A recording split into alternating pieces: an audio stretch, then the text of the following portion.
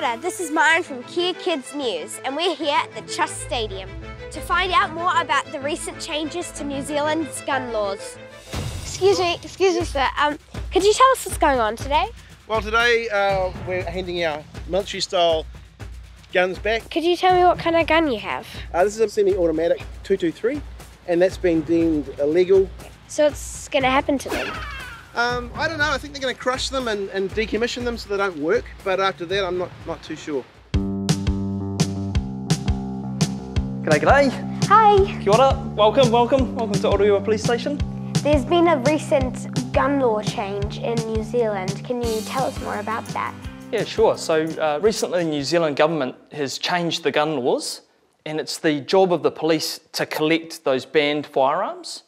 What sort of guns are being handed in? Yeah, so a lot of the uh, firearms uh, that are banned are uh, semi-automatic. And what that means is you can pull the trigger as fast as you can and it'll keep shooting. And uh, a lot of them can hold quite a lot of bullets or shots, um, so you can keep shooting quite quickly with them. How are these guns made safe when they're handed in? We make it so that you can't use that anymore. So it goes through this quite cool machine which bends the barrel and it bends the working parts so that it just can't be used at all. What happens to the guns after they're bent? We crush the firearms so that they just become scrap metal. Here I am outside of Hayes Metals, who recycle all metals. I was still curious about what might happen to the thousands of guns that are being handed in. I'm here at Hayes Metals and Paul Coit has agreed to show me what happens to a gun if the steel in it was to be recycled. So Paul, what happens to all the guns when they get handed in? Where does all the metal go? Well, Maren, I happen to have my firearms license and I've got a replica weapon right here. Would you like to see what happens to it? Yes. Well, come on, come with me. First, Paul let me operate the digger, equipped with a special giant gripping hand that picks up steel and drops it into the crusher. Never entrusted an 11-year-old with a half million dollar machine, but we'll see how she gets on. The crusher squishes up the metal into little bits so that the steel will melt quicker. It's all just been broken up into tiny pieces. I think this is the barrel of the gun. It's a bit bent though. I'm just going to scrape up all these and put them into the bucket to go in the furnace. This is where the furnace comes in. I drop the little gun bits into the furnace. That's extremely hot! At 1,200 degrees Celsius, it becomes a liquid. That looks like lava, doesn't it? Holy! then it was time to pour it out into cute little blocks like chocolates. When these cool down, they are solid bars. Excuse me, sir, I was just wondering, did you want your gun back? Oh, thanks a lot. this is Maren signing off for Kea Kids News.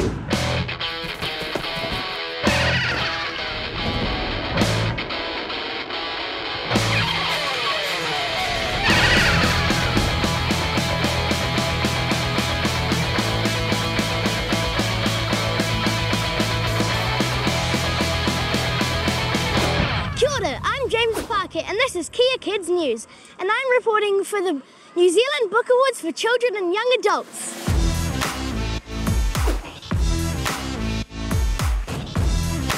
I'm at the book signing with Lucy. Now Lucy, can you tell me what your favourite book is?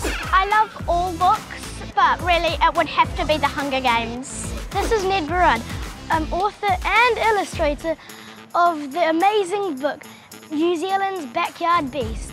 It's all about the things you would most commonly find in the garden. All the slugs, the snails, the spiders, the beetles, the worms. You called it New Zealand's backyard beast, but you've got a butterfly on the cover. Why is that? Well, I reckon they're a beast as well.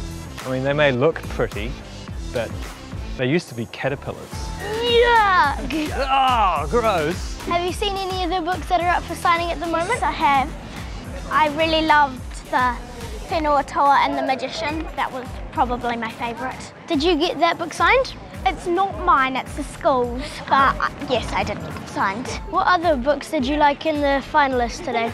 I really liked The Bomb, and uh, I also liked uh, the Mini Winnie and the Birthday. So you guys wrote the amazing book, The Bomb. So Sacha, you wrote it, and Josh, you drew the amazing pictures and painted them. We sure did. Hey Josh and Sacha, can you please sign my book? What made you write about the bomb? Back when I was a kid, I wasn't a very good bomber, but I did love jumping in the pool a lot. Um, so I thought it would be really cool to um, write a story about bombs. I had a nana, and she was such an amazing lady, and she had really cool stories. Like she used to drive trucks and speedboats, and so I thought I'm going to put a nan like that into my story about bombs. What is the perfect bomb anyway? I think it's when you get the double pop that the bomb goes boom. What was the science behind the bombs um, and like the math stuff? the kid who loves bombs. He's measuring all the bombs and he's working out the exact science for it.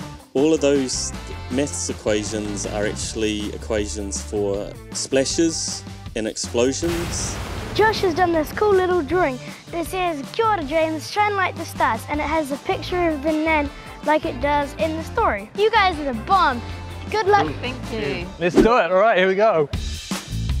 Do you have a victory dance if you do win?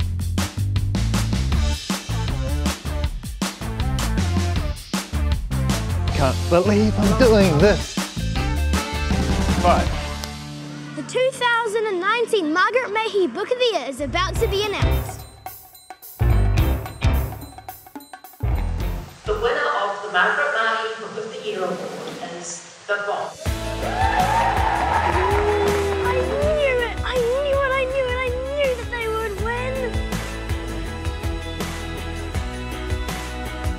Congratulations to Sacha and Josh for winning tonight's competition! Yeah! Congratulations on winning the Margaret Mahy Book Award. Um, you did really good. Cheers. Thank you. What, what happened to your victory dances? I was holding our baby, so I couldn't do it. I could do it now if you'd like. Go Josh. Go Josh. Go Josh. Hey. Did this book bring you guys together? Yes, so we were just friends um, when we started making this book, and then we were more than that after we finished, and now we have a little baby boy, Finn. So, yeah, this book's been pretty special for us. Yeah. Well done again, and I love your book. Thank you so much for making it. Cool. Thanks, James. It's been a pleasure meeting you. James Parker, and this is Kea Kids News.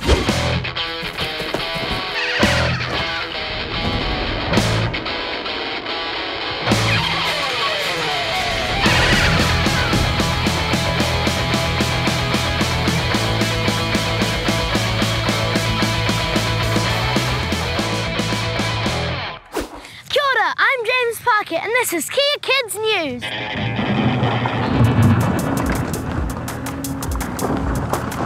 Clothing has more than doubled in my lifetime.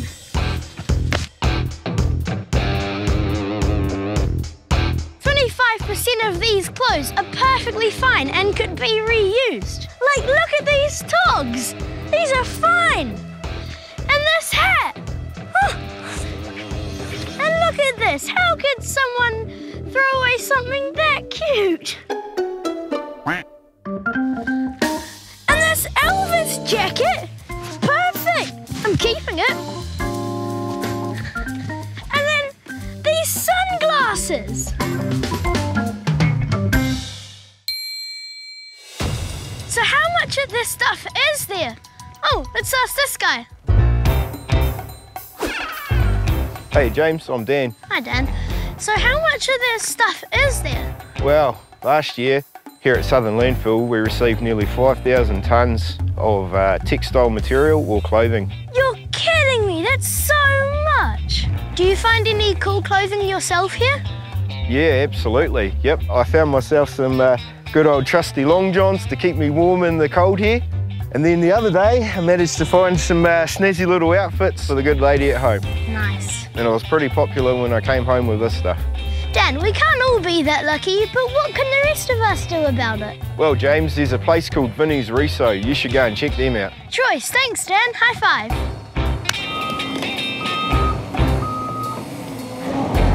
This is awesome!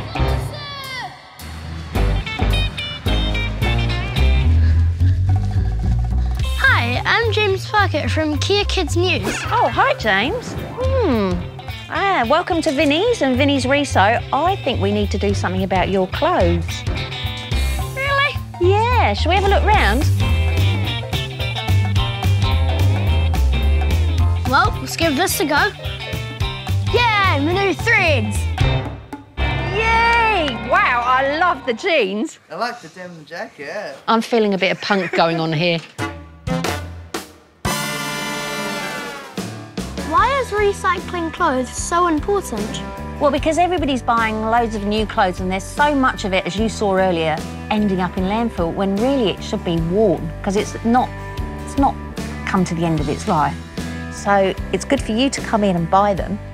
And then what you can do is you can repurpose them. Cool, so what sort of stuff are we talking about? So here's a good example. One of our girls here, she used the recycled material and she came up with a beautiful cushion. And then we've got this one here.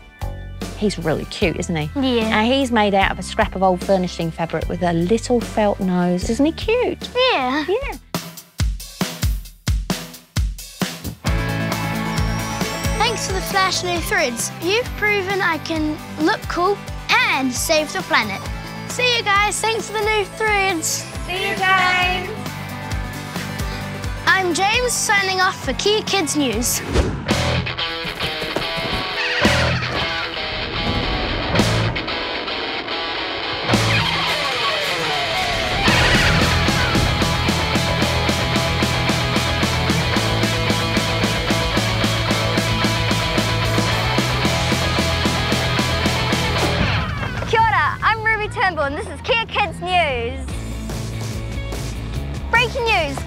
Bullied at skate park, so some girls are fighting back. I'm at the Waterview Skate Park in Auckland to see what's happening. I've got good news for girls who like to skateboard. Do you know what it's like to not feel very confident at skate park?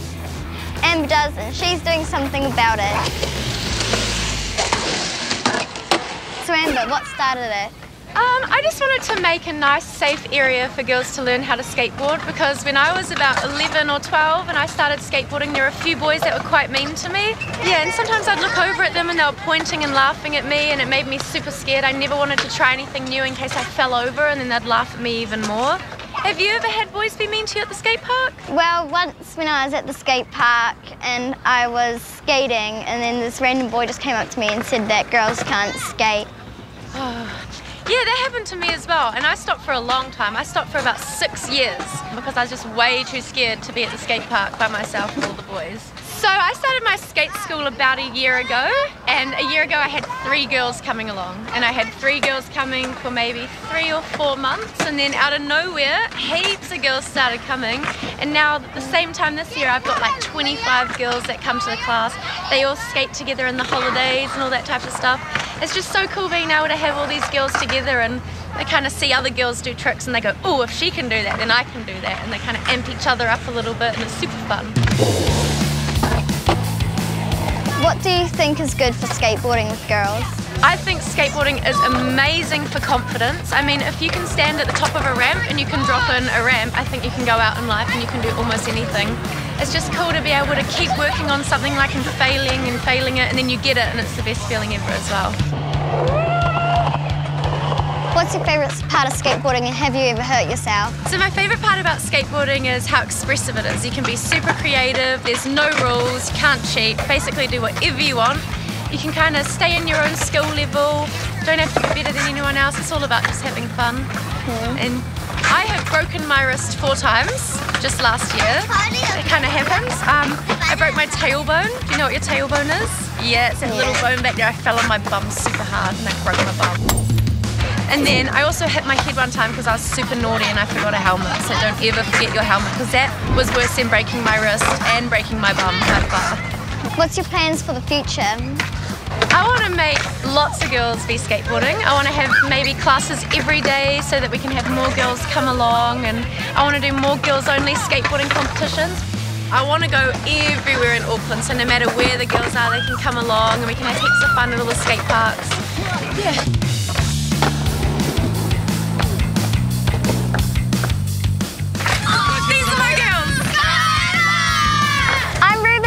Kea Kids News.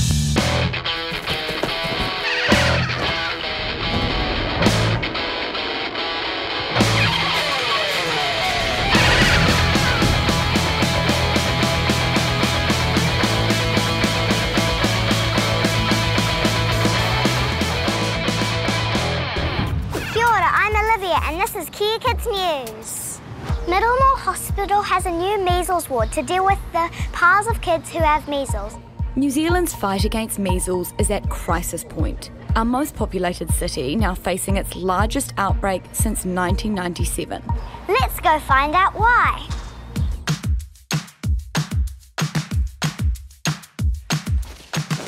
Ah, this is comfy. Hi Vanessa, do you mind if I ask you a few questions about measles? Sure, Olivia. The first question is, what is measles? Measles is a virus that affects children and makes them get high fevers and red eyes and a rash over the body and makes people feel very sick. Why do you think this is happening so much in this area? Well, we think it's because the adults who are between 15 and 30, they don't know if they've had the vaccination. Is it contagious? Very. It's spread in the air in droplets between people when they cough and blow their noses around the place, it spreads. So we've got some masks. Do you want to try some on? Yeah, that'd be great. That would stop the spread, wouldn't it? Those airborne viruses aren't getting near me. Me neither. Measles is a tiny, tiny airborne pirate lowlife. Arr, virus that you breathe in and it lands on your cells in your lungs. So the tiny pirate jumps on an unsuspecting human cell. Hello, me hearties. How you doing? Uh, hi, Mr. Pirate. You look like a cool dude. Here, have a rest on my receptors. Oh no, don't do it! The bad pirate virus drills down inside a human cell and recodes its brain, turning it into a zombie cell. Oh, I feel my brain shrinking, losing all my usual motor skills. I am a zombie. Do with me what you will. It's quite sad. From here, it gives the human cell a nasty new code. When that code is inside the cell, it makes it have its own pirate babies. Army hearties, I'm a baby pirate. Mommy, feed me, feed me, arr. And then those baby viruses make a mess, use up all the food inside the cell, then break out without tidying up, as pirates do, and destroy the cell. Then they go off and do the same thing again, and again, and again, and again. So that whole pirate thing, is that really true? Oh, I guess, yeah, it is kind of true. The pirate cell unlocks the human cell to let the virus in. And once we've had the vaccination, that door is locked and the pirate cell can't get in. So we're really, we're really keen that everybody gets the vaccinations to stop those cells attacking our children. Cool, thanks so much. I get it now. Bye. Must wash this hand. I'm Olivia, and this has been Kea Kids News.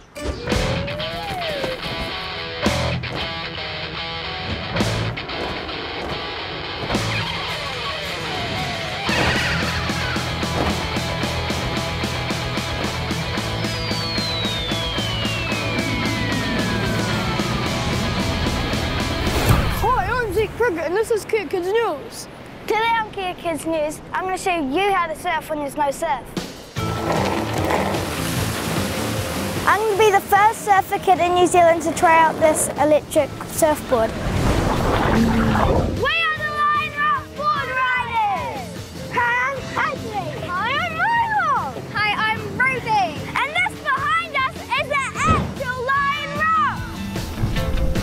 This year I won the under nine national surf champ. Milo, what do you need to do to win the surf comps? Well, you need to do big cutbacks with heaps of spray and get good waves. There's me getting some big spray.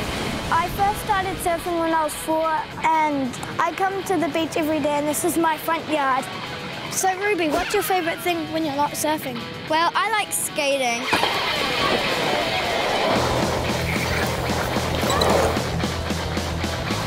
Skating's cool, but I still like getting wet. So here's an idea. I'm going to be the first surfer kid in New Zealand to try out this electric surfboard. Well, I think it's going to be a little different to real surfing because you won't be surfing on waves. I'm going to be surfing on flat water. But let's go check out these jet surfboards.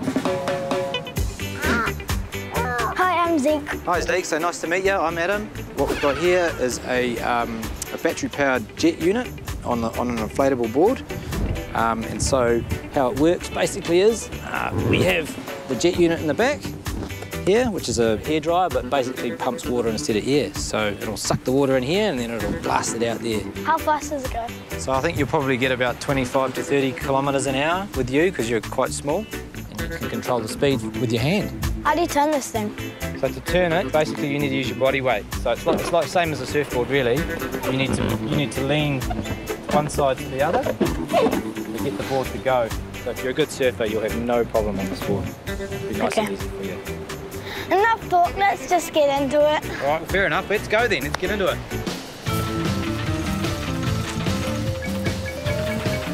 Okay, mate. Put it down there. Okay, time to try this. I just hope I don't embarrass myself and fall off on the first run.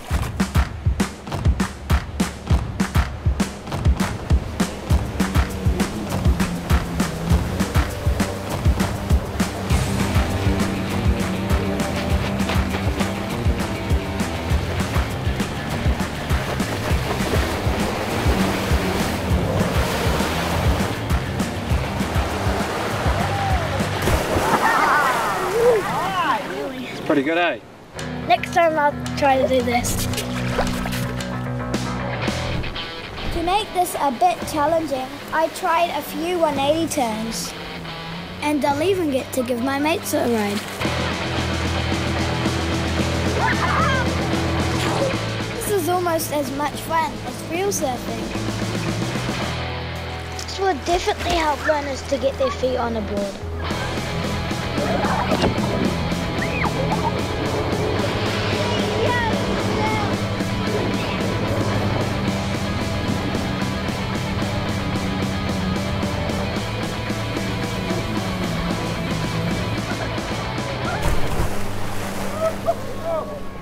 Okay, guys. So how was that? Good fun? Yeah. Loved it? Yep.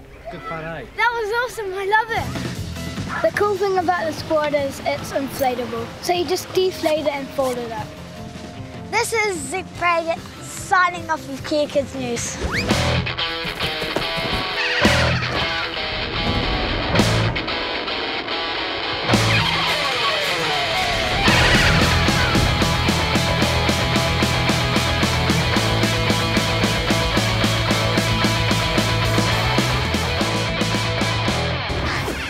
Ko Lucky Takingoa, ko tēnei te purunga o Kea Kids News. Kia kaha e hoa ma. That means stay strong, friends, and this is what this week is all about. Kia kaha te reo Māori. Aye, that's right, being strong with learning te reo Māori. And here at Torbay School, there are some kids who are so strong, they even took over from their teachers. The Te Reo Māori kaiako or teachers at this school are actually the tamariki themselves. Year 6 students have taken on teaching Te Reo Māori to the younger kids and they thought, oh yeah, not for just one week. Come in, roommate. Inoho when you come here. So today we're going to be learning ko te aha tēnei rā, which means what day is this in Māori? Ko te aha tēnei rā, rā tapu Sunday. Uh, ko Ngāwa Taku uh, ko Kau. Ko Liwa Taku ko Te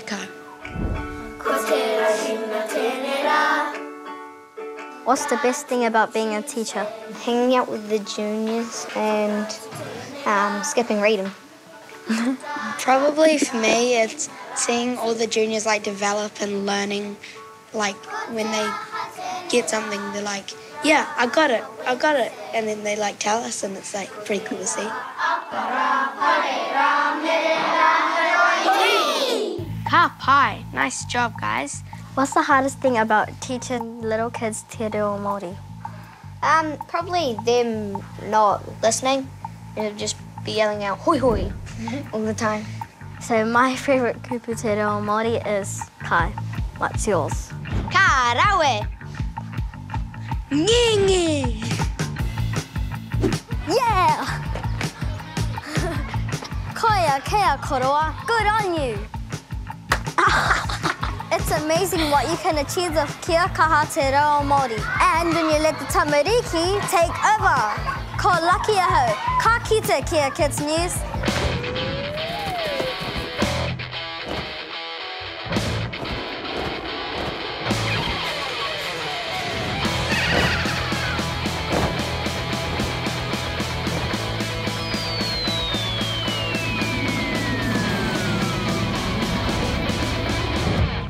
ora, ko kuru aka ahau. Kei te kōrero ahau mō Kia Kids News. Anei te kaupapa. Kei te tūtaki tātou i te wātene muringa rawa o te ao. He rongonui ia. Kurua stāwha tōna ingoa. No, it's, it's chorus here. It's chorus here from the morning children. We look after people and make sure everything goes good. He has learnt a lot, and what we found in him, he'll make a good leader. Man, when I was eight, all I wanted to do was dance and sing songs from Frozen. Nau mai hara mai ki tēnei whenua taurikura. What? And action. Why did you want to work as a Māori warden here? I want to look after this whenua taurikura. What does Taurikura mean? It means this land. Do you think you're inspiring people? Yeah, I do, but um, we are taking place, eh? We don't we don't arrest people. We look after the people and we put we take them home and stuff. We we don't uh, take them into the jail or stuff. We look, look after them and take them back to their home instead of jail. Roger, is everything okay down here? Yeah, that's all right. Bye bye. Kei te maukui te ahala. Tell me about what you're wearing. I am wearing a hat. The toro looks like a police hat, but it's not a police hat. It's a Māori warden hat, and I have an RT to talk to our people, and I have a yellow vest on. Kei te pirangi āwhina koe? Oi! You can come help me put these plants back in their right space. Come on, Kurawaka, yes, go do it. Yeah, get those ones and put them on the floor. Come on, put that one plant over here. Up here? Yeah. Who is the most famous Māori warden here? Probably chorus. Chorus? Chorus? What is the coolest, like the best thing you ever saw Chorus do? Probably play with all the kids after his work, work time. Just goes to show, sometimes the best person for a job is a kid. What's the best part of working here? Um, the best part is working here is doing the road, looking after the whānau, and uh, putting them in the uh, right directions and with the cards. Ka miharu ngā tangata ki a koe i te waka ki te rātou he wātene Māori koe, aha koa waru noi ho tau. Ka pirangi rātou te mahi o ngā wātene, ki te taha o ngā wātene Māori, e ki atu ahau, kore he mahi pēra ka taia te tākoro haere, te, te haere atu mai, mai i, i te taha o, o, o, hoa kei te taha koe i, te, i runga te rore, Tapahi koe e kawe neke mai tēnā a taha o te rore. Kia ora chorus, mo te korero ki a mātou, mo o mahi hei wātene Māori. So thank you chorus for talking to us about what you do as a Māori warden. Kia ora, kia waka. Thank you for coming. Albert. Ko kura waka ahau. I kōrero mo Kia Kids News.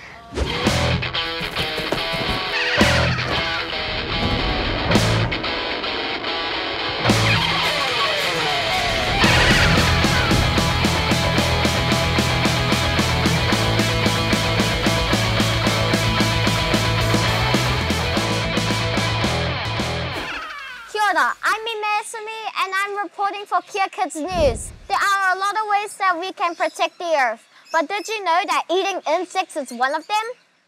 Here's a cow and all the space it takes up, and grass it eats, and fertilizer and water it takes, and methane farts it does.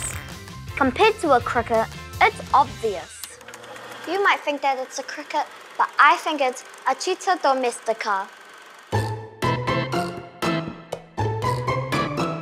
This is Dave from Bird Barn, and this is Turbo, a bearded dragon. Bearded dragons love to eat crickets, but then again, they are lizards. So, what do crickets taste like? Mmm, crickets, delicious. Oh, Lizards love to eat bugs. No surprise there. But what is surprising is that if more humans ate insects, it could help the environment. I do not want to eat a sister turkirka.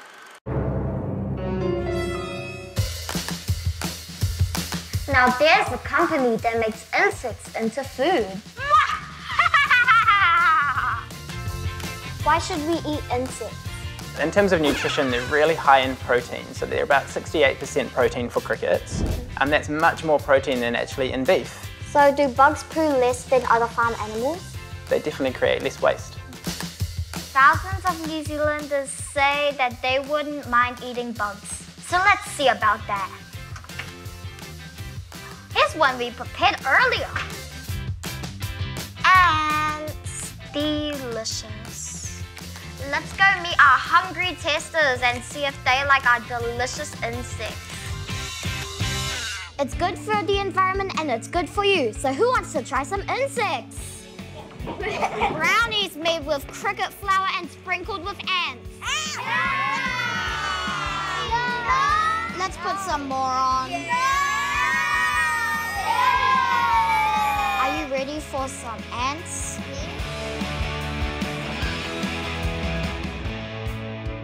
What would you rate it out of 10? 10. 10. 10. That's pretty good. You know what can sting you? A Mesobuthus martensii. An edible scorpion. Here I go. Next we have a tarantula.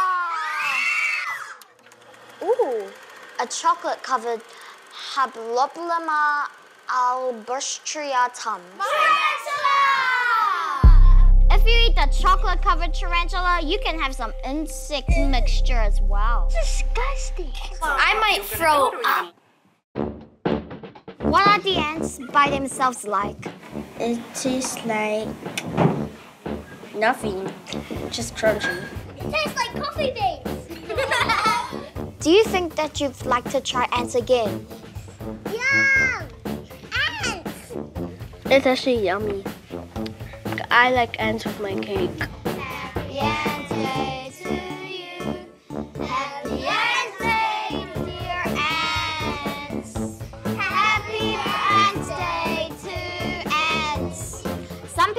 vomited and some people have enjoyed it. What do you think about eating insects? I'm Imea Sumi from Kea Kids News.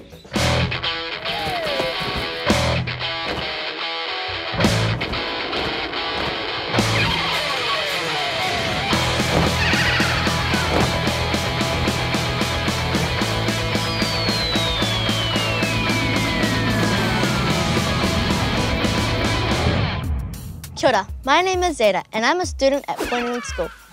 We have some pretty weird teachers. They're slimy and if you're not careful, they'll bite you. Come meet them.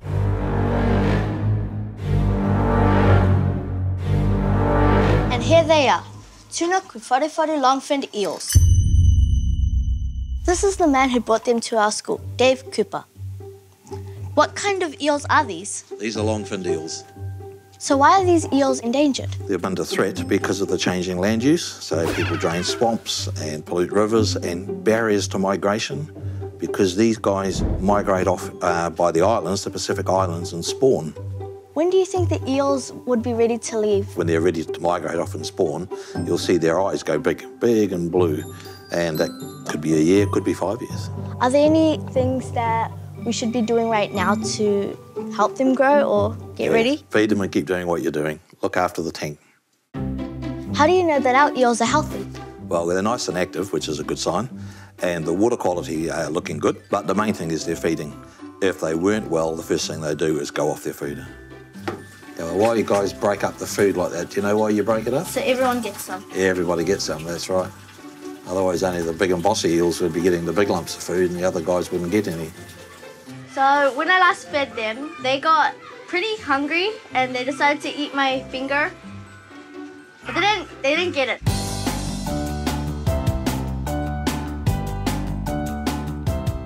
So what do the eels eat and what eats them? When they're small, they eat insects, but as they get bigger, they eat other fish, uh, including other eels, and they'll eat uh, anything that falls in the river. As far as what eats them, when they're about the size of these eels, shags and other birds will eat them. But they get a little bit bigger, nothing eats them. So they're the apex predator. Do they ever eat things on land? Yes, really, really rainy nights, they slither along on the grass and eat worms on the grass, especially in farm areas. That's a good question.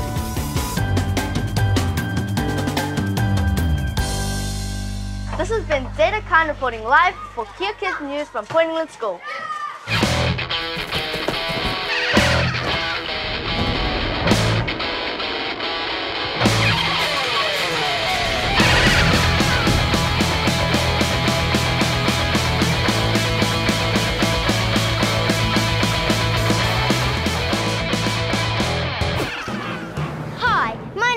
Ashton, and I'm reporting for Kea Kids News. Here in Western Springs, Auckland, there are too many geese. They're taking over the park and pooping everywhere. Local board member Rob Thomas has an idea. Let's go meet him.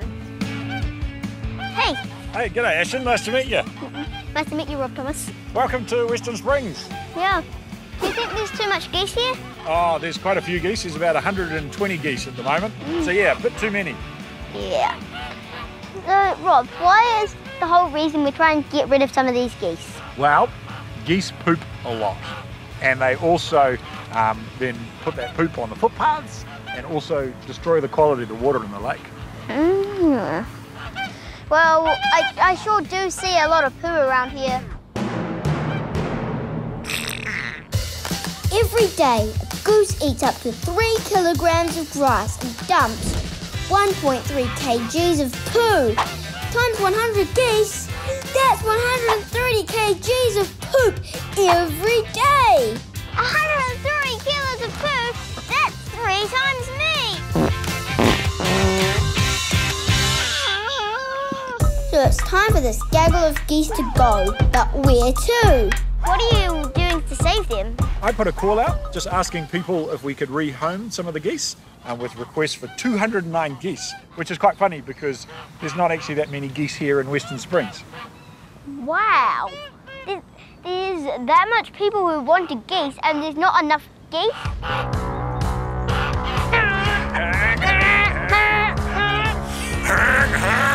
How do you catch a goose? Well, it's a very good question. It's not about sneaking up on the goose. You're not going to do that uh, during the day because they're like guard dogs. You see, they, they make a lot of noise. They would make a good guard dog because they do go a lot.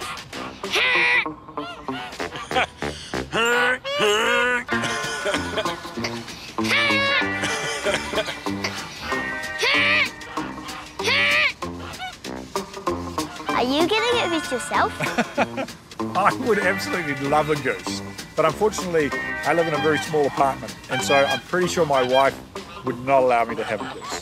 Great answer. What equipment do you need to have a geese? Well, it's really important that people recognise that these are geese that are not like uh, like a family pet. It's not like a cat or a dog, because these are wild geese. So you need to have a big uh, green open space that they can eat the grass, and also you need to have some sort of water source as well. So something like a pond would be a really good option for them. It's Geese Apocalypse! Okay, so we're going over to get to, as close as possible to the geese. But what's our strategy? Hmm. Should we go up to them, but make sure that they see us, so that they're not surprised by us, and see how close we can get. I've got goosebumps.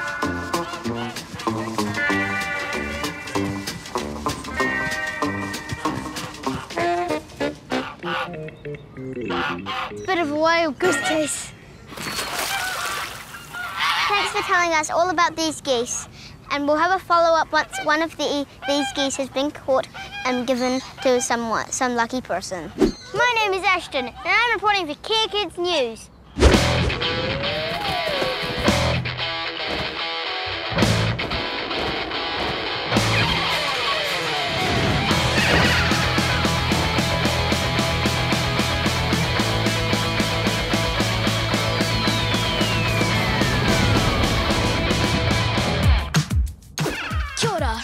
Juliana Langatipu from Point England School. Kids getting rotten teeth is a really big problem in Aotearoa. And I'm Angelica Leamanu, and we're going to get to the root of this problem. First up, the Point England Dental Clinic. Do you see many rotten teeth? Unfortunately, we do see quite a few rotten teeth because children are having far too much sugar in their diet and soft drinks, fruit juice, lollies, of course, and cake and biscuits. So what happens when sugar hits your mouth? Our mouths are home to lots of different tiny creatures called bacteria. Some are good and some are bad. The bad ones are called Streptococcus mutans, and they just love to eat the sugar that you eat as well. When these guys eat the sugar, they out acid onto your teeth. And this makes holes in your tooth enamel. That's the shiny, protective outer layer of your tooth. How can we fight this? One way is with saliva. Your saliva has minerals in it, calcium and phosphate. These minerals help the tooth enamel fix itself, putting back the minerals lost in the acid attack. So it's time for one of you to have your teeth examined. Who would like to be the first person? Me. Take a seat. And did you brush your teeth this morning? I knew we were going to record it today, but then I just forgot. I can't believe I forgot to brush my teeth. So, what do you think we can do better to stop this happening? Brushing your teeth twice a day, morning and night, and using a fluoride toothpaste for two minutes, which is quite a long time. Two minutes? Do you know how long that is? How should you brush your teeth? A pea-sized amount of fluoride toothpaste on your toothbrush, run it under water. And the idea is definitely not to scrub your teeth. Don't rinse your mouth with water. And then that just allows a little bit of the toothpaste to stay on the teeth and it's got that fluoride in it and that will help strengthen up your teeth. This is kind of fun. Yeah. Why do we brush our teeth day and night? Before you go to bed, that should be the last thing that is in your mouth is that fluoride toothpaste. Now we're going to do a pea-sized dab of toothpaste. To get it accurate, we got our actual pea. Yeah. And now we start brushing. Hey, wait! Remember you got to brush for two minutes. I've got my special toothbrushing time machine here. Three, two, one, go!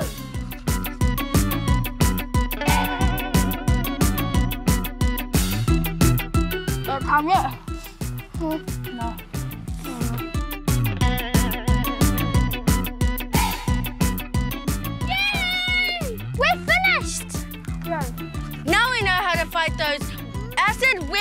bacteria. Just a few of these and a lot of this. This is Angelica and Juliana signing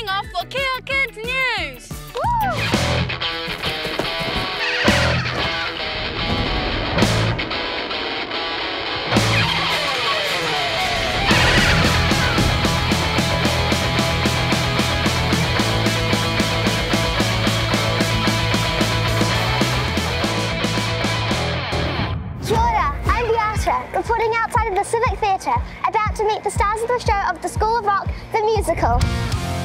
We are the School of Rock, and this song was written by our lead guitarist, Zach Mooneyham. The show's about a guy who wants to become a rock star, and he pretends to be a teacher to get there. Best of all, lots of kids star in the show. They say it's a long way to the top if you want to rock and roll. But if you look at this cast, I say it's not far. Let's go find out. Um, this is Dewey. He's the teacher in the show. Hey, Dewey, tell us about your character. Well, Dewey is this rock and roll god, but nobody else knows it yet. And he's struggling to pay the rent, so he decides he's going to go and sneak into a school and try and teach. And then he finds out that all the kids are really great musicians, and he thinks, hey, they're the band that's going to help me become a rock god. So he starts teaching them about music.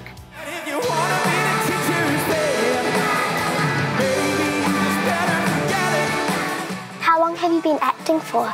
Since I was eight, I oh, be- I started acting just in local musical theatres and I worked my way up to these professional like, shows. So, how long have you been playing guitar? I've been playing for almost five years. What do you love about playing the guitar? When it makes people happy, uh, I'm happy. Oh, yeah, that's nice. I'm here on the stage just before the cast comes to warm up. What's your favourite part of the show? When the kids are trying to think of names for the band and Billy says pig's rectum.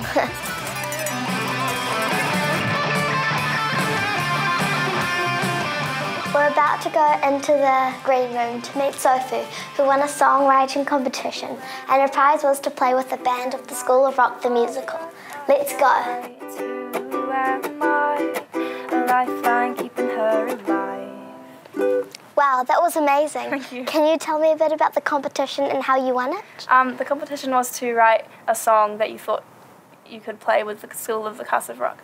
Um, and I decided to enter this one, um, and it won, so I get to play it with them, and it's really cool. Sophie Brown. Hi, um, I'm Sophie, and I'm going to be playing a song I wrote called Lifeline.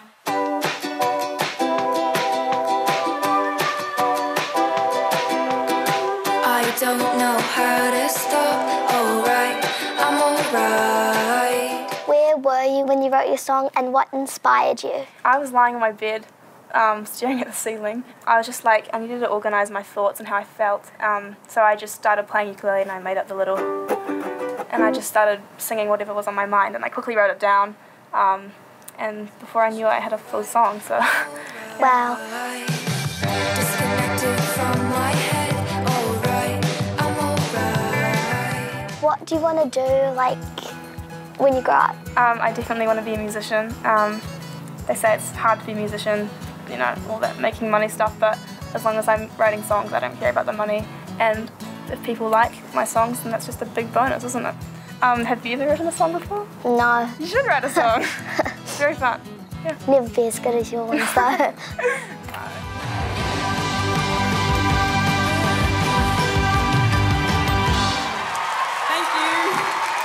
Why did you want to be in a show with all these kids? Well, when I was a kid, the, the movie with Jack Black came out, and I loved that movie. So when I heard that they were putting on a musical version of it, I was like, I have to get in on that.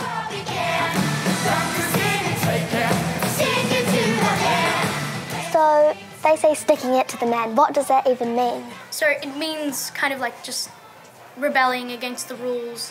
What's your favourite part of the show? My favorite part of the show is when we do stick it to the man. Who's the man you're sticking it to? Um, anyone really, teachers. One more time. It's Zach. What was your favourite part of the show? When they sung Stick It to the Man, it was a really good song. So far, it's probably the song Stick It to the Man. I think that was like where all the characters really got to have a good connection there.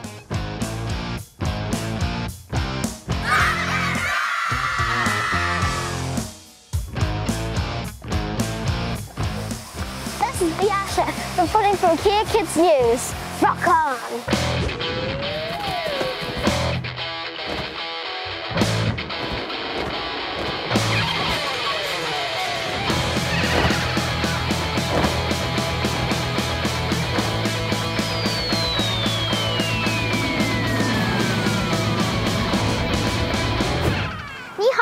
Hi, this is Rachel from Kea Kids News, and I'm going to talk about the Chinese Moon Festival. excited to come here and look at all the amazing things. Oh, that's the lion! There's a lady inside the lion! 那这里头热吗？这里面很热啊。 It's really hot. 对，哪个是你是公的吗？知道吗？对对对，黄的是公的，红的是母的。 I never knew that livestock could talk. And the red is female and yellow is the man. Now I'm a lion. 怎么弄这个嘴啊？你这个呃弄音乐的叫英语叫什么呀？这个呀，是我们吹打乐，中国的吹打乐。这个是中国的鼓，小糖鼓，小糖。这个呢，可以呀这是中国的唢呐，它有是五千年的历史。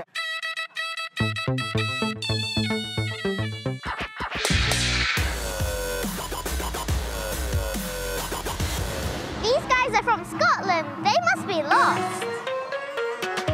So, how did the legend of the Moon Festival begin?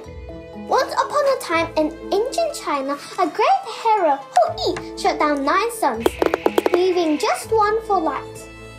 An evil villain, Pinman, made his beautiful wife Tong-u drink a potion that made her immortal, but live in the moon forever. Hou Yi came back that night, sad that she was gone. He left out her favorite fruits and mooncakes in her memory. Ever since for 3,000 years, people came together, look at the moon, and eat fruit and mooncakes at this time as well. You can eat dumplings in the Chinese Moon Festival, but it's just mainly fruits and mooncakes. So that was the Moon Festival. Hope you enjoyed it. Let's go home. This is Rachel, signing off from Kiki's Newses. Hope you enjoyed it.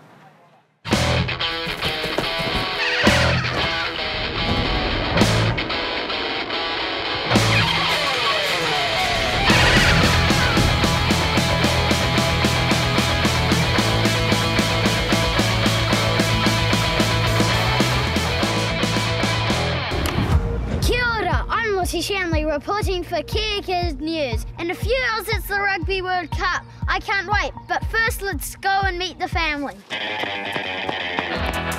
Almost every night my family plays rugby in this very living room. 2019 World Cup kickoff.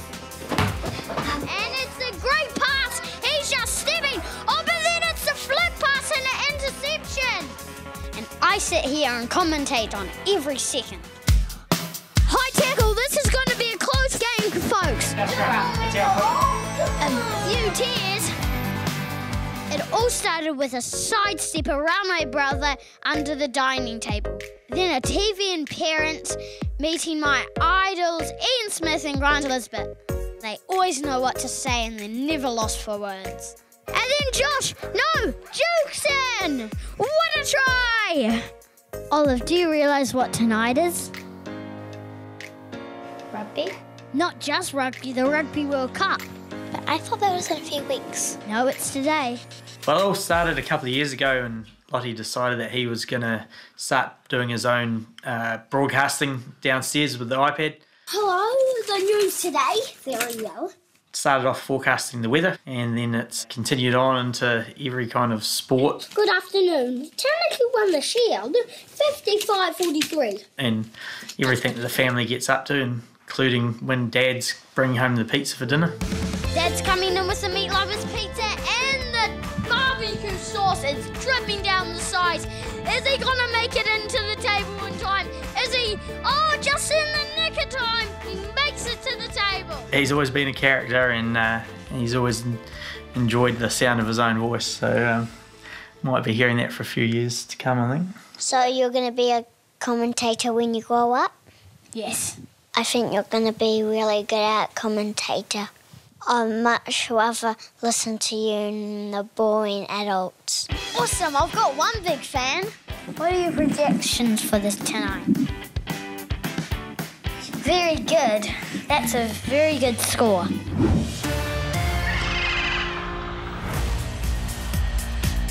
Here we are in Yokohama, Japan for the 2019 Rugby Kids New Zealand. High kick from Beauden Barrett. Nicely taken down by the number 15. Ryan Crotty will get it out of the ruck nicely. Richie Mo'unga. Beauden Barrett's found the gap. He's going to get the pass out to George Bridge. George Bridge right next to the post. What a try! That's amazing! Aaron Smith, Ryan Crotty, Dane Coles. Dane Coles offload over the top to Anton Lienert-Brown. Anton Lienert-Brown, great footwork. He's passed to Scott Barrett. Scott Barrett, he's gonna get right under the post. What a drive for Scott Barrett. That's amazing work that Dane Coles and Anton Lienert-Brown had to do. 23 to 13. What a game from both sides. Number 14's looking a bit sad, but don't worry, Ardie Savea is giving him a bit of a hug. I love to see that sportsmanship. What a game from both sides. That was the Rugby World Cup, and I'm Lottie Shanley reporting for Kea Kids News.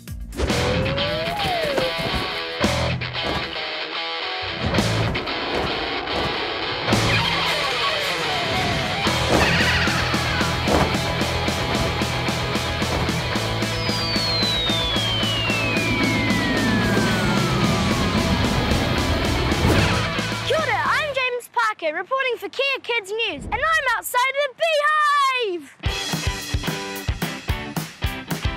Hello, we're here with Ollie Langridge, who's been sitting outside of Parliament for a hundred days. I've been outside Parliament for 100 days um, because I want the government to declare a climate change emergency because the climate is changing very fast and, and we need to do something about it. Tell us about the day that you decided to start this.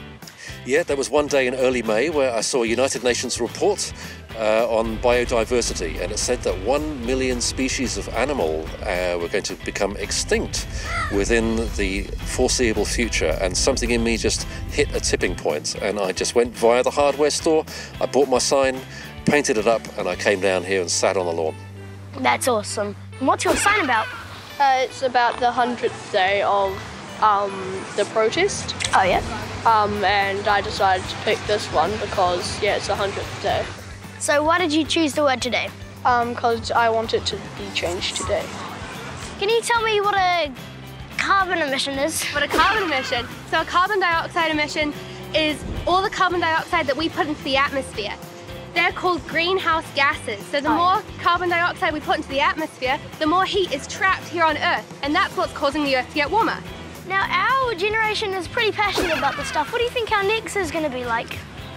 Well, hopefully they shouldn't have to be too passionate about protesting because it, it should be sorted out by then. Um, if not, Lord help us all.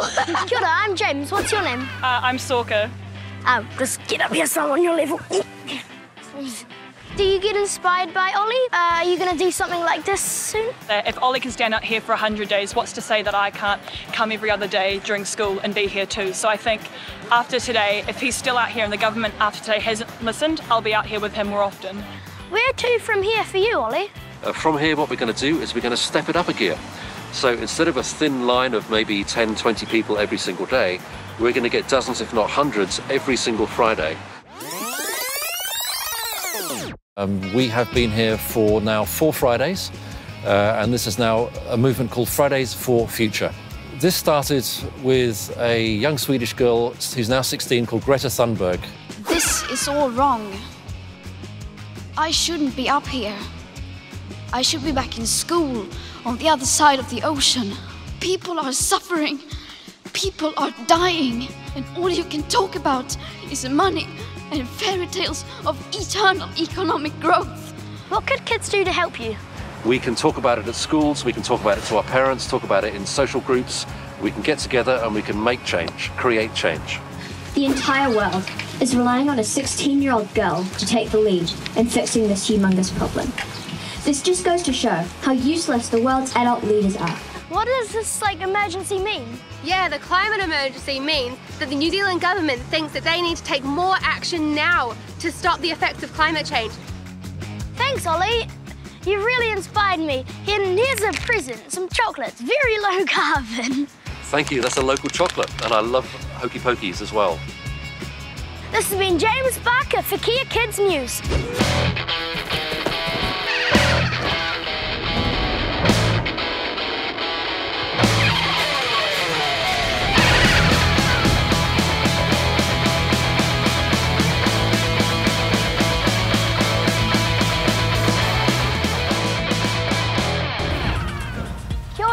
Jeremiah, and this is Kea Kids News. After a recent death of a young student walking home from school, parents have been arguing whether or not it's safe to be walking to school in the busy cities.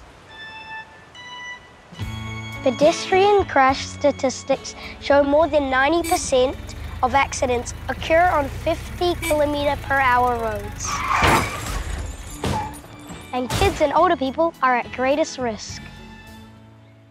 The most dangerous part of walking to school are these blind driveways. And my friend Melanie here is going to show us why. When people are late for work, they floor it and zoom out. It's times like this when you think it's all good, but there's a gazillion chances that you could get hit.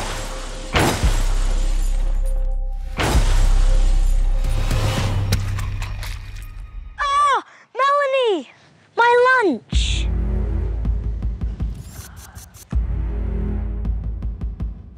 I'm here talking to Principal Vicky from Onehunga Primary School. Hi. Hi. What do you think about the issue of safety when kids are walking to school? It's actually a really big issue for us. Has there ever been any mishaps or accidents? One day we did have a boy who was cycling to school hit by a car who was coming out of a driveway. And is he okay now? He's absolutely fine. I think everybody got a big fright, but no one was badly hurt.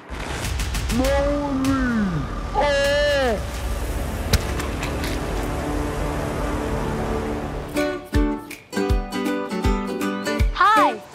Hello. We're talking about road safety. What's your name? My name's John.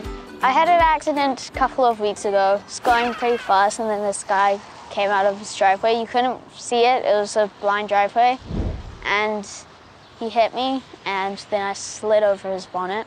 Oh, that's terrible. Did he stop or anything? He did stop, but he didn't get out of his car. He just used sign language, are you okay? And then he drove off. Oh. We try and have as many of our children as possible being part of a walking school bus. Okay, here we go. Let's walk. It's When they're walking as a group and with adults, it's safe. How do you get to school? Um, sometimes I go in the car and sometimes I walk on the walking school bus. What do you like the most? I like going on the walking school bus. You come out at 8.15 and then you start walking and then you arrive to school. Are we having fun yet? Yeah! I just like how everyone follows and, and how they safely cross the road and no one gets hurt. What's your favorite thing about the walking school bus? It's a nice way of saving petrol, that we don't pollute the air as much when we walk to school. How long have you been walking to school? Since we started school. What would you say to drivers that are zooming out of their driveways? Just go a bit slower and toot when you come to the corner. Cool. Awesome advice. Good luck with your trip to school today. See ya. Goodbye. Thanks. This is Jeremiah reporting for Kea Kids News.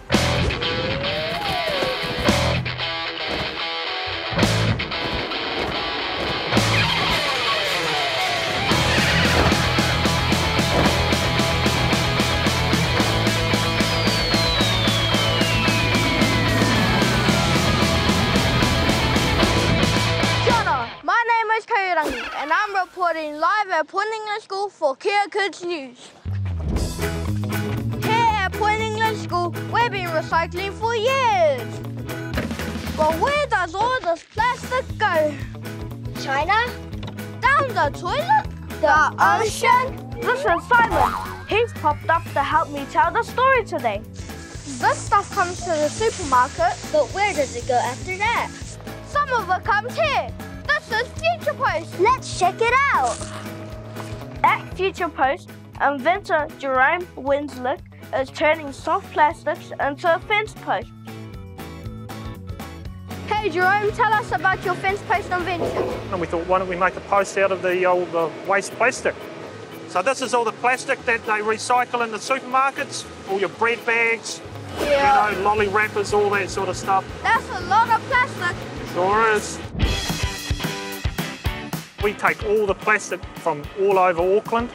Each one of these posts has got about 500 milk bottles in it. Whoa! and about 2,000 bags, like you know your supermarket bags. This is where all the plastic goes. Chuck all. Everything?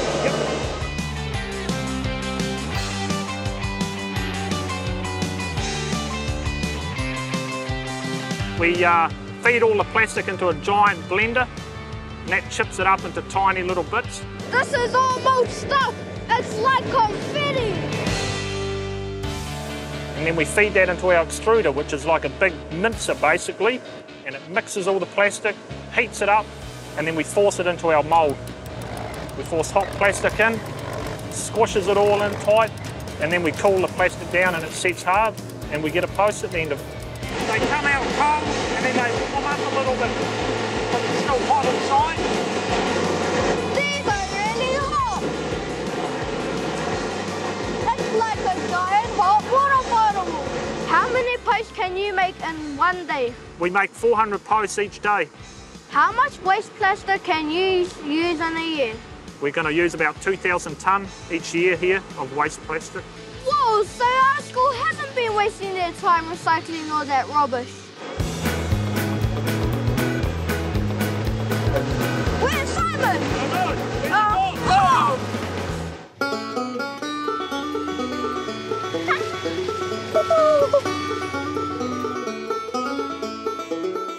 So here's a future post in action, holding wires up and keeping cows out of this paddock.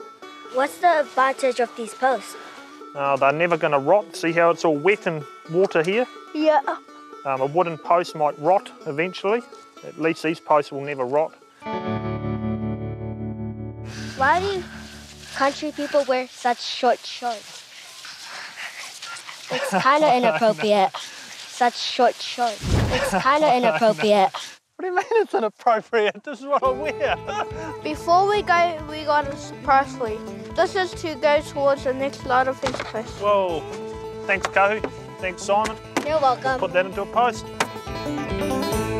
So there you go. Don't sit on a fence on recycling. Get those plastics into the supermarket, it'll end up here. This is Kairangi, signing off for Kea Kids News.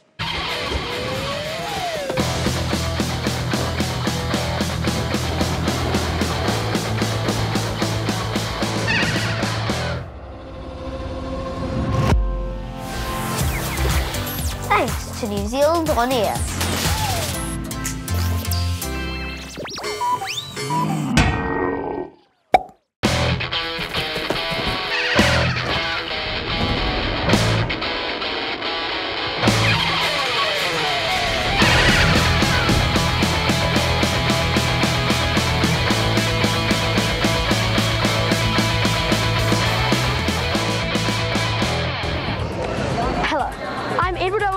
Christchurch. And I'm Maddie Bonnet from Wellington. And I'm Erica Bell from Auckland, and, this, is Kea Kids News. Over the last week, over a million young people all around the world took to the streets to voice their concern over climate change and the lack of action by those in power. So now, here in Aotearoa, it's the kids' turn to take over and teach the adults that enough is enough. And it's time to cool down the climate with the school strike for climate change. Today in Auckland, thousands of students have walked out of the classrooms and joined together to fight climate change. What do we want? Climate action! What do we want? What do we want? Climate action! I'm here on the protest going down Queen Street. What are you guys teaching the adults about climate change? I'm teaching them to look after the world better. Yeah, to fight for a better future. Yeah. If we don't fix something now, like we never will, and it will just be, the world will be a dump.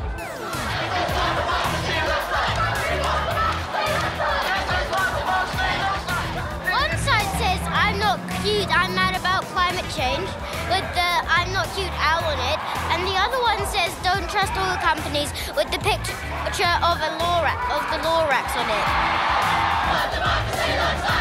What do you guys think about climate change? Very horrible. It needs to stop. Very horrible. Hey guys, what would you say to the adults that are in charge about climate change? Don't put plastic in the ocean. This is really, really fun. All the energy, and I really think that the government will really try to help climate change now. and over to you, Maddie in Wellington. And I'm Maddie Bonnet from Wellington. What do we want? Climate justice! I joined this march because climate change is going to affect us and our children, so we need to stop it as soon as possible. Well, I wanted to feel like I was doing something to make a difference. Have you made any changes yourself to combat climate change?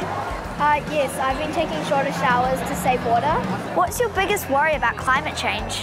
I'm worried that it'll get really hot and then it'll get really uncomfortable to live, and I don't want that. Uh, I think the rising sea levels because, you know, we're in an island in the middle of a big ocean. Was it hard for you to get out of school to get here to the climate change march? It wasn't hard to get out of school, but it was just more hard to convince my mum to.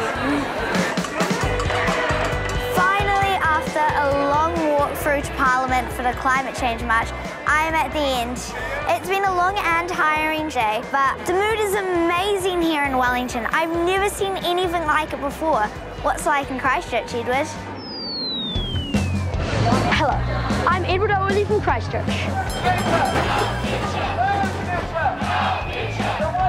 What do you think that anybody out there watching this could do to help? Stop littering and smoking. What, what do you want the government to do? I want them to take action.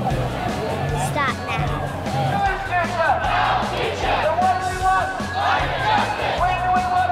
What do you think that ordinary people out there watching this could do to help? Um, they could stop using cars a lot more and plant more trees, keep biking and walking around.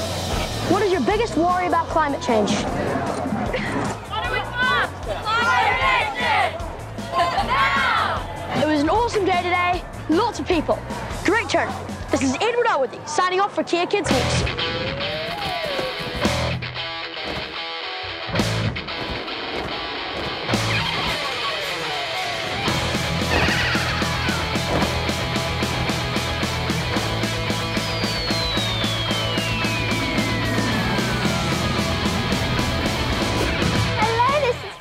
From Kea Kids News. In a New Zealand first, an Auckland movie theatre is letting dog owners bring their pets. We're at the very first dog-friendly screening at Academy Cinemas. We're going to watch a movie with our dogs inside. And I think they all go get a haircut. I'm here at Academy Cinemas Auckland and I have one question. Who let the dogs out? I'm so excited. I've never got to take my dog to the movies before, so this is a really cool new experience for both of us. Yeah, we've had our toilet time already, so we're good to go.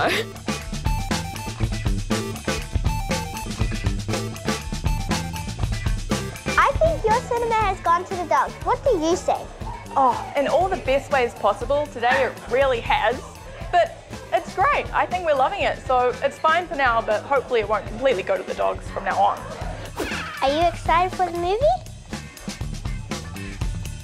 You excited? Caitlin, some people would think you're barking mad to organise this event. Are you? Maybe a little bit, but no, I think that people are really excited for today. What are some things that people will get to see today? So we're going to have the paparazzi on the door, like a red carpet. They're going to get goodie bags when they come in. We're going to give away spot prizes, and then we're going to watch Secret Life of Pets. What made you decide to make an event like this? Well, we always like to watch movies at home with Finn, and he watches TV himself, so we thought it would be a good idea to bring him to the movies. How many people bought tickets for today? 210 people. Are you planning on making more events for dogs? We do them every month, so yes, every single month. What about other animals? I think dogs are the easiest to wrangle. Fluffy white doggy. That one's got a comb. This is Henry, and these are his humans. Humans, why did you bring Henry to the movies today? Wow. I mean, you can't really beat movies and dogs. I think we brought him along. today. It's a pretty glamorous day for a dog day out. He looks pretty excited. I love his outfit.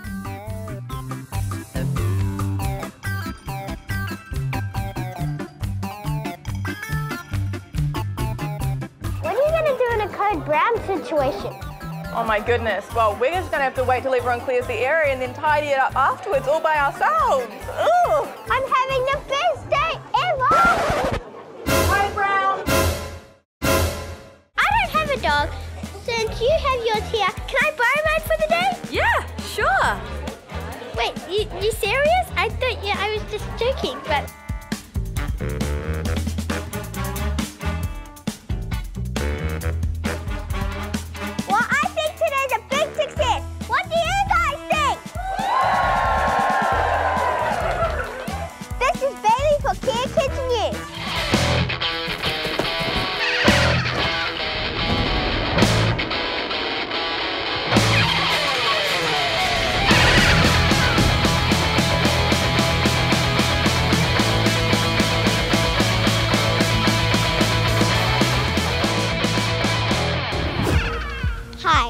From Kea Kids News. Here's the news. Rocket Lab launches a new plan to catch and recycle falling rockets. We get an inside scoop and inside a rocket. There are only 12 countries in the world that launch rockets, and Aotearoa is one of them.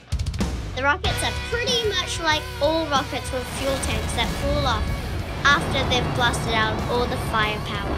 But this is where Kiwi inventor Peter Beck decided to change the rules. After a rocket is launched into space, some parts of it are designed to fall back to Earth and crash into the sea. But the New Zealand company has an awesome new plan to try to catch them in midair. Can you tell us about Rocket Lab's cool new plan about catching the rocket? You know, right now the rocket parts they fall back to Earth and disintegrate, but we want to now be able to reuse some of it. So the main booster. So basically, as it's falling back down to Earth, we try slow it down, and we do that by using a ballute. That's kind of a combination of a balloon and a parachute, and then we come in with a helicopter which has a hook, and the hook captures the ballute, and then we pull the stage off into safety. Why do you want to reuse the parts? We want to launch more and more rockets, so for that we can reuse the parts, so that can happen more quickly for us. How come you want to catch the rockets before they hit the sea? We don't want them to get wet. What will happen to them if they get wet? So yeah, we don't want them to get wet because we have lots of electronics in there. And you know, you don't want to try this, but you don't want to drop your phone in the pool. Can we go and launch a rocket? Let's go do that one. This is how we make our rocket. It's called a bottle rocket.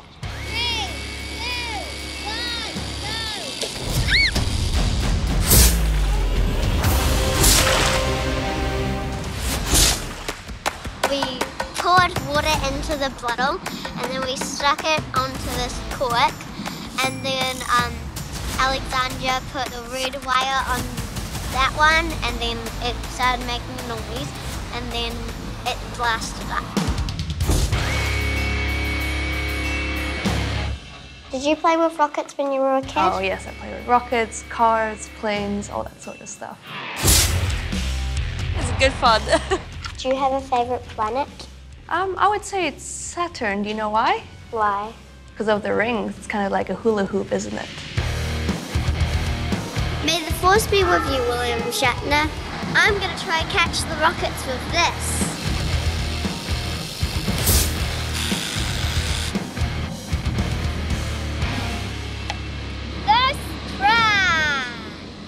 Good on you, Rocket Lab. I'm Bijou from Kea Kids News.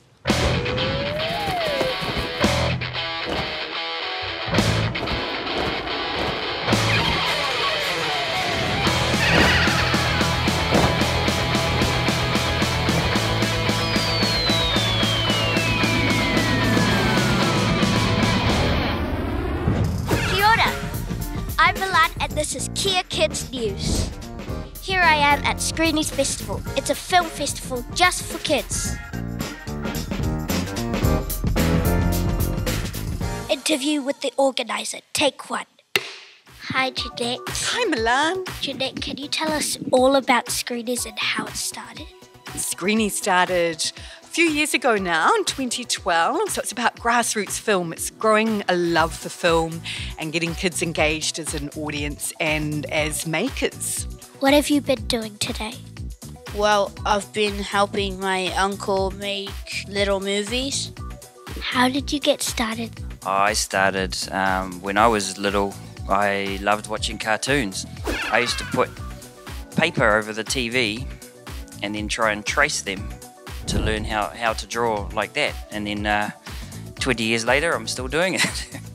when I first arrived, we just came in and I'd read the little flyer thing because they gave them out at school, and I knew about the animation, and um, I didn't realize how cool it was going to be at the time. So today we've got some people who've uh, kindly come and drawn us some drawings, and I'm um, showing them how to make them move. Oh, cool, awesome. What have you been up to today? Uh, so, Milan, at the moment, I'm, I'm running a workshop with a group of uh, rangatahi, 12 to 16 year olds, and we're we're just looking at how to how to make movies and how to build stories around cool characters.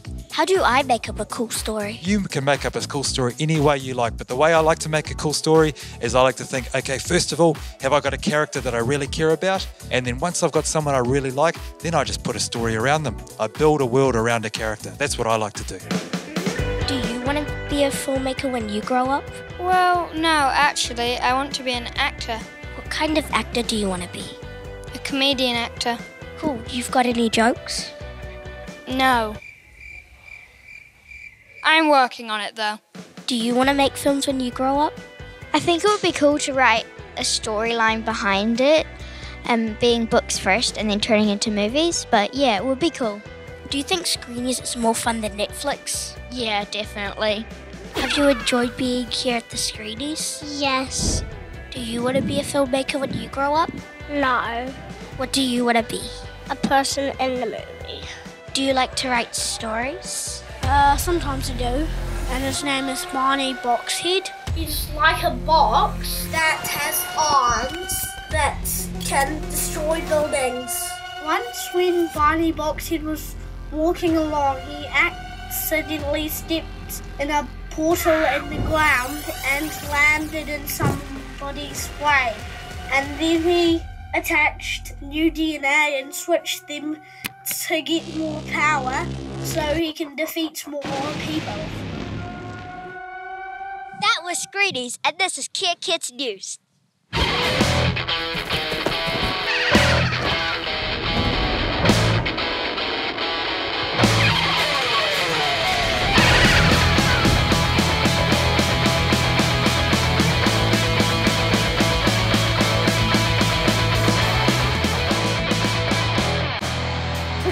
On Kea Kids News. When I first met Kieran Read, I said, Do you reckon you're going to win tonight? And he said, Hopefully. What's it like to run out with the All Blacks at the Rugby World Cup? He had a very rough hand and was humongous. And the Waiheke Island Trolley Derby is back after 15 years. Well, don't crash and win.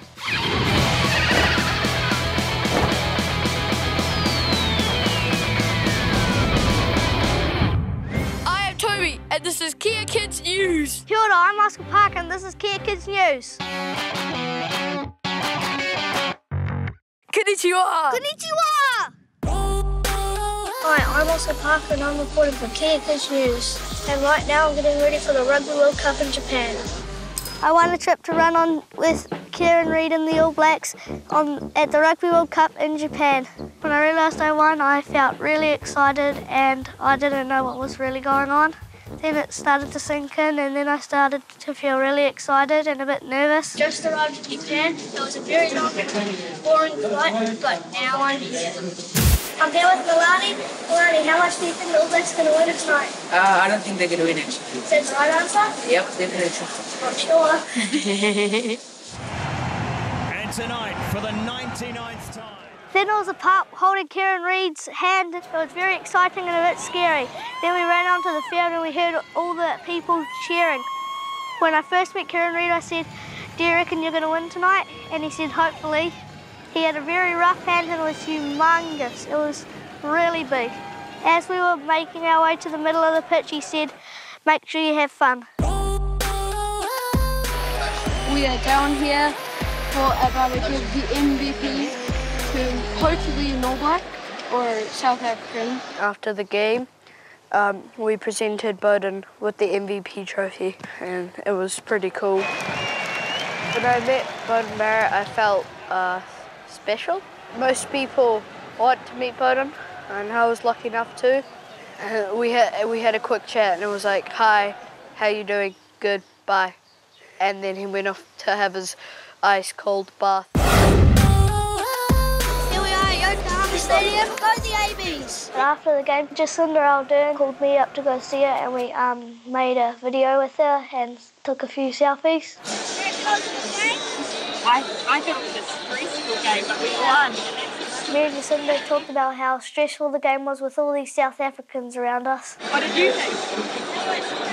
That was a stressful game. Can you say hello in Japanese? Konnichiwa. Okay. uh, Ohayo gozaimasu. What does that mean? I don't know. What is it? Are you going to tell me? Good morning. Good morning. I read a note to Richie McCaw. You can come and ride in our Morris 1000. So it's a Morris 1000 and it's 58 years. And the office still stands at Richie McCaw. Come ride in our Murray. I'm Oscar Parker, and this is Kea Kids News. And this is Toby signing off for Kea Kids News.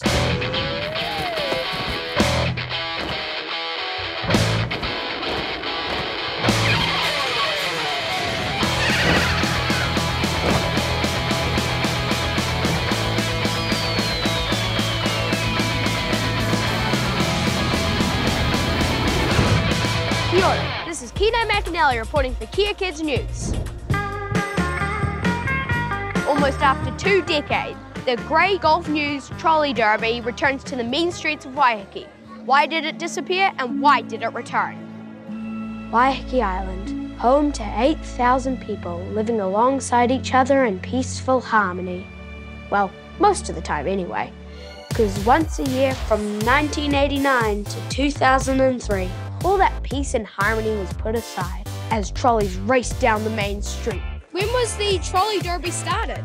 1989, the Waiheke County Council was going out of business and being taken over by Auckland City, and Gulf News decided to run a trolley derby, and that was the first of them. And I built this trolley for that race. It's raced in every one since, and it's been a winner in lots of them. Do you know why the trolley derby was stopped in the first place? Um, I think it actually came down to uh, the health and safety aspect of it um, and the cost to close down um, the whole main centre of Waiheke. And maybe the passion dropped out a bit, but now it's back. Now it's time for a new breed of racers. Hi, I'm Bodie. Kia ora, I'm Sienna, and I'm the fastest kart racer in the Hauraki Gulf. Well, um, this is awkward. Any secret tactics up your sleeve? Uh, yep, don't crash and don't use the brakes. Have you got any ideas or tactics about how to approach the race? Well, don't crash and win. Okay, everyone, we're pulling in the red flag now and we're getting ready for the very first race. Please make some noise for the very first race of the Waiheke Island Trolley Derby. The Great Gulf News Trolley Derby.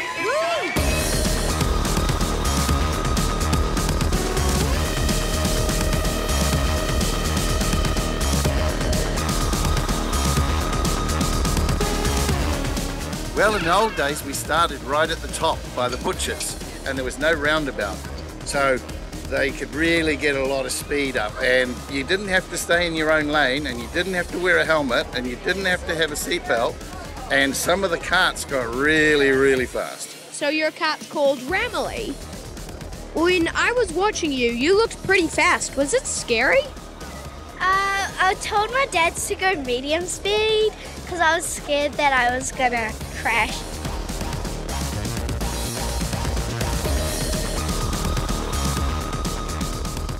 What made you decide to put the trolley derby back on this year?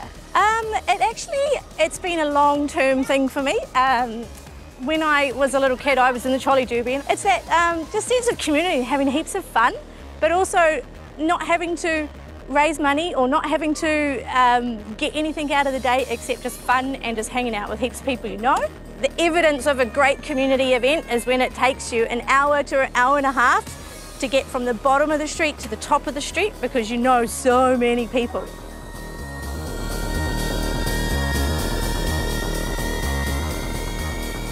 How do you think the race went, Bodie? Uh, pretty good. I think the first two get into the finals, so that was quite fun. Yeah, quite fun. Sienna came second. What do you think of that result? Pretty good. It's, at least it's not last. Does that mean you're in the finals? Um, no, I don't think so. I think it's only the winner that gets into the final. Unfortunately, both Sienna and Bodie have been eliminated from the tournament due to some tough competition. And what we all want to know is the Trolley Derby coming back next year? It's definitely coming back, but unfortunately it's coming back in two years. But you can start saving all your wheels from your bikes now, putting them in the shed and having a little collector's pile ready to get your trolley derby going. And Cool. See you in two years. Yep. So this is Keno McAnally signing off for Kea Kids News.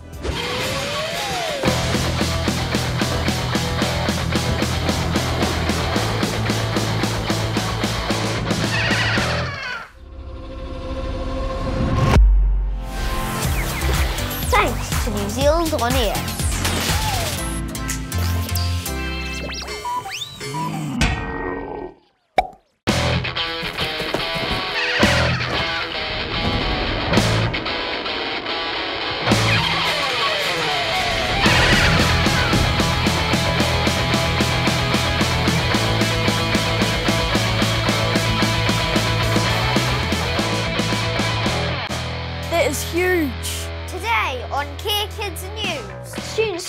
students' discovery leads to katipo recovery. That's my mum. I think she found one. She's really into it. And in Wellington, we have an exclusive interview with the kid performer at the Wow Show. Is it cool being the only kid in the show? Yeah, it's really cool, but also sometimes a bit like, you know, you want to be with kids, but it's okay.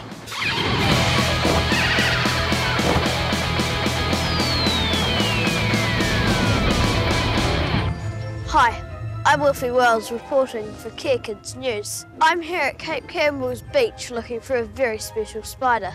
But not just any spider. This is New Zealand's only venomous spider. The katipo. Its bite causes extreme pain and potentially death. But in the last hundred years, only one person has died from a katipo bite. Quite a few were found at Marfells Beach, and can you tell me why that was so exciting? So Eve, who's um, at the college in Blenheim, and she's been doing a study on katipo spiders with her father. And they found far more than they actually thought they would find. Really? They found quite a cool population there, lots and lots of spiders. How many were there that they found? Oh, they found um, about a hundred. Whoa. Yeah, and Gee. the size of that population, because there's so many of them in quite a small area, makes it almost like nationally significant. What have you found out here at Cape Campbell? There's a rare grass which is called pingao, and it's only found in New Zealand, and it grows in the sand dunes. But living in amongst it is the katipo spider. Because of the recent discoveries, we plan to plant thousands of spinifex and pingao all along the east coast to help restore katipo to the area.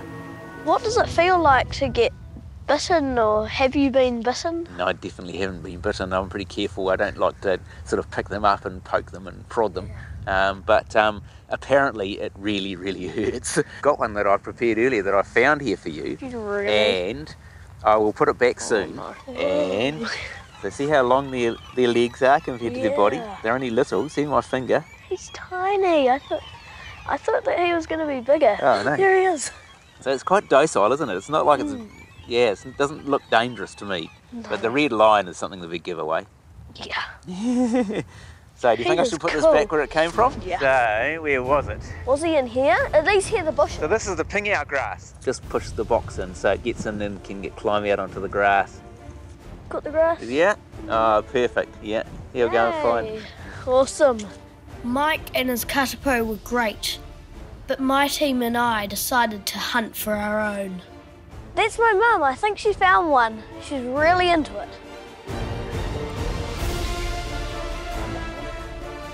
Wow. That is huge. Can I hold him? When my mum handed me the katipo, I was a little nervous even though I was wearing gloves.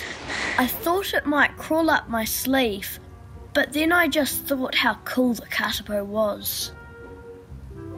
She might be pregnant. I think we should put her back very carefully. That little one down the right hand side, Okay, and you can just put him back gently down in, in right in there, okay then. and she'll be right. That that's a great big one. That's about Yeah. as big as they get, and she's mostly going to lay eggs shortly. She had a very fat tummy, didn't it? Yeah. Yeah. She might go for that snail there Yeah. soon. Yeah. She's hungry. It was really good we found some. Yes, And I yeah, no- hope that the population keeps growing. Yeah. The Swoofy World from Kea Kids News.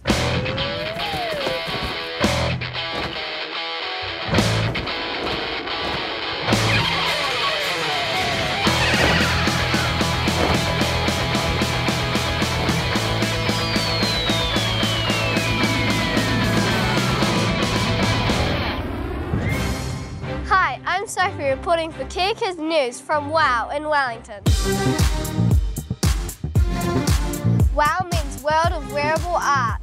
It's a competition to design the most amazing piece of wearable art, as well as a spectacular show.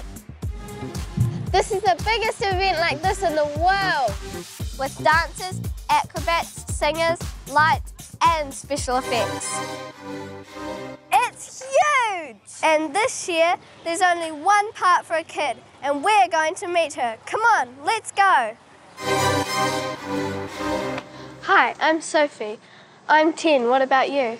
I'm 10 as well. My name is Maytal. What do you have to do in this year's show? Can you tell me? Um, not really. It's top secret, but I can tell you um, what I did in the last two years' show. Last year, I was a hedgehog, so I had this big mask, and I was in this uh, leaf boat, a boat shaped like a leaf, and it was golden. And then I had a mama hedgehog who was pulling me in it, and she just pulled me across the stage, and yeah, that's all I did.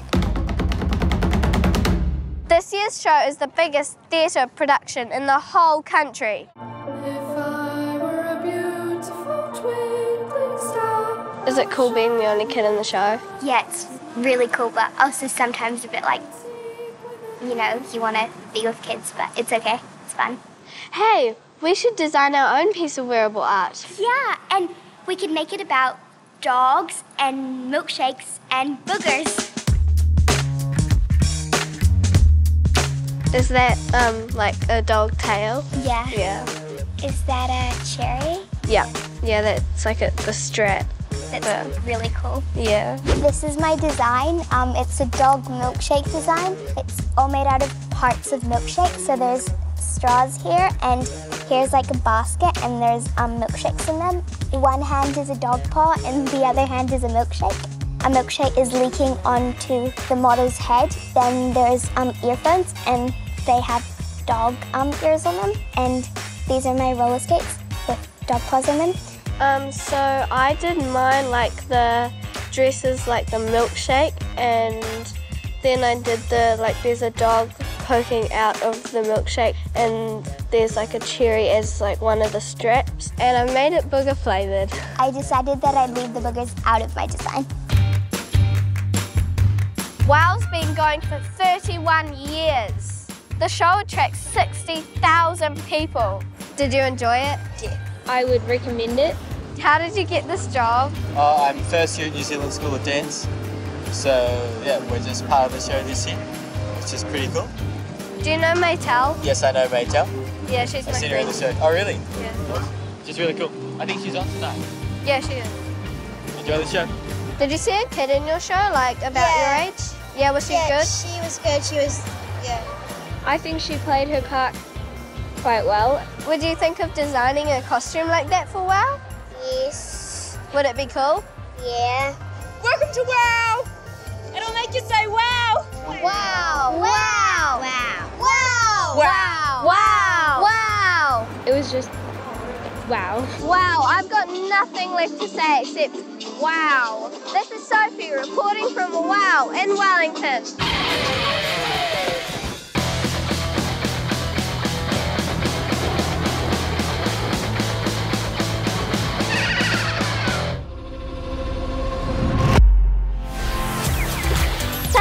New Zealand On Air.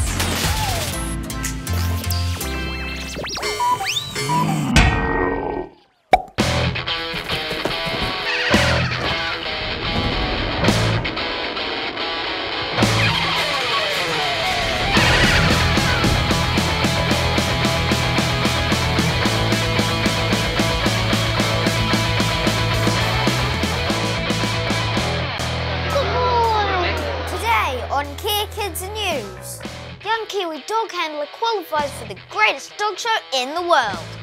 Mind blowing. this is just amazing. And Tapahira is the superhero reader. He sees the superpower in everyone. One of the youngest superheroes I did, she was four, and the oldest superhero I did was 79. Whoa.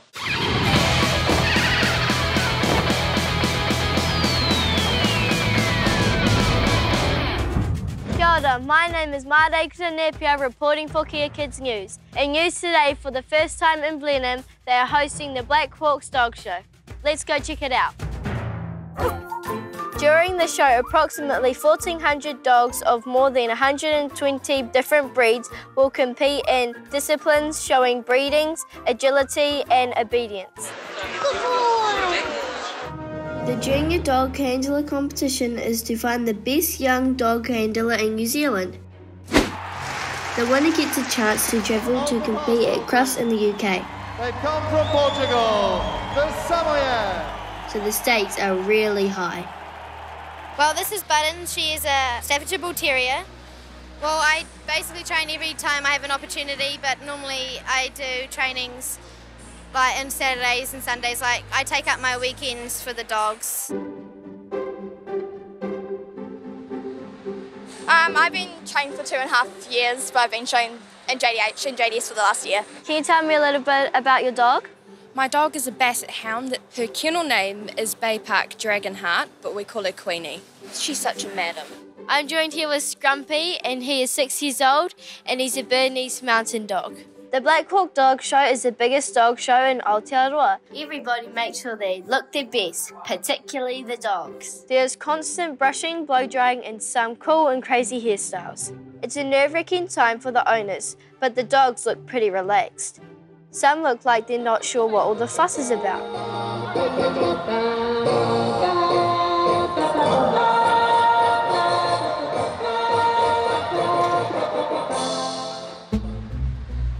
The trials are over and the judges have made their decision. Who will be representing New Zealand at the greatest dog show in the world?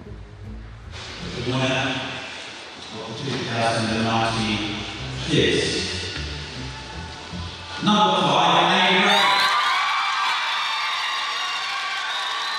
I've just won the junior handling competition, which means I'm the top handler in New Zealand at current and I'm going to Crufts in England to represent my country. The last five years I've been working towards winning it. Yeah, yeah I have. Mind blowing.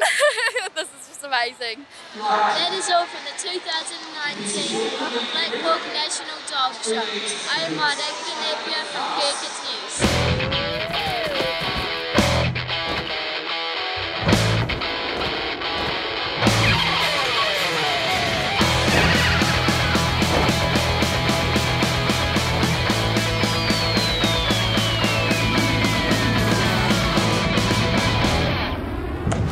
Kia ora, I'm Harper Heta, reporting for Kea Kids News. We all know what superhero powers we would like to have, right? The power of invisibility, the power to fly, or the power to have total control over my brothers and sisters. Today, we meet the man who can reveal your superpower right down to your outfit, which makes him the only superhero reader. Kia ora, Tapahia. How did you become a superhero reader? I actually started off, I was a teacher, and then I was asked to create something to help students in some sort of empowerment. So I decided to create something based on superheroes. What would happen if I turned people into superheroes and how would it help them? How do you decide what someone's superpowers are? So when I create a superhero, I base it on how they come across to me. It's not what they think of themselves, it's how someone else sees them as a superhero. One of the youngest superheroes I did, she was four, and the oldest superhero I did was 79. Whoa. Can 79 year olds even have superpowers? Oh, not only can they have superpowers, they've probably got more powers because they're that old. His other superpower is that he was the inspiration for the superheroes in Wahine Toa, or Brave Woman. So tell me about this book. Well, this book is a creation based on actual women around New Zealand, and these are prominent Maori women. So this one here, she has the ability to grant wishes. And this one, she is super, super strong. And can lift anything. And this lady has iron skin. Iron skin? Mm-hmm. She's almost indestructible.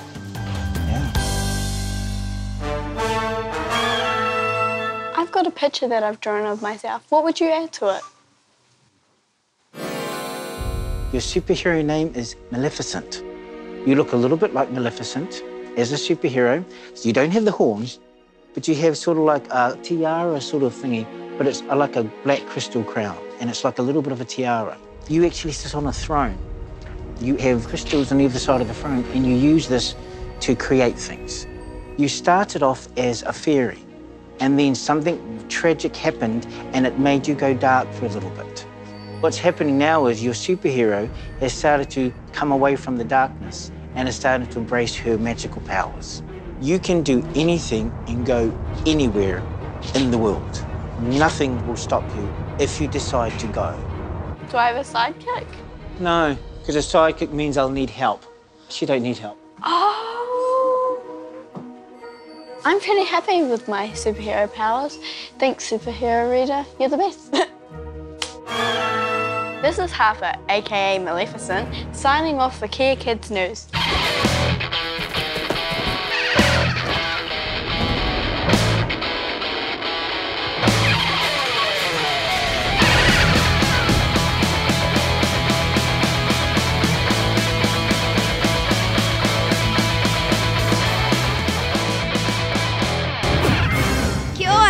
I'm Mika and this is Kea Kids News. 250 years ago, British explorers sailed to New Zealand. Today, a replica of their ship is arriving to mark the occasion.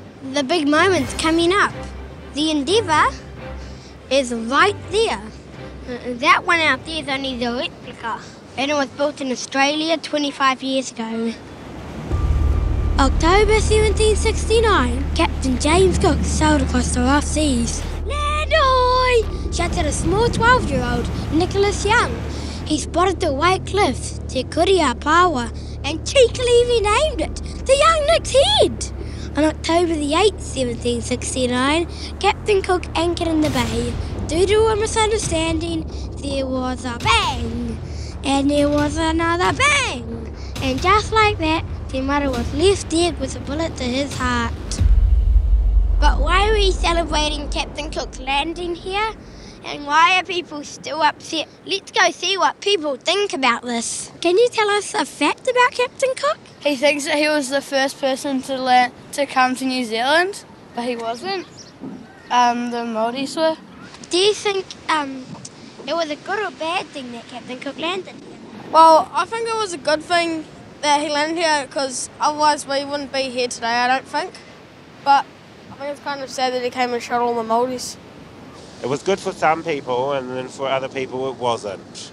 I think it was um, pretty bad. For me, I think it's a bad thing. Um, he came here, um, he, he, he killed all our warriors, he killed all our chiefs. I think it was a good thing because, um, yeah, same as him, because if he didn't find here, then I don't think that will be around here.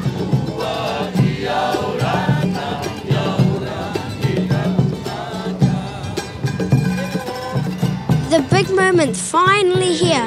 Here is the Endeavour. It was just amazing.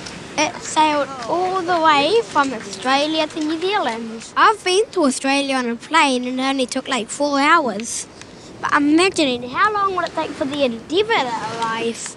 If it was 1769 today, the Endeavour would be here. Local iwi performed the pohere to welcome the waka that had also made the voyage. What's going on at the beach this morning? Oh, it's amazing. We've got three waka hourua that are coming in uh, as part of the Tuia 250 celebrations. Look, it's all like the waka hourua and the waka ama going to meet the people on the waka hourua. There's lots of media crews and TV crews from all over the world. I don't know who that guy is, but he looks important. Here I am in the VIP area. The Prime Minister's here. Back in 2016, I met the Prime Minister, Bill English, and today I just met Jacinda Ardern and got a photo with her. I'm Mika and that was Kia Kids News at Tuia 250 in Turanganui Yakiwa.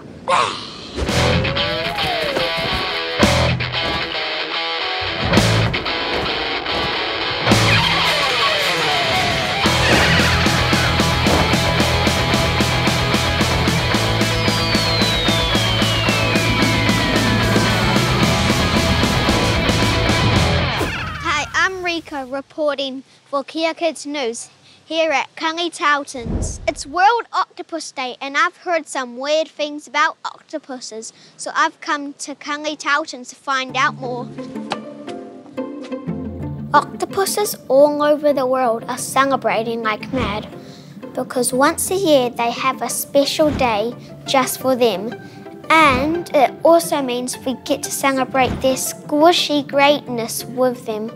The octopus here at Kelly Tarlton's is called Curveball because you never know what she might do next. Did you know octopuses have eight arms, two eyes, three hearts, no bones, blue blood, and a beak? A beak like a bird. What's the coolest thing about them? That they change colour. What do you know about the octopus? They have large tentacles. How smart do you think octopuses are? Kind of smart. It's time I speak to an expert. What's the cleverest thing you can do? And how intelligent are octopuses? How did you get to be so famous? So thanks for the interview, Curveball. But I think let's go talk to someone else who's a bit more talkative. Hi, my name's Rico. What's your name? Hey Rico, my name's Louise. And what's your job here? All sorts of feeding, cleaning, looking after the displays, and making sure that all of our animals here are healthy and happy. And what are you doing now? At the moment, I'm just preparing some food for our octopus curveball. And can I help? I would love you to help me. Ugh, smells like fish. What will a curveball do? And how will she get the lid off? So they've got a really good sense of what's happening in the tank. So basically what she'll do once she senses there's something in there and she knows that there's food in there, she'll use all of those arms that she's got and all of those suckers to basically suction down on the lid and she can unscrew it. Let's get this brain teaser in the tank and see what Curveball does with it. She's trying to crack it open by using her tentacles.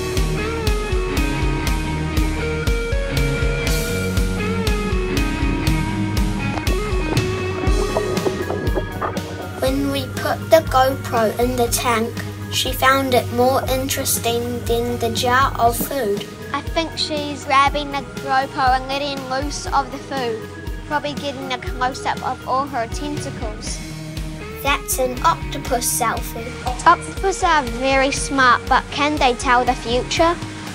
Not sure. Excellent question. I think if any of them can, then Curveball might be able to. We're gonna ask Curveball Who will win the Rugby World Cup? Australia, France, Ireland, or New Zealand?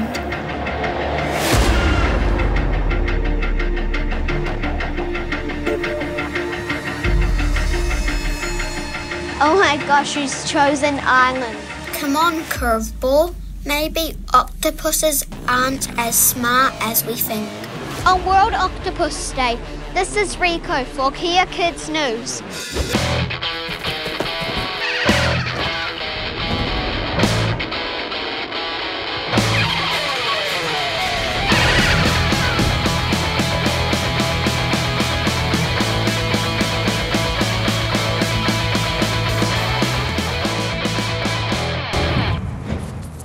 I'm Nelson Miller and this is Kia Kids News.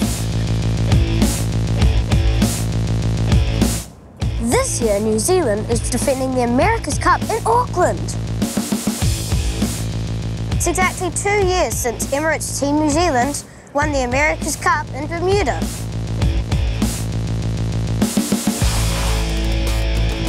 The boat's just been in the water today for a test. we're going to go meet the crew and see just what's so special about it. Here we are, in the restricted area where no one else can go. They're about to hoist the boat out of the water. What have you just been doing, Blair? We've just been out training here in the Hauraki Gulf. Uh, another day testing for us on the big boat. Did you get up on the foil? Yeah, we did get managed to get up on the foil. Got going pretty fast today. Team New Zealand Yacht Te Aihe doesn't touch the water when it's going fast. Instead, it has little jet planes that poke into the water and the boat sits on them. Getting up onto the jet plane or foil is really hard. The first time they did it, the crew were seen happily eating jet planes. Was today a jet plane moment? Today was a jet plane moment. The last boat was two hulls. This boat's one hull. Next boat's no hulls? Maybe. We have to wait and see what happens after the next America's Cup. Yeah. So I have a gift for you. Wow, that's a lot of jet planes. I know some people are going to be pretty happy with that, especially the grinding boys, I reckon.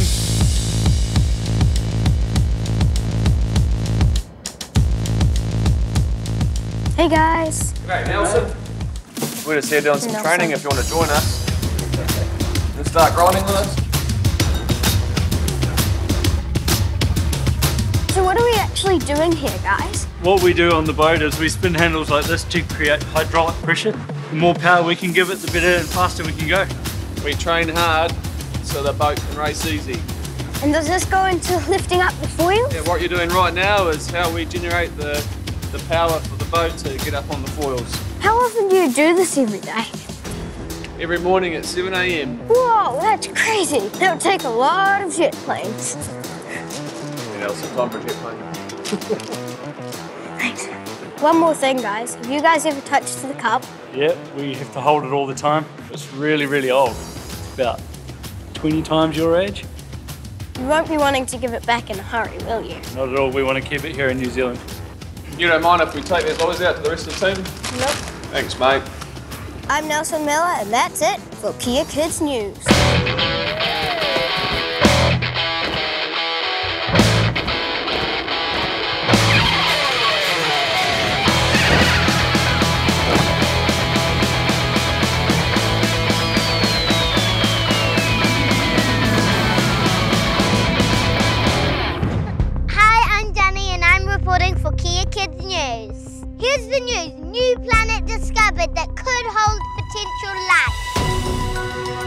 There's a planet that could be a big Earth. There could be water and an atmosphere. That means there could be alien life. So I'm here at the Stardome Observatory to meet Josh who knows all about this stuff. So Josh, what do you know about this planet K2-18b? Well, what we do know at the moment is we've discovered that it has water in its atmosphere. Yeah. is- it's really important because if you think about it, so does Earth. And Earth is covered in life, and life as we know it, it needs water. So it's pretty interesting to find water in another planet. So you know that it's in the Goldilocks zone, right? So what is the Goldilocks zone? The Goldilocks zone is a place where it's just right. Like in the story Goldilocks, it's not too hot, not too cold, it's just right. So what would the life look like? Would it be low to the ground? Would it be high? Would it how strong would it need to be? If it's on the ground, it would probably have maybe really strong bones. The gravity is maybe really, really strong in this exoplanet. Because it us. has more mass. Yeah, more mass means more gravity. So, So we would be squashed. yeah. The trouble with this exoplanet is that it's really far away, over 100 light years away. So if I was running at the speed of light, is it going to take me 110 years to get there? Yeah, he would be real old. I would be very old and probably very tired. You would probably be dead, actually. I think K2-18b is quite a boring name, don't I agree. you agree? I agree, yeah. What do you think it could be named? Maybe Twin Earth? Twin Earth? Okay, okay. Any suggestions? Hmm, maybe George? No. I've got an idea, maybe Earth. Earth, Like why Rocky Earth? Earth. Rocky Earth, that makes sense. That's a pretty mm. cool name. Because it's very rocky, the planet, and it's kind of like Earth. It is, yeah, great, great idea. 110 light years is a very long way. To get to water planet Earth, we might need a water rocket, so we went outside to launch a prototype to see just how far we could get. Josh is demonstrating the rockets for us.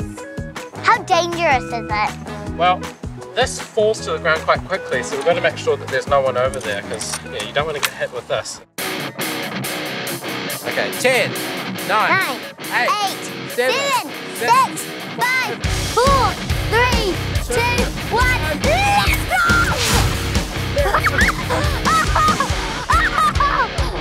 I want to get it. Can we do it again? Yeah, well, I have to go get them now. Yes, yes, yes. Yes, Ma! It's in space! Space! This is the moon! Three, two, one, lift off! That was great. This is Danny from Kea Kids.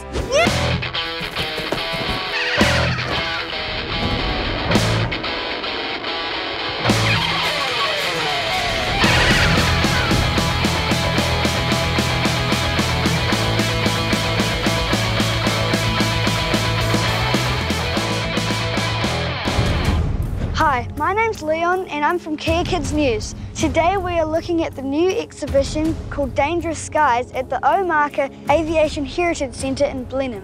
This is George. I heard he's the person to talk to. Is it because you're playing crazy like me? Yes. Awesome, let's go. Gear up. Mayday, mayday, we're declaring emergency.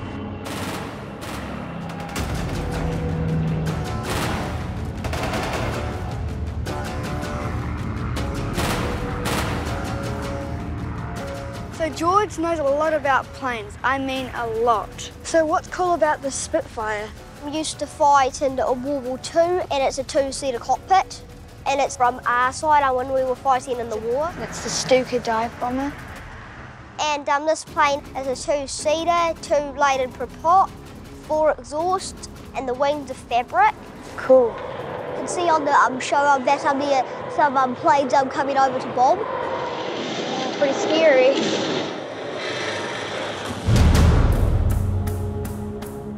So what can you tell us about this? Um, this plane um, here um, um, had crash landed um, during World War II and it has crash landed in the jungle and been abandoned from its crew. There is quite a lot of um, scary animals. So shall we move on now? No, I think I'll stay here for a little bit longer. Okay, leave you to it then.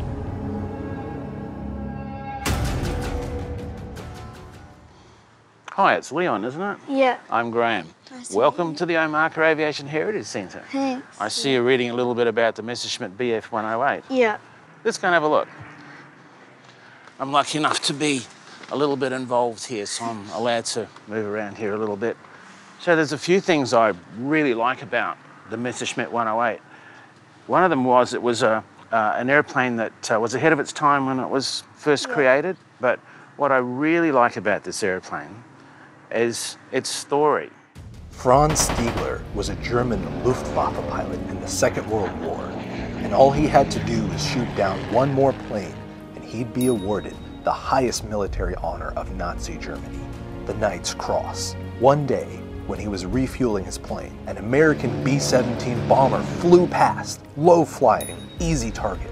Franz jumped in his plane, and it wasn't long before he had the B 17 in his sights and was ready to pull the trigger. That's when he noticed his prey was badly wounded.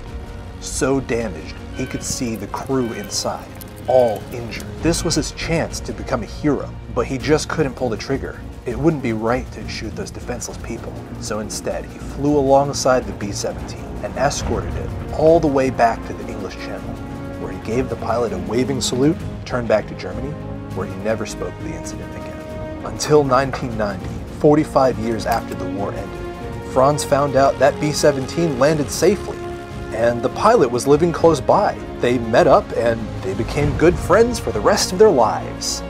It's pretty weird how they were like fighting and now they're friends, like Yeah. trying to kill each other to being going on holidays with each other. I think the, the word that, that sums it up is humanity. One man could feel compassion for the other men, Yeah. and, and his actions saved their lives.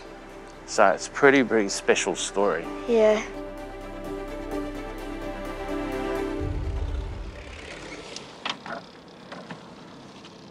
This is Leon from Kea Kids News.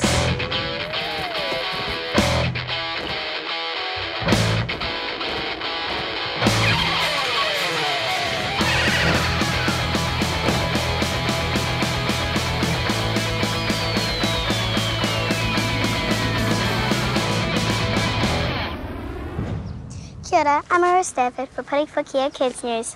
It's been announced that in 2022 that all schools will be taught New Zealand history. Here at Waitara Central School, we've been learning that stuff for ages. This is the entrance to my school. This is a boy and this is a girl. No, my Heidi, my welcome to Waitara Central School. Waitara Central School has been learning history for ages. We're going to get my classmates to tell you about all the history. Some of them are real smart. So war broke out in 1860. What Wiremu Kingi built a pa. Guess what? It was shaped like an owl.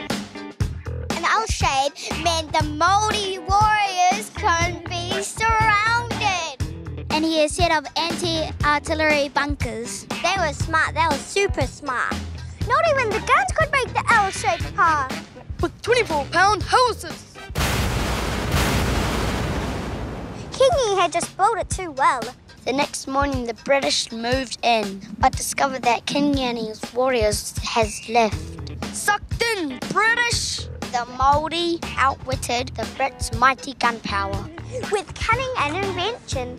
This is all a part of a psychological plan to frustrate the enemy and beat them. The Taranaki Wars lasted for 22 years. Ooh, that's a long time.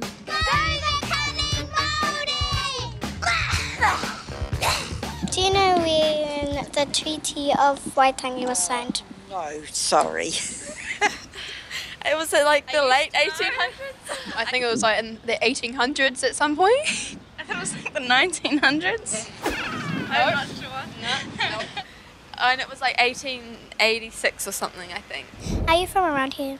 Yes, I was born in Taranaki under the mountain. What history were you taught at school?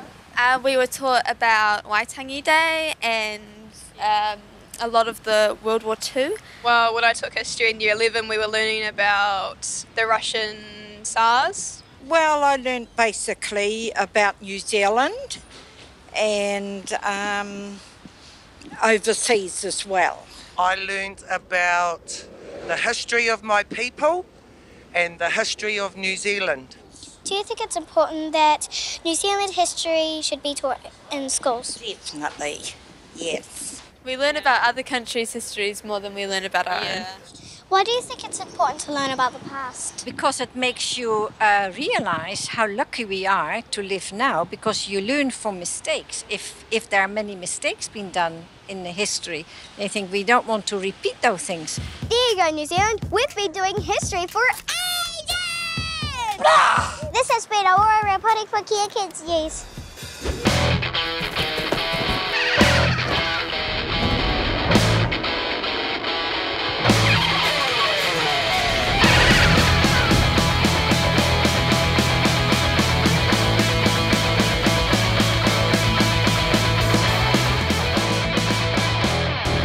Kia ora, my name's Innocent from Kea Kids News. Breaking news. Climate change means rising temperatures and extreme weather. March the 6th this year, Nelson Fire has ran for a month. 3,000 people were evacuated because of the Pigeon Valley fires. Summer's here, so more forest fires are expected. Hey, Anderson. Hi, Alan. How you going there, mate? You're coming here to be the uh, reporter today, are you? Yeah. You know what this is? Um, a really good helicopter. I'm here to talk to Alan Beck. He doesn't fight fires with a hose, that's really boring. He fights them with a helicopter. How cool is that? So the engine sits up in here, Oh, and it's a 1400 horsepower engine. wow. How'd you like that in your Holden, eh? That would be pretty good. How many firefighting helicopters were there in the Nelson fires? There were 23. We were down there for a month, so we were able to start the Huey up and uh, roar off with the fire bucket and take 1,500 litres of water and foam and dump onto that fire. Okay, so coming in I'll show you this bucket. So when it lifts up, the cable, it lifts right up, right? Oh, It drops about a tonne of water in the first second. Do you think there's going to be more fires because of global warming? Personally, I don't, because the Port Hills was lit by somebody, it was dry. The Nelson fire was caused by a tractor that hit a stone and caused a spark. So they were all started by humans. How do you think we're going to stop the fires this summer? We have to try and get people your age and a little bit older to stop lighting fires just because they want to see the, hear the sirens and see the helicopters. Would you light a fire just for fun? No. No. Good boy. Good boy. What, me? I'm innocent, but my nickname is not so. Put your thumb up. Now go push. Put my thumb together. Now we go pull, like that. And then we go Canadian, handshake. And then we go Kiwi. And then we go, that's us, thumb up. And then we go choppers away, finger round and round and round and round, right? All you Canadian, Kiwi, that's us, choppers away!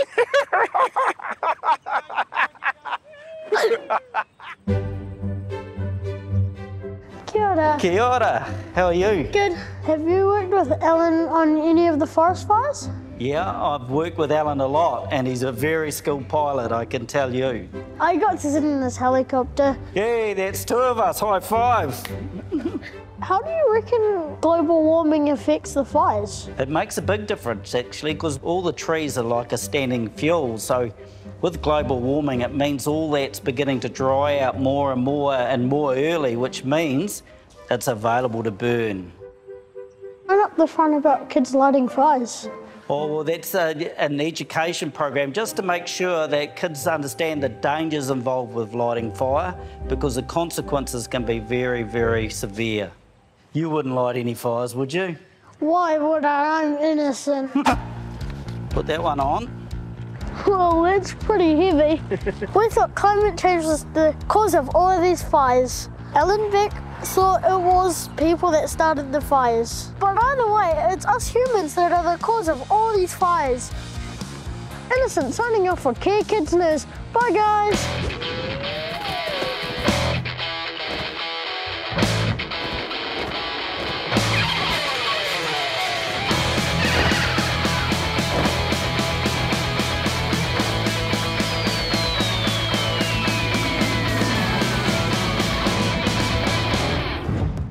Kia ora, I'm Maytal and this is Kea Kids News. In the news today, we are in the midst of a revolution, a creative and inventive revolution called the Maker Movement. But what is that? To discover what this movement is all about, I've come to the Maker Fair here in Wellington. Wow, this is awesome. I was told a great person to talk to about this Maker's Revolution was Nigel, so I headed his way. I've been told that there's a Maker's Revolution going on. Can you tell me what that is? There's a few key bits of technology that, that have really started to come down in price. We've got 3D printers, laser cutters, and it's really inspired a lot of people to really get out there and, and start making things. This looks awesome. What is it? This is uh, indoor drone racing. So we fly these little quadcopters like this around and we can see what the camera sees here in these goggles. I hear you guys practice in your living room. Do you keep crashing into walls? There's as much crashing as there is flying, yeah. Awesome. Would I be able to have a go? Yeah, totally.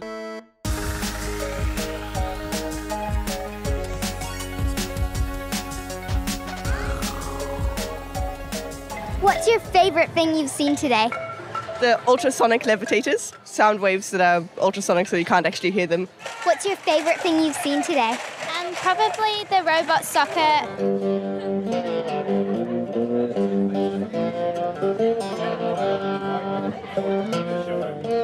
Here I am with John. John, what do you do? I make stupid robots, and it's a new sport that I invented. They're like big marionettes or puppets, and what they do is they have two minutes to kick and punch the living daylights out of the other person's stupid robot. What do you make the robots out of? We make the robots out of rubbish. That sounds awesome. Could I have a go at building one? You most certainly can. Right on. Have you thought about a name for it? Um, I think Kia Crusher. Oh, Kia Crusher, yeah. Kia Crusher, you look beautiful. Let's go down for the fight. Uh, we have one slot available for someone who is 18 and over. So we need one more fighter. He's the Jager Maker. Your beard smells like mushrooms! How can you say that?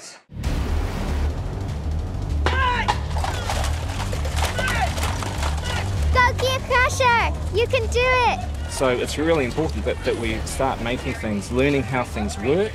We live in a world where for a long time we've just been buying things and throwing them away. If this is what a revolution looks like, I'm in. This is Maytal from Kea Kids News.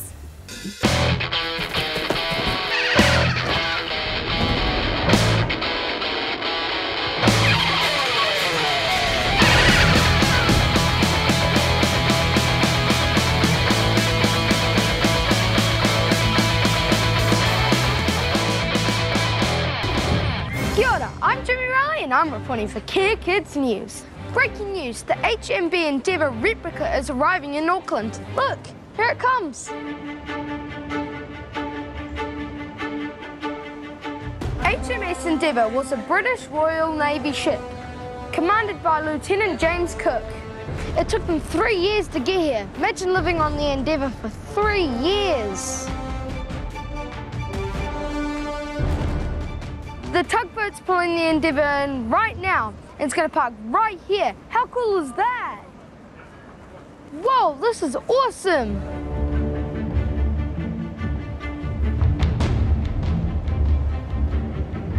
The Endeavour just pulled up, and I'm here with Debbie from Fremantle. Kia ora, Debbie. How you doing? I'm really pleased to be here and share the story of the Endeavour. It's uh, a beautiful vessel built in my home city of Fremantle. It got started in 1988 and we finished it in 1993. There's so many ropes. I wonder if they've all got different names. There's standing rigging, there's running rigging, there's long ropes, fat ropes, skinny ropes, and short ropes. When you're up the top there on the main mast, you're 30 plus metres up. How are the sailors punished if they did something bad? Well, Captain Cook was a very fair captain, but we did have two men who tried to desert in Tahiti. They were brought back to the ship and they were lashed 24 times by a thing called the cat o' nine tails. So once your shirt was off and you got whipped with this on the back, you had welts and cuts on your back. And so some of the sailors would then put salt water into the wounds and that would sting even more. The top part of the stem was called the poop deck. In case you're wondering, the poop deck comes from a French word, la. It means stern. And not to be confused with poop your pants.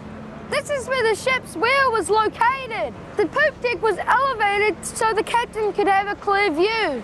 What's the most fun part of your job? Most fun part of my job is sailing the ship because it sails absolutely beautifully. It really does. On the old days, how did they go to the toilet? Well, uh, there were only men, there were no women, so that took out one problem. Uh, number two, we're I'll show you down here, is a little thing called a pissoir, which they can have a little pee. And right up the forward in the head of the ship is what they call the heads, and we still call toilets on ships heads. And I'll show you them as well. There's a, some nice, there's some basically some toilet seats that you do it over the bow, hmm. okay? That was so cool, meeting the captain. So when the shipmates went to the toilet, they went to the head or the front of the boat. 94 men going to the toilet every day. That head must have been busy. Wow, they even set up an authentic Endeavour toilet experience. They've even got authentic toilet paper. Look! 250 years ago, they used to sit on their hole there, do their business, then they used to chuck the rope in, or as I call it, authentic toilet paper, then they used to wipe their bums. The disgusting thing was that they all shared it. Ugh. Life was gnarly 250 years ago. Actually, talking about toilets, I'd rather use this one.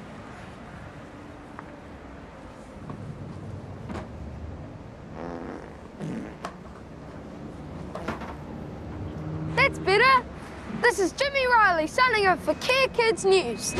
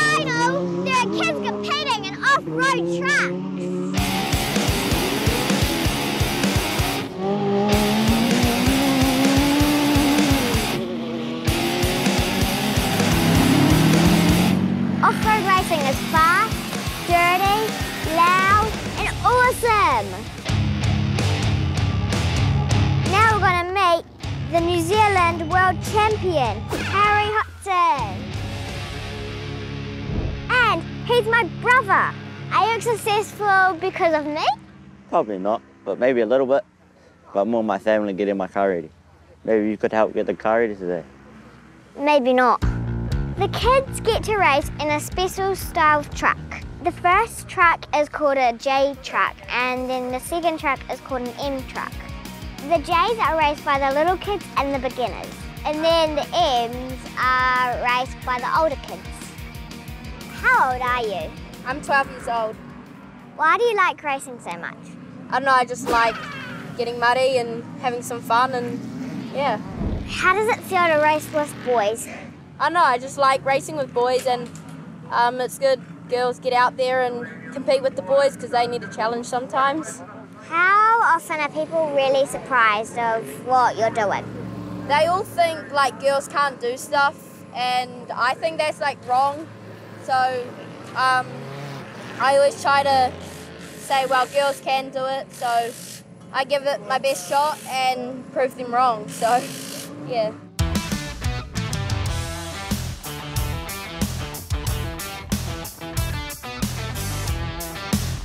What was the scariest thing that happened in the race just before?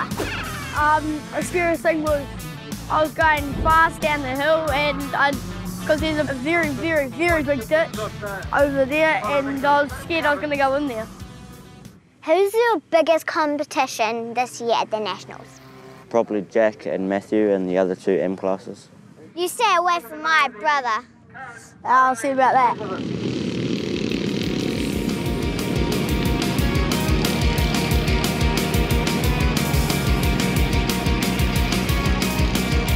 We're about to start the last race of the day. At the moment, Harry is at the lead of his class and Holly is the lead of her class. And it all could change in this single race.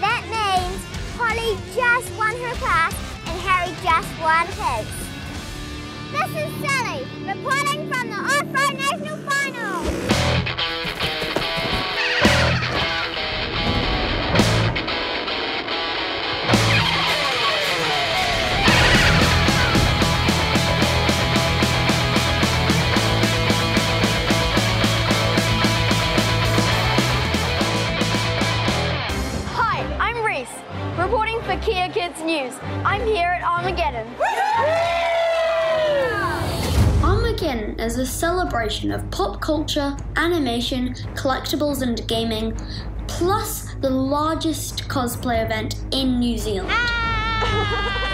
but what is cosplay? It looks like a lot of people in fancy dress. There's so much cool stuff going on around here. Let's go find some cool people to talk to. Hi, I'm Reese. Where are you from? I. I can't remember. I think it's from somewhere evil.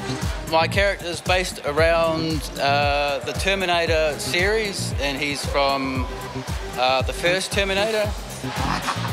What's your name? Hatsune Miku. She's a synthesized voice from Japan. What is cosplay? It's when you find a character from something that you love and you dress up like them. For you, I'm Wiccan. What's your costume? Um, Wiccan. Around 60,000 people attend Armageddon in Auckland, and almost 20,000 of those were in cosplay. I'm uh, going as Zelda from Breath of the Wild, a Nintendo video game. I am dressed as Naruto from uh, um, Naruto's older version, so yeah. I'm Wen Ning from Mo Dao Zu Shi. It's me, Mario. Here I am with Stormtrooper and Kylo Ren. This guy's pretty good. I don't think I'll beat him. That's an amazing dress. Did you make that yourself? Yeah, I made it myself. I made it for the competition. They even hold a cosplay competition. It's very stressful, but it's worth it. So, without further ado, let's get this competition going. Each outfit has been homemade. They're judged on construction, techniques used, and overall look. Some take months to make. The competition is fierce. So the winner of the 2019 Best Junior Award goes to the T60 Power Watching that inspired me to get hands on. Lay the arrow flat on top with the pointy end pointing at the bad guys. the bad guys, the bad guys, Reese. Headshot. You must be the greatest archer trainer in all the land. No, my man, you are the best student. Ah! This has been fun. Reese reporting for Kea Kids News.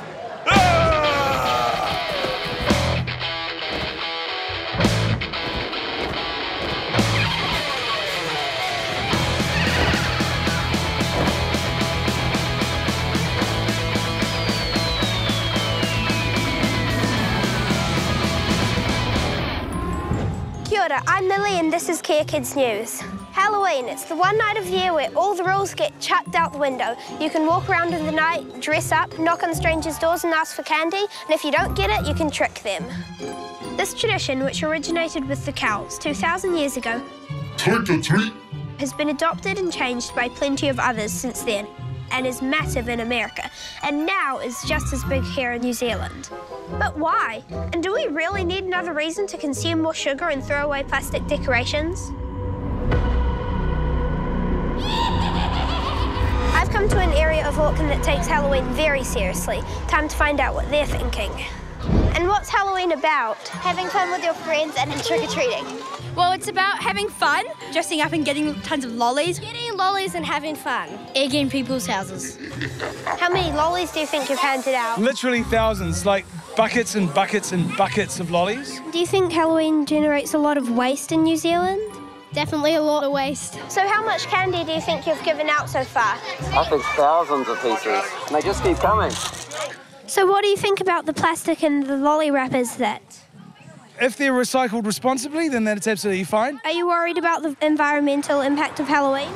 Well, if everyone just um, puts their rubbish in recycling and all of that stuff, then it should be good. I'm here with Jackie, and she's responsible for decorating this amazing house. What do you think the environmental impact of Halloween is doing? I bought all these decorations knowing that we'd be able to reuse them again and again each year, so that's my plan. But there is a lot of plastic, and it is quite a hard one to think about when you know how much plastic is being used, and even just the lolly wrappers. I bought about 10 kilos of candy, and we're already run out.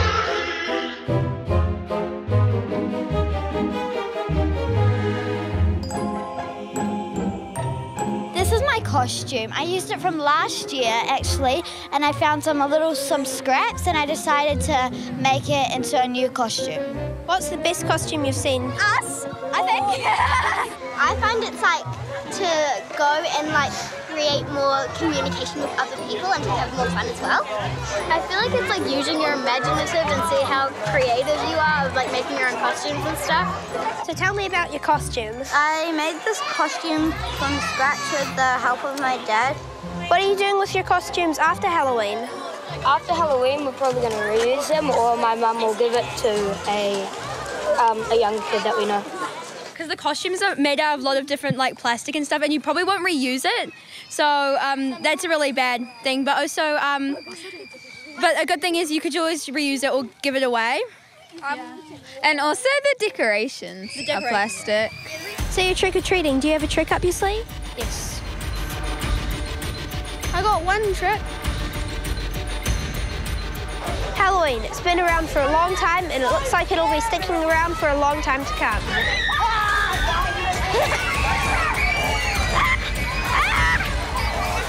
That's it for Kea Kids News.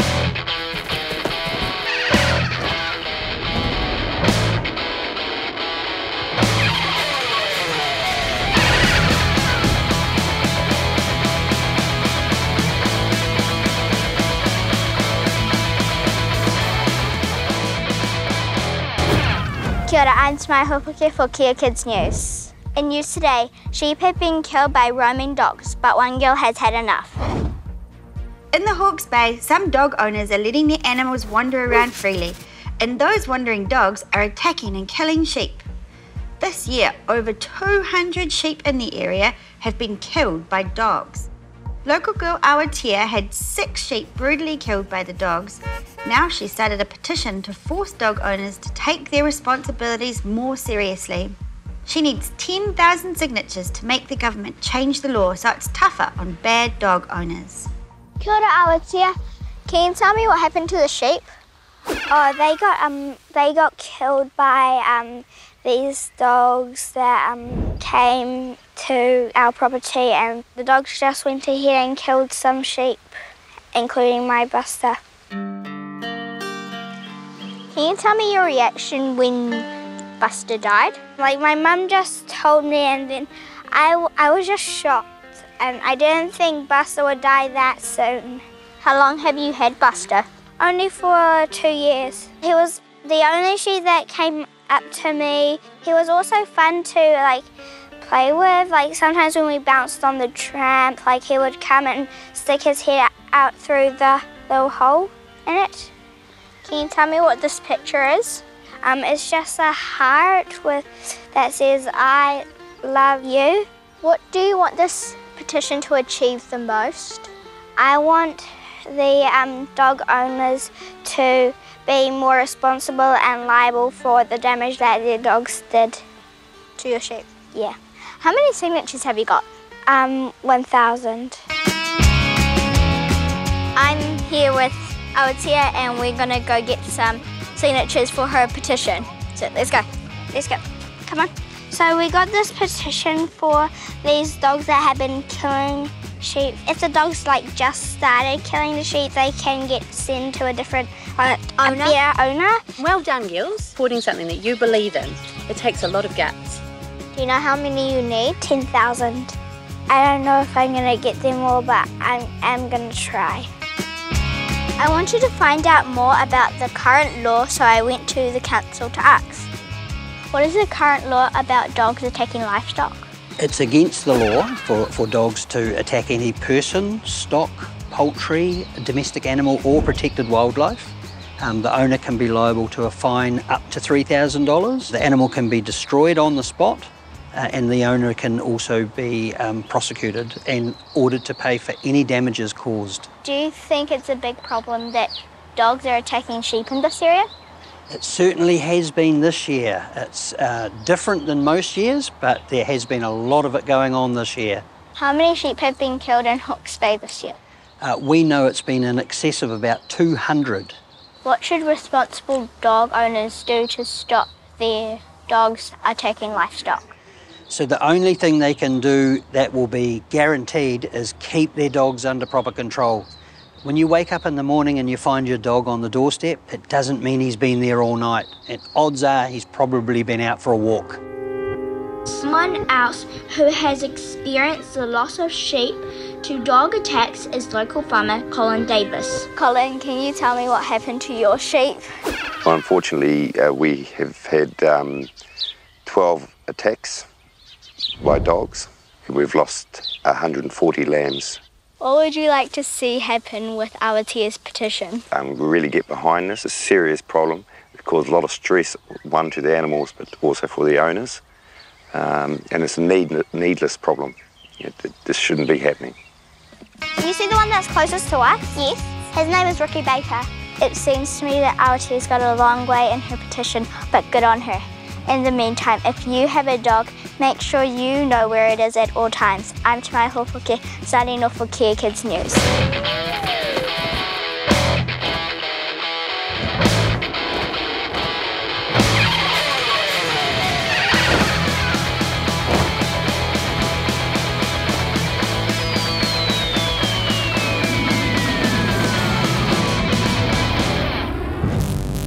I'm Nelson Miller and this is Kea Kids News.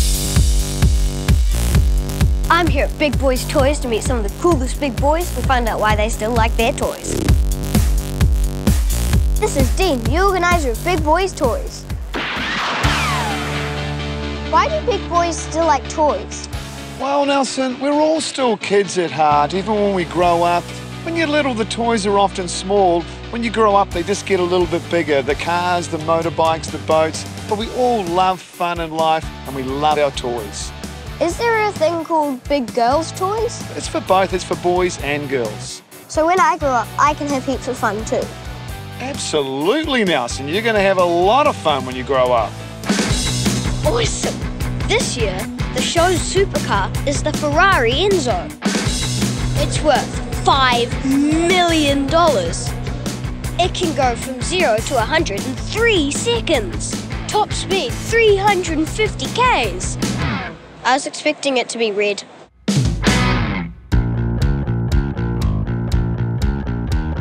There's a lot of cool stuff around here, but I'm here to talk to this guy. Kiwi FMX legend Levi Sherwood. FMX is freestyle motocross. He was the first person ever to do a no-handed double backflip.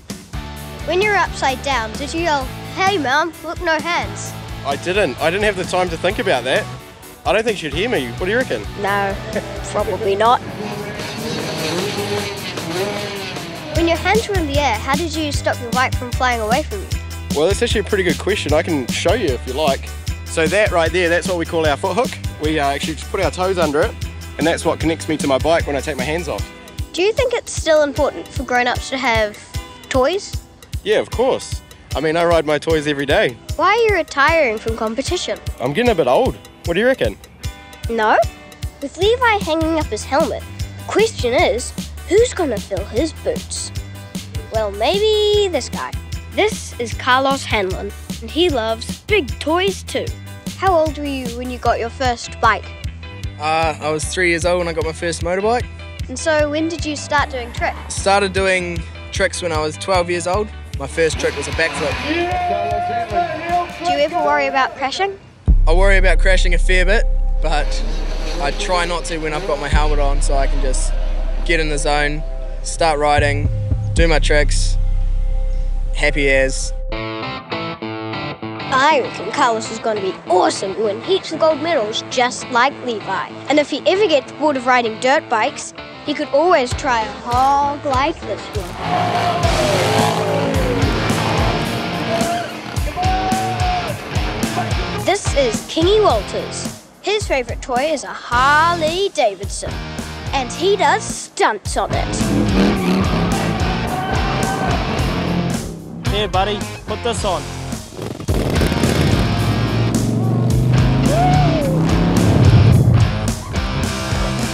That was awesome. Did anybody think you were crazy trying to do stunts on a big bike like this? Yes, a lot of people did, um, because a bike this heavy is not meant to be doing wheelies. So yeah, I did get that a lot. It all started with me watching YouTube one day. I seen videos of these guys doing wheelies um, over in the States. Um, and I just thought to myself, if they can do it, I can do it. I'm Nelson Miller and this is Kea Kids News.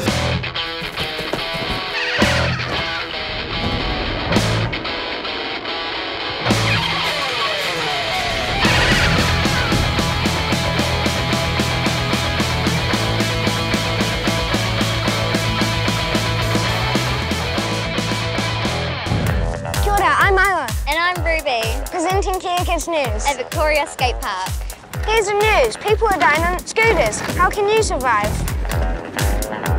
Riding scooters is fun, but falling off could mean broken arms, legs, painful gravel rash, head injuries, and even death. One man died just this year over there. He was riding a lime scooter. His front wheel appeared to lock and he went flying over the handlebars and hit his head.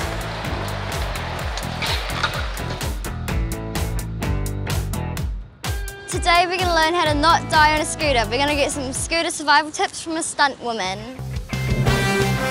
Meet Dana. She's an epic Kiwi stunt woman. She started her stunt career on Xena Warrior Princess and has performed awesome stunts in heaps of Hollywood movies. Hey Dana, being a stunt woman must be a really cool job. How do you do all the stunts and not injure yourself? In my job, we can't always eliminate injury, but there's stuff that we can do to minimise it.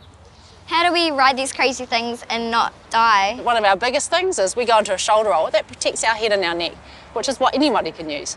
Right, let's do this. Let's go!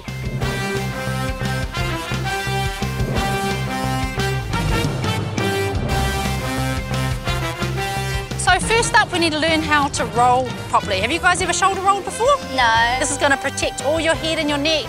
Your left hand's going to go on the ground, and your right hand here is going to thread through the needle. And as we roll, we make sure our head is protected by, by our shoulders and arms, right? So we put a hand on the ground, we thread the needle with this one, and we push up, and we roll.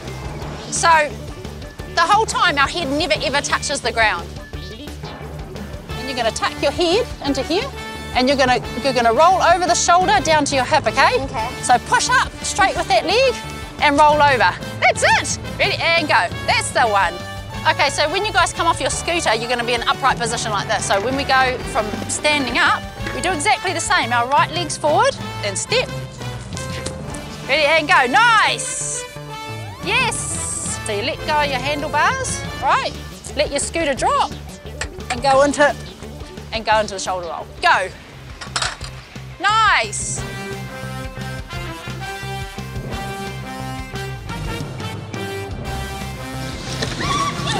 By learning to control the fall and spread any impact, plus wearing a helmet, you can protect yourself and spend more time on your scooter.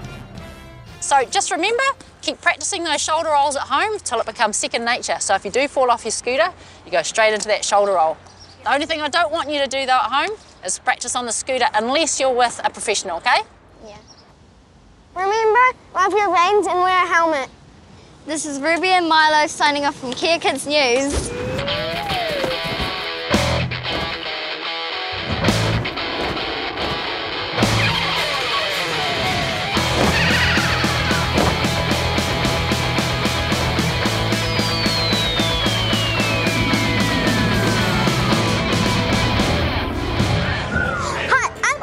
This is Kea Kids News. We're at the Lego store, and this is the first Lego store in New Zealand.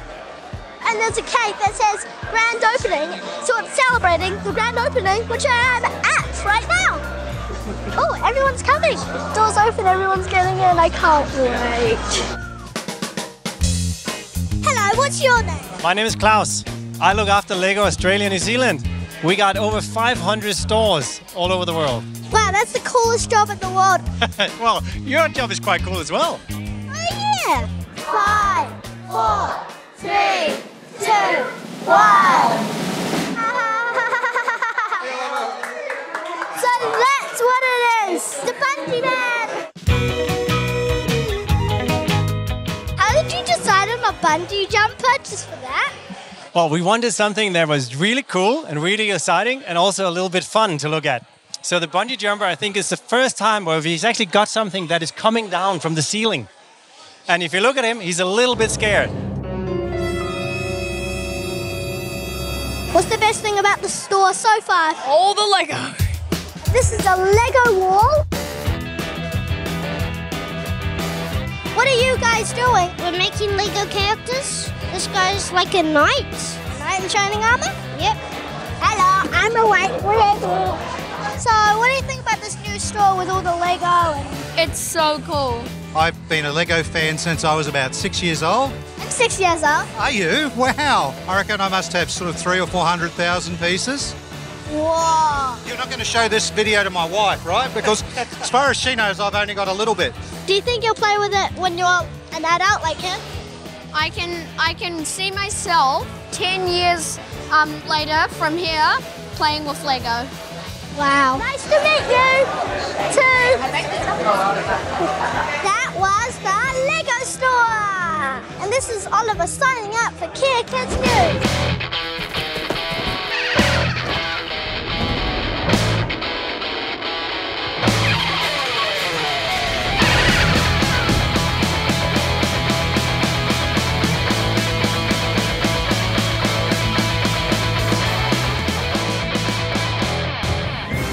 Kia ora, I'm Suzanne and this is Kea Kids News. I'm here in Little Shoal Bay in Auckland where a little kid's storybook might be coming true.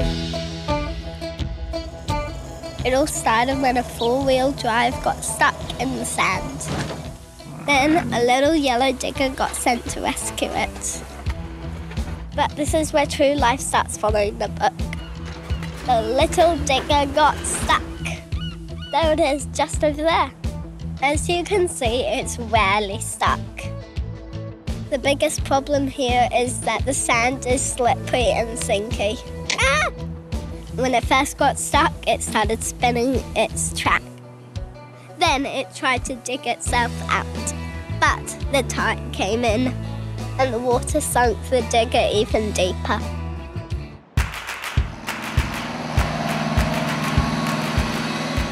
Early this morning, before the sun came up, they sent a bigger digger and a tractor to rescue the little yellow digger. Now they're sending another yellow digger out to help. In the book, they needed to call a bigger, bigger digger. And in the end, there were four diggers, all stuck in the mud. What happens when the tide comes in? Well, yeah, they're in a race because the tide comes in quite quickly and it's going to all be underwater again and they will never be able to get that thing out if they don't do it soon. Right now, everyone's just looking in the hole. Their plan is to lay down platforms, then dig a ramp, and use ropes and a chain to pull the little yellow digger out. At least I think that's their plan. This is a pretty funny story, but there's some serious parts too. That digger is worth heaps of money, like thousands of dollars.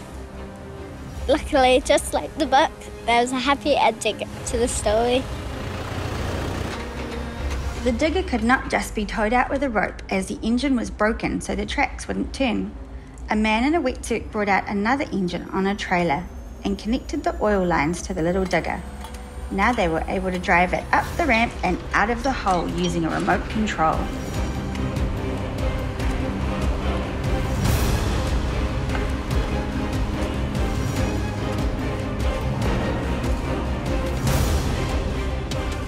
The little yellow digger was rescued.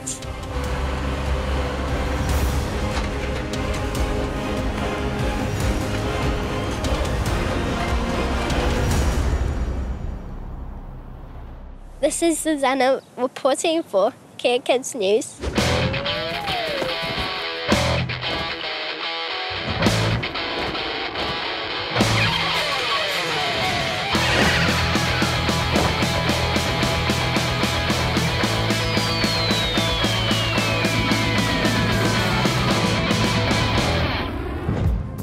I'm Karalaka and I'm reporting for Kea Kids News.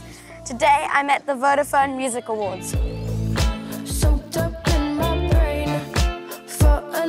Uni is a 19 year old musician from Auckland who is doing really well here in New Zealand and overseas. At this year's Music Awards, she's ended up winning four trophies. We spoke to her ahead of her big night. Benee's just rehearsing, but after we're going to go talk to her about what it's like being a young woman in the music industry.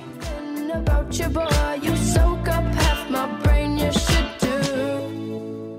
What were you like when you were my age? I was a weirdo, man. I covered my face, my face with snails for a world record.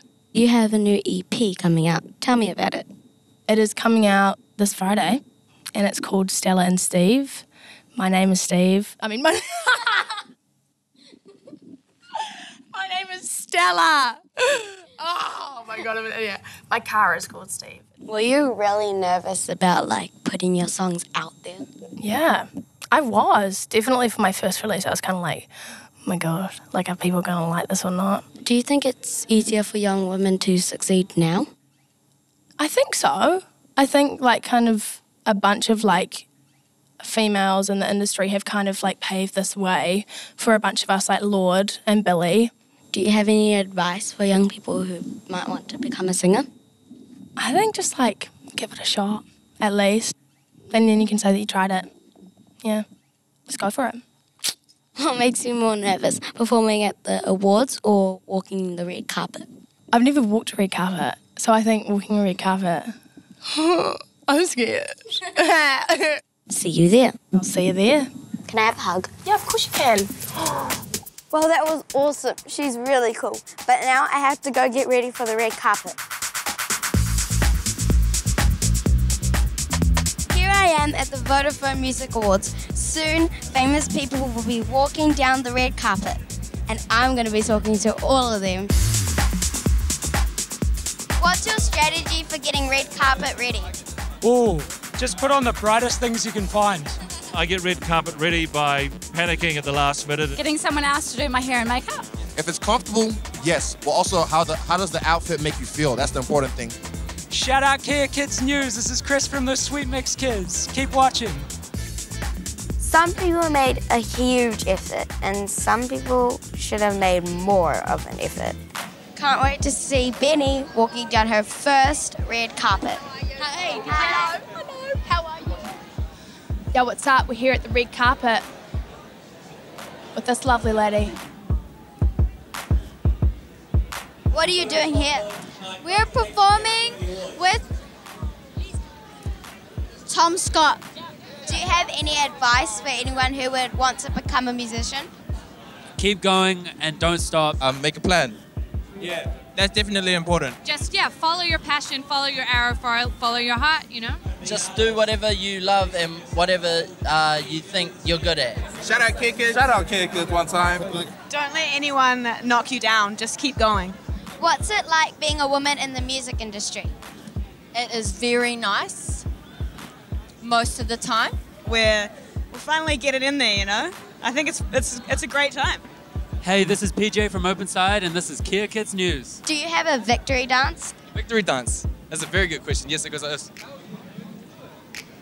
Do you think it's weird that my school teacher has a crush on you? Haha. um, no, that's not weird. Hey, that's just uh, that's just a flattering experience. Hey, what's up, everyone watching? It's Izzy, the UFC middleweight champion, and you're watching Kea Kids News.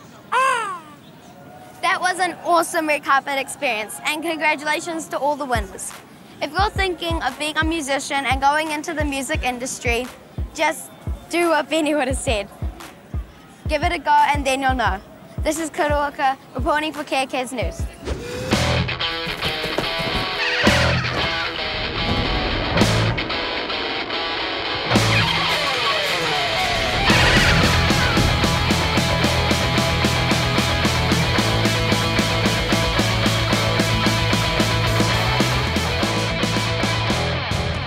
I'm Acadia, and this is Kea Kids News. And here we are at Waitara Beach, where there's a lot of great grandparents looking after a whole lot of great grandchildren. To be a grandparent, you need to have a baby who then has a baby who then has a baby. Now imagine the middle two babies, who are now grown ups, are out of the picture, and the oldest person is now parenting. Hi, I'm here with My Healy, she's a great grandparent. So can you tell us who you look after? His name is Trezan. And so how old is Trezan now? He's nine years old. I've had him since seven years old. Tell us about when you first met him, Trezan. Well, uh, when I met him, darling, I didn't know him with a bar of soap. He's never met my family, so he had to get used to our ways. Can you tell us a little bit about your life as a great grandparent? Well, it's a learning curve for me because I haven't looked after children for years. How long do you think you'll look, be looking after Trezan for? How long? As long as I've got breath in my body, darling, I will look after him to the, to the bitter end. Yeah, and he's doing well at school. So that's all that counts, eh? Well, that's awesome. Yeah, I'm happy.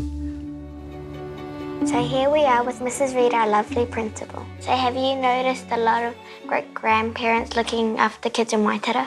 I have. We have at various times had up to five great grandparents looking after students in our school. Is it just poverty or, or is it just anything else causing this? There's a lot of reasons. It's often health issues with parents. Sometimes it can be because parents choose to live their lives in a way that's not good for children. So grandparents step in. I'm here with Seaton. He's really, really special because he lives with his great grandparents. So can you tell me all about living with your great grandparent? It's really fun and special to live with them because I didn't get much time with my mum and dad. Have you met your grandparent? No, What happened to them? I don't really know. I haven't seen them. Is life much better now? Yes, What do you like about it? I have a lot of friends here. Everybody in the school is my friend. Here we are with Irene Lavinia, which is Seaton's great grandmother. Seaton was left with me and Papa, and uh, his mum wasn't in a very good place. How much extra work is it looking after Seaton? Technology wise, very hard. Everything else, easy. Thank you so much for your honesty and well done for looking after Seaton. Oh, that's good. That's you awesome. She's lovely. So there you have it. These great grandparents are doing an amazing job bringing up kids that would otherwise be in care. This proves there's nothing like whānau when you're in need. This is Acadia signing off for Kea Kids News.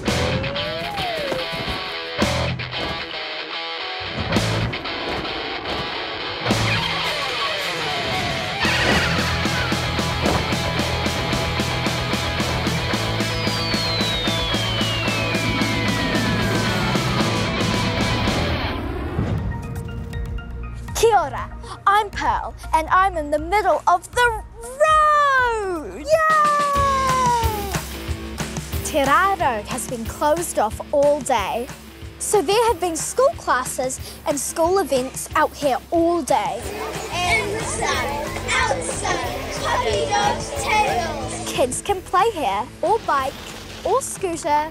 They could skateboard and even draw art on the street. But why? Why did you organise this event? I thought the kids at Point Chev School would have an amazing day out here, like you can see behind me. And being able to see what a street looks like with no cars on it is pretty amazing. I also thought some of our parents might stop and think about the way they bring their kids to school. How would you get to school if there were no more cars? I would skip. This is awkward. I know. How do you feel about having no cars? It's really fun because you don't have to worry when you're on the street and like getting run over. I wish it was actually always like this because cars are annoying. The car has gas in it, so since it has gas in it, it doesn't really make the world a better place. But if you walk, it actually makes a world a really good place. Do you miss the cars at all? No, because they're bad for the earth, and I don't think they should be allowed on the road ever again. Because I like it like this. There's so much amazing chalk art here on the street today. We thought that we should do our own one for Kea Kids.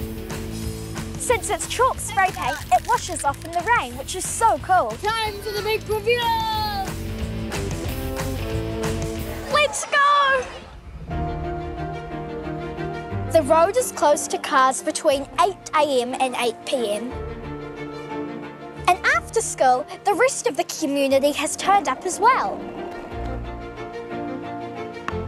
It's like getting a new park or a really big back garden. What do you think the world would be like if there were no more cars? I think we would know our neighbours better. Was there many cars when you went to school? No, there were a lot of horses. I always wanted to ride a wild bull to school, but it didn't happen. Stop! We've got to look both ways before we cross the road. Nah, just kidding. There's no cars today. This is Pearl reporting from the street for Kea Kids News.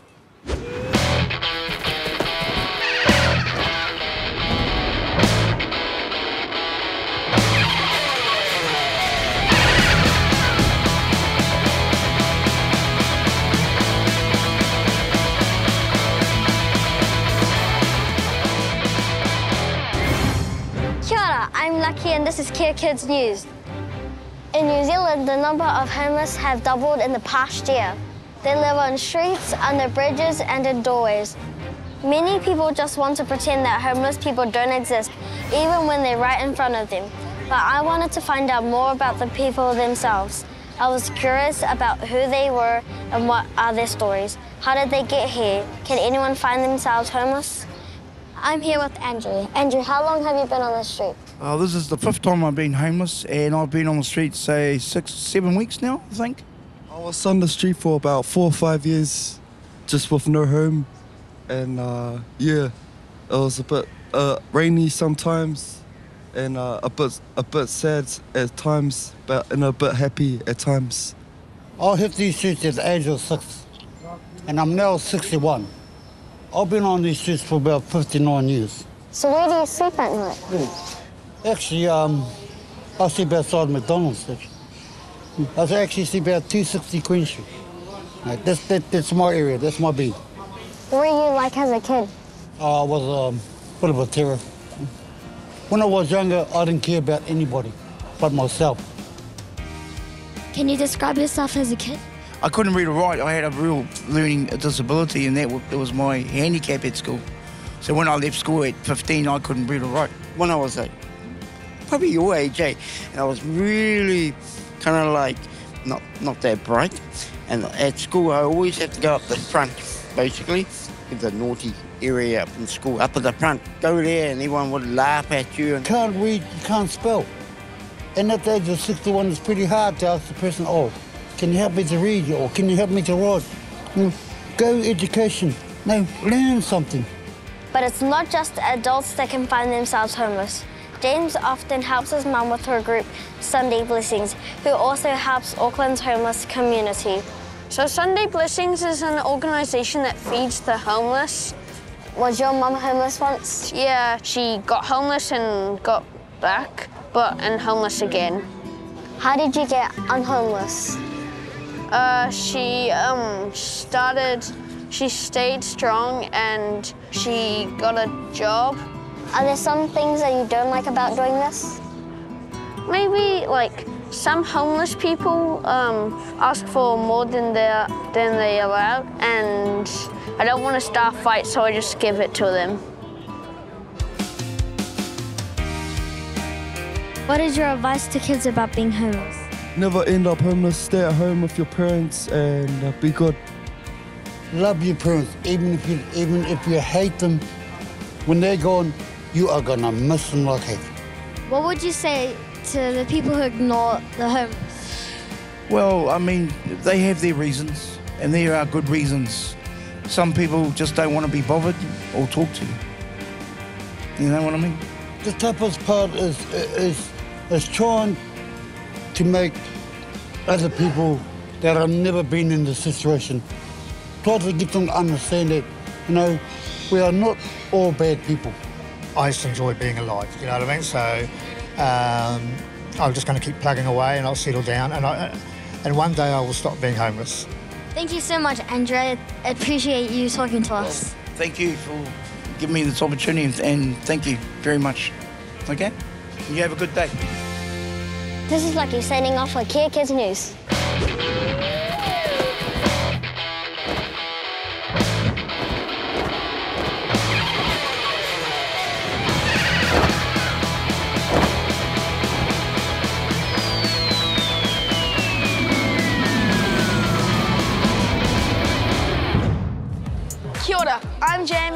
Kea Kids News, reporting from the Skills Bright Sparks Awards.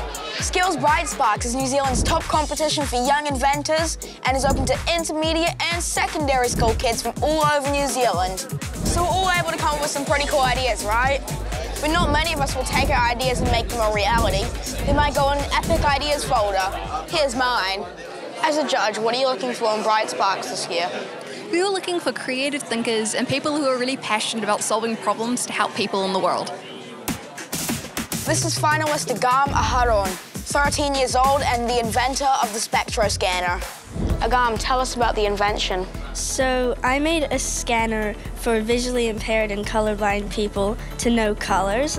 They can scan bins and other objects and it will vocalize the color. Agam, what made you think of this? So, my mum works with special needs kids and I thought I could maybe help them. So, can we see this thing in action? Sure. Red, orange, yellow. This is finalist Adam Smith from Christchurch with his WaterWise invention. So, Adam, tell us about your invention. Well, I've created a device that goes in the shower that lets me turn the water off when my sister is taking too long in there. Is your invention something that will help the environment? It definitely has a lot of potential to help the environment, like being able to see how much water you use and who's using the most water in the family is quite a big thing. So, James, tell us about your invention. Um, so this is my weed spraying robot. Sprays the weeds and not the lucerne, which is what we farm on our paddock. Did you have any troubles along the way? Uh, yes, a lot. How does your robot tell the difference between a plant and a weed? It knows what's what by using this weed camera. And could it go on a rampage? No, it can't go on a rampage because it's GPS tracked. Check this out. I'm wearing Matthew's invention. Matthew, tell us about your invention. Uh, well, it's a wearable robotic back scratcher. Was there a time making this when you wanted to just give up? Absolutely. Uh, sometimes the motors just wouldn't work. Nothing would do what it was supposed to. What comes first, your interest in tech or your love of making inventions? Got to be my love of inventing. I love just chucking stuff together and seeing what I can make. Where do you want to take this invention in the future? Well, I would love to add more arms, just more scratching all over, maybe a full body scratcher, or something like that. Nothing will stand in our way. The awards are about to begin. For design innovation, and Matthew Shepard. And our junior winner this year is James Avenel. It's time to find out who the overall female and male winners are. Agam Aharon. Adam Smith. Congratulations on winning the overall female award. How does it feel? It feels really good. What does your prize involve? Tour of Rocket Lab and uh, I get to watch a test fire of an engine. I reckon there's a bright spark in all of us. All it takes is a big idea and a lot of work to make it happen. This is Jamie from Kea Kids News.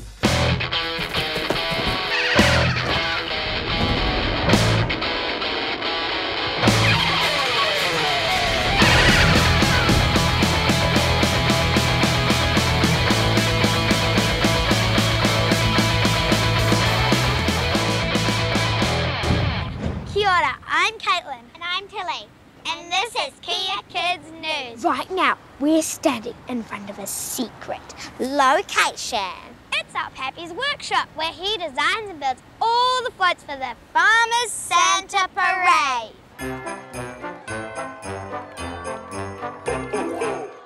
The floats always magically appear on the day, but do you ever wonder where do they come from? Who makes them?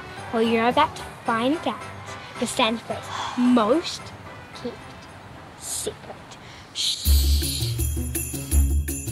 Here we are inside Pappy's workshop. Have a look at all the floats. They're so big. But where's Pappy? Pappy! Pappy! Pappy, where are you? Pappy! Where are you? Here I am, girls. There you are! This is our Peppy. His name is Peter. He's one of the coolest jobs around. He's one of Santa's helpers. The Farmer Santa Parade has been going for over 86 years. And our Peppy has been making floats for the parade for 45 years. Peppy, could you please show us the floats you've been working on, please, please, please? Oh, I don't know. We promised the audience. Oh, well, Pretty okay, please. but don't tell anybody. Yay! Here we go, guys. This is a new float, the North Pole Express. Wow. See, we have a really big snowy Christmas tree at the top. That Christmas tree is about six metres high, That's you. and the whole float is about 10 metres long. Whoa. And we have a train and three carriages that run underneath the tree. That's the North Pole Express. That's awesome. Okay, guys, so this is the second tier of the big Christmas tree that I showed you down the back there on, on the model. There's the third tier, the fourth tier is the top one. Now, the top one is so high that we've got to put it on when we get outside the door. How did you make it, Pappy? This is made out of timber and steel and all sorts of different types of bendy wood. Polystyrene, that goes around the outside, that gives it that nice snowy look to it. Then it's painted. So, Pappy, what boat are we going to be on this year? Right, look over here, the red and white Christmas stocking. You two girls are going to be the only two standing in the very top of that stocking. That's amazing. You're about three metres in the air, and I want you to wave to everybody on the street. If you're uh, lucky enough to ride on this float, how about doing a bit of work for me and giving that a second coat of red? Pappy, how did you get the job? Look, I got the job because I worked at Farmers Trading Company in their display department. They were also associated with making the Santa Parade. Pappy, how old were you when you started making the floats? I think I was around about 17. How many floats have you made, Peppy? I've made hundreds and hundreds of floats. Wow. Hello, my friends. Greetings.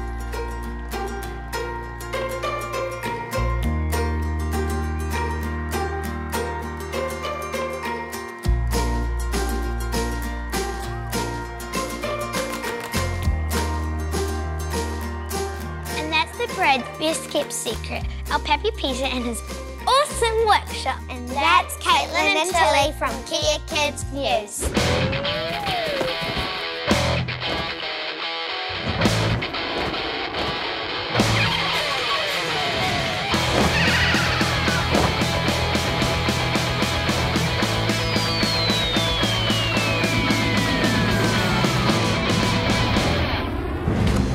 Kia ora, my name is Tokai and I'm reporting for Kea Kids News. And today, the news is the opening of the City Rail Link Tunnel. This tunnel is the first part of New Zealand's largest transport infrastructure project that will connect the whole Auckland rail network. Whoa, this is it. How many people worked on this project?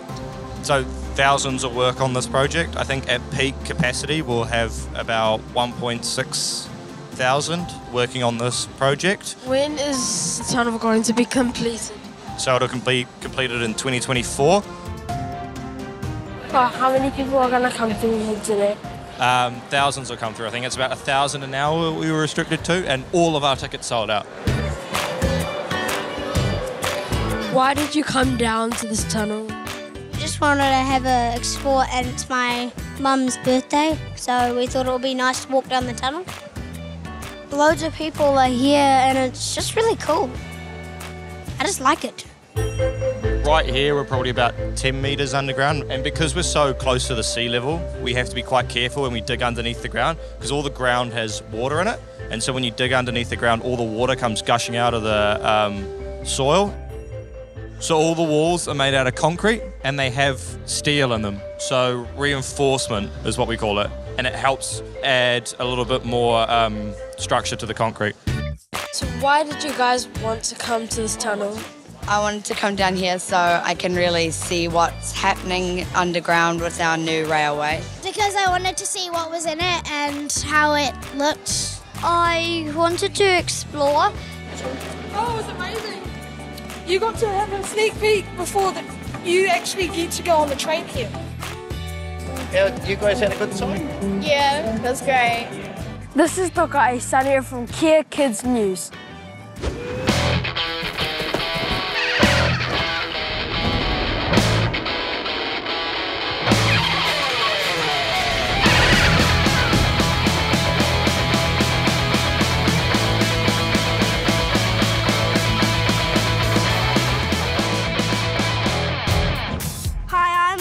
Reporting from the Gisborne Skate Park. Skate to Live is here today and there's heaps to learn. Like how to skate for a start. Learning to skateboard is not only fun, it can help make a big difference to how you feel about life. Hi Umberto, it looks like skating's a real lifestyle for you. How long have you been skating for, Umberto? Since 1986, so that's like 33 years. That's a long time. What is Skate to Live? Skate to Live is turning up to a skate park and getting all the kids out there to get on a board, have some fun, get the tunes on, create some confidence, and put a smile on everybody's dial. Why is it important? Because we need happiness, and a lot of people haven't got happiness in their lives, and we can give them that by just giving them some confidence, some reassurance, a friendly face, and even a new skateboard at the end of the day when they come and jam with us. Do you reckon someone here could teach me to skate? Absolutely. We have Raya Hanari over there. She's the national champion in her age group. We have Rico Hanari here, that's her brother. We also have Remus Hanari, who's around about your age, also a junior national champ. So if you want to learn, there's no finer people here today to do it for you. Cool, thank you. My pleasure. The whole event is for kids and their families to come and learn from some pros, win some cool spot prizes, and just meet some new people. How long have you been skating? About eight years. How do you feel when you're skateboarding? Uh, I feel great. I feel like it's real fun to skate. Like I love it. Can you teach me to skate? Yeah, sure.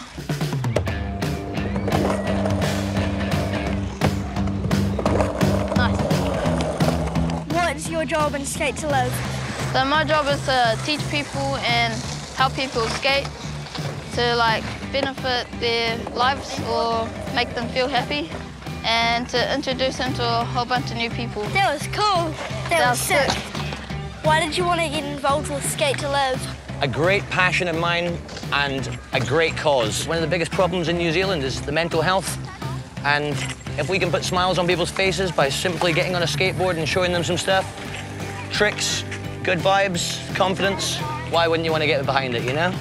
We hurt ourselves, but you get back up and you carry on.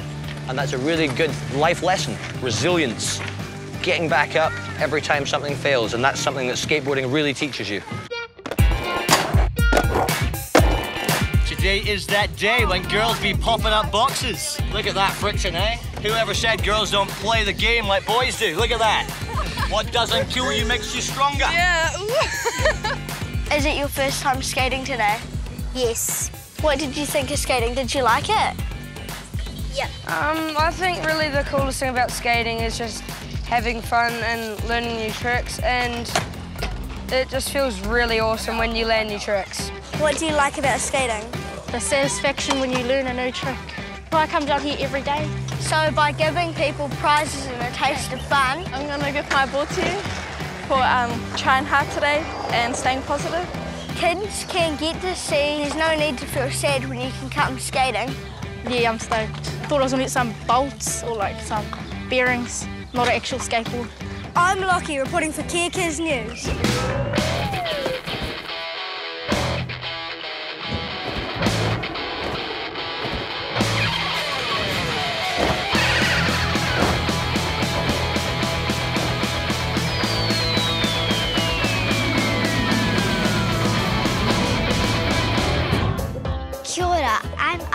At MOTAT reporting for Kea Kids News. What's sticky, icky, sticky and fun, but not so good on carpets? Slime. I'm here at MOTAT, which is celebrating slime. What do you like about slime? Um, it's very stress relieving and fun to play with when you're bored. I don't know, it like calms me down sometimes. It keeps me to stay happy. Slime has been around since 1976, but in the last two years, people all over the world have gone crazy for it, and slime is now big business. There are over 20 million slime videos on YouTube, and thousands of slime entrepreneurs are selling slime made in their own kitchens. I could play with slime forever, but it's time to meet New Zealand's most famous slime entrepreneur to see where she thinks slime is going. Time to be a slime princess assistant. Let's go inside. I am Slime Princess. Today we're going to be making some butter slime and some The really slime cool- princess started making and selling slime when she was only 11 years old. She travels all over the world selling her slime. This is really nice slime. Look. How hard is it to be a slime entrepreneur? Well, it's not that hard if you're really passionate about it and if you like love it. So I have a love for slime and I have a love for like helping out other people. So it's really easy for me. What kind of products do you sell in Slime Princess thing? Uh, well, I sell quite a lot. I sell obviously slime. I sell like butter slimes, scented slimes, foam slime. I sell activators and merchandise like my t-shirt. Do you think slime's going to be around forever? Definitely. So, what does the future hold for slime? Will this craze fade away or is it going to stay? Do you think slime will be around forever? Um, yeah, I think so. If people continue to like it and make it, definitely. Do you know what binophobia means? No idea. Do you know what binophobia is? No. It's a fear of slime. How could you be afraid of slime? Well, it looks like slime is here to stay, and I might be the next slime princess. This is our reporting for Kea Kids News.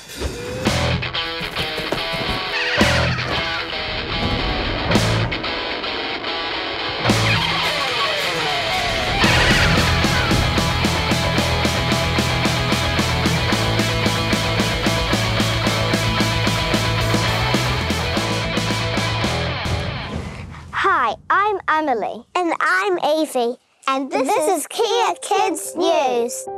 On Thursday, the 28th of November, it will be the 40th anniversary of the Erebus disaster. At 10 minutes to 1 in the afternoon of November the 28th, 1979, Air New Zealand Flight 901 crashed into a mountain in Antarctica. There were no survivors. Air New Zealand insisted the crash was due to pilot error. Can you tell us the story of what happened to Grandpa Jim? Grandpa Jim, 40 years ago, was flying an Air New Zealand aircraft down to Antarctica, and unfortunately, it crashed into Mount Erebus. The flight computer took the aircraft straight into the path of the mountain. Why couldn't they fly over it like? Well, they were flying lower than the mountain because they thought they were here. But the computer in the plane was actually taking them right towards the mountain. This is my auntie Dee Dee. How old were you when the crash happened? I was nine. And I was six. You're six too. It is my age right now. That's almost the same age as us, because I'm nearly nine. What are some of your lovely memories of Grandpa Jim?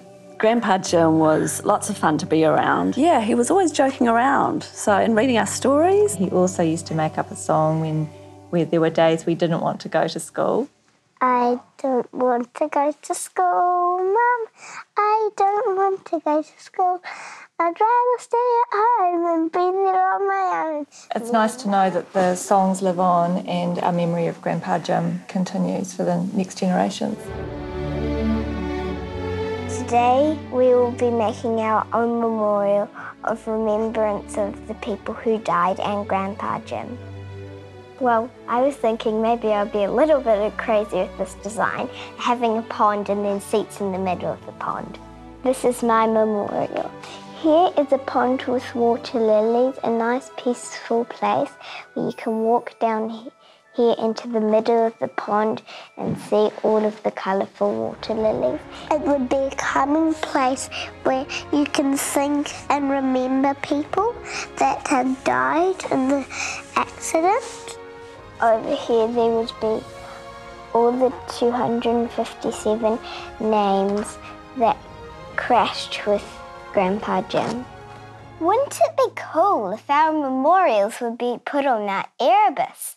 So we gave our drawings to Ross at Kea Kids News Animation to see what our memorials would look like on Google Maps. Hi, Ross. Hi guys, Howard, welcome to the studio. It's kind of a combination of both of your designs. Oh, that looks really cool. Oh. I like how you put the um, stars and hearts around the edge of the pond. The water lilies look really cool. I think it's cool how you have all of the graves there, so then every person can be remembered. Look what Ross did. Wow, wee, that is magnificent, isn't it? Yeah. This is great timing because do you remember what the Prime Minister said last week? Yeah. Sorry. Yeah. This week has been extraordinary because finally, after 40 years, we've had an apology from the government and from Air New Zealand. And we've had history set straight about the causes of the accident. I would love for my dad to have met the children, and I know that he would have been really proud of what they have designed for the memorial. We're sad not to have Grandpa Jim here, but happy that the accident can be remembered. This is Emily. And this is Evie. Reporting for Kea Kids News.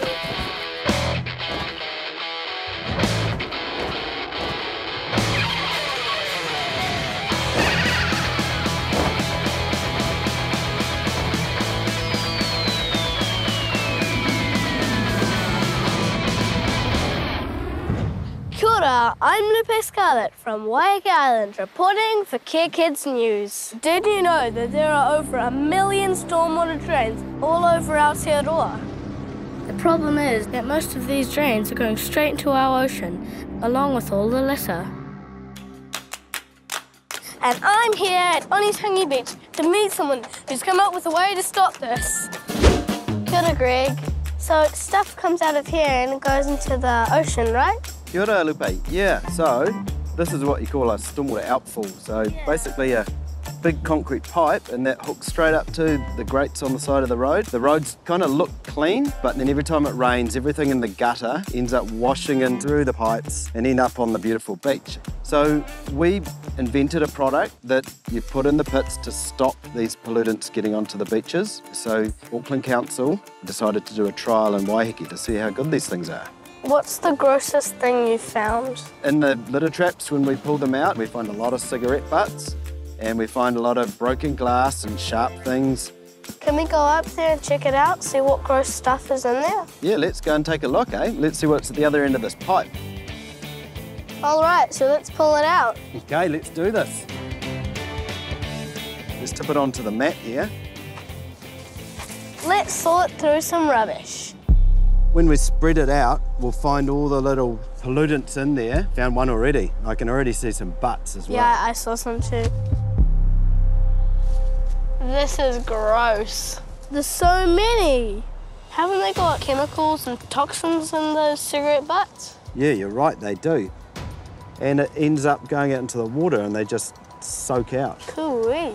Eh? It was a beautiful sunny day when Mr. Butt was flicked away. Mr. Butt came crashing down, not in the sea, but on the hard, hot ground. But then one day, a downpour of rain carried him towards a stormwater drain. From there, he was joined by trash of all types that flowed to the sea from stormwater pipes. He floated and flipped and gurgled with glee, but a fish came along and thought he was tea.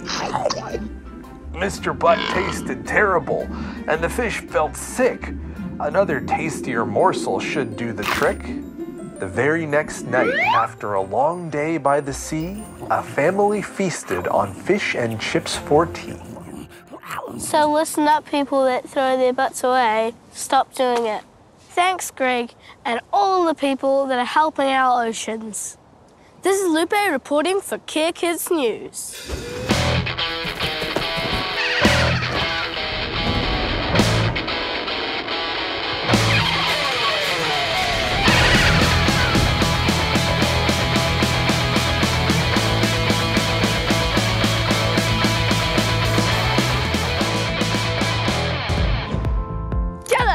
Tairi ngā hau, reporting for Kea News. And the news is that 2,000 kiwi has just hatched here in Rotorua in the National Kiwi Hatchery.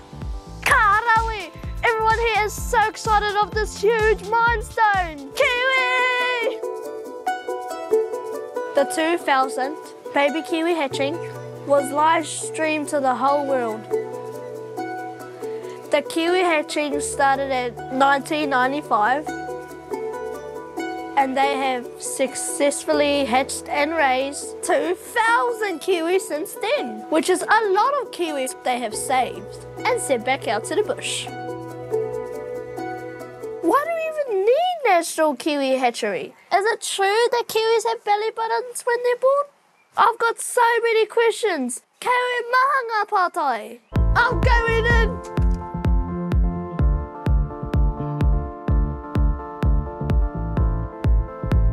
What's your job here? My job here is to help all the kiwis make sure they hatch out and we also have to make sure they eat properly and are a good weight before they get released back into the wild. What's your favorite thing about kiwis? They're a really big bird and they're quite flightless and they've got nostrils at the end of their beak. I did not know that. Why do we need a kiwi hatchery? Because without kiwi hatcheries, most of the kiwis around New Zealand would die. And in the wild, only five out of a hundred chicks survive. Whoa, that's hardly any. And what happens when they come here? We clean them very well in case there's bacteria on them. Then we candle them, which we see how the chick's doing inside the egg. We eventually um, put them into a container to hatch, and once they're about two weeks old, we put them in a breeding room that we raise them up until they're stoat proof weight, so they're 1 kg, and then we'll release them back into our fire sanctuary. Hi, what do you do in the brooder room? Here in the brooder room, this is where we raise our kiwi chicks. So they come here after they come out of the hatch room. We put some food out for them. Each day we weigh them to see how much weight they've gained or lost. What do you love about kiwi? Oh, I love that they're really feisty and they've got nice sharp claws so that when they go out in the wild, they're really good for survival. Is the 2000 chick in here now? Yes, the 2000 chick, Ruamano, is um, in a brooder and he's doing really, really well. When he's big enough, he'll go out to Maungatautari Sanctuary Mountain. Good luck, little Kiwi 2000, and thanks to the people who work here at the National Kiwi Hatchery. Ko Tai Iringa Roimataho, reporting for Kea Kids News.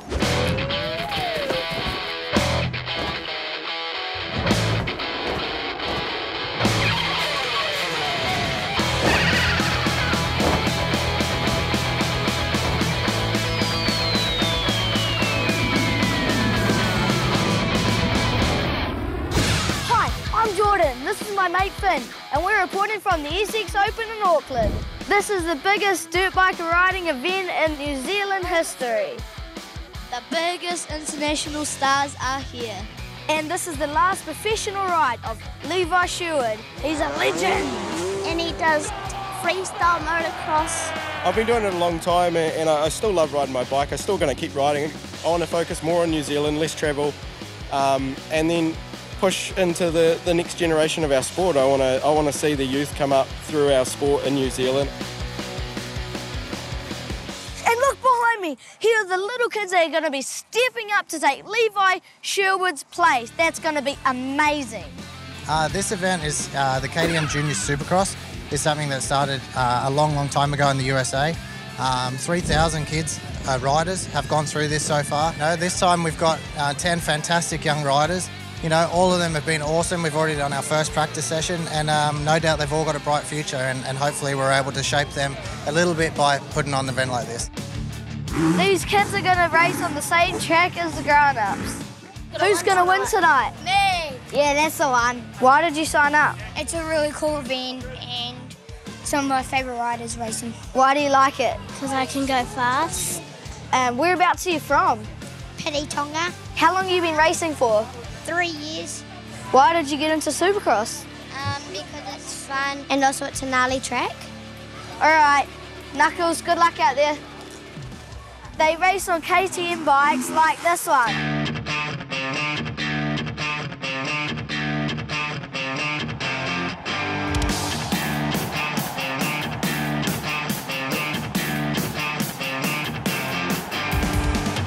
Who's your money on, Finn?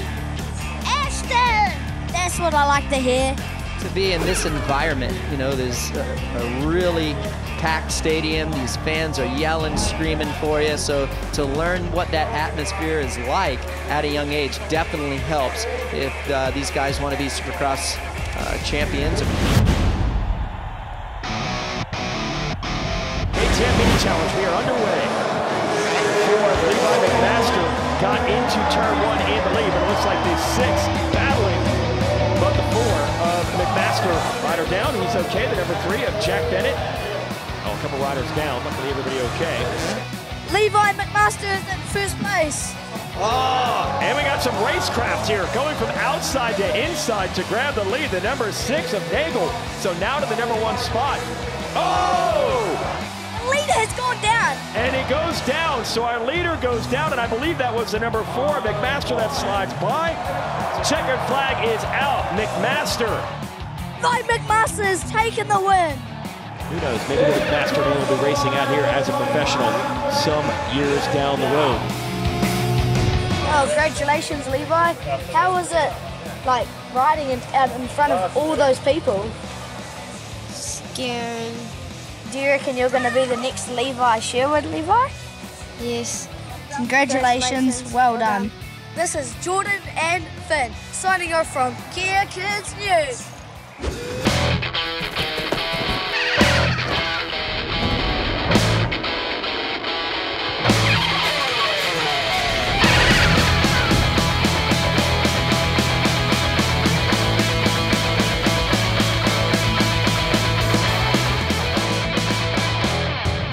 I'm Lily Mae reporting for Kea Kids News. It's 7.30 here in Waitara and someone's running a bit late. Oh, hello, Lily May. What are you doing here? Yeah, we're doing a story on you. Wow. This is Mrs. Reed. She's been the principal at Waitara Central for the past 12 years. This principal not only drives her pupils to succeed, she also drives them to school. Our principal is a real superhero. Mrs. Reed is a super principal because she not only runs the school, she picks up and drops off an average of eight kids every week. That's 320 drop-offs and pickups every year. She's been doing this for 12 years. That's 3,840 lifts in her time as our principal. Come on, Mrs. Reed's! Good morning, guys. Mrs. Reed, when did you first start picking up kids? Oh, I think it might have been the day after I started at Waitara Central School. So that's 12 years ago. She picks us up when it's usually cold, raining. Thanks, Mrs. Reed, for dropping us off. I like Mrs. Reed because she drops me off from school. Are you going to do this next year? Well, I'm getting ready to retire from being a teacher, and I probably won't do it after that. How would Waitara Central School survive without this principal? Here we are, Breakfast Club. Good morning, everyone. Hello. Welcome, welcome, welcome. Let's get some breakfast. Here we are at Kai Central for Breakfast Club today. This happens every day. So what would the children be like if they didn't have the breakfast? Well, in my class, they're tired and they just don't learn. Here's a high five for the Breakfast Club. Do you like Mrs. Reed? Yeah, I do. She's always there for us when we need help. Whenever I'm bleeding, she um puts plasters wherever I'm hurt.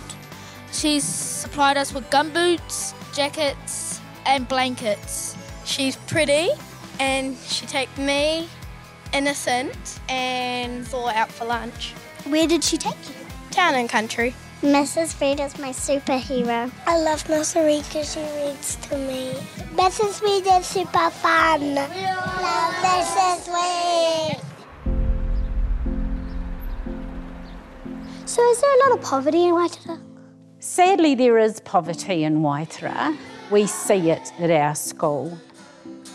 You can imagine it can be really hard if you haven't got food in your house. So, knowing you can send your children to school and they're going to get a breakfast and a lunch and nobody's going to ask any questions mm. means that kids are more likely to come to school. So, it's great. Yeah. Does it ever make you sad to see kids in need? Sometimes it makes me very sad. How many of you have had a quilt from the school?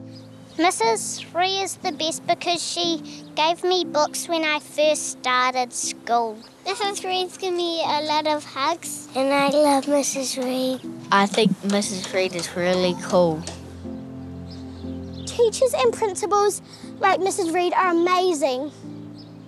We hope our next principal is a superhero too. It's Lulu Moore signing off for Kea Kids News.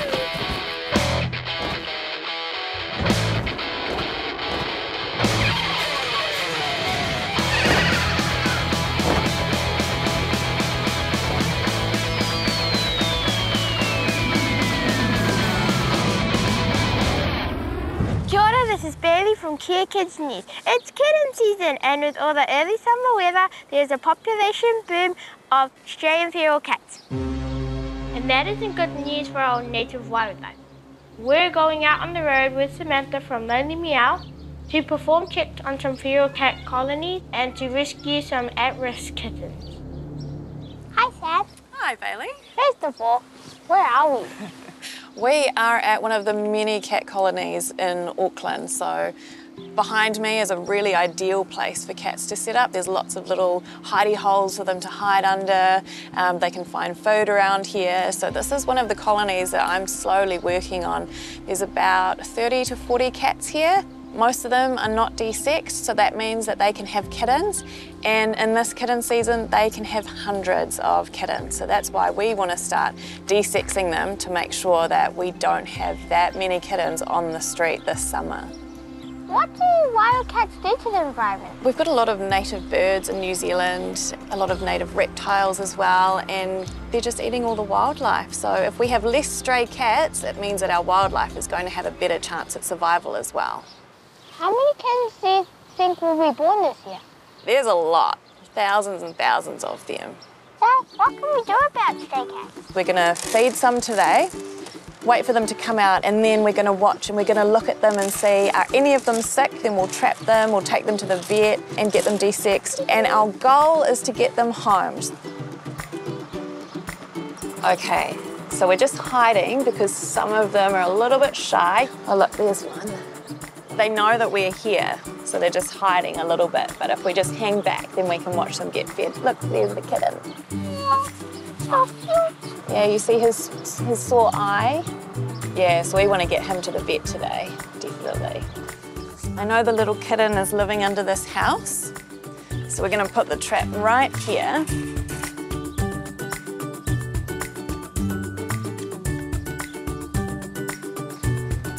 All right, let's see if we've got anything. So let's just lift this up. Oh, look. Okay, so this is a different kitten to the one that we saw earlier, but we definitely want to get this guy home and he probably needs some worm treatment and we'll find him a family, I think. Hello. Oh, he's so cute. Let's take him home. So what we're going to do now is we're going to give him some worming treatment. I'm going to hold his scruff. I don't think he's going to like it. Oh, yuck. Yuck, yuck, yuck. And then he'll get over it and he'll go back to playing. So they just need to be a little bit bigger, then we'll get them desexed, and that means they can't have any more babies. So when they're big enough, they've been desexed, microchipped and vaccinated, then we find homes for them. If you decide to get a cat, why not get one from Lonely Miaow? Even if you don't, make sure you get a D6 and microchip so you have a happy and healthy cat. This is Bailey for Kea Kids News.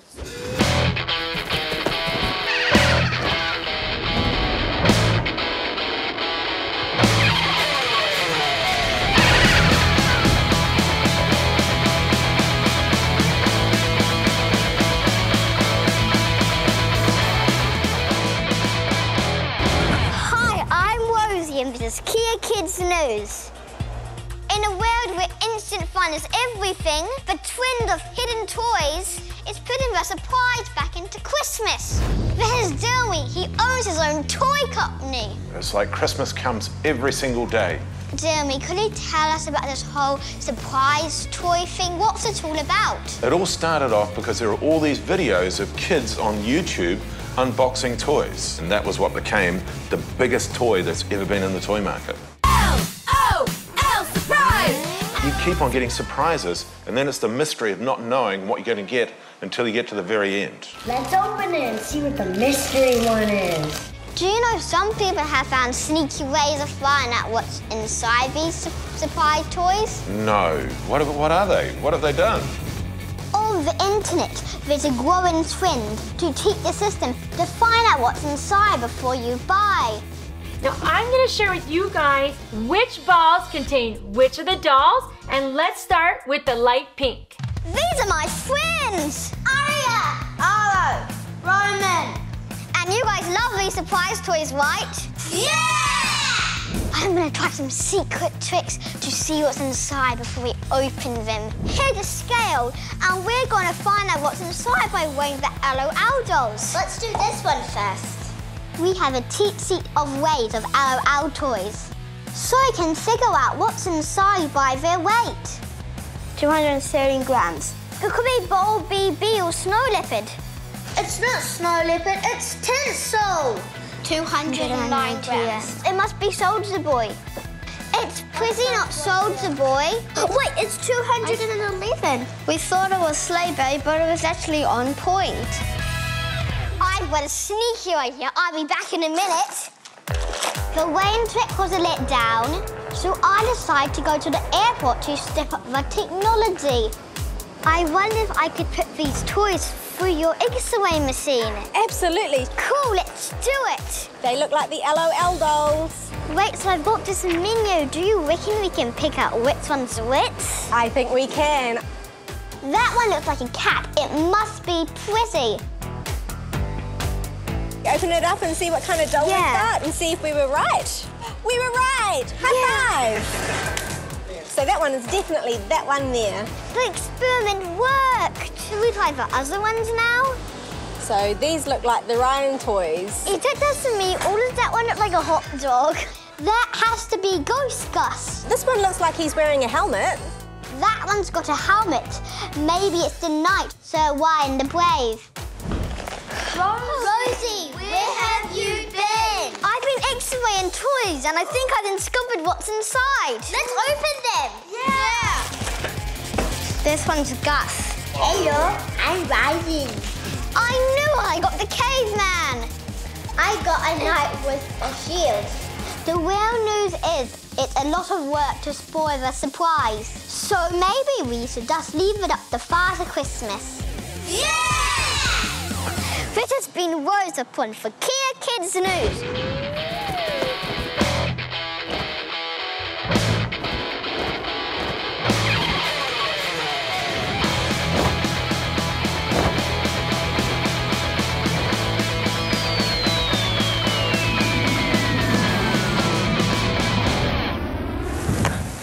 Hi, my name's Artie, reporting for Kea Kids News. The news today. Everything is awesome. Everything is cool when we're part of a team. In Lower Hutt, the community has been surprised with these cool artworks of Lego heads that have been appearing over the last few weeks. But nobody knows who's making them. It's Benny from the Lego movie. Hulk smash. Spider-Man's my favorite. These paintings are really cool. I wonder who made them. Let's ask the kids at the local school. Why do you think that he keeps his identity secret? I think because he might go to jail. He might want people to try guess. What is it that you got here? Um, this is what our class did. We've got like Lego things. This one's my one. This is my one. My one is this one, and it was a rainbow face. Who do you want to see on the wall next? Uh, I want to see people from different cultures. I want to see people from Harry Potter. Who would you like to see next? Um, I would like to see Emmet from um, the Lego movie. Hearing these kids' awesome ideas has given me an idea how to find Block Vandal. Block Vandal, where are you? I got some ideas. There you are. Block Vandal, it's so good to meet you. What made you do this?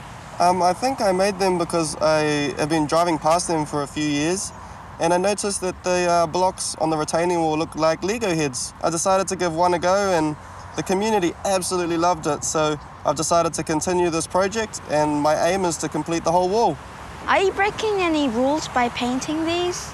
Uh, initially, I broke a few rules, um, but with the support of the, of the council and the community and me trying to do a really great job in terms of the quality, it's being embraced in a really positive way and everyone's really excited to see me complete this project. Why do you keep your identity secret? I think being an entity that is mysterious is really, really exciting for them. So I'm holding on to that anonymity for that reason. One of the kids from the school asked if you could paint Emmet from the Lego movie. Do you think that you can paint him? I'm gonna do it just for you guys. Let's go! Yeah.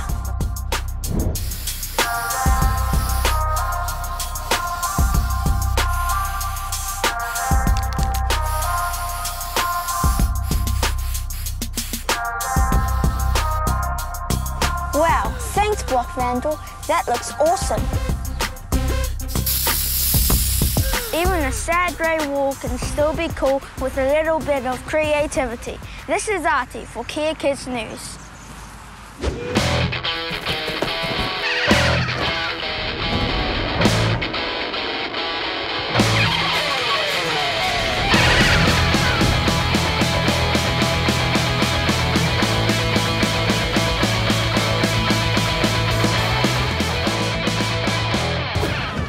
Kia I'm Coco and I'm reporting for Kea Kids News. In the news today, we all know what TikTok is, right? You'd have to be living under a rock if you didn't. Since it was launched, the app has been downloaded over 1.5 billion times, and there are over 500 million active users worldwide. I'm not actually supposed to be using it because I'm only 11, and you're meant to be 13. Tons of my friends do it, and my parents let me. So what's the big deal? Do you think it's safe for kids to be using it? Um, I think it really depends on what type of content you search for on TikTok. I know there can be some things that are probably a little bit detrimental to the well-being of young people. To find out how to use TikTok safely, I'm heading to the classification office. How can we keep ourselves safe on TikTok? So, the key way of staying safe um, for kids, particularly those under 13 on these sorts of apps, is to talk to their parents first before they sign up and open an account. On TikTok, the most sensible thing is for parents themselves to open an account that kids can use. And that way, the parents can set up safeguards and control who can see your content. This is Olivia. She is 17 and she has almost 40,000 followers on TikTok. How old were you when you started? I was 14 years old when I first started. What was the biggest TikTok you've ever made? So I danced on an airplane.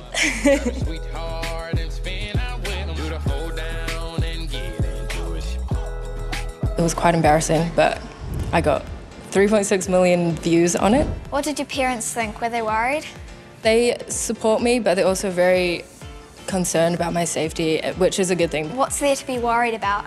3.6 million people is a lot of people, and you never really know um, what kind of people are going to be on the internet. Have you ever felt unsafe? I've never come across a comment that has made me feel uncomfortable, but if I do, I'm sure to report them, tell my parents so they know. Do you think it's okay for all kids to be on TikTok? I think it's down to individual families to work out what they want to do. I trust you on this app.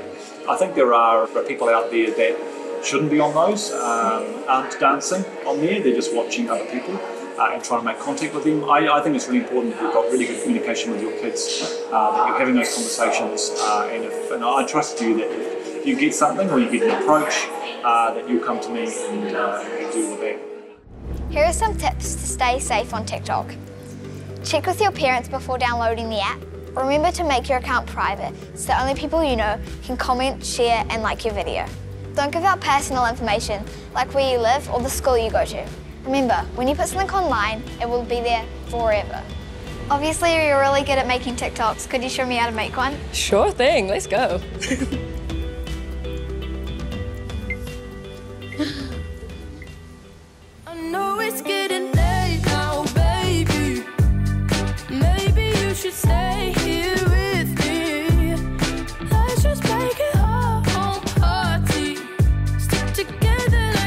What do you think? I think it's gonna go viral. Yes! So while TikTok looks like harmless fun, it's important to keep safe and be smart on the internet. I'm Coco McMillan reporting for Kea Kids News.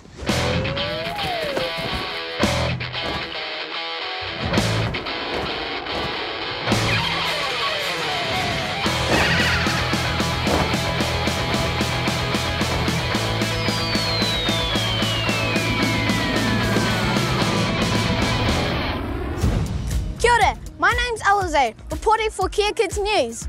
Lately, there's been lots of controversy. Some people refuse to say names properly. When named in the All Blacks, Te Toira Tahuri Orangi's name was shortened to Triple T. Brought uh, Tita Rori Tahuriroangi in today. Yeah, it's just a lot easier to say triple T. Triple T, there you go. It's Te Toro Tahuri Orangi. It's quite similar to the opening line from Poe. Oh, yeah? Yeah, so you go, Te Toro Tahuri Orangi, he plays halfback behind Aaron Smith and Perenara Taku Poe. Te Toira Tahuri Orangi is not the only one to have confusion around his name. So we're going to meet someone that has a tricky name as well. My name's Neve, come on in. Why do people have trouble saying your name? Because of the way it's spelled. Neve Shaney Markey. Neve is Gaelic, Shani is Indian, and Markey is French. How do people say your name? Niamaha Shani Marquis. And how do you feel? It makes me feel weird because they're not saying my name, they're saying this funny word that is not my name. What's the funniest name that someone's called you? Nymph. I moved into the school and no one got my name correct for at least two weeks. Were you worried when people would get Neve's name wrong? We get asked all the time why did we name her something so silly that no one can say and no one can spell. But I think it comes down to individuality and she suits her name. And I think she would not look right with any other name. Does it feel good when people get your name right? Yeah, because then they know they can now learn my name, they'll know my name forever. Have you heard grown up say names not properly? Yes, I have. I think it was on uh, maybe a talk show. Would you deliberately call a cheese camembert? Hell no, I know better than that.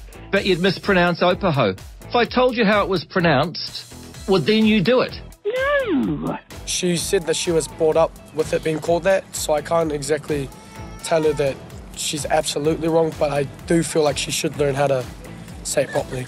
Our food teacher was calling out the roll, and there was this one boy.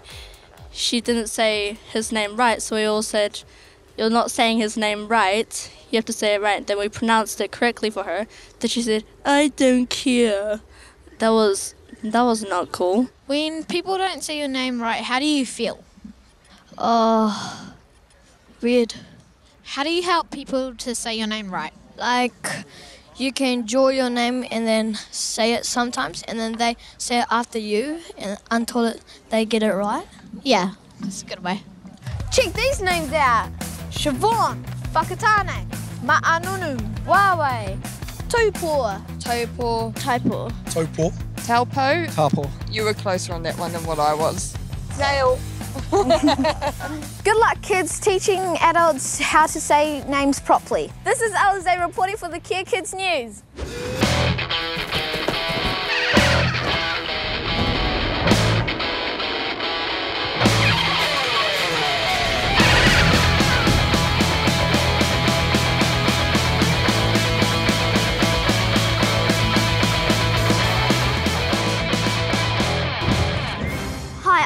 And this is Kea Kids News.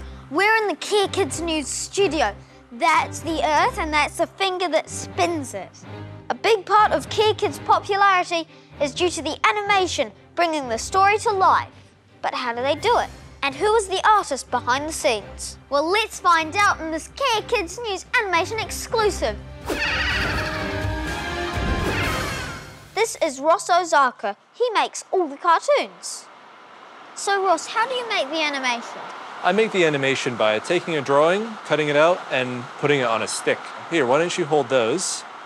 And I'll hold that up, and when you put it on a background, there's your animation. What does the Loch Ness Monster eat? Fish and ships. Do you have a favourite animation that you've made? Um, there's just so many, and they're all different. Like Rotting Teeth, which was the first animation we did. Um, the kids made all these drawings of these germs living on your teeth. I animated them peeing acid on your teeth. But then there's different techniques that I use. So we did one called Dangerous Skies about this uh, German Luftwaffe pilot who saved an American bomber. Franz Stigler was a German Luftwaffe pilot in the Second World War, and all he had to do was shoot down one more plane, and he'd be awarded the highest military honor of Nazi Germany. How long did it take you to make it? Uh, this one, it took maybe three weeks to make. It was very hard to do the planes. Yeah, they're made out of paper, and uh, it's pretty involved to fold them and glue them in all the right places, and then uh, burn them just right. Stabbed it with a pencil a bunch to make the bullet holes. Put some smoke down there to sort of stain it with smoke. Um, and uh, oh yeah, it, it, it all depends on the technique. We've got some little stop motion ones, and that takes a little bit longer because you're sort of moving the the legs. I'll make a little puppet that has joints so you can animate the elephant walking, animate him drinking, and it was uh, it was a climate change episode, so we animated a bunch of smog coming in, and then there's this. Uh, they all went extinct with all this um, climate change that happened, so you just animated them falling over and dying. That was fun. I can see you've got ones representing the measles one. Yeah, that was from the measles episode. Measles is a tiny, tiny airborne pirate lowlife. Arr, virus. Yeah, that had a lot of uh, talking, so it had little mouths like that. I'm gonna eat you and your cells and reprogram you. Army hearties, I'm a baby polar bear. Mommy, feed me, feed me, arr. Did you do the Rugby World Cup one? Yes, I did. He's gonna get the pass up to George Bridge. We put the puppets on these little little strings and dragged them along so it looked like they were chasing the ball. Uh, yeah, it was all 3D instead of it all being flat. Yeah, that was pretty awesome. One of my favorite things is when kids come up with their own characters. So for the Screenies episode, this kid made this character named Barney Boxhead. Uh, he was just a box, but um, you know he's he's got a head. He's got these superpowers, and he destroys cities like that. We made these little cities, and we did a little animation of him knocking down cities and falling down a vortex and going into somebody's brain. Do you like drawing brains? Yeah, drawing brains is awesome. I drew a little brain environment for him to go into, um, and that was pretty fun. And uh, getting injected with some superpowers, and then getting even more powerful, uh, and that was pretty pretty satisfying to make. Why do you think animation is so popular? Oh well, the great thing about it is you can do it at home. So um, you like drawing? I love drawing. Perfect. So take one of your drawings, cut it out, put it on a stick, and just wiggle it around. And then you've got a little scene going. Like this guy over here, he's signing the petition. Whoa. So not not to kill the girl's sheep. I, I like that one. Yeah, yeah. She uh, she lived in an area where there were all these dogs. Um, and they were killing local. yeah, they were killing the sheep. So yeah, she did the petition, and this kid's signing the petition. So the arm is separate to the body. Yeah. Do you want to have a go? Mm-hmm. Sign, sign, sign. Oh crud! I, I accidentally drew on my face. Oh no, my arm's coming out. And I feel completely fine. Look at my facial expression. Beep beep. Don't kill my sheep. So, what are the hardest things to animate? Oh, waters are always uh, kind of a tricky one. So for the uh, America's Cup episode, uh, what I did, could you pass me that blue thing over there? Yeah, so I made the boat, and then for the water, I just used this blue bit of plastic that I found. So that way you can see it sailing on the water, but you can also see how its um, little rudder works. When they got the boat to float like this, they celebrated by eating candy jet planes. So I made an animation of uh, the captain, and then he's got the hand, and we had some little candy airplanes, but uh, I ate them all, so they're not. I would eat them all too. Yeah, they were pretty tasty. Do you always use drawings? Uh, well, sometimes I don't. Uh, Like in the Yellow Digger episode, I used a toy four-wheel drive, and I showed that driving around and getting stuck in the sand, and then we used a toy Yellow Digger to dig it out. How did you make the move? Oh, I just, same thing I make everything move. I just uh, pushed it with a stick. And uh, that's all you need to do. I'm Bob the Keyer. I'm Fla. Oof. Have you seen this guy? Talking Scottish guy? Arr. Blah, blah, blah, blah, blah. The other thing I do is called cell animation, which is cartoons as you'd normally imagine them. So you just make a drawing and you put it on this little uh, plastic sheet, and we take a picture with this camera. And Harry, could you take away each page one at a time? And I'll take a picture on every page that you take away. Each one is slightly different. So her shoes are turning into wheels. Yeah. So this was for when the principal turned into the car and she drove all the kids to school. Yeah, that was a good episode. I don't know why she has spikes on the end. Spikes are cool, that's why. I guess so, they are cool. That was cool. How did you do the Erebus episode?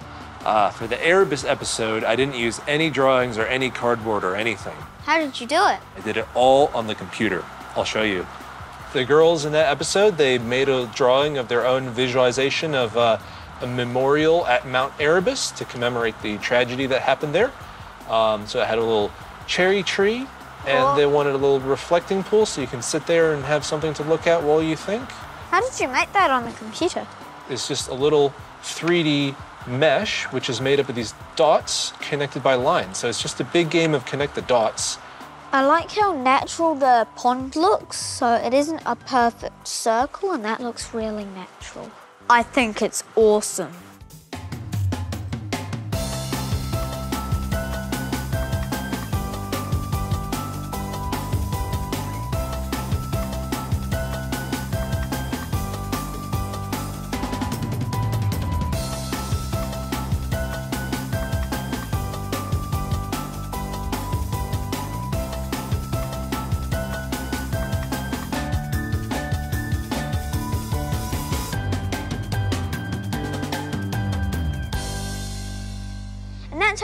The best kids' news animation in the world. Paint, cardboard, and imagination.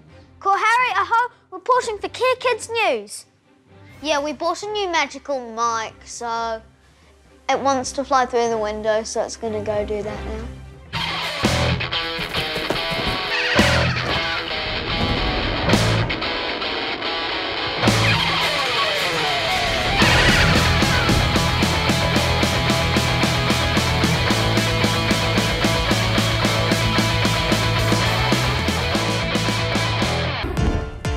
I'm Maren from Kea Kids News. We're halfway through making the world's first news show made by kids for kids. So far, our kid reporters have tackled the big topics right across the nation. Grandpa Jim, 40 years ago, was flying an Air New Zealand aircraft down to Antarctica, and unfortunately, it crashed into Mount Erebus. How old were you when the crash happened? I was nine. And I was six. You're six too. It is my age right now. That's almost the same age as us, because I'm nearly nine. He also used to make up a song when where there were days we didn't want to go to school. I don't want to go to school, Mum. I don't want to go to school. I'd rather stay at home and be there on my own. It's nice to know that the songs live on and our memory of Grandpa Jim continues for the next generations. Middlemore Hospital has a new measles ward to deal with the piles of kids who have measles. Measles is a tiny, tiny airborne pirate lowlife. A virus that you breathe in and it lands on your cells in your lungs. After a recent death of a young student walking home from school, parents have been arguing whether or not it's safe to be walking to school in the busy cities. In New Zealand, the number of homeless have doubled in the past year. Uh, this is the fifth time I've been homeless, and I've been on the streets, say, six, seven weeks now, I think. I was on the street for about four or five years, just with no home. Excuse me, excuse me, sir. Um, could you tell us what's going on today? Well, today uh, we're handing out military style guns back. So what's going to happen to them? Um, I don't know, I think they're going to crush them and, and decommission them so they don't work. It's all just been broken up into tiny pieces. I think this is the barrel of the gun. It's not all been about serious issues. Turns out, kids love fun news too. I'm here at Armageddon. Let's go find some cool people to talk to. Hi, I'm Reese. Where are you from? I. I can't remember. It's me, Mario. Hi, I'm Oliver. This is Kea Kids News. So, what do you think about this new store with all the Lego and It's so cool. I can see myself 10 years um, later from here playing with Lego. Wow. What is your favourite thing when you're not surfing? Well, I like skating.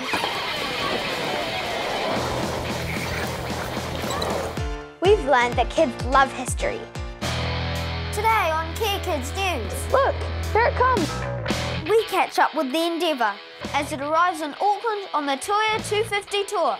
And we find out what life was really like for those on board 250 years ago. 250 years ago, they used to sit on their hole there, do their business, then they used to chuck the rope in, then they used to wipe their bums. The disgusting thing was that they all shared it. Captain Cook anchored in the bay. Due to a misunderstanding, there was a bang. And there was another bang. Buddington Central School has been learning history for ages. Not even the guns could break the L-shaped path. With 24-pound hoses. Kingi had just built it too well. The next morning, the British moved in, but discovered that King and his warriors has left. Sucked in, British! This year, we not only looked at the past, but also to the future. I'm going to be the first surfer kid in New Zealand to try out this electric surfboard. There are only 12 countries in the world that launch rockets, And Aotearoa is one of them. Matthew, tell us about your invention. Uh, well, it's a wearable robotic back scratcher. Three, two, one, let's go! I've been told that there's a maker's revolution going on. Can you tell me what that is?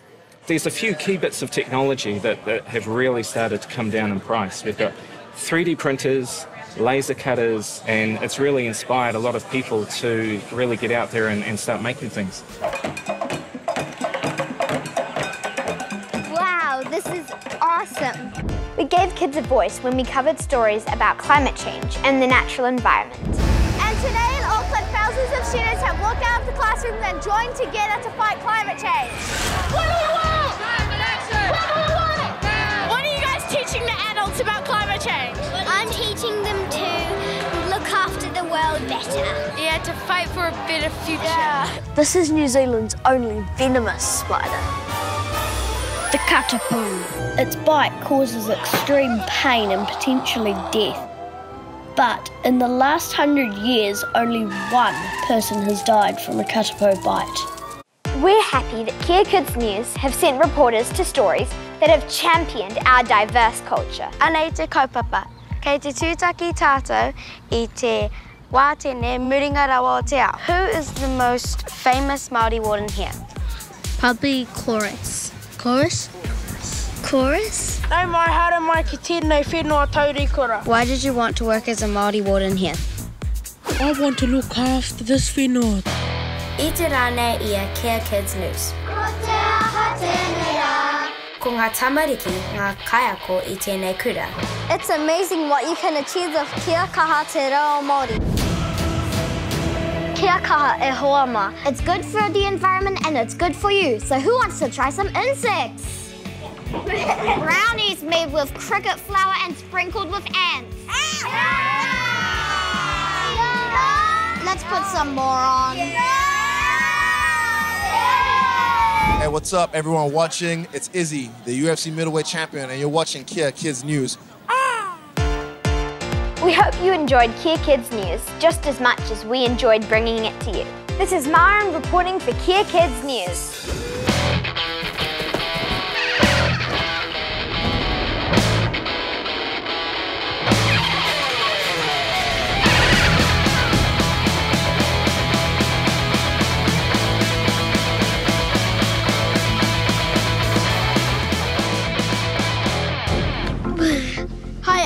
And this is Kea Kids News. This is my dad, Dane. Hey, Dad. So you're on Sky City. I was on Sky City Convention Flyer, yes. I was there on the first day. I got to hop on the roof a little bit to help try and put the fire out there. And then after that, it got a bit dangerous for all of us to be on the roof, so we went inside and uh, we started putting out the fire on the inside. How did the Sky City Convention Center burn? Where did it start? And how did they put it out in the end? Let's find out. Hi, Mike.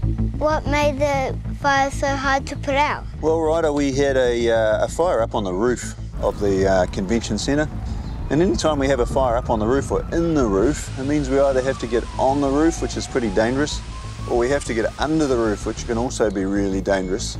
And um, because it's such a big building, and it was the fire was spreading really quickly, So what was burning on the roof? where the fire sort of started was in a great big open room. So there was lots of layers on the ceiling. There was about seven layers in the ceiling. So all of those different layers had caught fire. And um, there was a bit of rubber, there was a bit of wood, there was a bit of foam and plastic and various things like that. So there was lots of stuff burning. It took us a while to put it out. I was starting to get what the fireman was up against. So we decided to do our own experiment to see just how hard it would have been. Hi, Ivan. Hi, Ryder. This is Aman. He's a stuntman. He's in the movies. Can you show us how the convention center roof was built? Sure, Ryder. This stuff here is called a bitumen roofing, and this is similar to what they would have used, and they would have glued it down on top of the roof of the Sky City Convention Centre. Can we glue it now? Yep, we'll get some uh, glue and we'll stick these down on here, and then we'll have a look at how well they get set on fire.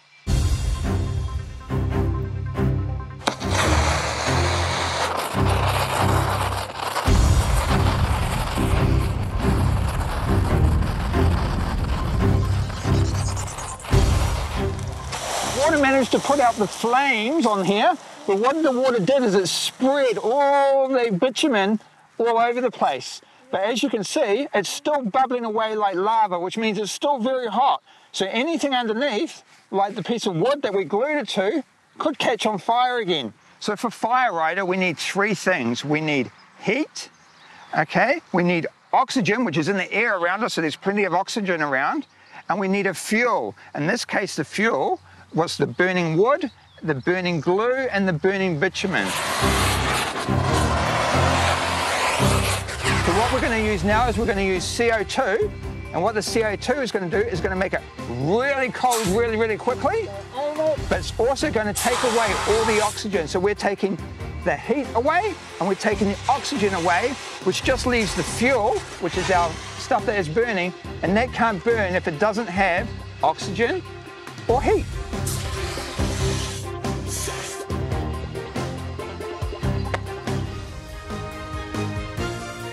Thanks to all the firefighters and support staff for battling this fire. We really appreciate your hard work and commitment. I'm Ryder, and this has been Kea Kids News.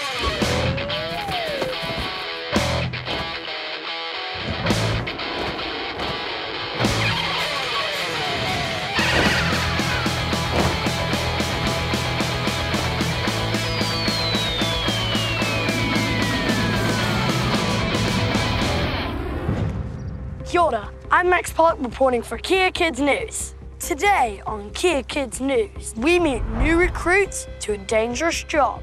Right now, in New Zealand, there are around 130 police dog teams working all over the country. These highly trained dogs and their handlers are called to about 30,000 incidents a year. That's an impressive number. But it's a dangerous job. So far, 24 police dogs have been killed in the line of duty. This is Sergeant Colin Howard, who has a very cute puppy. So this is Travis. and he's going to start his career of being a little police puppy. One day, hopefully, turn into a nice, big, strong police dog. So 24 dogs have died in the line of duty. How difficult is it for them? Um, it's getting definitely getting a lot more dangerous out there. Um, years ago, we didn't have the, the, major drug problems we've got now, and um, people when they're um, high on, on methamphetamine and, and, some other horrible drugs um, appear to be very ruthless and do some nasty things to get away. Wow, that sounds like a really dangerous job. Yeah, it can be a very dangerous job. Uh, it's also very rewarding. Um, these dogs are very good at what they do. Um, they're very good tracking dogs, very good searching dogs, and if there's scent available, there's a very good chance that they're actually going to find the bad guy. Now let's meet a much bigger dog who's already out patrolling the streets. This is Constable Andrew Savage and his trusty partner, Idaho. Just graduated. Yeah, yeah, just graduated. He's uh, we had a big ceremony, had the, the Governor General and a few bosses from the police there, and yeah, he's a fully fledged operational police dog now and already caught a couple of baddies. Good boy, Idaho. What do you like about being a dog handler? Uh, I just think it's the best job in the world, you know. Like, I get to turn up to work every day, play with my dog, and catch bad guys, you know. You know, it just doesn't really get any better than that. So I have a pet dog named Uma at home, and I'd be quite worried if she went into a dangerous position. But do you ever get worried about Idaho? You'd be foolish to, to think your dog's invincible and nothing could ever happen to them. But we do a lot of training with our dogs, and he's come through everything with flying colours. He'll hold his own pretty well. Does he just listen to you, or would he listen to me? Oh, I think he might listen to you as well, and go give it a go. Yeah, let's do it. So he's in the sit at the moment, but if we want him to go down, we take our right hand from the left shoulder, and we basically want to move it across the body. Like with the sit, we take our right hand and we take it from our thigh, and we're going to point it straight in the air. We go like that and he sits. And then we have another one called the stand. Yes! and then, because he's done what I've asked him to do, I release him with a yes, and he comes back to me to play with the toy. so, down. Good boy. Now sit. Play! There you go. Easy as that, eh? Yeah. You'll be a dog handler in no time. Good boy, good boy, good boy. Good boy, good boy. This is Max Pollock reporting for Kea Kids News.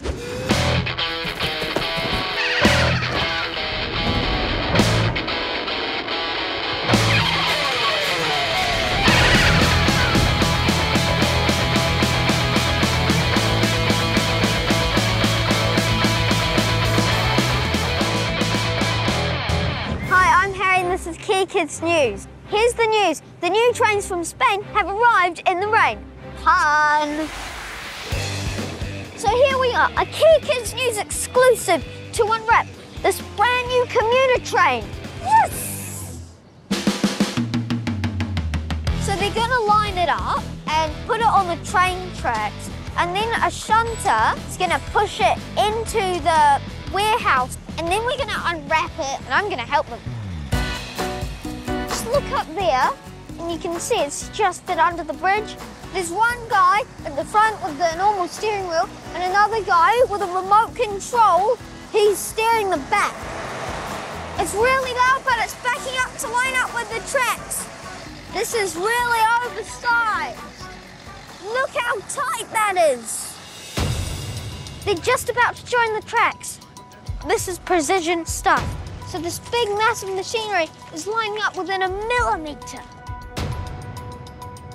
It's critical that they match up exactly. Now they're bolting on these joiners. They're using the forklift to pull the train off the truck.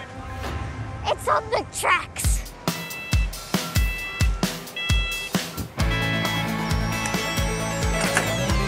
Success! The shunter has it under control now. I'm gonna head inside and check it out walking alongside it. Not that fast.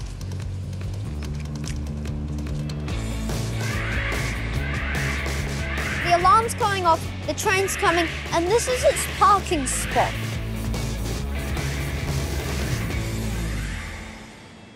That's it, it's stopped. Now we're gonna unwrap it. so we can get on the mate. Then we can go to the other side and pull it over, right? That's how you unwrap the tray. Now this is how you cut off shrink wrap from a train. All this plastic is going to be recycled. I didn't know I was going to have to work today. Don't get stuck in traffic. Use Auckland Transport. I'm pulling the netting thingy off. Well run, you train. Thanks, thanks for me help you out, Mike. Oh, good, mate. I've never actually been on a commuter train, so this is a huge experience for me. Just look at it, it's so new. And all the seats are covered in plastic, no one's sat in them yet. I'm gonna be the first human in Auckland to sit down. Here I go. Ah, I'm sitting in. What do the trains mean for Auckland? It means a more efficient uh, passenger service for Auckland. Uh, eventually, with all the new trains coming on board, we'll be able to carry more passengers more frequently. And uh, yeah, so it really will improve uh, how we get around Auckland City, especially when the uh, City Rail Link uh, opens up. Uh, will really improve how we get around Auckland. How many more of these trains are coming? So this is number two of 15, so there's another 13 trains still to come. This is Harry reporting for Kea Kids News.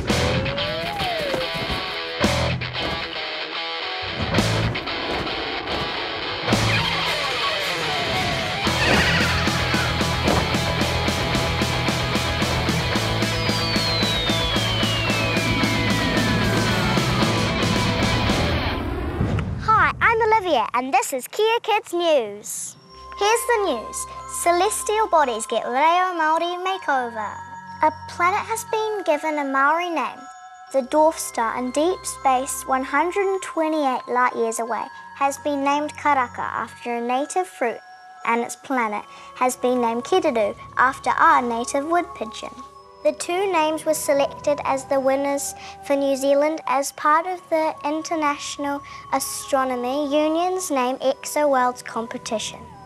They encourage all people of Earth to consider themselves citizens of the cosmos. I'm here at Auckland Stardome to meet Dr. Nick Rattenbury. He's a senior lecturer at the University of Physics. Dr. Nick knows everything about space. Dr. Nick, can you tell us how a new planet got a Maori name? So New Zealand is one of many countries which belongs to this big group called the International Astronomical Union, and it's been around for 100 years. So this year, they decided to celebrate being around for 100 years by giving every country that belongs to the Union the chance to give a planet and its star a name. So, this planet and star, how far away are they? It's about 132 light years away. How long would it take to get there? Gee, even if we had the most powerful rocket, it would take thousands and thousands of years to get there. So, what does this planet and star look like? Okay, so the planet is quite a large planet. It's about 70 times the mass of the Earth. So it's a little bit smaller than a Jupiter sized planet. And it's orbiting around its star. The star is called Karaka, and it's named after a native New Zealand plant which has this very bright orange fruit. And one of the native birds in New Zealand, the kererū, adores the Karaka and wants to try and eat it. So the picture we have in our minds now is that we have the Kererū planet going around the Karaka star, the fruit, always wanting to be close to it. And do you know what happens when the, the birds eat too much of this fruit? No, what happens? They get drunk. Really? Wait. They're actually party pigeons. So Olivia, this is one of the telescope domes at Auckland Stardome, and this is one of the telescopes that astronomers use to look at stars. Can we see Karaka with this telescope? Yes, absolutely, but we wouldn't be able to see the planet. The planet will be too hard to see with a telescope like this. So, how do you know there's a planet there if you can't see it? Ah, it's a great question. It's all to do with gravity. So when you think about a star and a planet, you see the planet going around the star. That's because of the star's gravity pulling the planet towards the star the whole time. And so the planet moves around in a circle. But the planet has its own gravity as well. And what we observe with telescopes similar to this is that we can detect that slight motion of the star being pulled backwards and forwards as its planet is going around it. That's how we know the planet is there. How do we find Karaka out in the sky? All right, it's in the constellation Apus. So you need to look up where that constellation is. So Apus, A-P-U-S. So there you have it. New Zealand has chosen the party animal pigeon, the kererū, and its intoxicating berry booze fruit as the name for a distant planet and its star. Now you know where it is. Look up tonight and give it a cuckoo. This has been Olivia reporting for Kea Kids News.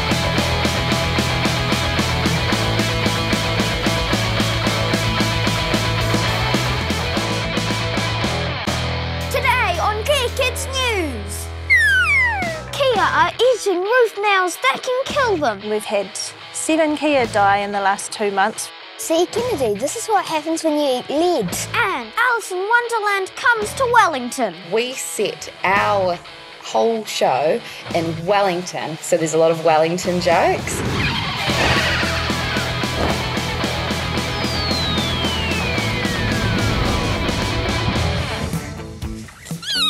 Kia. I am William reporting for Kea Kids News. I'm here in Arthur's Pass, which is famous for my favourite bird ever, the Kea. Kea are really cheeky and smart, and that gets them into big trouble. Keas have died because of eating human food, eating human roofs, and getting hit by cars.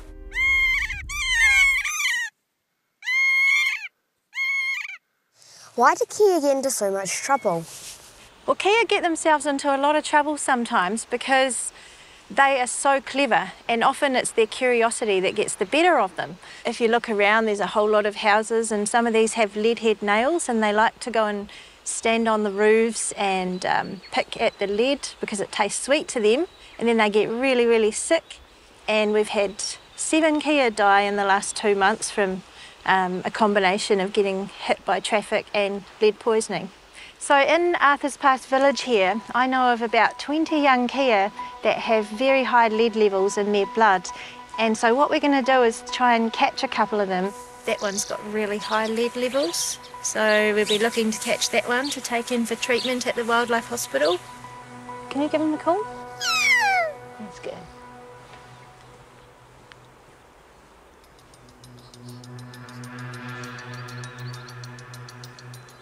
He's still behind the bushes.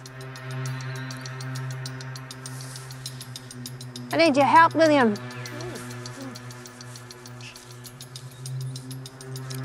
There you. Thanks. All right. Well, William, we managed to catch Kennedy, the one that we wanted to take to the wildlife hospital for lead poisoning. So here he is. He's a handsome young male Kea. He looks cute. Though I just don't really trust the beak or the claws. Go, Kennedy. Quickly shut that. See, Kennedy, this is what happens when you eat lead. We're at the DOC headquarters checking our care for lead levels. How are you feeling? So I'm going to take a blood sample now. Just put your hand up here. Well done, guys. What we're going to do now is run this blood sample through this machine and it's going to give us an answer about whether this bird has lead poisoning or not. It's always a nervous wait. Hi. Oh, that's depressing. So we take them into the wildlife hospital next. So they have to inject something into them and it binds to the lead particles in their in their system and over time they can excrete that out and get rid of all the lead in their body. Show me your best Kea impersonation.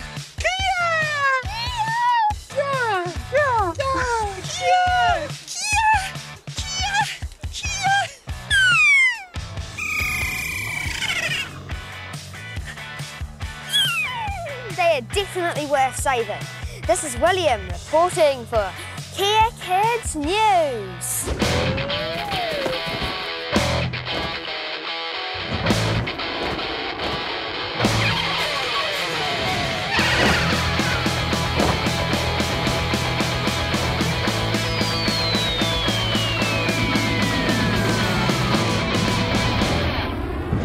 Hi, my name's Nara and I'm reporting for Kea Kids News. Who are you? Over 150 years ago, a book was written by a man called Lewis Carroll, all about the adventures of a little girl called Alice. The story of Alice in Wonderland has been told over and over again on the stage, in movies, radio, art theme parks, board games, and even video games. What is it about Alice that everyone loves? I'm at Te Papa, ready to find out.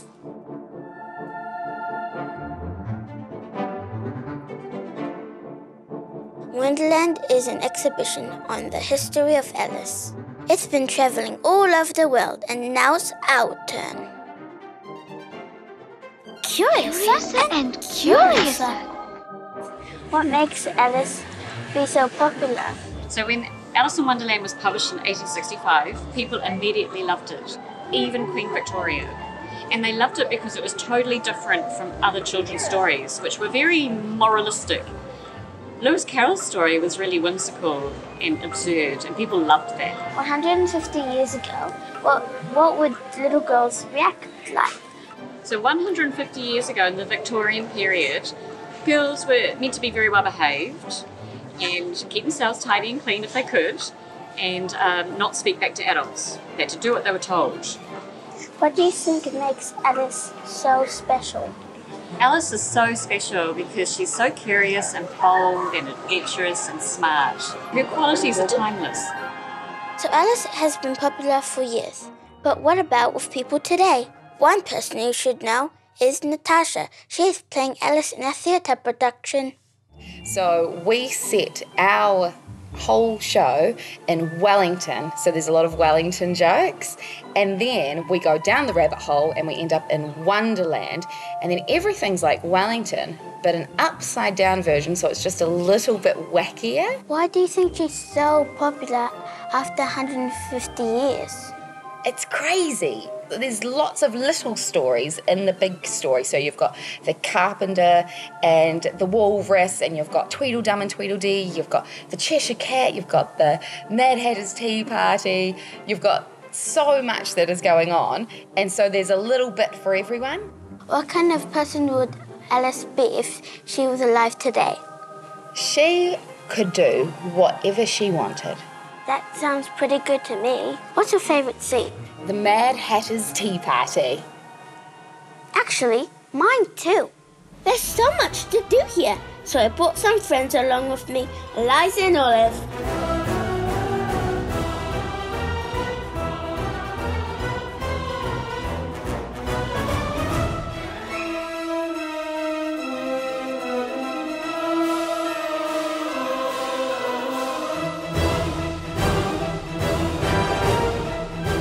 What I like about Alice is she's brave, smart, adventurous, and a wee bit cheeky. My name's Nara, and I'm reporting for Kea Kids News.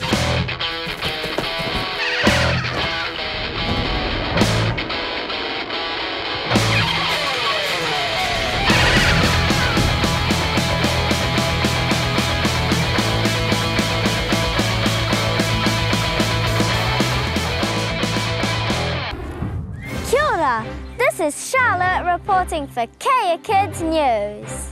In the news today, you may have noticed the headscarf worn by some Muslim women and girls. Hijab is a veil that Muslim women wear to cover their bodies, and there are lots of different styles. The al-amira is like a headscarf. The niqab covers everything except the eyes. The burqa covers the eyes as well. But what are they for? Why do they wear them? I want to know what life is like for kids that wear them. Humaira and Sarah are Muslim. They are originally from Malaysia, but have lived in New Zealand for five years. They wear headscarves, called hijab. So, could you explain to me what a hijab is? A hijab is a headscarf or a head cover. Do you have to wear a hijab? It is encouraged to, and it's better if you do, but most people take it as a choice. I chose to wear the hijab even in New Zealand because um, it makes me, it, it's my identity. So, you guys get the choice.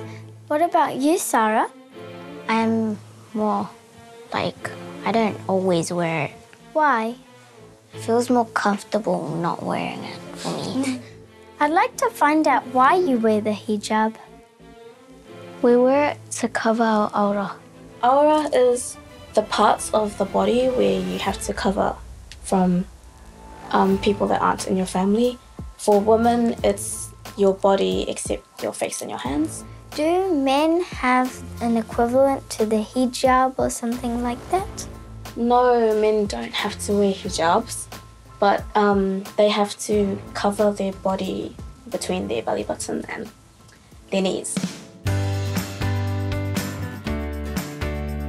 What do you love about your hijab?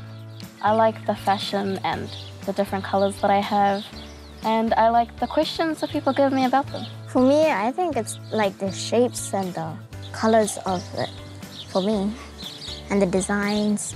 So how do you feel when you wear your hijab? Um, it makes me feel comfortable and it, it helps me tell other people that I'm a Muslim.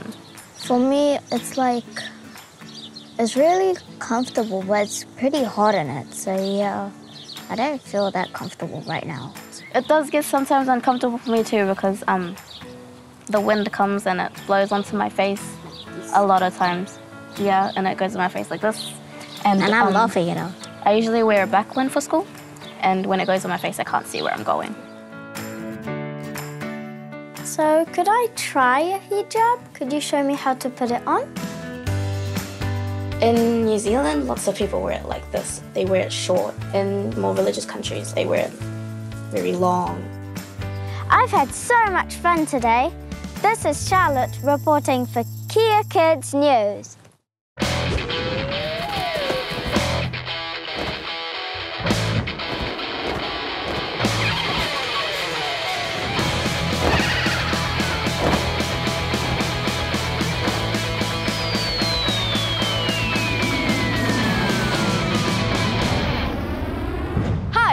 And this is Kea Kids News, reporting from Great Barrier Island. Most of us know what air, water, and land pollution is, but did you know that there is such thing as light pollution? Since the invention of the light bulb, light pollution means that billions of people around the world can't and never will experience the beauty of a natural night. Great Barrier Island is the first island in the world to receive International Dark Sky Sanctuary status. But exactly what is a dark sky sanctuary? And what does it mean for tourism here? Are people really coming here just to look at the stars? Let's find out. I'm here with Deborah, who runs Good Heavens. It's a stargazing experience for tourists. So, Deborah, what's a dark sky sanctuary? Well, Terry, it's a place where the sky is incredibly dark. It's all about how many stars you can see. Here we can see thousands upon thousands. So why was Great Barrier named a dark sky sanctuary? Well, because um, we're well away from any sources of light pollution and we're also really dark because we don't have many people living here. No street lights, we had to do an application to the International Dark Sky Association. We had to prove to them that we could keep our skies really dark. So can you tell us about light pollution? Light pollution is from cities where there's street lights, car lights, all sorts of lights and what happens is it can create a big light dome and mean that you can't actually see the stars. How do city people react when they come out here? The usual reaction is wow. okay, so I'm going to put this here because the telescope goes in that. Once the sky gets dark and they get to look up at the Milky Way or get to look through the telescope at some of the beautiful deep sky objects that we can show them, it's pretty spectacular. Come on, everyone, let's sit down. This show's about to start. So welcome, and um, yeah, we're gonna we're gonna have a look and see what's up there. Great Barrier Island has no power, but all the power in the world when it comes to seeing the stars. Tonight, it was fascinating to see so many stars appear. I think all the craters on the moon, I've never seen them through a telescope before, so it was lovely to see that. Well, there you have it, the world's first island to be awarded the dark sky status. This has been Terry from Kea Kids News.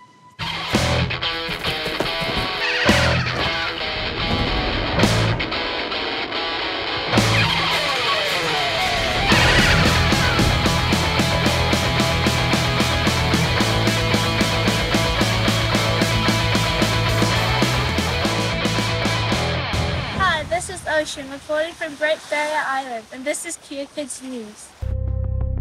Great Barrier Island is a mecca for tourists. However, this summer has seen an explosion of visiting sharks. Hundreds of sharks have been filmed at Shoal Bay on Great Barrier Island. Holy moly. There's literally hundreds of them. They're mainly hammerheads, I think, and bronze whalers, and yeah, lots of people have seen them and they're catching them and pulling them in on their boats. The question gets posed, obviously, why are all these sharks there? Uh, I believe because of the fact that it was all baby sharks, it was a combination of different species. Um, they're just like a kindergarten. That particular area gave resources that were what baby sharks need, which is safety, a warm environment, perhaps small species of food, and a whole bunch of buddies to play with. News of the sharks has gone global, thanks to the drone footage filmed by Zach and Maddie. So I'd run up to the house, flown the drone out off the deck, and just gone right around and s- cruised around the bay for a bit. And then I had realised that there was hundreds of sharks all over the bay, swimming really close in around all the swimmers that were just cruising along the shore. So, how big were some of the sharks that you saw? Well, other than most of the small ones that were maybe sort of four or five foot, there was one really big one that I saw, maybe 10 foot long, and then went past me, and then about 100 meters away from me was my nana on her paddleboard with my sister. I had been swimming and I was trying to get onto Nana's paddleboard, and Nana was telling me like, "Oh, watch out because there's a shark coming," and she was trying not to make me worried, even though I was still in the water pretty much. But I wanted to know if the sharks are still in the bay. Maddie has volunteered to investigate. Okay, you stay here. I'm gonna go look out and see if there's any sharks out there. Alright.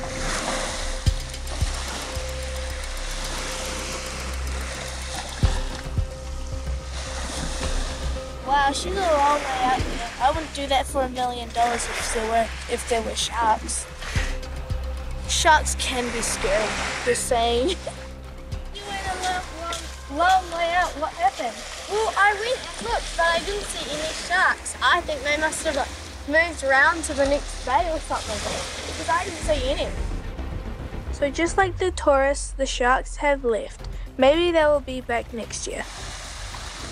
This is Ben Ocean Recording for Kea Kids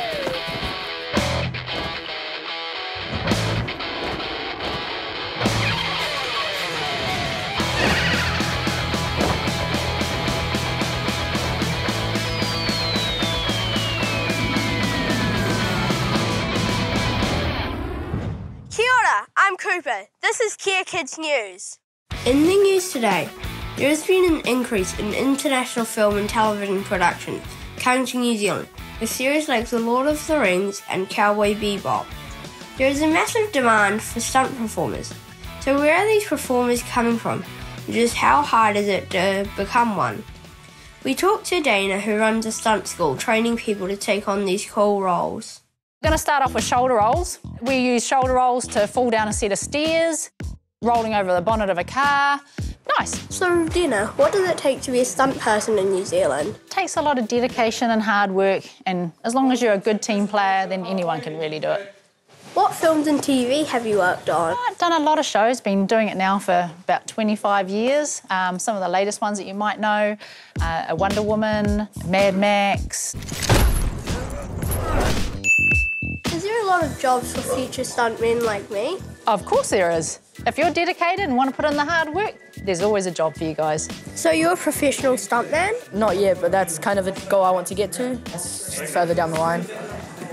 What movies would you hope to work in? Movies, probably The Lord of the Rings is about to come up, and hopefully Avatar. What is the most crazy stunt you would like to do? Craziest stunt I'd probably like to do is a wire one, where you get launched off a cliff. That'd be pretty cool. Is it dangerous? There's always an element of danger in it, but if you know how to do it and you're trained properly, then it should be safe. Just remember, these, these rolls seem quite simple, but if you're doing it on concrete, it's going to hurt if you don't do it right, yeah? It didn't hurt, so I'm sure I did it well. Is this your first time performing stunts? Yes, this is my first time performing stunts. I've worked on the other side of the camera, but I've never really done athletic stuff in front of the camera, so this is quite new to me. So you're pretty big, so are you like a professional? Um, not a professional stuntman at this stage, that's why I'm here at the stunt school. Um, what I do have is a background in military and professional boxing. Is it exciting? It is pretty cool, to be fair. I'm not going to lie. Uh, playing with, um, with with guns and swords, um, you know, it's every kid's uh, kid's dream, and uh, there's still a little kid inside of me that loves it. So yeah, absolutely, 100%. Hey guys, can you show us something cool? I think we could.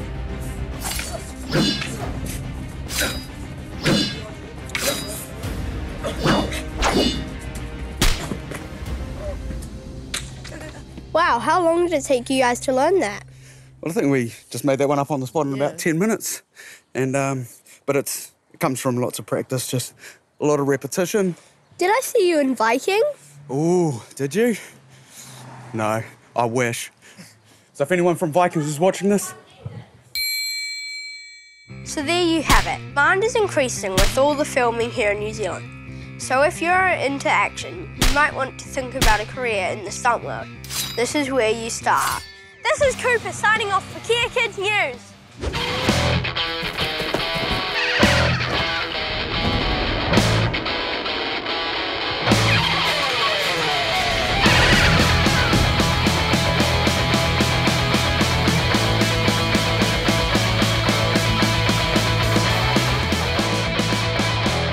Kia I'm Sam, and this is Kea Kids News. Today I'm at Piha to investigate the dangers of these things.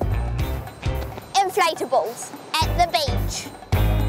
Inflatable toys are a super popular Christmas present. Check out the flamingo inflatable that I got this Christmas. I'm loving it. Ooh, ah, ah! Get back here. Well, I'm sure it'll be more fun in the water. But surf lifeguards are warning everyone about the dangers of inflatable toys. Especially after two teenage girls were swept out to sea on an inflatable sheet. Lifeguards had to go and rescue the exhausted teenagers. Unfortunately, there has been no news on the whereabouts of the sheep. So how dangerous are inflatables at the beach? Hey Mick, G'day, Sam. why are inflatables so bad at the beach? Well, if you look at this, it's quite big and it's really light. The wind can pick it up and you start drifting out to the ocean really quickly. Have lots of people been getting into trouble on inflatables this summer? We get a lot of work with inflatables. These are for swimming pools, not the beach. But if you do get in trouble, you hang on to this bad boy and you call and wave for help. Help! Help! So we asked beach girls what they thought about the ban on blow-ups. Uh, I think it's really reasonable, um, but it's also kind of sad because they are kind of fun. I don't think they should ban them maybe for like beaches that have small waves and If you're talking big beach, big surf beach, west coast beaches, no, absolutely not. you could float down into sea because of the wind or the waves. So these bad boys are fun, but only in the right places, like this fountain.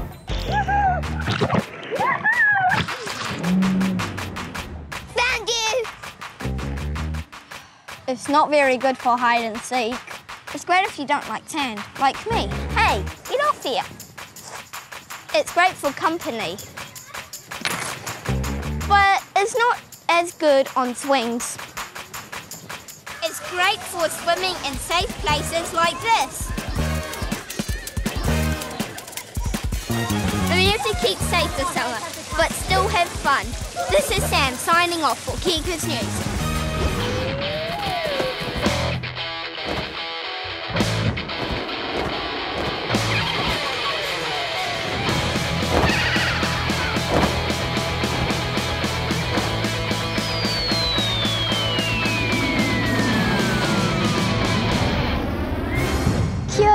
I'm Mackenzie at the Botanical Gardens reporting for Kea Kids News. In breaking news today, people all over the world can't get over the craze of rock hunting. A new hide and seek trend is taking over Southwest Florida. It involves painting a rock and then hiding it for someone else to find. It's a trend that has exploded in Northeast Ohio. People's days are truly brightened by these rocks. This version of a treasure hunt became an international phenomenon. It involves decorating and hiding rocks in parks and reserves.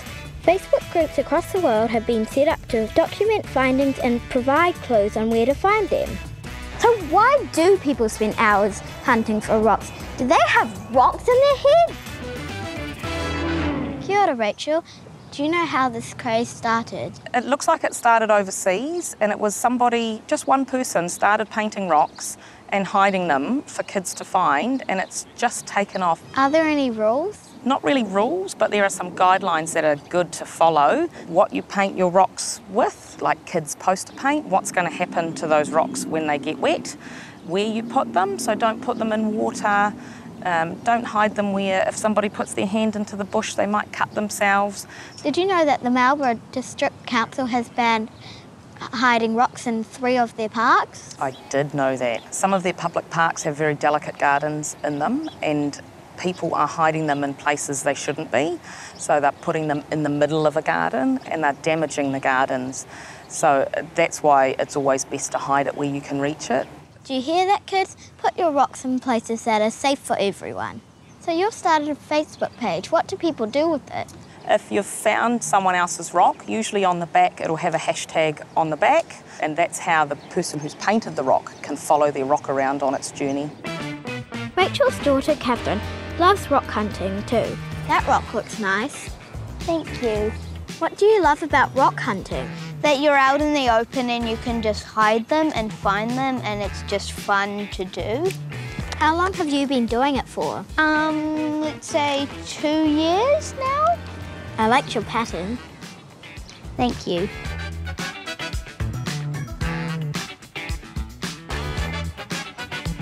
How does it make you feel when you find one? Pretty great. You're happy because you're looking at someone else's art and it's really fun. Do you ever keep the rocks you find or do you just hide them again? Um, if they're special, you would. Um, I keep them, like my very first rock. My Geronimo Stilton rock. It was my favourite book character and we kept it and we're still keeping it. Hey, Catherine, it's about time we go and hide some rocks. Yeah. I've got these really special Kea Kids rocks as well. It's even got the Kea Kids News hashtag. These are the other ones we're hiding. Hopefully you'll find one.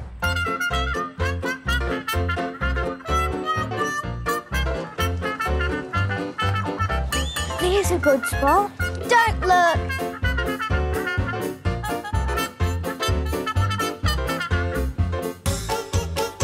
You didn't see that, did you? Don't look!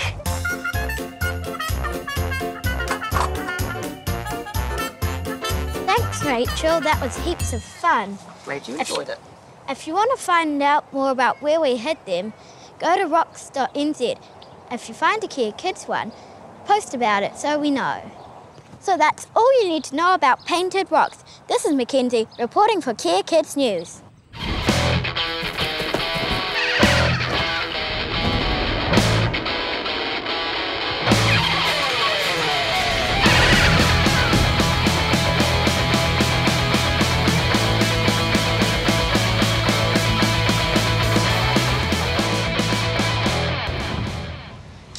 This is Billy Simpkins reporting for Kea Kids News. Tomorrow is Waitangi Day, New Zealand's National Day, the day where we celebrate the signing of the Treaty of Waitangi. But what is it? And why do some people think it shouldn't be celebrated? I want to find out why, so I'm hitting the streets. Do you know what the Treaty of Waitangi is? Um, yes. Uh, how do you feel about it being celebrated? I'm not too sure, to be honest. I think that it's not being utilised to its full potential. I don't know because I don't know much about it. I reckon it's pretty great. The Māori signed it, right? They didn't quite know what they were giving up their land and stuff. Oh yeah, I've just remembered. Yeah, I don't feel good about the Waitangi Treaty. Okay. I'm I'm so confused. Are you confused? How did that all happen 180 years ago? Let's go back to the beginning to find some facts. In 1840, the British and the Maori agreed to share New Zealand. Sharing a country is complicated, so they decided to write down the rules of their agreement. These written down rules are called Te Tiriti o Waitangi, or the Treaty of Waitangi. The treaty had to be written in two languages, English and Te Reo, to ensure that everybody could read it. But if you've ever played with Google Translate, you'll know that languages do not always translate perfectly. Plus, Te Reo translation was completed overnight by a missionary and his son, so like any homework done the night before, it had some major flaws. In English, the Treaty of Waitangi says that the Queen of England has sovereignty over New Zealand. She gets to make all the laws and tell everyone what to do. Now, this is the Google Translate moment. Instead of sovereignty in the Māori version of the treaty, it says the Queen of England has kāwanatanga, or governorship over New Zealand. She gets to boss around British people living in New Zealand, but has to leave Māori alone and undisturbed. It gets even hairier. In English, the Treaty of Waitangi promises Māori possession of Aotearoa's land, forests and fishing grounds. Māori own everything, but British still get to use it. In Te Reo, the treaty promises Māori tino rangatiratanga over Aotearoa's land, forest and fishing grounds. Māori are the boss of everything in New Zealand. Will you sign the treaty? The Queen's in charge and we can take whatever we want. But of course. And will you sign the treaty? The Queen leaves us alone, and we're still in charge of New Zealand, eh? Choice. But not every Māori chief signed the treaty. Some didn't agree with it. Some didn't understand it. And some never even got to see it. So, in short order, Māori were mad that the British were using their stuff. The British were mad that the Māori weren't letting them use their stuff. And in five years' time, the New Zealand Land War started. So there were two treaties. But the one in Māori was translated so quickly it was misleading. No wonder to this day people feel unheard. So don't do your homework the night before. This has been Billy reporting for Kea Kids News.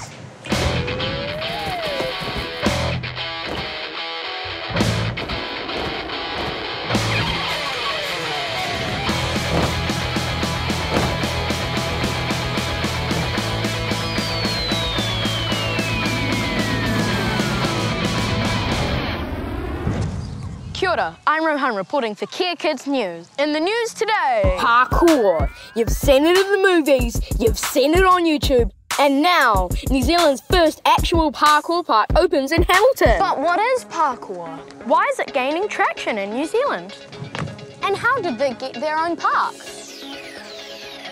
I'm here with Rhett from NZ Parkour. Hi, Rhett. Hey, So what is parkour? parkour is about you using your body to overcome obstacles.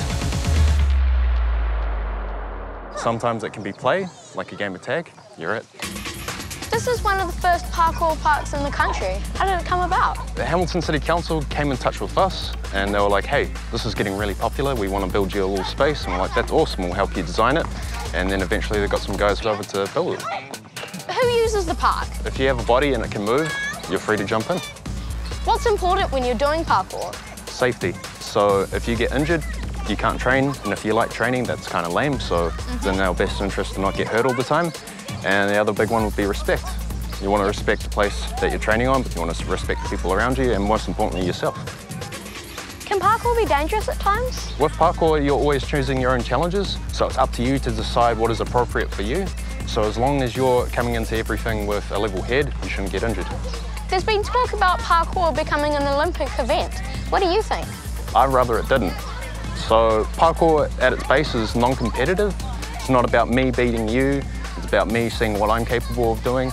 And a lot of people come to us because they don't want to feel that pressure of competition. And there's so many different ways to train parkour. So if you're making a competition that tries to cover all of that, you're probably going to cut out some ideas.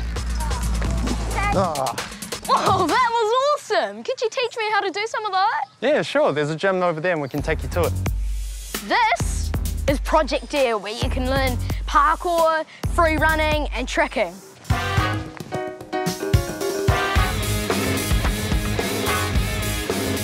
We're going to teach you how to stop today. Okay. So what I want you to do is I want you to pick a distance, doesn't have to be this far, and I want you to try and land with your heels hanging off the edge. Okay.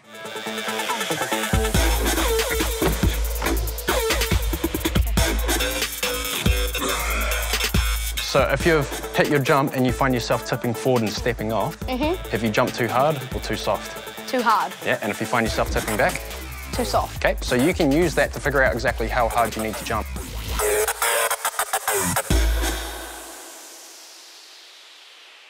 Well, there you have it. Parkour is the real deal. And it's really fun. That's me, Rohan, signing off for Kea Kids News.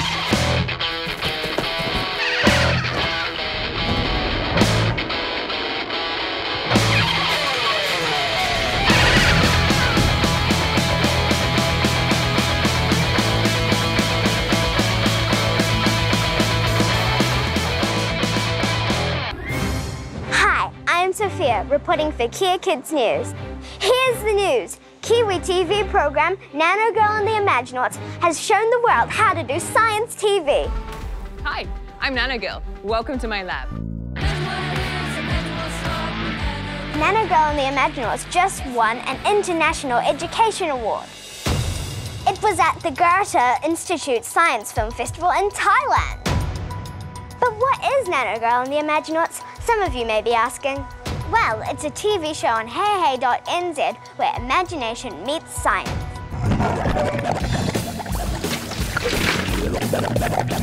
And today we're meeting the star of the show.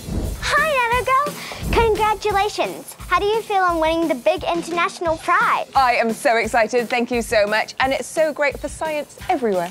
So, what was the main message in Nano Girl and the Imaginauts? So the message was how science comes about from hypotheses or guesses, and that all comes from our imagination as we think about how to solve problems. And so basically how imagination is really important to solve science problems. Cool. So, all kids have imaginations, right? They do, and that's why it's so important for kids to do science because grown-ups sometimes lose their sense of imagination, whereas kids think like a creative person because they're still imagining different solutions.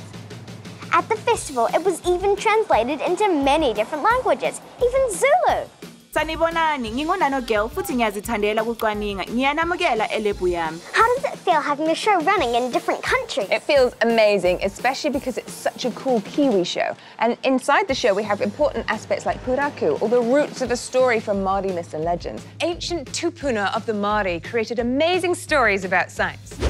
Here we have Sol, one of the heroes from the show. My name is Sol.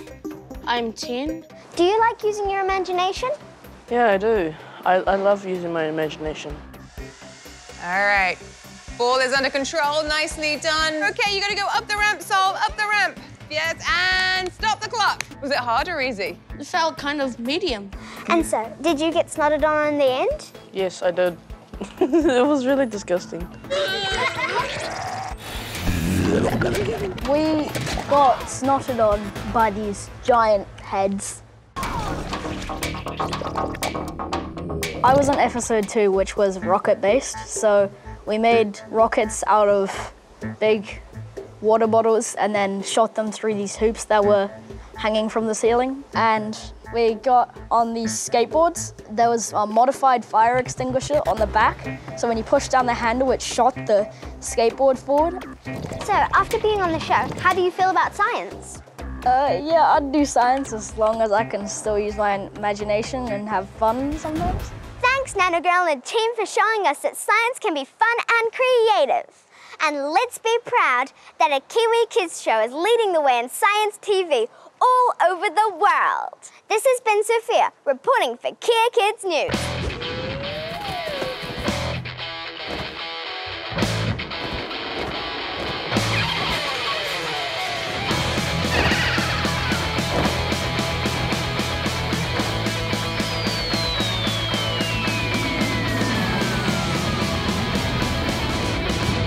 Hao, I'm Sai from Kea Kids News. It's the Chinese New Year, and this year it's the year of the rat. In Chinese culture, every year is represented by one of 12 animals.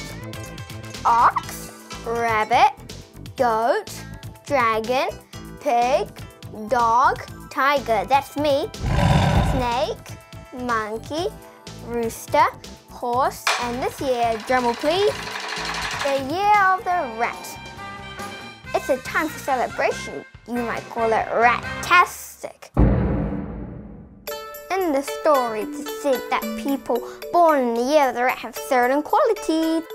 But are the qualities the same as in actual rats? This is Kate, and she owns a farm and a lot of rats too. Hi, Kate. Hi, nice to meet you. Hey, Cyrus, have you ever seen a live rat before? Nah. Well, you're about to. I want to know if people born in the year of the rat have the same qualities of real rat. People born in the year of the rat are thrifty and diligent. Do you reckon these rats are thrifty and diligent? I guess people who are thrifty will be really good at saving their money, and I know some of my rats really like to save their food. Are they hardworking? Maybe wild rats are hardworking, but these rats don't have to do anything, so they're quite lazy. So they say they're quick, resourceful, and smart. Is that true, Kate? It is definitely, definitely true, especially the smart thing. Do you know scientists have taught rats to play hide and seek? That's how smart they are. Rats like a few different things. They like friends, they like stuff to do because they're really creative, and they like lots of different types of food like us. And these rats get all of those things. No Chinese New Year is complete without lucky dim sum. I'm headed to the Huami restaurant in Auckland Sky City where I'm lucky enough to meet the head chef at Huami, Raymond Xue, to help make some lucky, lucky dim sum. Is it important to eat together for Chinese New Year? Certainly very important. People take a holiday together, together, have a family banquet. That's the money pocket. You see that? Yeah? Yeah, you made it. They bring you healthy. They bring you wealthy. Everything is lucky in the new year. Everything. So now you know how to celebrate Chinese New Year. Eat lots of dumplings for good luck, and of course, spare thought for the rats that aren't as lucky as the ones we saw today. This is Cyrus signing off for Kea Kids News.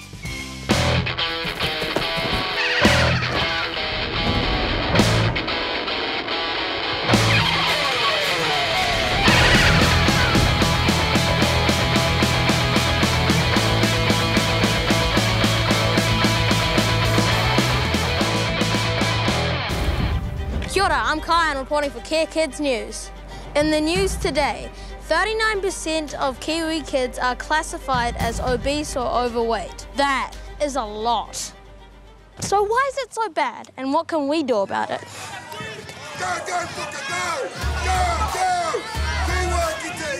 Meet the mighty Butterbean. This guy knows all about being obese.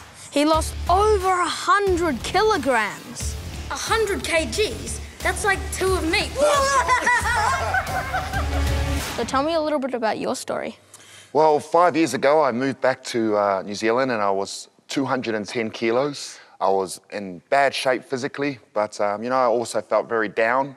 But I got up off the couch and started this amazing uh, movement called Butterbean Motivation. The only way we can build resilience within our children is by letting them see it's okay to fall over.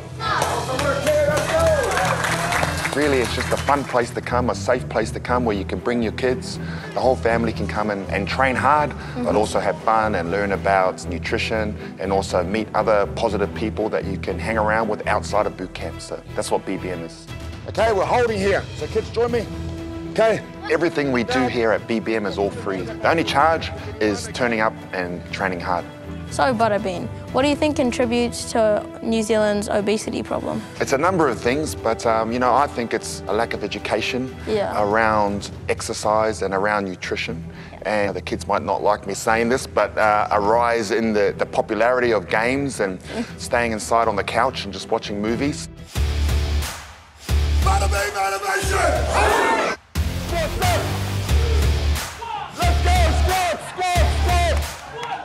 What's your favourite thing about coming here to BBM Motivation? So I can get fitter.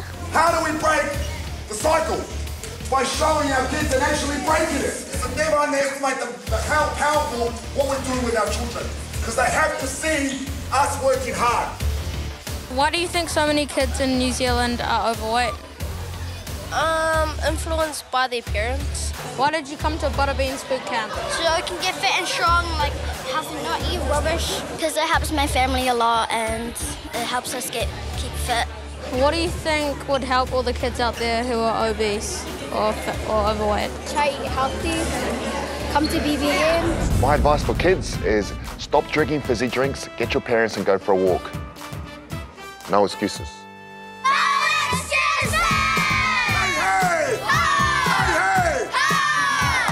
So if you're ever thinking about being healthy and happy, just remember what Butterbean says. No excuses! This is Kaya reporting for Kea Kids News.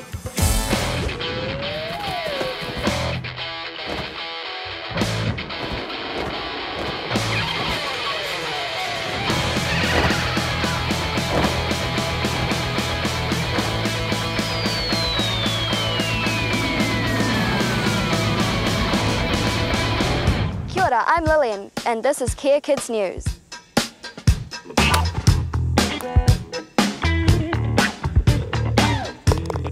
I am with champion golfer Mitch Brown on Great Barrier Island. How cool is this?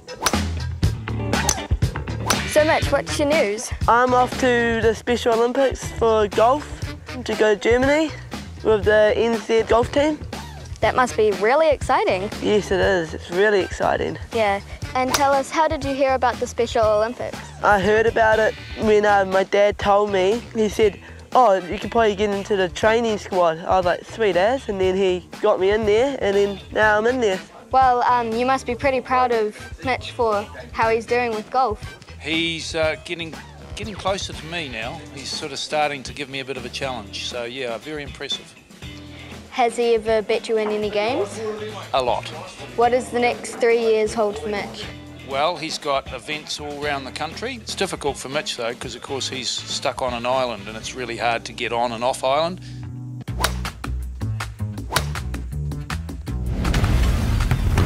Could you describe what's going to happen if you get to Germany?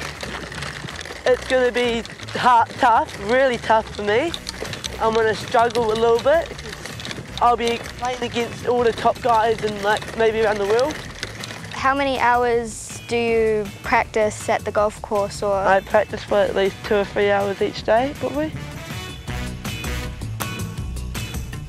Um, known Mitch about five years.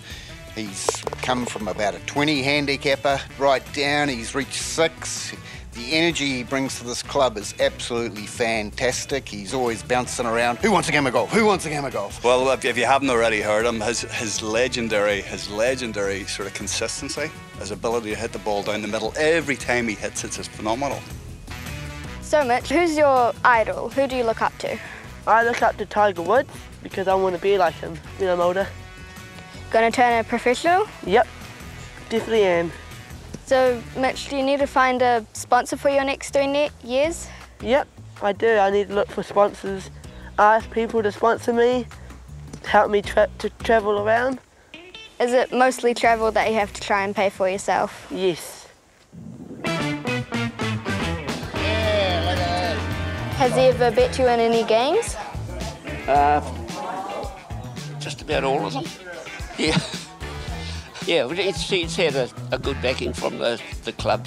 And uh, yeah, we want to see him get away and really have a good time and improve himself. Well, Mitch, how amazing is it to have the whole island behind you? It's really cool because everyone really wants me to do well and achieve a lot of goals, and yeah. Good on you, Mitch. The only thing left to do is to go and do it. How hard can it be? It can be really hard, actually, to be honest. This has been Lillian reporting for Kea Kids News.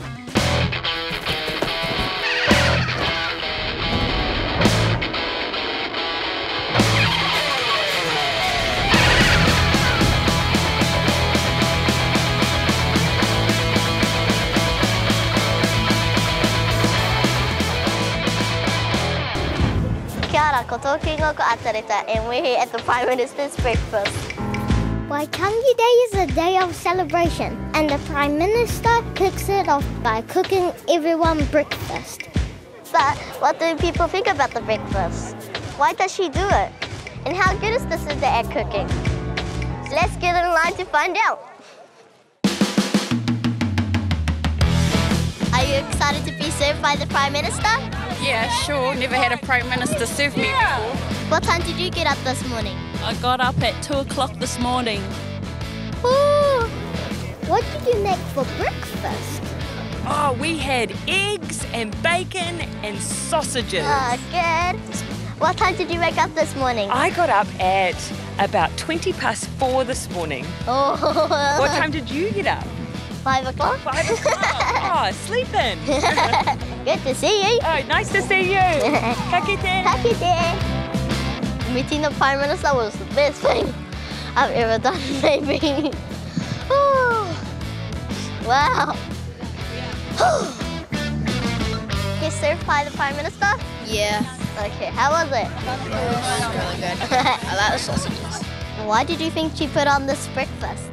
Because it's a special day for all the people in New Zealand, and I guess she probably just wants to be a part of that. Like, it's a really great thing to do. So that's breakfast sorted. Let's check out what else is happening at Waitangi Day. What do you think about Waitangi? Well, I think it's really nice that people just come here and try and learn about things that they didn't really they, they don't really know about much. Really like it. I've never had done anything before like this or seen anything before like this. So uh, I very much enjoyed it.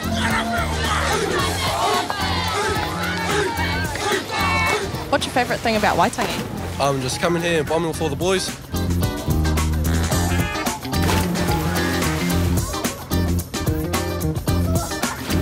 There's a lot of fun things here.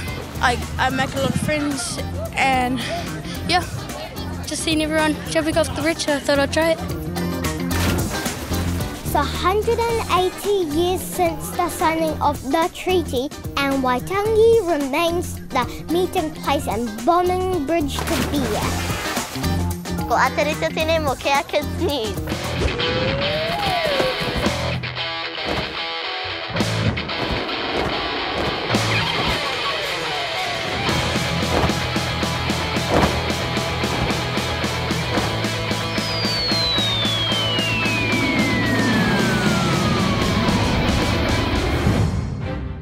Kia ora. I'm Gus, and I'm from Kea Kids News. Today's news is why us kids have to learn more about financial literacy. Financial literacy is learning to be smart with money. The smarter we are with money, the better our lives will be. But why is it important for us kids? Well, I do have some pocket money and some extra money from Christmas. And maybe I should use it for something else. Right, let's go. We are off to see Kendall, who started Banqer, an online tool that teachers use to teach kids all about money. I've learned how to write CVs and what to put in them for when I'm older and I want a job. Definitely going to have Kiwi Saver because you can keep getting money to have a good retirement in your first house. This is the place. Kia ora, Kendall. Thanks for agreeing to see me. And here is my stash of cash. And I might need some advice. Why is financial literacy so important to learn when you're young? Well, Gus, money plays a really important role in our lives. So it's really important that we start learning and talking about it when we're young so that we form good behaviours. How do most kids learn about money when they're not actually learning it at school? Unfortunately, most of us learn about money by making mistakes, but money's pretty important and sometimes a money mistake can have a, a big effect on your life. I would tell my younger self there's food at home. You do not need to go out and spend money eating out all the time. Save wisely, um, not spend uh, money on stupid things when you're younger. No like designer clothes and all the designer shoes because it just means nothing in the end of the day. Yeah. I would tell my younger self to save money and go travelling. Save money and probably save for like a house deposit. Start a KiwiSaver as soon as possible. I'm 10 and I'm not even thinking about mortgages or retirement. So why do I need to learn it now? The cool thing about money is the earlier you start collecting it and you start saving it, the bigger it's going to be in the end. I've heard some people's retirement plan is Lotto.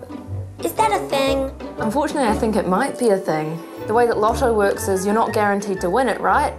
So I think that's a pretty dangerous way to prepare for your retirement. Some people say that people get paid in peanuts.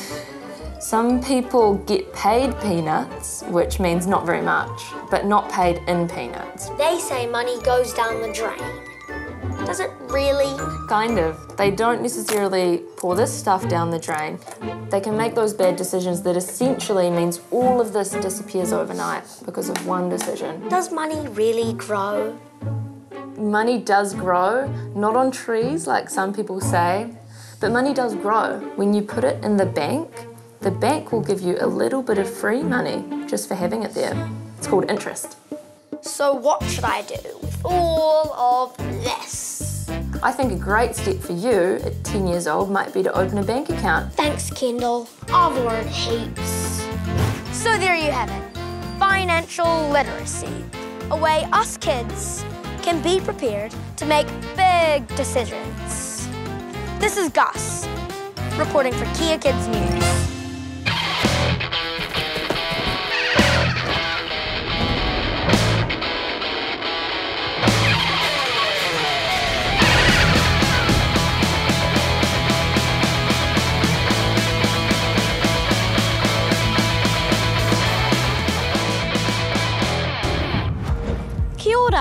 I'm Lucas reporting for Kea Kids News. We've all heard about the terrible bushfires in Australia.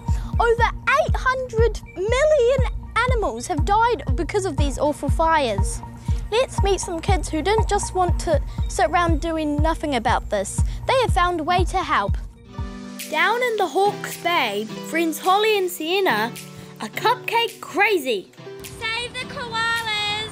Save the koalas in Australia by making a small donation or a huge one. She's 11, I'm 12, and we're the people trying to make a difference. The koalas are stuck up in the trees with the fire all down below them, so they can't get down. Australia needs all the help it can get, so we're fundraising money to help. How delicious! I better have one. How much are they, my dear? They're two dollars each. Two dollars each. Cheap at half the price. There you go. Now, with you making a donation, you're helping all the koalas in Australia. Oh, thank you. We're one step closer to helping the koalas. And in Auckland, two more friends have teamed up to raise funds, this time with lemonade. Why did you guys decide to do something about these fires? Well, we thought instead of sitting down and watching the fires on the news and feeling sorry for it, we decided we would actually do something about it.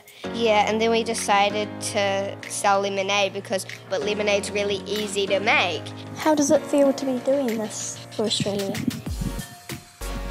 It makes me feel really proud of it myself that I'm actually doing something to help. Makes me feel really happy that like um, koalas who have lost their mums and dads um, can like have a home and won't get burnt to death in the fires.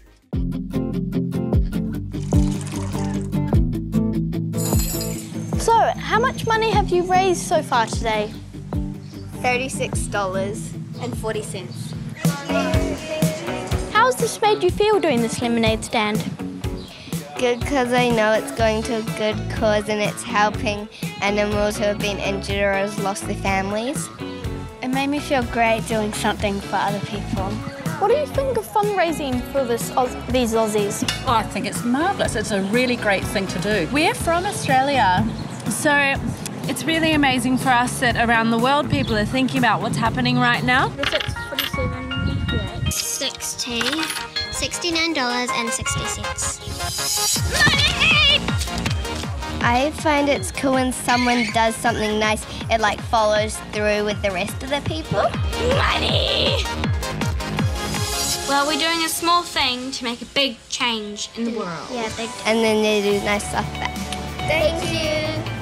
Now I feel good and inspired. This is Lucas reporting for Kea Kids News. Bye-bye.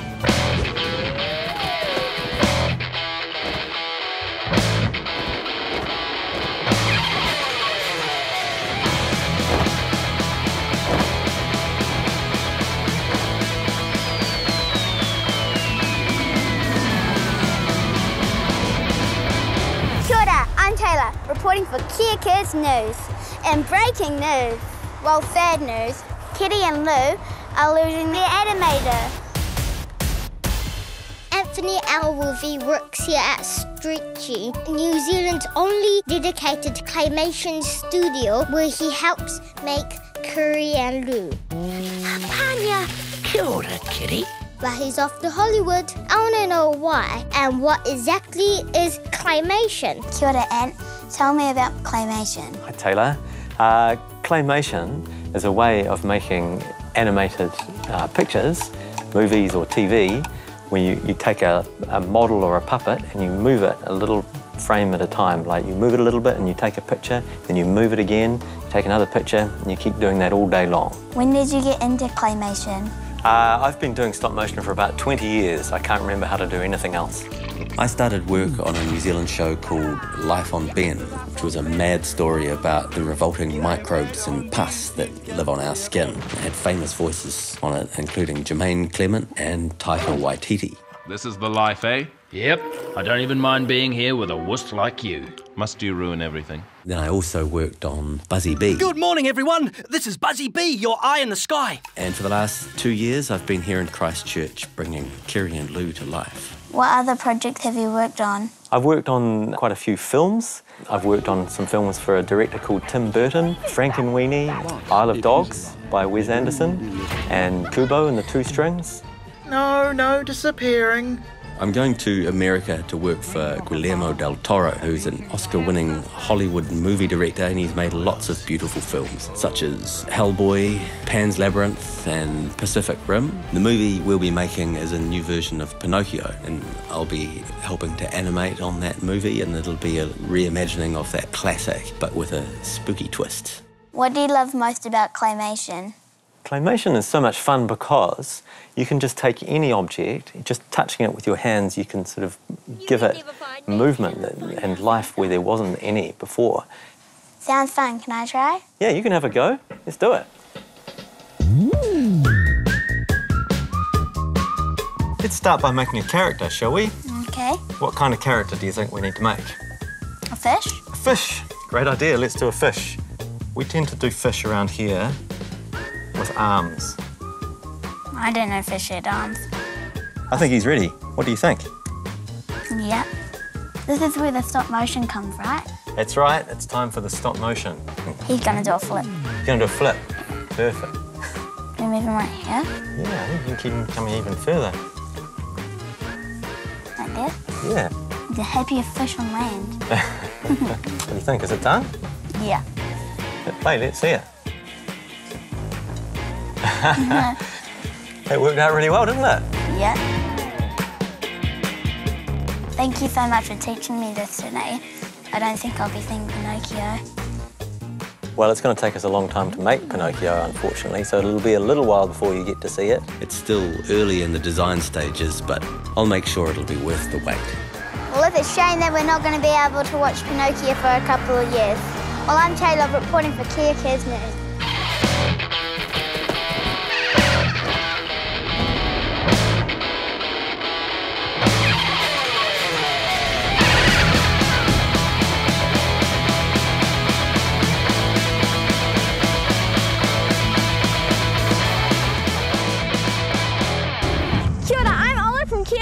News, and here's the news.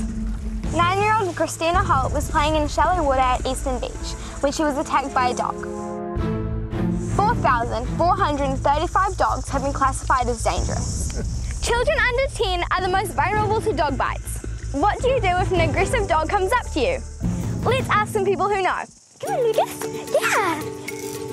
Taking the lead in educating kids to be safe around dogs is Heather from Bark NZ. Is it mostly dogs we know that bite us? Unfortunately, yes, it is. A dog that is our own or is well known to us. And usually, when it's an unknown dog, we are a little bit more cautious. What is one of the most common situations where a dog would bite a kid?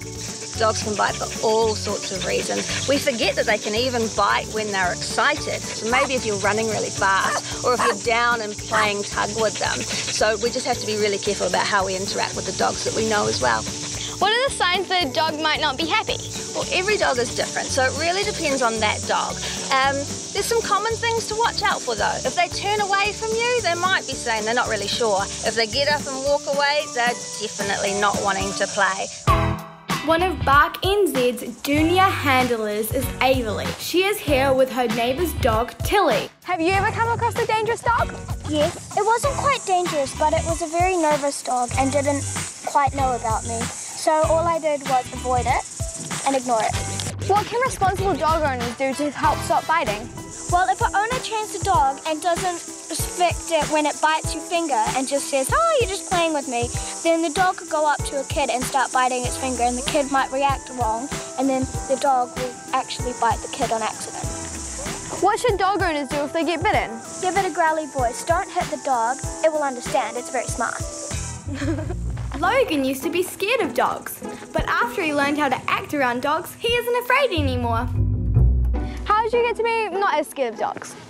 Heather came to our school and talked about how dog safety. Do you feel like you want to own a dog now? Yeah, I might be getting one soon. Lucky, I so want one. How would you put your hand out to a dog when you're first meeting it? So you'll put your hand out like that. If it does sniff at your hand, it's okay. But if it doesn't, it's not interested in you. Heather shows me tricks, so the dogs won't jump on me. If you do feel like a dog might be aggressive and is attacking, you crouch down, making yourself small and protecting your face and body.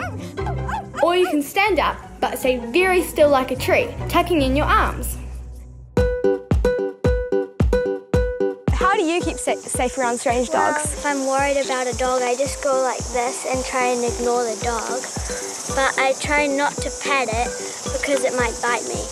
I would um, put my hands down and wait till they come to me and, sniff, and then I close my hand and let them sniff me. Will I be able to pet your dog? Yes, of course. Can I pet your dog? Absolutely.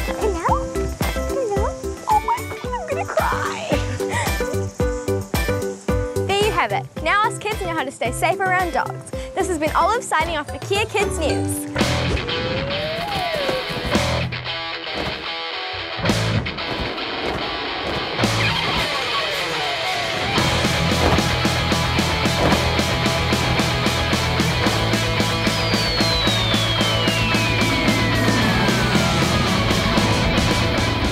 Te hākira tuku ingoa, ko atarita tuku ingoa, ko Kea Kids News tēnei. Reira, nā tuki mai.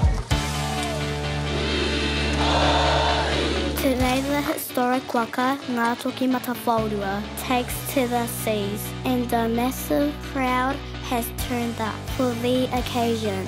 Waka Ngā Toki Mata Whaurua is about to be launched.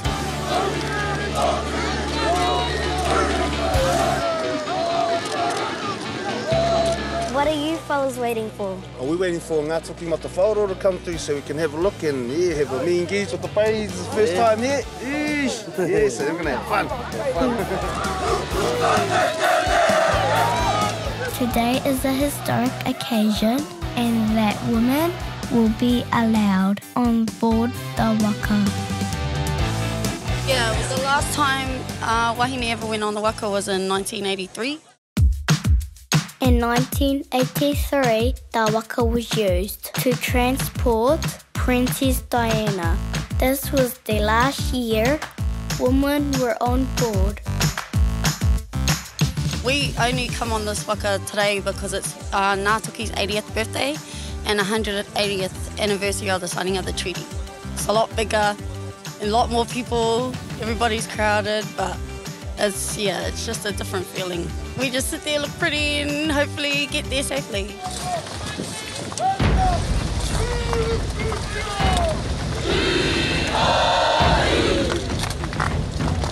Every year, 100 people are chosen to paddle the special waka. He Māori te katoanga ka kauhoi. Me tahi taima, he tahi wā. Engari i wene tau i aena. Ko tai mai ngā tau iwi no tāwahai. A e tahi e Pākehā. E kore te waka e rere ke atu ko wai koe. Pena e Pākehā koe, pena e Māori koe. Kake mai ki runga te waka.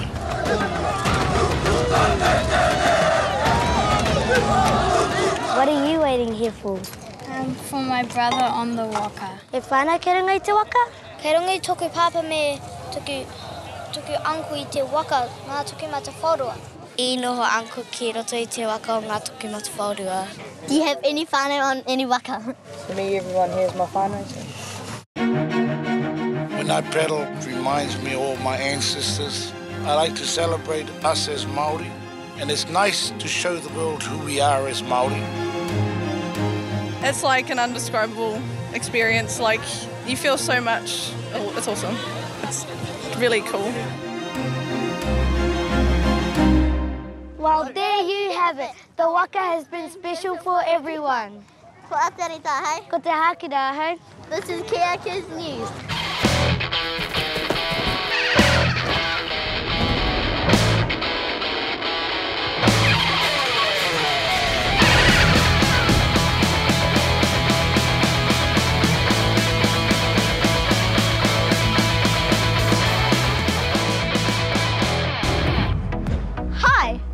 Kia ora. I'm James, reporting for Kea Kids News.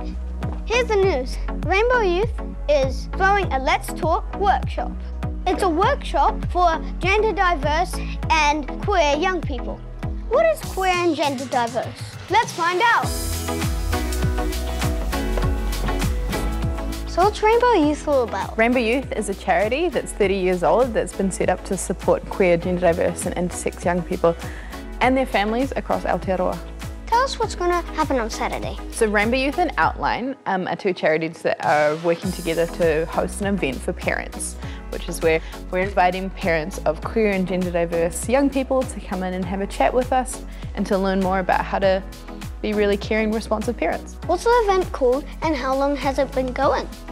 Um, the event's called Let's Talk, and um, this is the first time that we've had it. It's Rainbow Youth and Outline's first time having a parents' event, and it's kind of the first one we know about as well. So, pretty groundbreaking. What is queer? Queer is an umbrella term. It describes people whose um, attraction is not heterosexual. So, people may be attracted to people of the same sex, multiple genders, or have no attractions at all. I'm really, really confused. Can you explain it some more, Victoria? Well, it, it kind of means that boys don't only have to marry girls, boys can marry boys, girls can marry girls. Um, all kinds of people can love all kinds of people. Oh yeah, cool. I get that. It's pretty simple. Sweet. Hi everyone, here we are at the Let's Talk workshop. Let's go see what it's all about. Lee here is about to open the workshop. This is going to be awesome. Hi everybody, um, welcome to Let's Talk. Um, I'm Lee. Um, I use he, him, or they, them pronouns, and I work at Rainbow Youth. We're hoping to kind of give parents some really practical advice about how to be there for their young person and also to kind of shed some light on what their young person might be trying to communicate with them because a lot of stuff going on. So anything to make that easier is fantastic. Hi guys, this is my mum and she's been on the workshop. How's it going? Yeah, it's going really well, thanks, James. I'm meeting a lot of interesting people and learning a lot of new stuff. Cool. This is the first of its kind. Do you think there should be more? Yeah, I think it's been really informative. I think it's a really excellent resource for parents um, with um, queer children to um, attend and just learn more and um, meet other parents that are going through the same journey. I learnt that I'm doing some things right, but I, I'm also doing a lot of things wrong when it comes to showing my child that I still care and I support their life choices and how I can do that better. What's your advice be to other parents? I think just don't close your mind off to anything. Be open, do a bit of research yourself if you're worried, And definitely come along to something like this. If you've got questions, if you've got concerns, get in touch with Rainbow Youth. So there you have it. All we have to do is show kindness and love.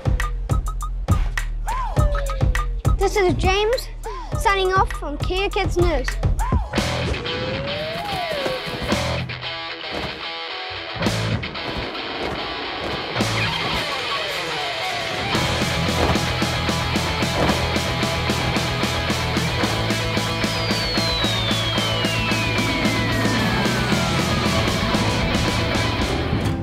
Kia. I'm Lily Torrance reporting for Kea Kids News. In the news today, in New Zealand, the sun is really strong. Scientists are saying we're going to have record temperatures and heat waves. This means it's more important than ever to be sun smart. How do we know if we're being sun smart or sun dumb? Let's go ask the expert. Hi, Mark. Can you tell us why the sun's so strong in New Zealand? Well, Lily, there's three real reasons why the sun's so strong. The ultraviolet rays from the sun that cause sunburn come every day, even if it's cloudy. There are three main reasons why it's so strong in New Zealand. One, it's due to the orbit of the Earth. In summer, we're the closest place to the sun. Number two, we have less ozone, and that normally blocks UV rays. And number three, clean green New Zealand, we have no pollution, and that normally blocks UV rays too. Hey Lily, it's a lovely day out there. Why don't we go outside and see how sun smart your friends are? Yeah, that sounds like a great idea. Let's go. So, we set up an ultraviolet camera to see who was sun smart at the beach. How cool's that? So Lily, this camera here is going to show us why it's so important to be sun smart. I haven't got any sunblock on at the moment, but I'll show you what happens when I put some on. I'm going to just put it on one side of my face, okay, and you can see as I'm rubbing it on, see that it's blocking out the sunshine? So if I'm going to put a little bit on her nose, it goes dark. So we're going to do some experiments with some other kids to see how sun smart they are. Do you think you're sun smart or sun dumb? Sun smart. Sun smart. Sun smart. Let's find out. Oh, jeez. Better put some sunscreen on. See your white on the tip of your nose? You've missed the tip of your nose. Sun smart. High five. Wow, look at the coverage. So that's all my sunblock. See, I told you I was sun smart.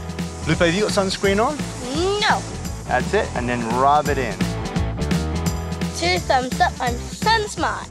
To be truly sun smart, there's four things you've got to remember. Stay out of the sun as much as you can, especially during midday. Make sure you cover up as much as possible. Wear your hat and your sunglasses. Don't forget your sunblock. Do you think you're sun smart or sun dumb? I always wear sun protection every day. So I'm actually wearing just a tinted moisturiser with SPF in it. But when I put this on, it's actually completely different. But I was not sun smart at all. Kidding myself. Remember to be sun smart at the beach, not sun dumb. This is Lily reporting for Kea Kids News, signing out.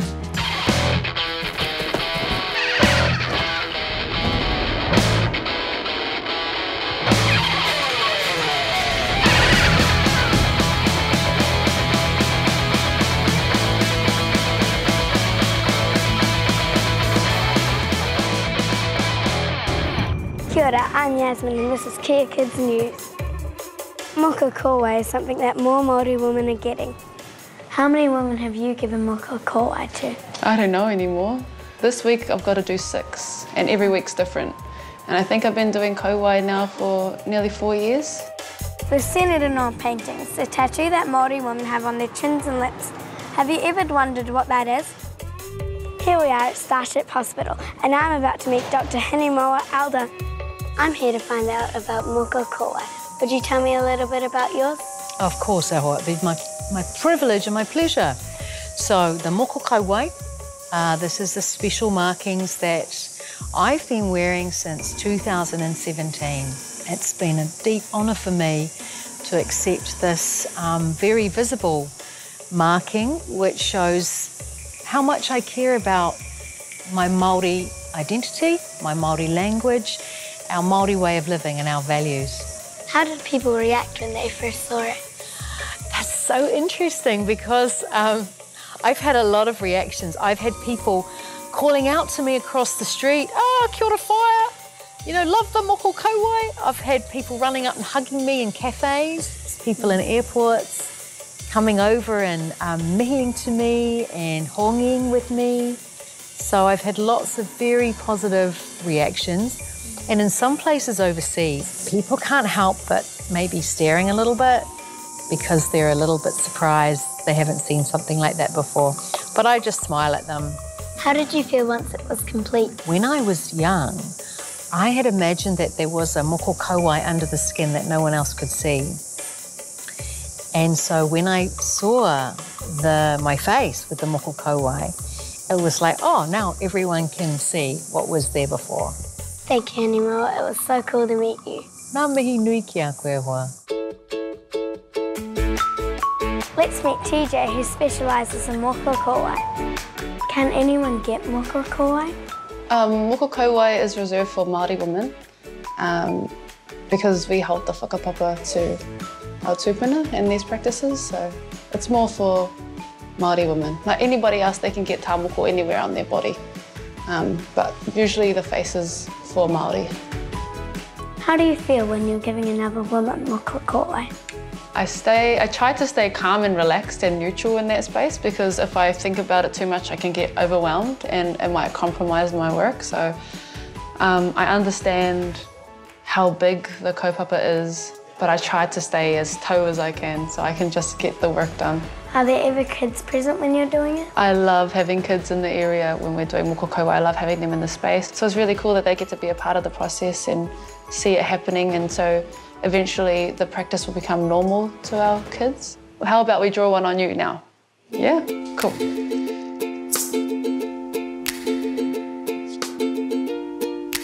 Can I get you to lift your chin up a little bit? Yeah, that's the one.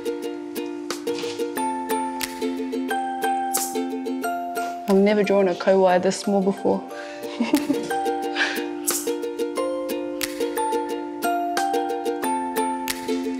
okay.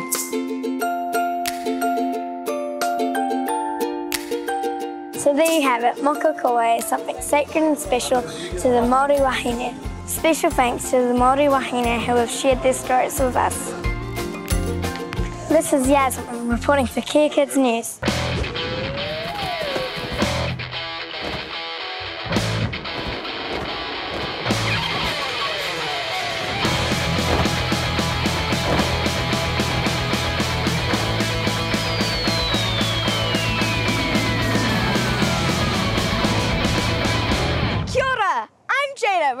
For Kea Kids News. Right from the start, I know the South Auckland kids superstar Lotima Pome'e, also known as General Fire, hits the big screen in new film The Legend of Baron To'a.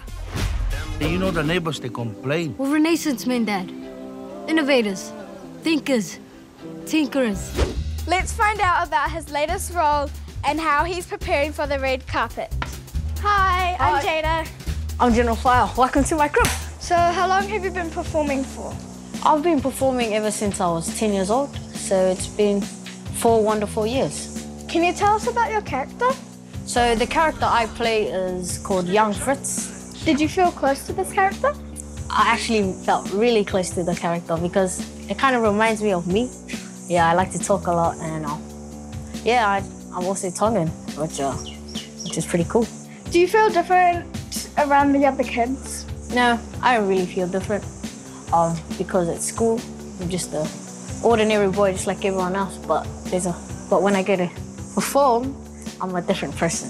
Is it something you want to do for the rest of your life? Hopefully, hopefully, yeah, it is my dream, and uh, I want to do it for the rest of my life.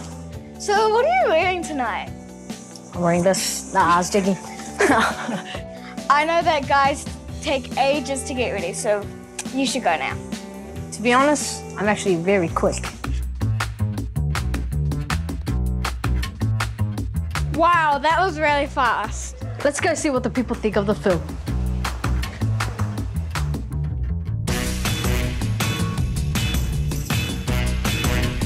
We're here at the Hoyt Cinema and the opening ceremony is about to happen.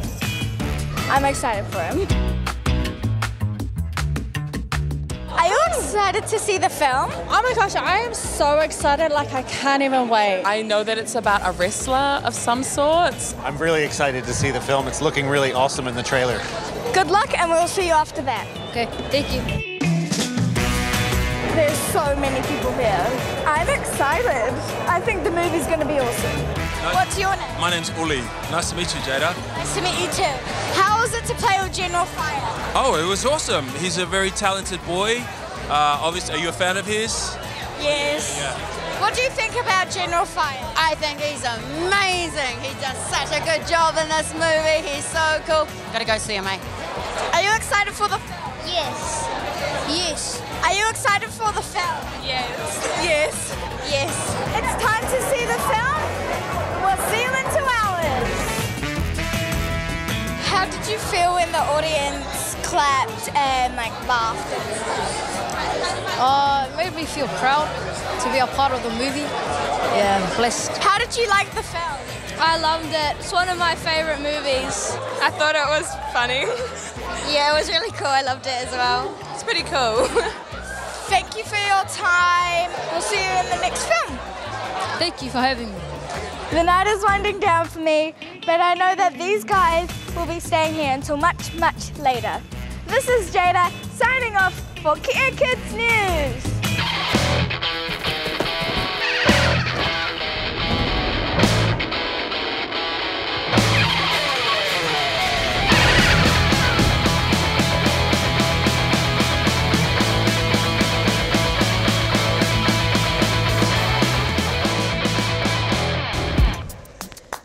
I'm Cohen Thomas reporting for Kea Kids News. Breaking news! The World Health Organization has just declared that the coronavirus is public enemy number one and they're working on a vaccination as quickly as possible. The coronavirus, also known as COVID 19, is a sickness that is spreading around the world. But sadly, with all the real news every day, there's also some myths and rumors, or as I like to say, Fake news! Apparently, rubbing sesame seed oil all over yourself will protect you from the coronavirus. It's oil. It won't protect you from a cough. Some people say that mail and packages from China have been contaminated. Well, that's just not true. Some people say that only Chinese people carry the coronavirus. My mum says that's xenophobia. I think it's just racist. Anybody could have the coronavirus, and anybody can catch it, not just Chinese people. I'm here at Auckland University to interview Professor Siouxsie Wiles. She's a microbiologist. so she's an expert who can give us some truths about COVID 19. What actually is a virus? You know how phones have got apps on them? Yeah. So think of a virus like an app. So it doesn't do anything until it's loaded to your phone, right? And that's what a virus is. So a virus is a little life form, but it can't really do anything until it's inside of a cell in a body. And then it turns that cell into a little virus producing factory, making more copies of itself. How do you catch the coronavirus? So the coronavirus is, um, it's a bit like the cold in the way that that's spread. So uh, people who have this virus, they cough and they sneeze and it comes out in the droplets that they release when they cough and sneeze. And so people can catch it if they get coughed and sneezed on, or they can catch it if they touch places where somebody who's been coughing and sneezing has basically coughed and sneezed all over. If it's like a cold, why don't we just take the same medicine? Great question. So actually, there is no medication for the common cold, um, and this is spread a bit like the cold, but it is much more serious than a cold. So lots of people are becoming quite ill and getting a very serious lung uh, infection where they actually need to be hospitalised. Um, and at the moment, because it's a new disease, we don't have any vaccines that protect against it, and we don't actually have any, any medicines. And so this is something that lots of scientists around the world are trying really hard to figure out really quickly to see if we can help some of the people that are sick. How long do you think the coronavirus will last? I think it's going to last quite a long time, actually, um, because quite a lot of people are sick. And the really hard thing at the moment is how do we stop those sick people from spreading it to other people? And that's very difficult. What are some of the myths going around about the coronavirus? But there are lots of them, uh, lots of myths around how you can protect yourself and how you can cure it. Um, the best thing about myths is not to say anything about them because I don't want other people to think that they might be true. What precautions can people do to stop having the virus? One of the really good ways to protect yourself is to make sure that you wash your hands, especially before you eat. And that you try not to touch your face because if you have touched somewhere that's had virus and then you touch your face, that's how you get it into your body. Staying away from sick people, and these are all ways that will protect you from lots of different viruses, not just coronavirus. What's the importance of self-isolation? So thi- this self-isolation is basically if somebody has been exposed to the virus or might have been exposed to the virus, um, it's a way of basically stopping them from spreading it any further. So they stay isolated away from other people in case they come down with the symptoms and they might be shedding the virus. The COVID 19 coronavirus started in Wuhan, China, and spread quickly. So, the New Zealand government has told people returning from mainland China to practice voluntary isolation for 14 days in case they have the virus. Voluntary isolation? This is Caitlin Malone. She was on holiday with her friend in mainland China for Christmas holidays. When she got back, she had to go into self isolation in her own bedroom. What sort of food do you get? Where do you sleep? Do your mates ever get a visit? How do you even talk to someone in isolation? Let's find out. What do you do in isolation? Hmm, I'm gonna have to try some other options.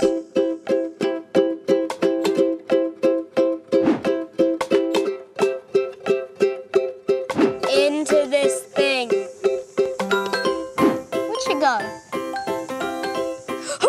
Oh, whoa! Well, actually, I don't have to be in isolation anymore, so I can tell you about it right here if you want. Sure. Where were you in China? I went to a city called Chengdu and another city called Shenzhen. And who were you with? I was with my best friend Zoe and her family. When did you first hear about the coronavirus? Well, I heard about it before we went, but we didn't realize how serious it was until a few days into the trip. I hear they were testing people's temperature. Yeah, so they stopped us at random points on the motorway and they checked our temperature and before we went into big buildings as well. It's a bit scary. Was there any information when you got off the plane? They had a bunch of people coming onto the plane in hazmat suits and they had flyers with all the information about the symptoms and what to do. Would you freak out if you coughed or sneezed? I have hay fever, so I was sneezing a lot, and they had to tell me to try not to do that in public or everyone would run away from me. What was it like in isolation?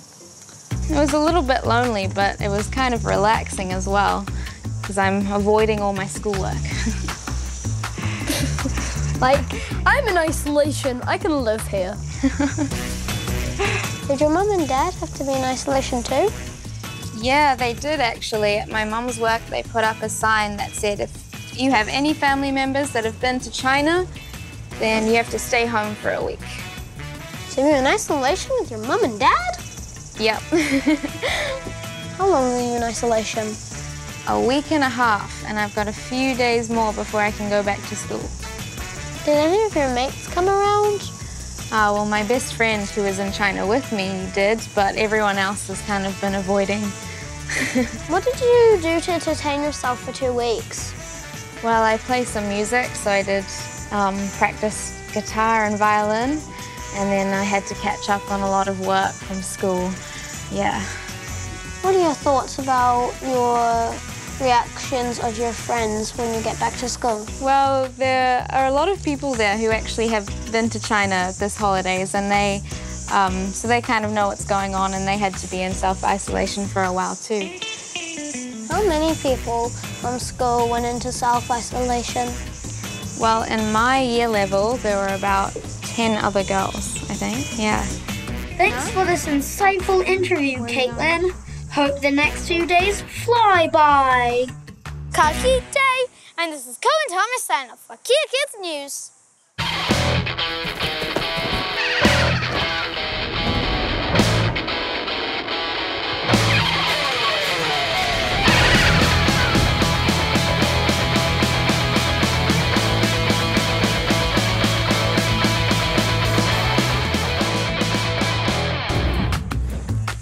Kia Jeremy, reporting for Kea Kids News. In the news today, it is estimated that we could remove 100,000 cars from our roads each morning.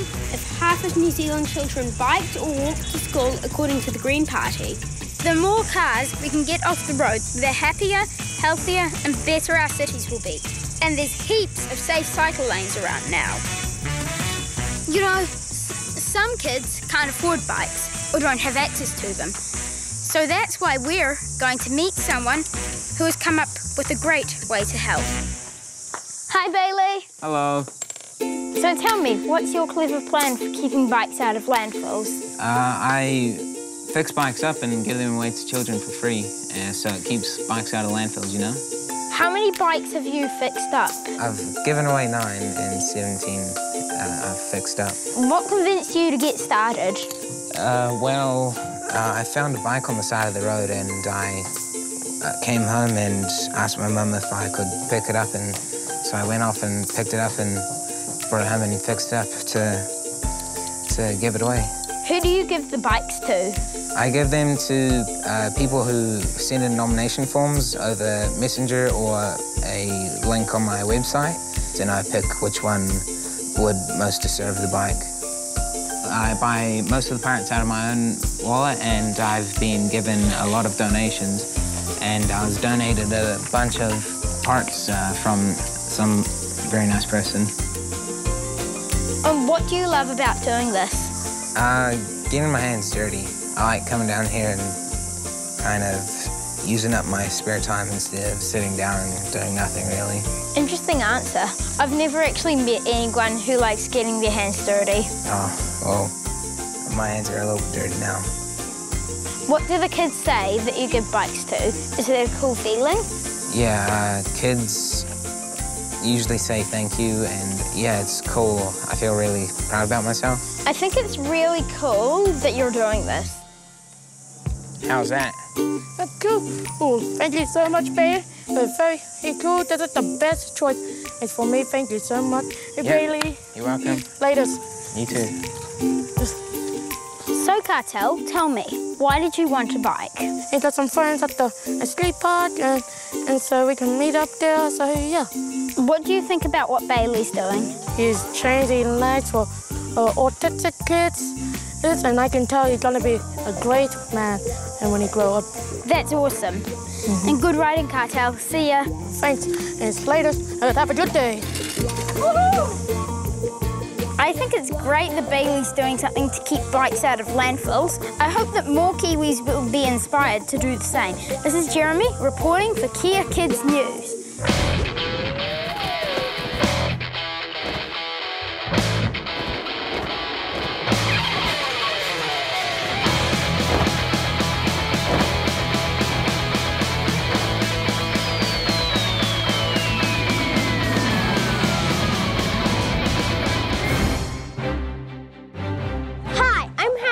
Reporting for Kea Kids News at Explore Festival 2020.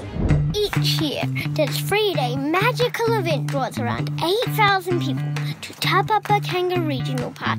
There's dancing, art installations, great food, awesome energy, and a feeling of togetherness. Explore has been going since 1998, and sustainability has always been the top priority.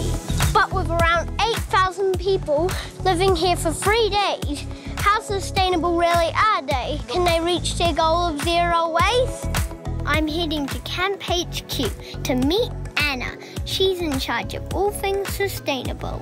What does zero waste mean? Zero waste means that we send zero waste to landfill. We sort stuff at Explore by using a three bin system a green bin for compost, a yellow bin for recycling, and a red bin for landfill. What are the main rules at Explore? Making it compulsory for all of our food vendors to use certified compostable packaging. What happens if people break the rules? So they're not going to get into trouble, but what we're going to do is show them a way, which is more environmentally friendly. This year, thanks to a reusable cup, they've saved 50,000 cups from the landfill. Well, um, they have this thing at Explore called Globelet cups, and you can reuse them for drinks or uh, whatever you want to use them for. So yeah, I like reusing the Globelet cups. Okay, Harrison, are you ready to jump in our electric golf cart and go and check out Trash Palace? Yeah, I would love to. That's gonna be interesting. Let's go to Trash Palace. Let's go! So we take everything down to Trash Palace. It gets sorted on a conveyor belt. Trash Palace. Trash Palace. Trash Palace. Trash Palace. Ta-da!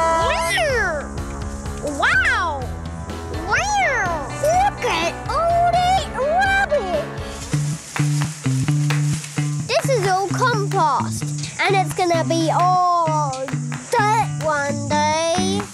Last year at Explore, 74% of the resources collected was recycled or composted. What does all of the recycling get made into?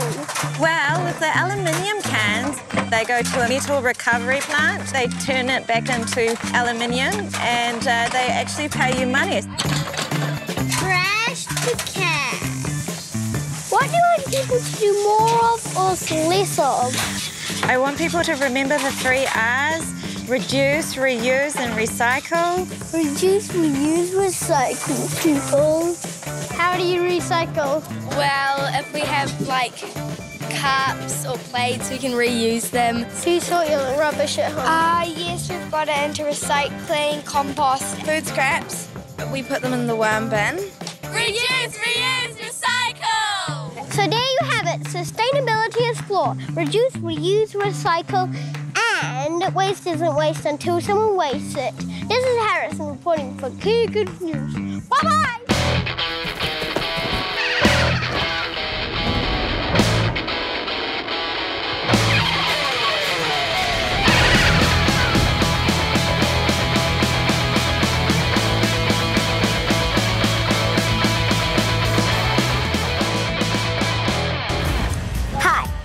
I'm Glass Cooney, here at Papamoa Beach to interview New Zealand's strongest woman.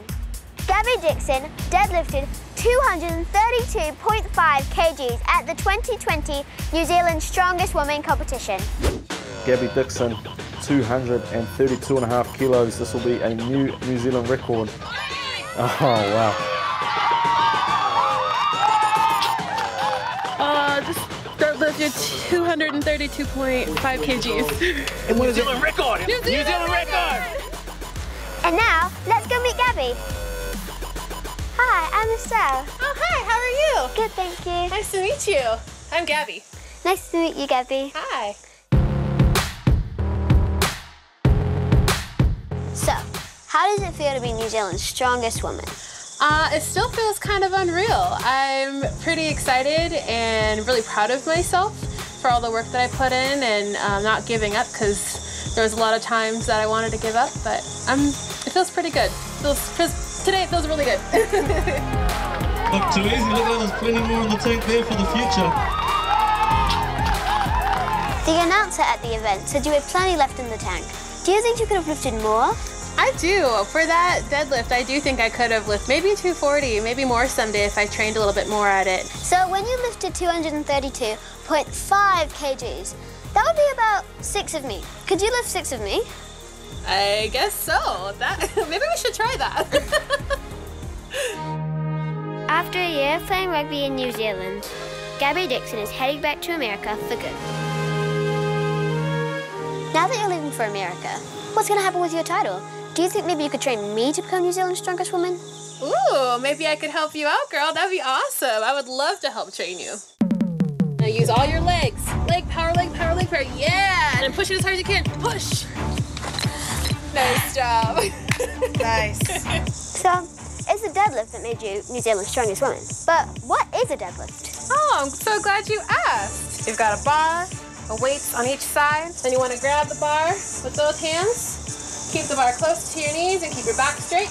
And then slowly pull it up, lock your knees out, and then you set it down. Pretty simple, right? Want to give it a go? Why not? Okay. Nice and close to your shins. You pick it straight up.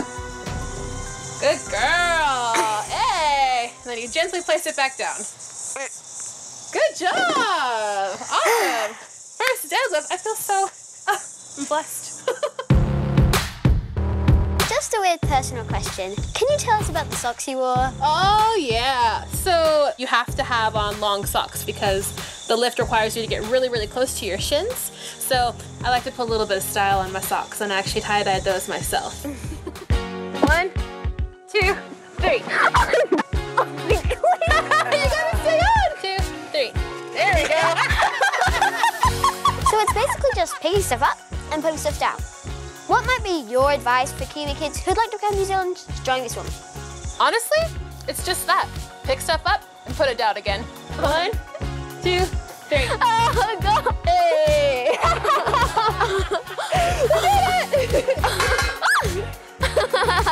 you okay up there? Mommy! oh, so how are you feeling after all that? I feel great. Yeah? Let me see your guns. Oh, getting good already, girl. Way to go. Hey, high five. Now that I've trained with Gabby, I'm on the way to being New Zealand's strongest woman. That was Estelle, signing off for Kea Kids News.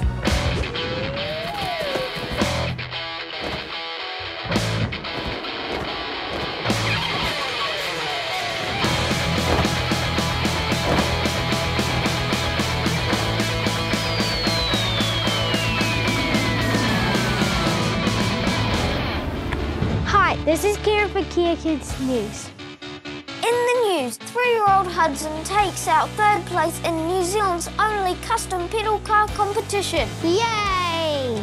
Hudson is car crazy, and it runs in the family. His chief engineer is also his dad, Shane.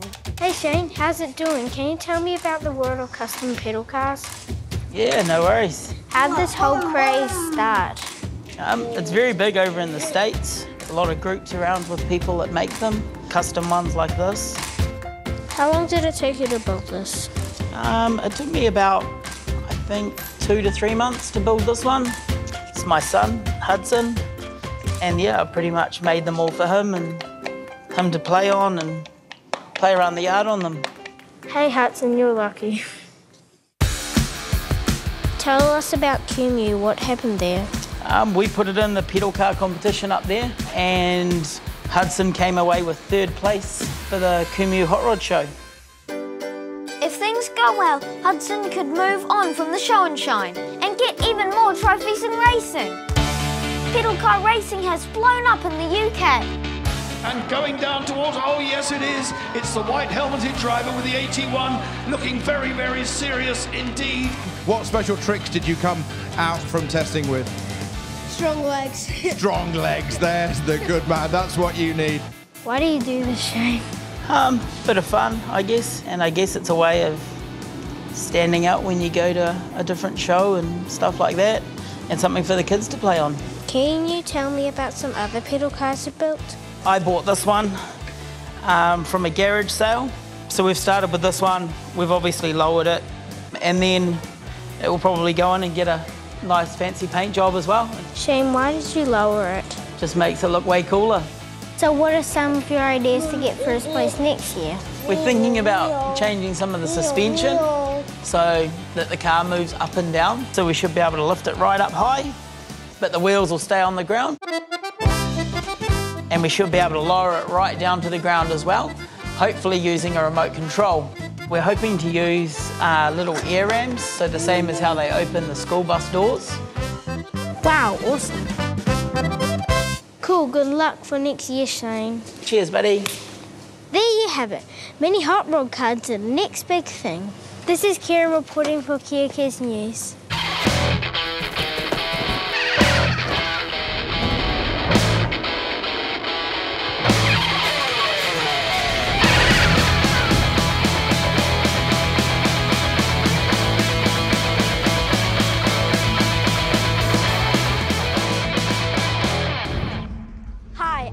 And this is Kea News. Here's the news. Extreme weather conditions have hit New Zealand. But while the far north is experiencing a drought where it's so dry there's water restrictions, in the far south there's too much rain and it's had flooding. So I wanted to know how it affected kids in those regions. So I'm lucky enough to visit both in one story. First, I'm on a plane down to Mataura where the flood has been described by civil defense as a one in a hundred year event. I'm here at Mataura School to talk to the kids. These are my new friends. Hi, Aki. What can you tell the kids watching back at home about the floods? The flood was quite scary because my mum said um, it's never been, is like she was living all her life, she's been living there, it's never been, gone so high up. How did you feel when it happened? I was terrified and I had to evacuate and go to my auntie's. I felt really scared because we had to leave some animals behind. And are they okay now? Yeah, we put the rabbits on the bunk bed, only the floor was a bit wet. How long were you evacuated and did it affect your school? For two nights, and the block um, over there at the back, um, it got flooded, so the classes had to move to a different class for a little while. We're heading up to Northland where there's a drought. Do you mind if we take any water with us? Um, no, we don't mind. You can take as much as you want because we've got heaps down here. Will you give me a hand to fill my buckets? Uh, yeah, sure. Off to Northland! Here you go, Lucky. Northland says thank you. So now I'm off to the far north where the drought has caused the council to call for water restrictions. I'll take my buckets off to Totara North School who are desperate for rain and see what it means to not have enough water. I've just been down to the Southland where there's lots of floods. What's it been like up here? Dry, very dry. It's just very hot and like I can't have that much to drink and it's just very hot. Me and my sisters have to go shower all together, so we don't have much fun with the water. The fact is, I'm u- I'm used to using heaps more water, and it's just so hard not to use water. Is this drought really bad? It's been the worst drought in 50 years. So do you ever help your dad out at the farm? Yeah, I help him out trying to find grass to give to the cows. So I've just been down to the South Island where there's a flood and I brought some water up for you. Do you know any trees that might need some water? Those ones over there, they look like they're dying. How about we water them with my water? That's a good idea. Let's go do it. Now both my feet are soaked. There you have it. New Zealand is a land of extreme wet and extreme dry. This is Lucky signing off for Kea Kids News.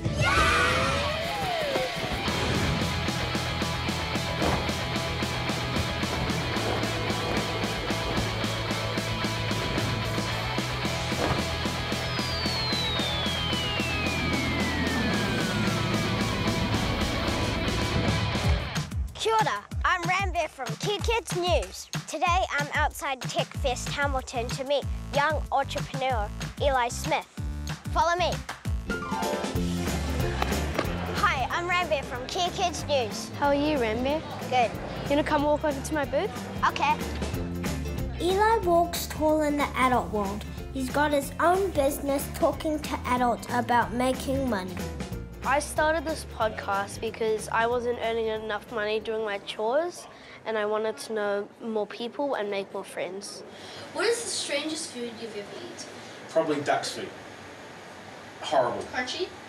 You you have to chew through horrific webbing only to be rewarded with bone.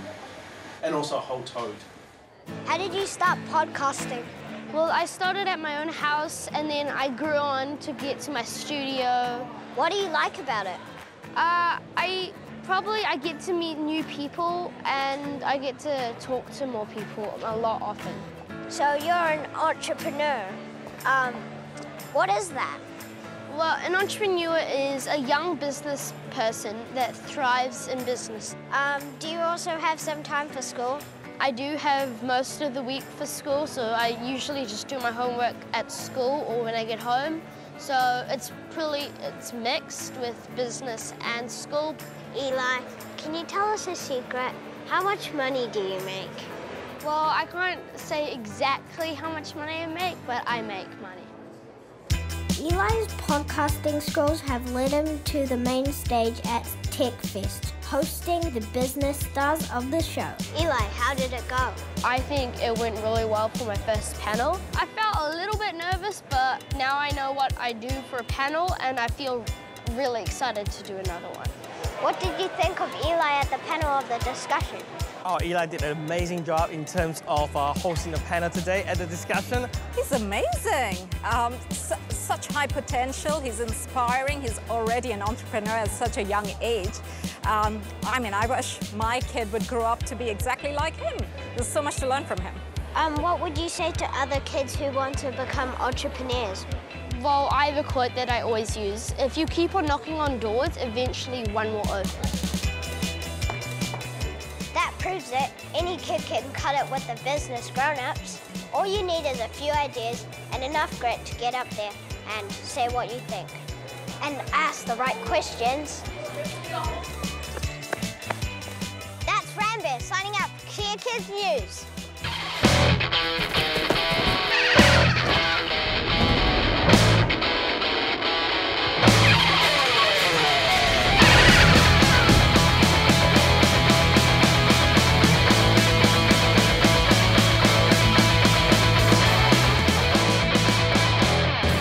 Kia. I'm India George, reporting for Kea Kids News. In the news, Butterfly Creek, Auckland is welcoming home Cheryl the alligator. Cheryl has been on loan in the National Aquarium of New Zealand in Hawke's Bay for the last nine years, and now it's time to welcome her home to her brand new enclosure. Are you looking forward to Cheryl coming home? Yeah, definitely. Um, I wasn't here nine years ago when she was here last, um, so I'm looking forward to meeting her. So, how do you shift an alligator? Well, we've got a specially designed crate that we've made um, just for Cheryl. Do you want to come see it? Sure. So this here is the crate that Cheryl's going to be going in. So, how are you going to get Cheryl in there? One of these ends will pop off like this, and we're going to put a rope around her jaw, and we're going to have to feed her into the crate, pulling on the rope uh, nice and gently. Cool. So, can I get inside? Yeah, sure, jump in. okay. Oh, wow, it's quite tight in here. So we want it to be nice and tight for the alligator. We don't want her turning around in there.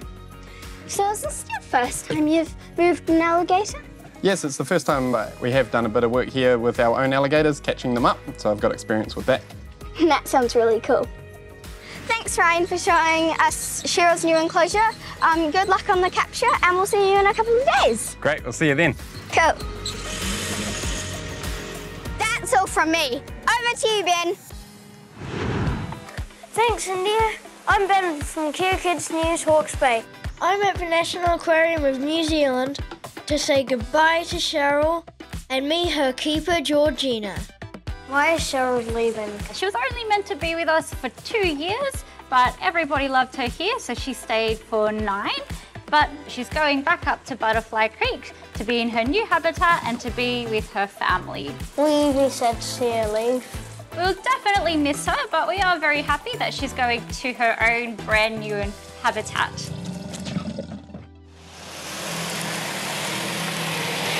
See you later, alligator. Look! Here she comes! This is actually happening.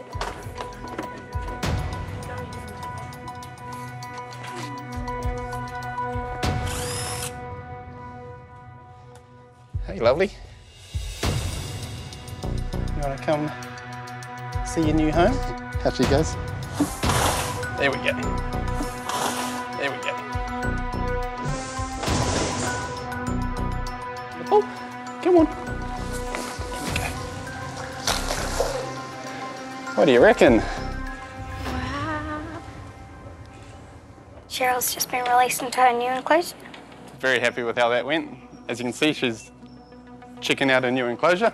Such a relief and such a good feeling seeing her finally in here. Kakita, I'm India George, signing off for Kea Kids News. See you later, alligator.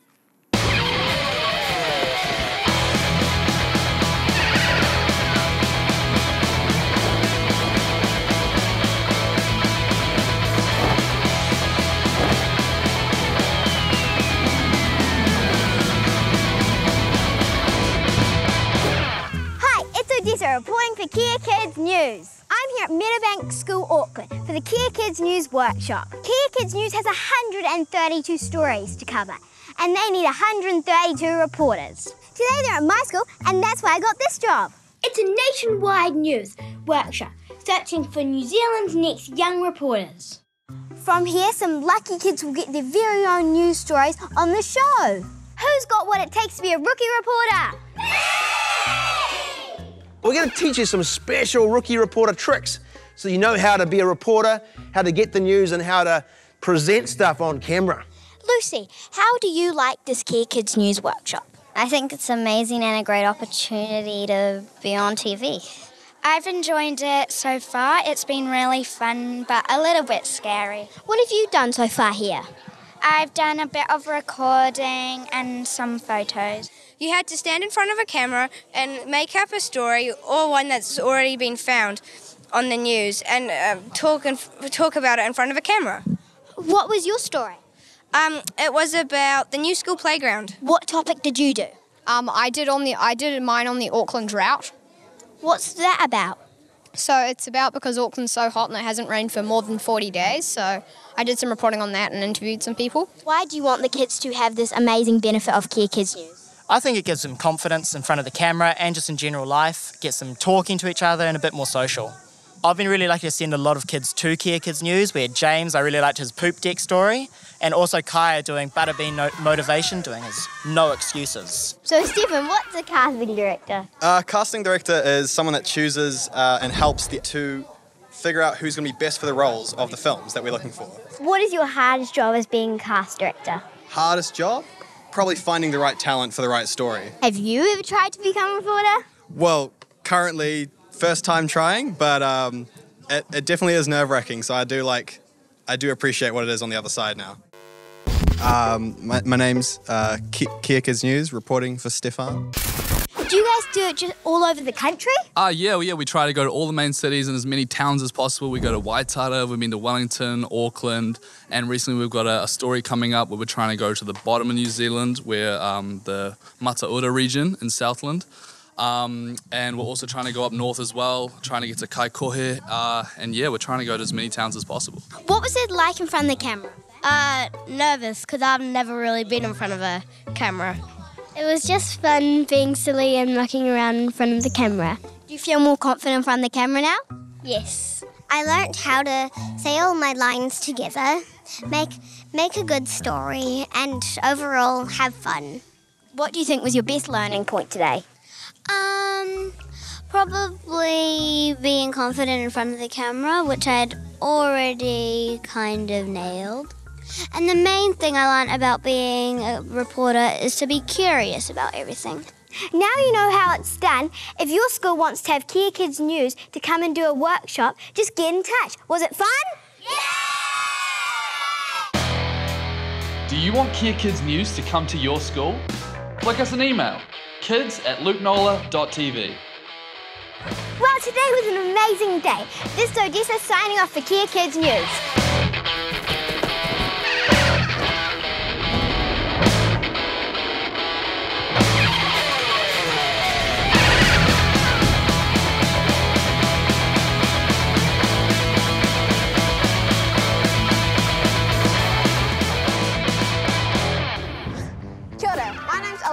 Reporting for Kea Kids News. Today I'm catching up with Mike King. Mike King started Gumboot Friday, which is asking Kiwis to wear gumboots on Friday 3rd of April and give a gold coin to support children's counselling. Mike is on a mission to raise $5 million. Yes, you heard it, $5 million. But Mike can't do it alone. He's being supported by a group of kind Kiwis who have been driving tractors from Bluff to Cape Reinga, collecting donations, spreading the word, and talking to schools about resilience. Mike, why gumboots? Well, gumboots are fun. We wanted something uniquely Kiwi. We wanted to raise money uh, for kids' mental health, but we didn't want it to be serious. Have you noticed that whenever there's something to do with mental health, it's always really dark and serious? Well, kids are about fun. And what is the money used for? Well, 100% of the money that people donate is going to free kids counselling. Young people don't, like you, don't want to go and see a counsellor when they're mentally unwell. They want to see counsellors to stay well. So um, we thought what better way we could help our young people out by giving them free counselling.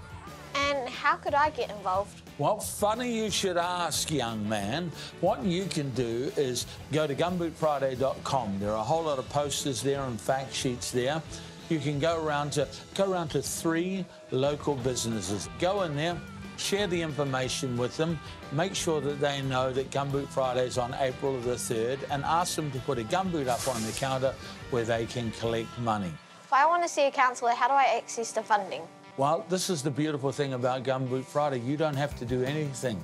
The counsellor gets the funding. All you've got to do is go to the counsellor and get yourself well. That's all you've got to do. And what if I don't have gumboots? You're very lucky because I, my friend, have a brand new pair of Skellerup red bands just for you. Now, you know when you go to school on Gumboot Friday and you're wearing your gumboots and you see one of your mates who doesn't have one? Yeah. Try this. Take one of your gumboots off and give one to him. So you're both wearing gum boots, one each. There you go, my friend. Thank you, Mike King. You are more than welcome. I've caught up with Tractor Trek manager Kat Levine at one of the stops at Rolleston Primary. What is your message to the kids my age? I think the most important thing for kids your age is to realise that their feelings aren't forever. They might have a huge feeling of anxiety or feeling sad or rejected, but those feelings don't have to be forever. And when you talk to other people about it or if you talk to a counsellor, it can help shrink those feelings down. What inspired you to do this? Well, when I was your age, I really struggled in life. I felt like I was rejected, that I didn't have any friends and no one cared for me.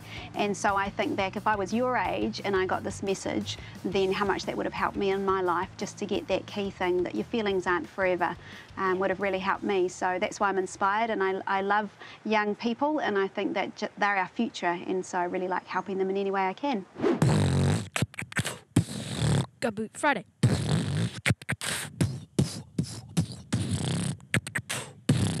Gumboot Friday. My name's Alize, signing off for Kea Kids News. Let's gumboot up, New Zealand.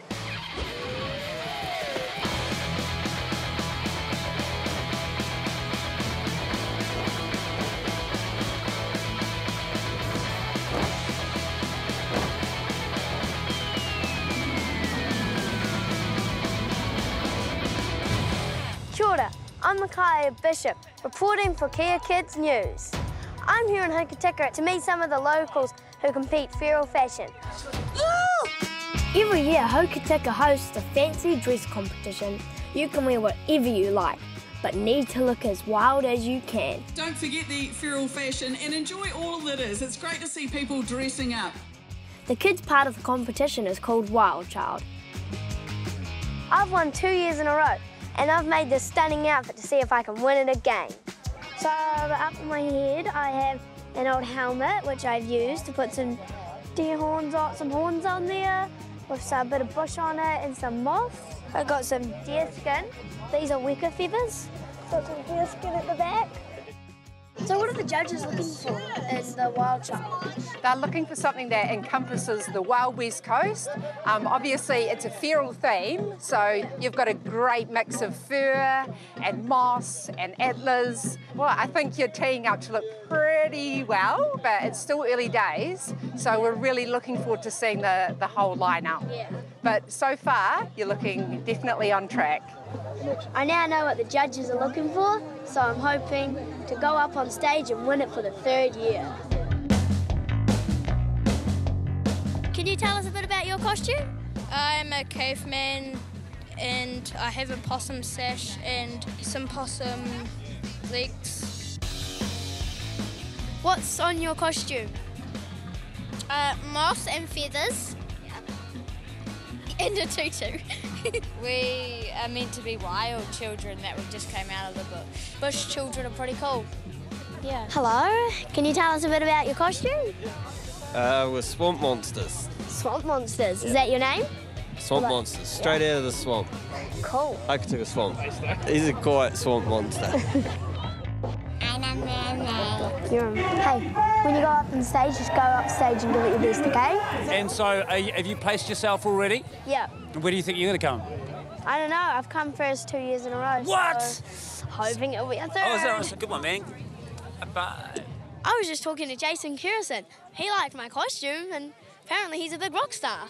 I didn't even know who he was. Well, I can't stand around talking to famous people all day. It's time for the contest. It's a kiwi! So when I call the kids up, then I want you all to come up with me, and we're going to dance and um, get the crowd all excited, yeah? All the kids take to the stage for judging. So, how long have the wild trials been going for? The wild child category was added three years ago, and that's the fastest growing category. Every year we get more and more kids, and today was a record number. What's next for Feral Fashion? Well, it's going to get bigger, better, and wilder next year, but I think the kids probably deserve their own stage time. So rather than putting us all up on together, it maybe you just need to come out one at a time because I'm seeing some incredible outfits from the kids. This year there were two winners. Haka, who came as a duck hunter's mai mai,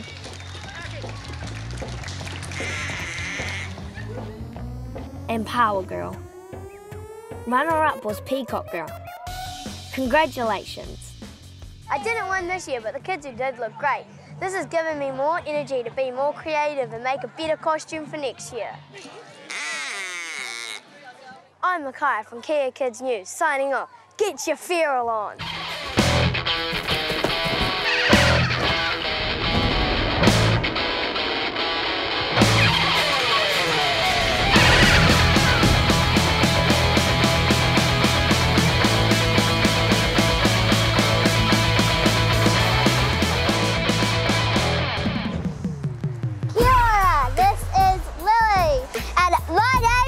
Rose, and, we're reporting for Kea Kids News.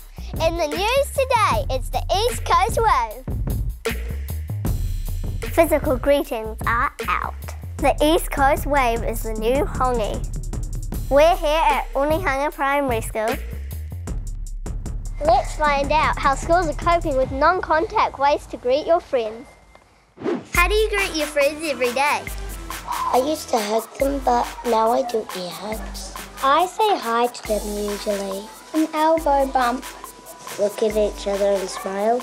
I like do half a heart, like without touching and my fingers the other half. How many times do you wash your hands a day? And is it different from what you used to? Yes, it has changed quite a bit. I used to just put soap and wash it off, but now the coronaviruses came, I start washing it a lot. I do it quite a lot now, like two times. I've been washing my hands before every meal and after I go toilet. What's the best way to have fun and keep everybody safe at the same time? Maybe you could imagine and play an imagine game, something mm-hmm. like that. Doing arts, playing soccer, air hand games, and dancing. Show us your East Coast wave. How are you greeting other teachers and your friends? Well, I keep forgetting and I keep going to put my hand out or going in for a hug. So what I'm having to do is change really quickly and use my elbow. What about the kids? Well, some of the kids are having problems remembering that we're not doing hugs anymore. So it's, it's a little bit of a step back and then doing an elbow bump with them. But they're getting pretty good at remembering and trying different things. How's the school coping with the pandemic? When we stopped doing our high fives and our hugs and our handshakes, we decided that we were going to make a video of fun ways that children could greet each other and greet, greet the adults. And I'm recording and action. Hi, I'm Stella from Onehunga Primary School, and I'm here to show you some ways where we can stop COVID 19, but greet our friends as well. What's your plan for the video? Well, we really want to get it out to people so, so they can know how to greet each other without touching. um, and just know that everybody has a way to greet each other. Where are you guys going to put it? Well, the school website, maybe even Kea Kids News. This is the foot tap. Dear fist bump. This, is the no handshake. The elbow. And remember, keep everybody safe. That's it, guys. That's the best one we've done. Wow, everybody, that's that's, amazing. That's a wrap. Hands in the middle. Go team! That's the news. Kids are learning how to keep safe, cut contact, and wash your hands. This is Lillian Rose reporting for Kea Kids News.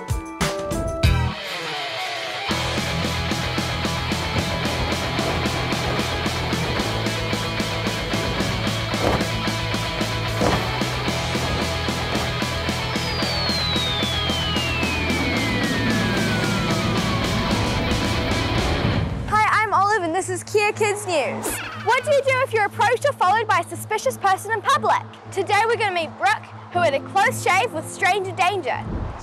Hi, this is my friend Brooke and we've known each other for how long? Nine years. So Brooke, tell us what happened. Um, I was walking along these train tracks after school because I go to an after school place called MOTAT. And as I started coming round this corner, I saw this guy in front of me and they looked a little dodgy, so I just kept my distance. What was it about him that kind of made you wonder? Well, he just, something didn't feel right.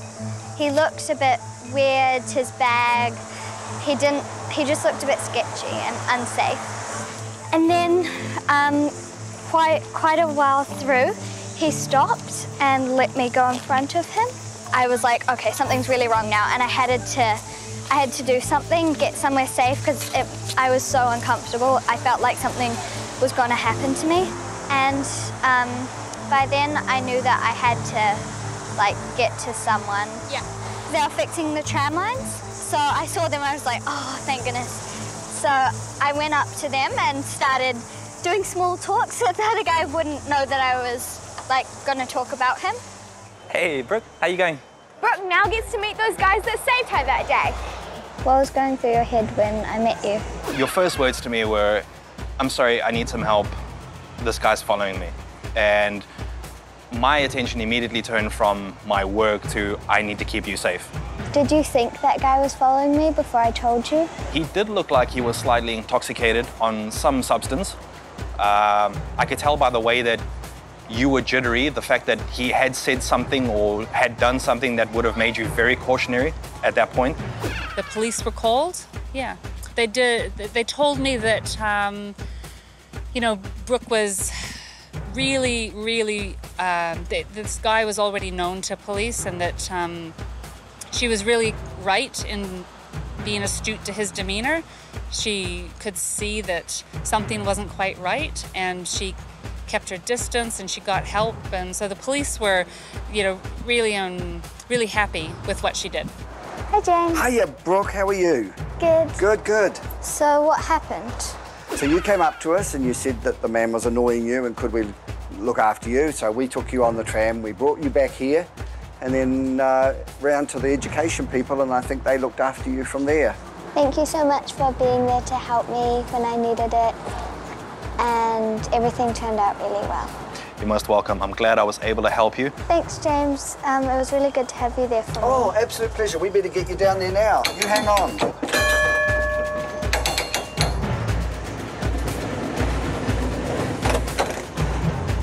To sum it up, if you feel like you're being approached, go to a person and they'll probably help you. This has been Olive reporting for Kea Kids News.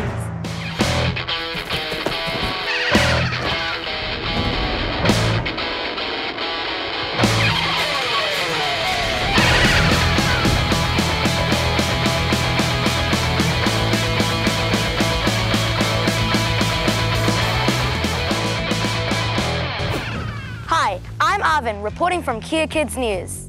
Fight against COVID 19 means an end to team sport and a possible rise in screen time. The phone company Spark have introduced a ball that rewards real life play with equal amounts of screen time. But what do kids think of having their screen time policed, and does it really work? I'm here with Ava and Dot Phipps, one of 10 families who've tried this invention. So, can you describe to me how it works? The spark ball measures how much time you spend with the ball, and then basically the ball sends a message to our parents about how much time we've spent with the ball. So, how much time do you usually spend on screen? At least two hours a day. So, how much time do you usually spend outside? Very little, usually. So this is the app. It's only up 13 seconds. Let's see if we can get it higher than that. At the start, it was kind of like boring and I didn't like it very much, but it was good to get the physical activity. Do you feel any healthier? No, I feel the same. Okay, guys, let's see how much time this thing has now. So now we have 21 minutes to play Mario Kart.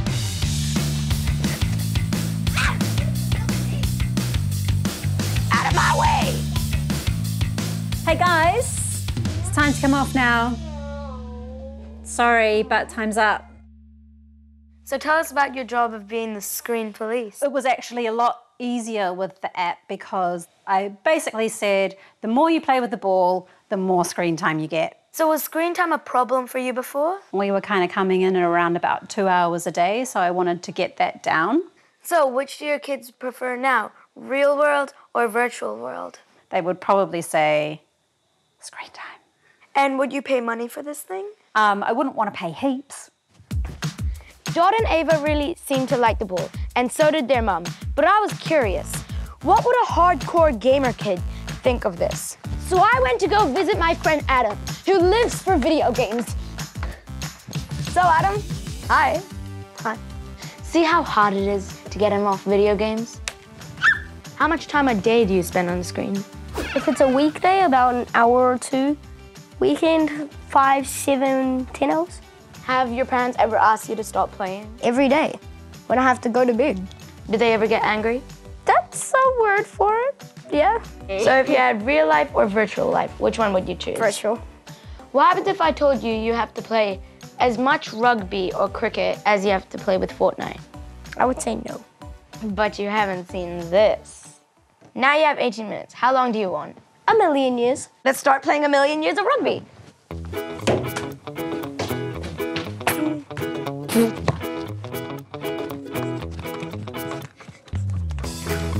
Enough of this. Let's cheat the system.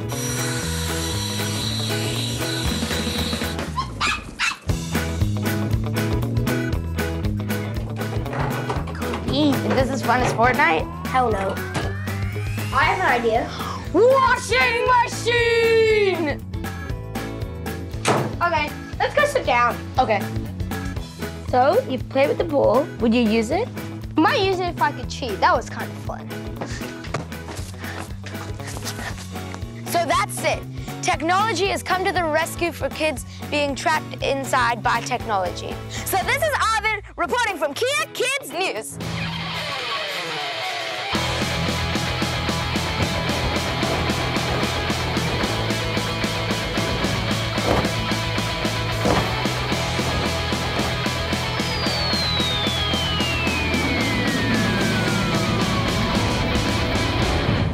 Kia I'm Mila from Kea Kids News. You might have heard the word poverty a lot, like when you can't afford to eat or buy clothes. But have you heard about period poverty? In the news, the Youth 19 research group has found around 12% of year 9 to 13 girls are missing school or activities due to period poverty. So, what is period poverty and what can we do about it? But first off, what are periods? So, periods or menstruation happen to most women every month and involve a small amount of blood coming out of your vagina. It starts around puberty. Period poverty is when you can't afford the products you need, such as tampons or pads, to manage it. So, what do you think period poverty is? I have no idea, to be honest with you. Maybe that's. So I know what period is, but probably maybe like neglecting what a period is, maybe. Um, it's when a woman uh, can't afford to buy um, tampons and pads and things like that. Where they can't afford sanitary products.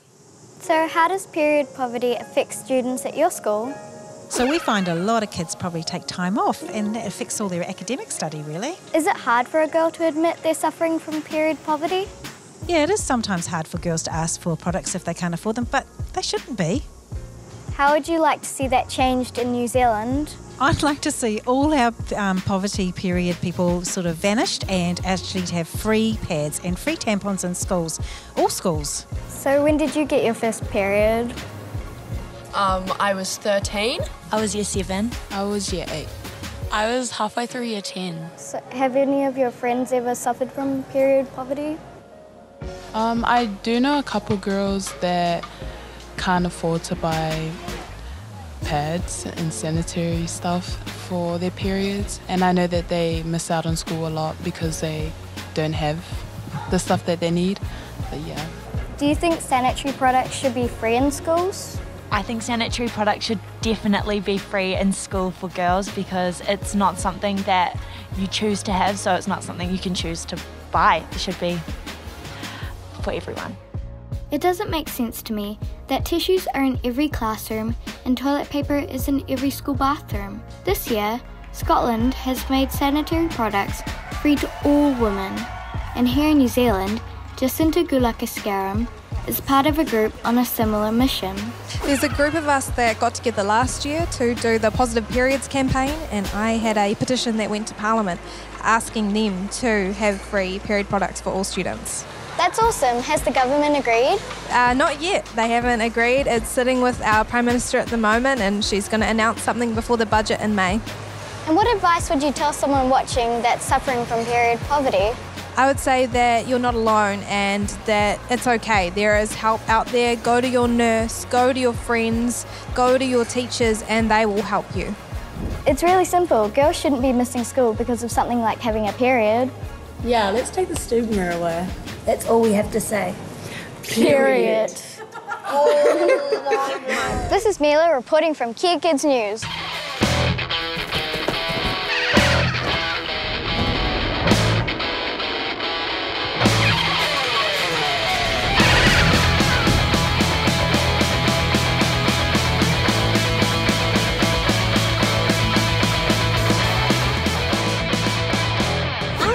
Coco Goodman reporting for Kids News. Come, come and look at my house. Today's the 25th of March, the day before the official lockdown. But this is how it will look for us. My mom's working at, um, from home at the kitchen table. Hi, Mom. And my dad is working downstairs in the garage. My dad talks to people a, lot on the computer, so that's why he's down here in the garage. Hi, Dad. Oh, hey, hi. Here's a big sheet up there here, so nobody can see he's in the garage. Oh, you've given away my secret. This is my brother's room. He's in high school. And he's supposed to do his homework, but I think he's doing games most of the time. No. Come see my bedroom. This is the place I'll come if I'm angry or have a fight with my brother. This is a list that my teacher gave me, which I should do throughout the day.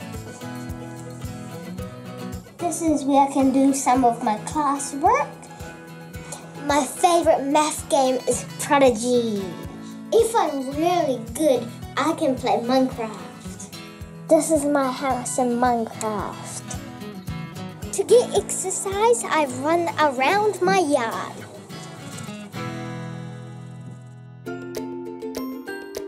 I think we are locked down because the coronavirus is spreading quite fast. A lockdown will help because i i if you're in lockdown, um, th- th- then you won't you won't walk around a lot, and then that won't spread it as fast.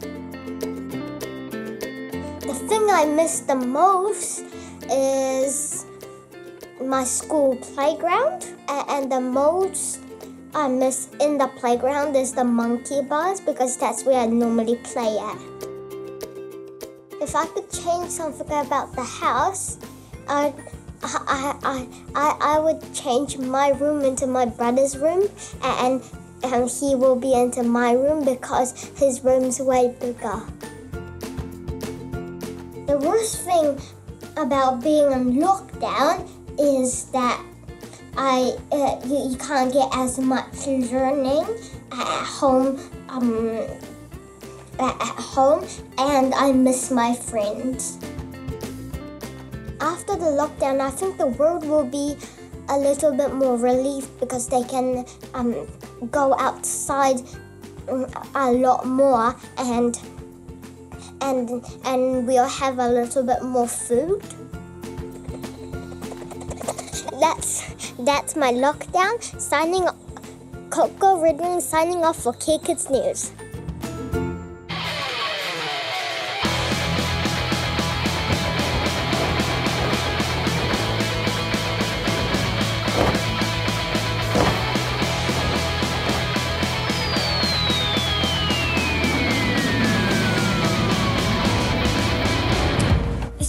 And Darwin reporting from Tooting in South London for Kea Kids News. My name's Edison and this is my brother Darwin. I'm 10 and he's 6 years old. So basically what we're going to be doing is today we're going to be telling you what we've been doing while we've been self-isolating. So what we've been doing is we've been drawing rainbows and putting them up uh, out on our windows. So when people walk past, it's just a thing to cheer them up. These are our rainbows.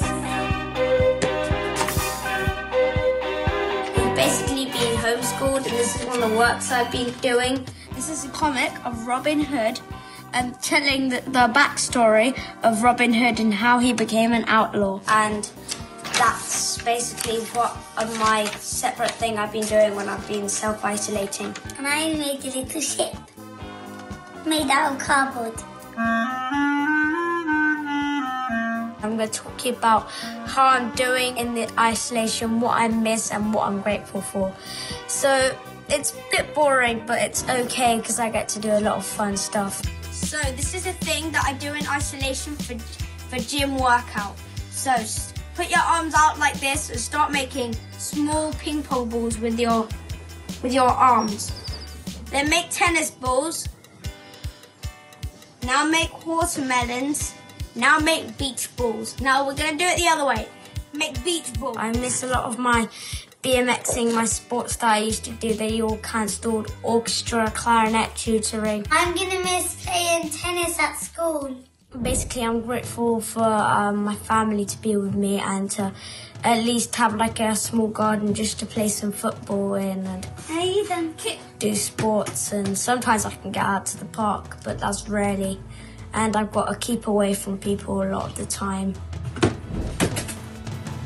This has been Edison and Darwin reporting from South London in Tooting for Kea Kids News.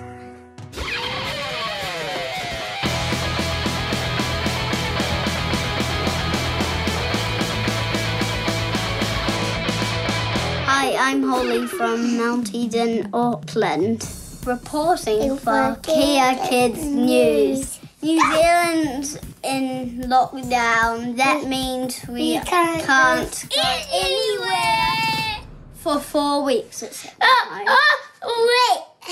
I can't even go to the park. Bad news.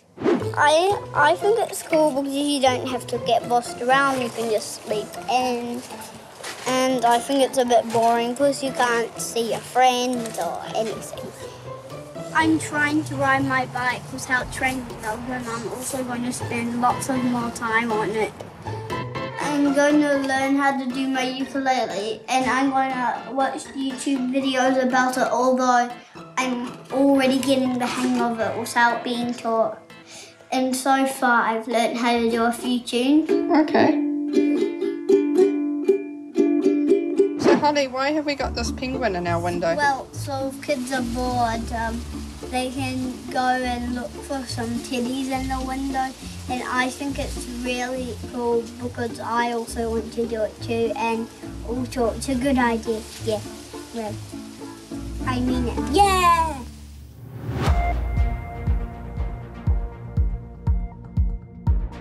I'm going to ask my dad a few questions about the lockdown. How many days a week is there in the lockdown? Seven days a week in the lockdown. We're locked down every day of the week. I guess we're going to be around each other a lot. We might even get a bit sick of each other, who knows? What is the hardest thing about the lockdown? Well, I think it's going to be not being able to leave the house to go to the beach and other places that we like to go, not being able to see our friends or our the rest of our family. What do you like about the lockdown?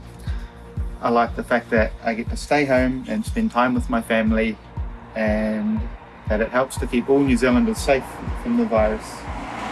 And hopefully we'll get through this together. And this is um Holly. Uh, reporting for Kea Kids News. Bye!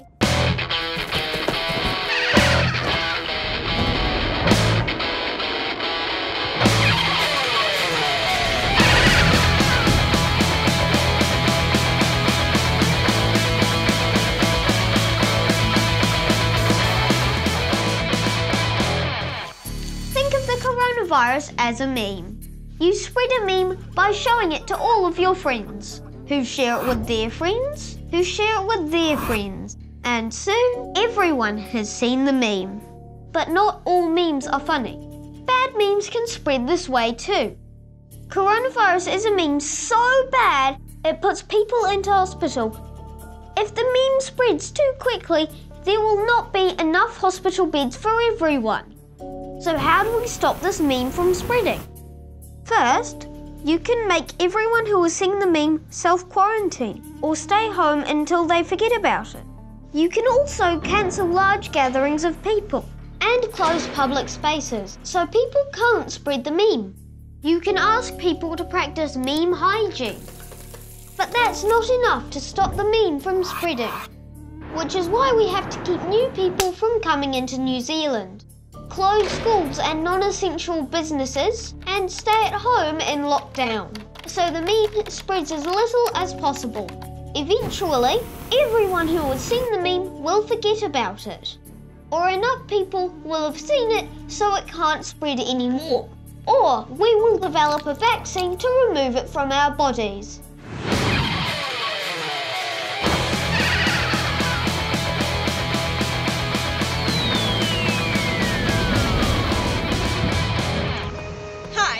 Grace from Kea Kids News.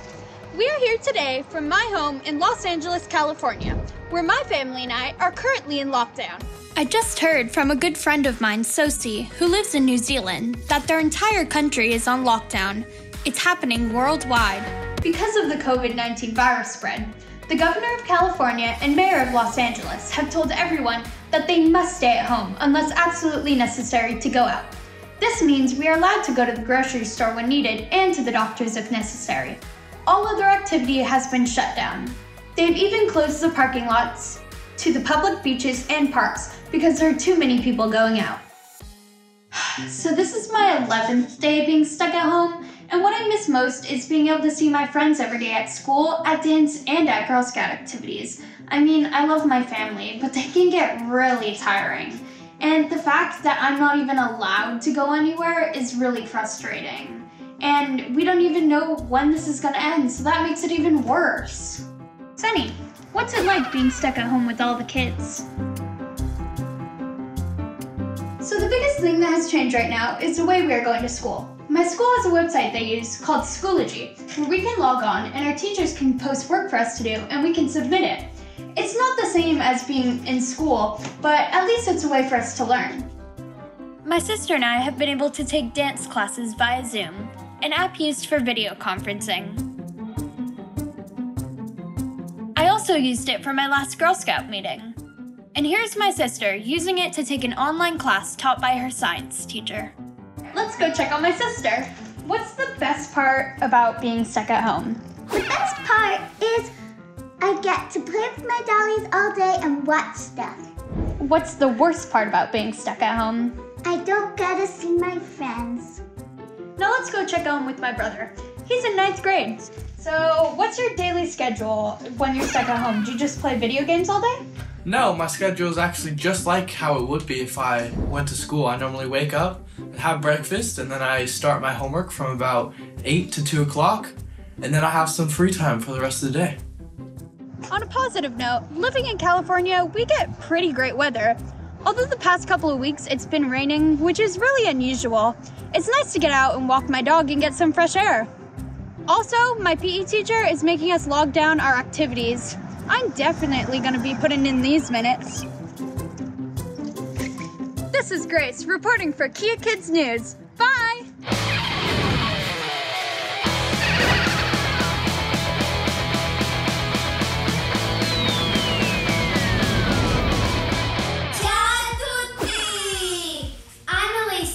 And I'm Chiara. We're in Bologna, Italy, and we're gonna report for Kea Kids News.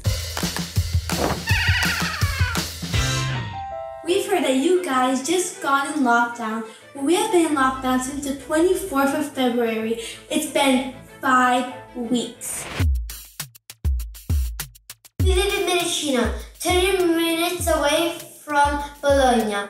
Medicina is now a red zone, so you can't go in or out.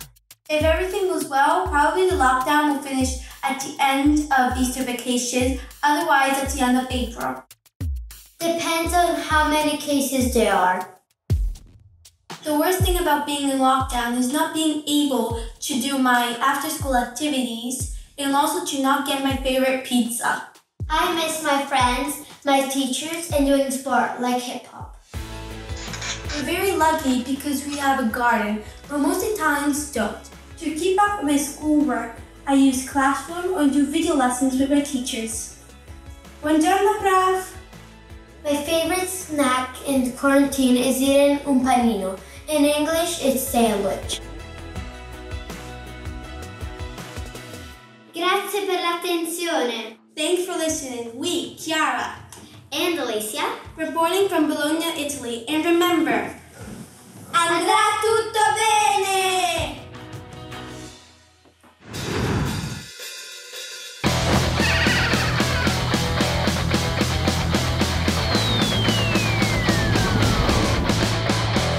Hi, this is Terry reporting for Kea Kids News on Great Barrier Island. Here's my news. My dad has been on the mainland for a while, and um, he was picking up carpet and visiting my sister. He's just got back on the island on the last boat.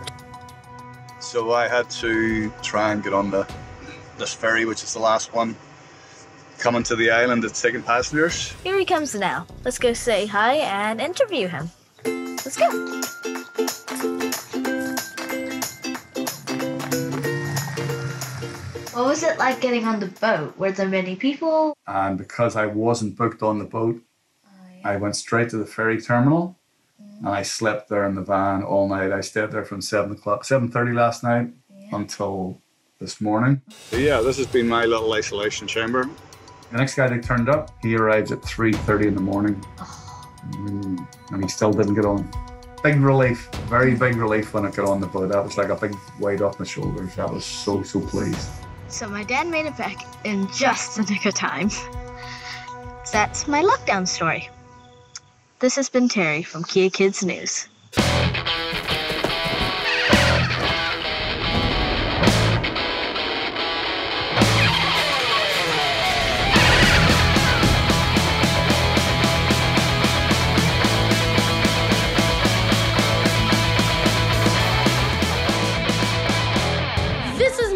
Reporting for Kea Kids News. Here's the news.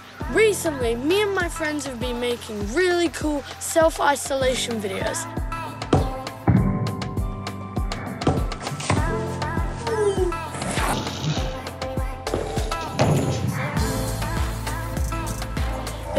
Started when me and my friends wanted to find a way that we could talk to each other.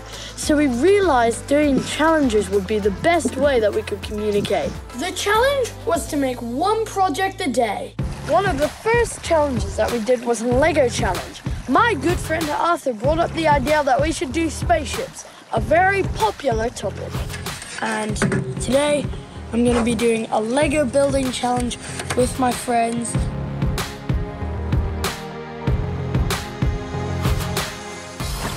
Day two was Marble Run. It was really cool. My personal favorite was Remy because he had a massive yoga ball going down his pathway. Put it in. Go to go. Watch it, watch it, watch it, watch it. Oh, oh, oh, oh. On day three, we began trick shots, and even Uma got involved in the situation.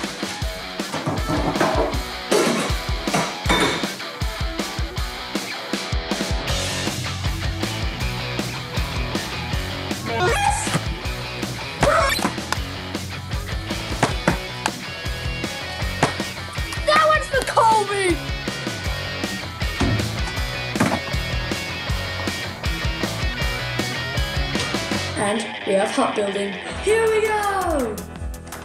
Oh no. Hi, and welcome to my hut. As you can see, we've got nice palm leaves on top. This is my movie theatre. I made it out of rope and some sheets and pegs. Die, potato, die. Gaming zone. Reading zone. Playing zone. Refreshments. Wow, those were some really, really, really great builds. If you want to be involved, check out my video stream. It goes to show that kids can beat the boredom by using their creativity and their minds to do whatever they want. See? A negative to a positive. This is Max signing off for Kea Kids News. To the max.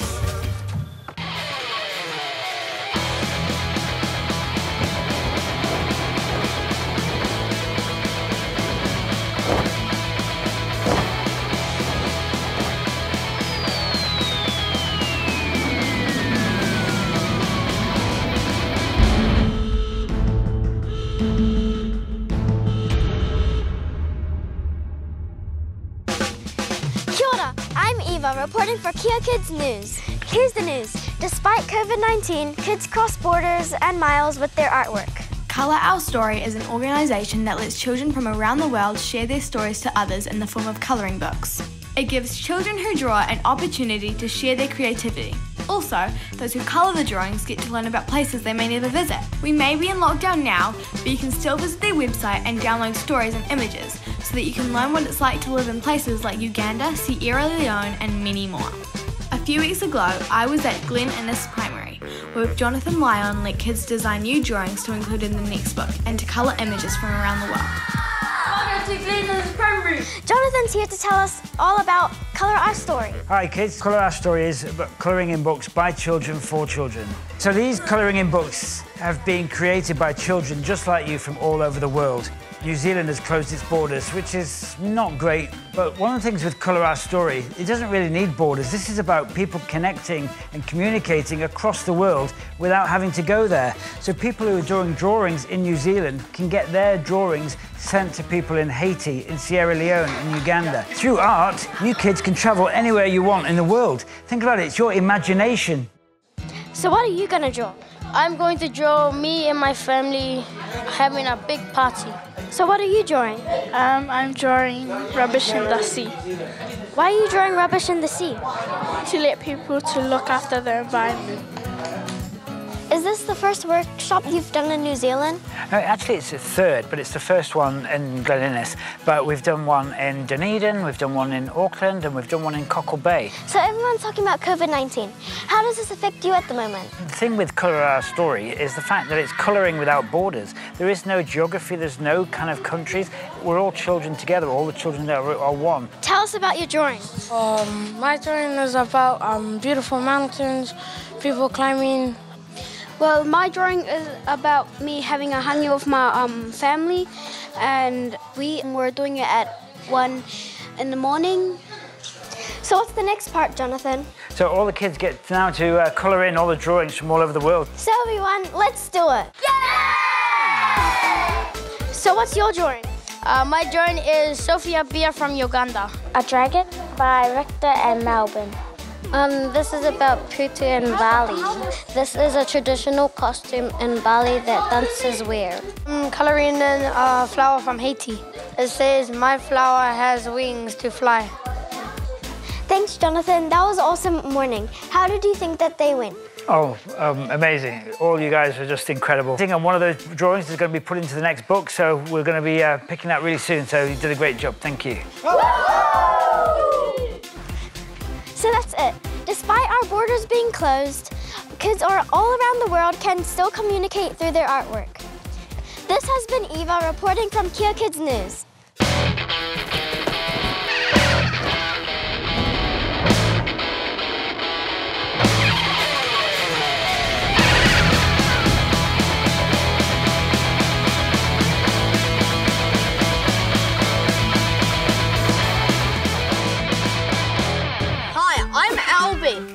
Reporting for Kea Kids News in Masterton, telling you all about the lockdown. Did you know that the coronavirus is actually helping the environment by stopping nitrogen dioxide from coming out of cars and factories? There are actually some positives in the coronavirus shutdown, like you don't have to go to school, and it stops global warming for a few weeks. At our house, we have a little bit of native bush, and we're gonna go find some seeds, plants, and trees and help the environment. Let's go! We've decided to use our time in lockdown to help Mother Nature. Dude, this smells disgusting! Native New Zealand trees need our help too, so we're going into the bush to hunt down some seeds. Here we are at the bush. Let's go find some seeds. Thanks. Let's go. Find some seeds. That's one sample of seeds. First seed we found was mahoe, then we collected some kowhai, and also some karamu. I think this seed is kowhai. Two more kowhai. One, two, three. Two more seeds. Ooh, tree with seeds on it. I found one. This is a coprosma seed with leaves sticking out of it. And they look very much like the golden snakes into the jar. Let's go plant these trees. Yeah! Boom! Right, let's plant these seeds. Let the watering begin. It's coming out at the bottom. We carefully planted our native seeds. In a few weeks, hopefully, they will sprout, and we will plant them back in the bush where they belong. While we're in lockdown, we can be with mum and dad all day. But mum still has to teach her students on the internet because she's a teacher. Shh, be quiet. Mummy's teaching. One bad thing about lockdown is we still had to do homework. But one good thing about lockdown is we can play on our bike whenever we want.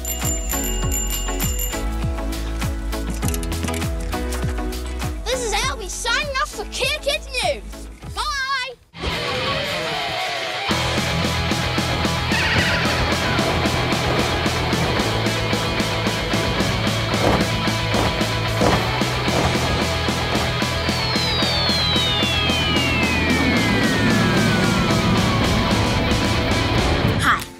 I was Douglas Katie reporting from Kea Kids News.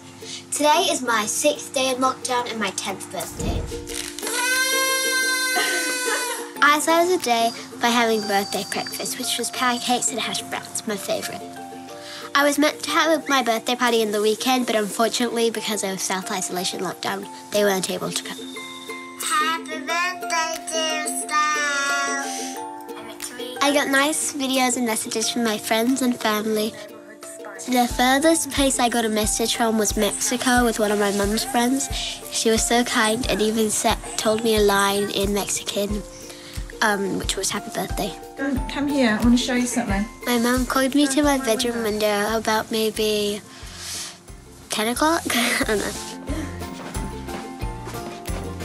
And outside was my best friend, one of my best friends, and she'd have gifted me Happy birthday to you. Happy birthday to you. Happy birthday, dear Estelle. It's Ava. We've got some things in here and we'll leave them in the It's not the best, but it's still something. Yeah. Present, I got lots of things that I know will be good use to me. I got plenty of books, a necklace, lots of clothes, and things that I loved. More of them? You? Oh, you're cute. I remember you. You had the birthday close to me. Happy birthday to you. So, Mum, how did you manage to get me a cake? Actually, Stell, it was a bit stressful because as soon as they announced the lockdown, my first thought was, I've got to get a birthday cake for Stell. And I didn't have any flour, there was no flour in the supermarket, so I got a cake before the bakeries closed. I hope it wasn't too stale. Two, one. Just do it too. Yay! All right. I would say it's not amazing, but definitely if if you've got a cake, um, a laptop, a laptop, and a happy family, it's great. This is Stouglass Cooney reporting for Kea Kids News.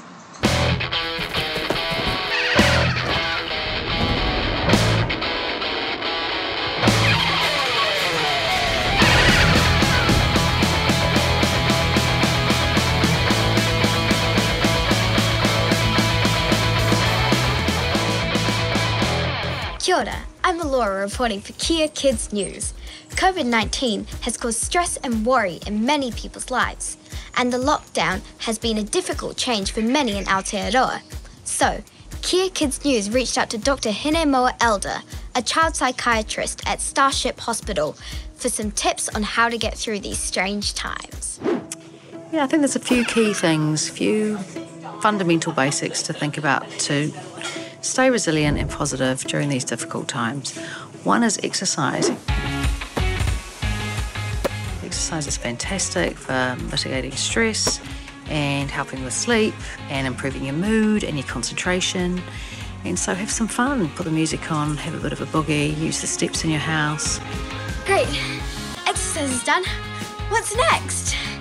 The other thing to think about is how to stay calm.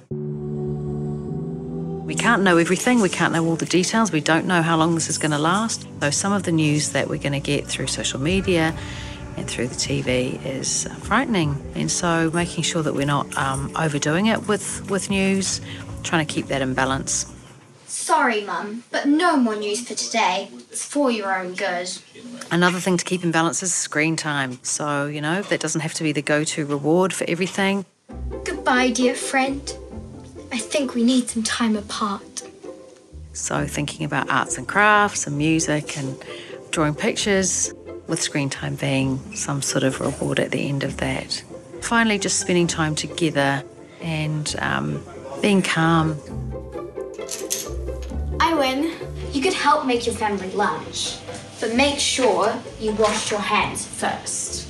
Giving them a cuddle, being really affectionate and nurturing, and thinking about how you can make home feel like a really safe place. So, um, yeah, kia kaha i te whānau.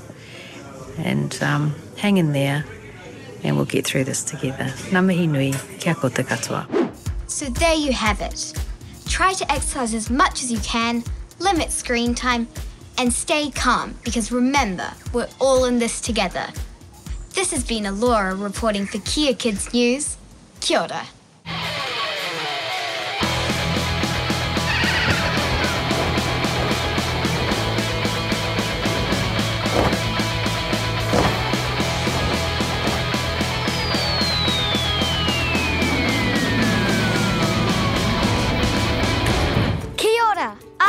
Reporting here for Kea Kids News. And the news today Learning isn't all about classrooms. Last year, the Wonder Project got Kiwi kids excited about a career in science, technology, engineering, and maths. That's STEM for short. Kids had to design a water rocket and then create a cool video. A couple of weeks ago, I caught up with last year's winners at St. Anne's Catholic School to find out about their video and how you can learn science outside of the classroom. What was it like to win the 2019 Rocket Challenge? It was fun and like amazing. I don't I don't know how to describe it. It was like very emotional when we found out that we won. I almost cried. What did you guys do to win and how did you win? I think it's because while we were recording, we had like an amazing sense of humor while we were doing everything. And I feel like our video really reached out to people saying engineering is good, engineering is what you can do, and videoing is fun. We created the Wise Yoda. What's a wise Yoda? Um, it's the person that like tells you where to go. I've been expecting you. So you've come to learn about rockets. Wait, the wise Yoda is you? Yeah, I'm the Wise Yoda. Good on you. Learning isn't just about classrooms and textbooks. You too could make a video that explains science. For every action, there is an equal and opposite reaction. Has the Wonder Project made you more um, interested in science and filmmaking? Definitely. Yes. Yes, a lot. It, it really did show us that there's more fun in, in engineering than it's than you think. It's not just grabbing pieces and putting it together. It's using your imagination with those two pieces and seeing what you can do with them. Now it was time for the team to show me their rocket launching skills. Okay, that's enough. Now make sure it's clicked. How much more? What number are you at? This is 60. The rocket is ready. Entering test flight mode now. How will it go? Five, four, three, two, one. Release! Ah!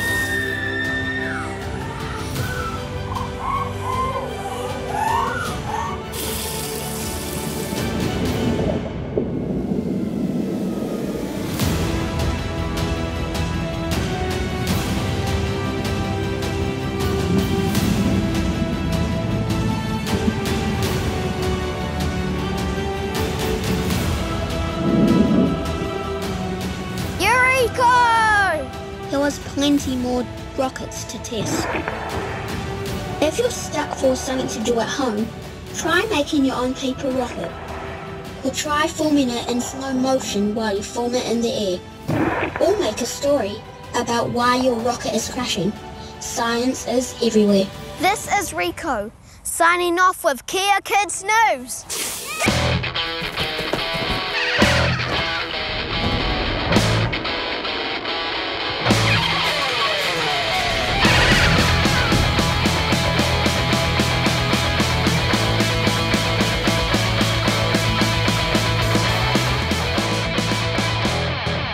Hi, I'm Harry reporting for Kea Kids News. COVID 19 has established several large clusters of cases in the country. In Auckland, the Catholic Girls' School Marist College is the origin of one of the largest clusters.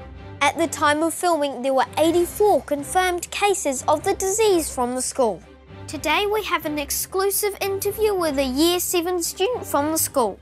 A girl with a first hand account of what it was like at the centre of the pandemic. Hi, Maren, how's it going? Great, thanks. How are you? Good. When did you first hear that there was an outbreak of COVID 19 in your school?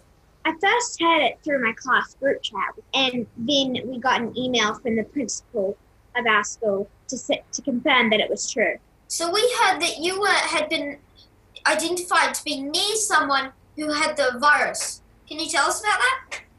Yes, so we got an email from the school to say that I had been on the school bus the same day as one of the girls from Marist College, and she had been tested positive for coronavirus. So when you first heard about the outbreak, how did you feel? Well, I felt a bit scared and nervous, and then my parents reassured reassured me that it wasn't really for me to worry about. Was there any follow up once you got home?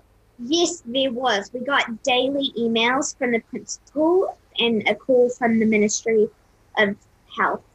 How did it make you feel when you were first told to self isolate? At first, I was a little bit nervous, and then I was kind of a bit happy because, oh, yay, a little break from school. And then I got a bit miserable and sad because it wasn't actually as exciting as I thought it would be. Who do you know from the school who has the disease?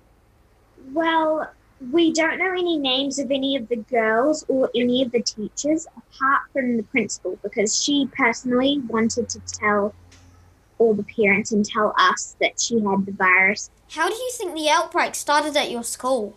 Well, that's a question I think the whole school is asking right now because we don't actually know how it started. Everyone's a bit clueless. We don't know how it got to Marist College or anything really. Have you been tested? Uh, no, I haven't been tested. What's your biggest concern now? Well, my biggest concern is that not that I will catch it, but that I will catch it and then pass it on to someone who can't handle the virus, like an elderly person. What have you enjoyed the most about being in lockdown? Probably being around more family than I'm used to, and we have a new puppy, so spending time with the puppy. And I also love to bake, so I've been baking quite a lot. That sounds tasty. Thanks for your time, Maren. See you later. Bye. Bye. So that was Maren from Marist College. She was at the centre of the pandemic, but as you saw, she's fighting fit. This is Harry signing off for Kea Kids News.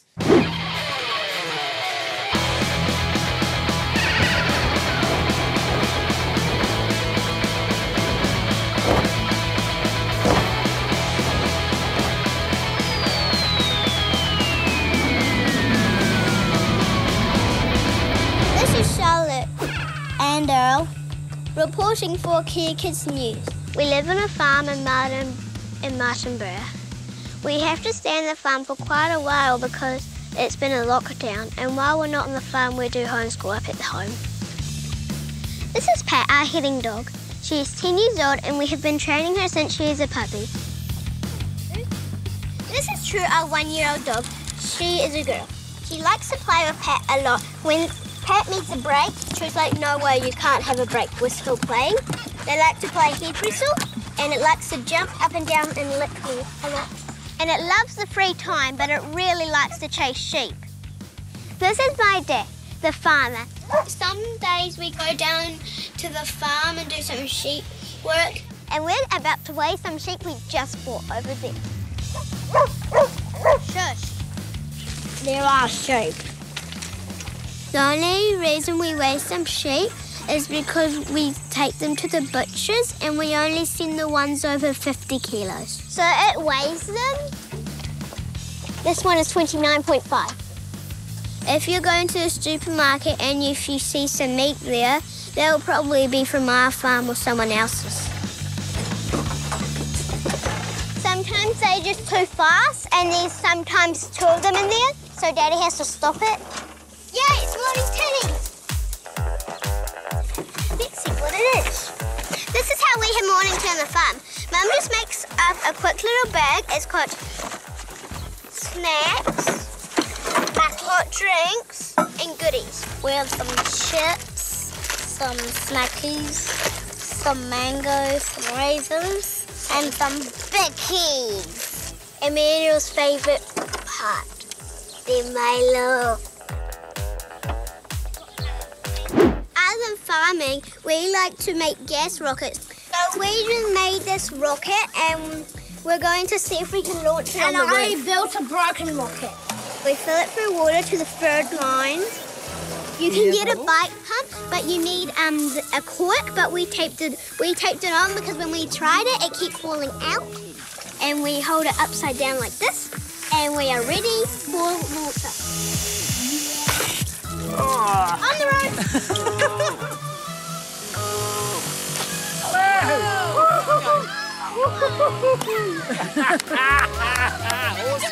It's been a really fun holiday, but I just hope the coronavirus can stop.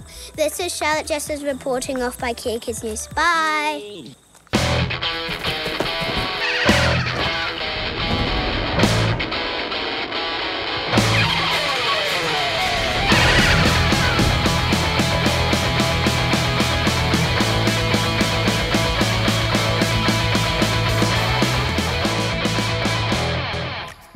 Is Yasmin reporting for Kea Kids News. I have been in lockdown for 11 days. with my mum, my dad, my sister, and my brother.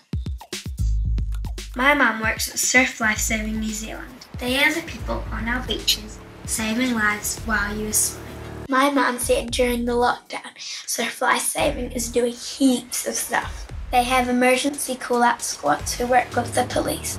That's to do rescues if people are in the water, even if they're not meant to be. But that's not all. I am able to help my mum make props for a fun online campaign for Surf Life Saving New Zealand. Because of COVID 19, we're doing a staycation campaign and for safety messaging. Because of lockdown, there's a lot of things you can't do. One of those things is not being able to go to the beach. Since the lifeguards are in lockdown as well, then the people shouldn't be out because if they get in trouble in the water, the lifeguards can't save them. So we have to tell people to stay out of the water, but we're trying to do it in a fun and kind way by doing these campaigns. This is your bubble bath,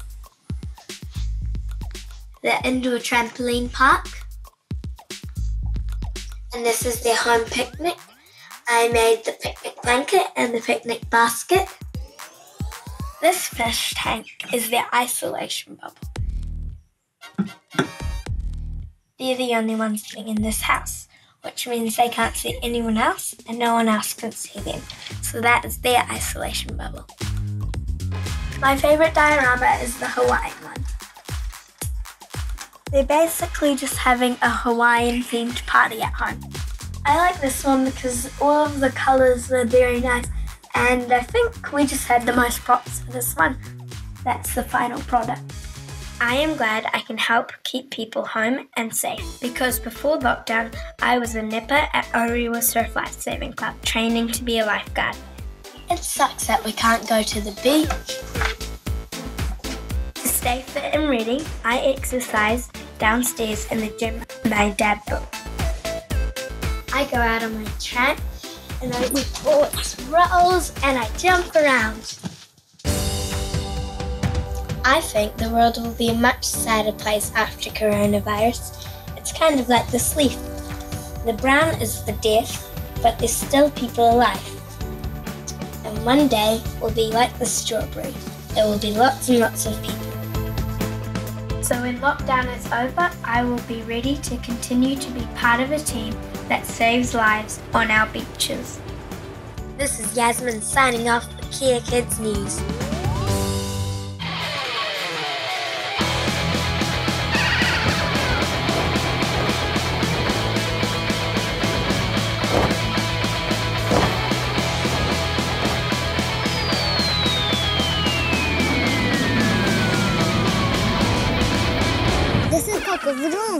For Kea Kids News. In the news, this year is the 10th anniversary for the Billy B. Brown books. First published in April 2010, the Billy B. Brown stories are written by Sally Rippin, and illustrated in New Zealand by Aki Fukuoka. I got the chance to chat with them to talk about celebrations. Due to the COVID 19 lockdown, we're doing this over the internet. Hi, Sally. What made you start writing children's books? I decided to start writing children's books because when I was at school, the two subjects that I loved the most were English, in particular, writing stories, and art. I loved drawing and I loved making my own books.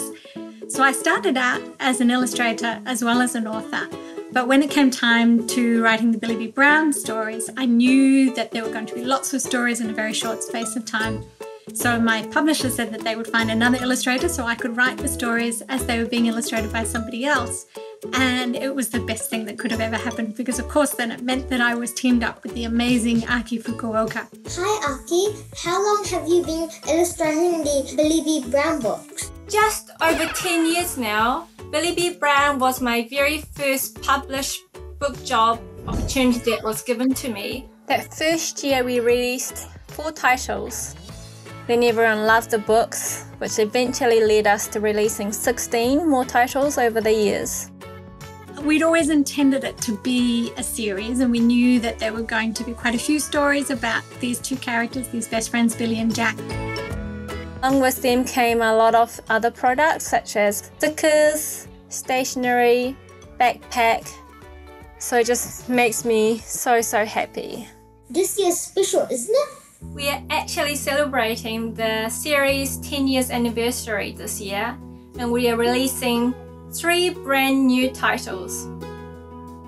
You were going to tour New Zealand for the anniversary, but that's cancelled, so do you have other plans? My publishers and I decided that we wanted to come up with another way to be able to reach children that I would have maybe had the chance to get to meet. We came up with an idea of doing, I guess we think of it like a holiday program, because that sounds a little bit more fun than lockdown or social isolation or any of those kind of slightly scary words. That sounds cool. What kind of things are in the program? Just awesome Billy related content to spice up your lockdown life. A new issue is released weekly, and even if you don't know Billy, there is something fun for everyone, including games, activities, behind the scenes articles, and interviews. The best of all, you can enter the draw to have the next Billy B book dedicated to you, where I will be drawing you the winner in Billy style. Have you guys got any advice for kids during the lockdown? Well, I think whatever makes you feel good that day, whatever makes you feel cozy and comfortable, and things that you can do that make you feel happy, I think that's probably my best advice for this time. Enjoy the company of the people that are in your bubble. Thank you, Sally and Aki. I'll be sure to sign up and have fun in the holiday program. Wow, it's great that Billy Boo Brown is not stopped by the lockdown. It's starting a whole new holiday program that anybody can join. This is called Reading the signing off for Kea Kids News.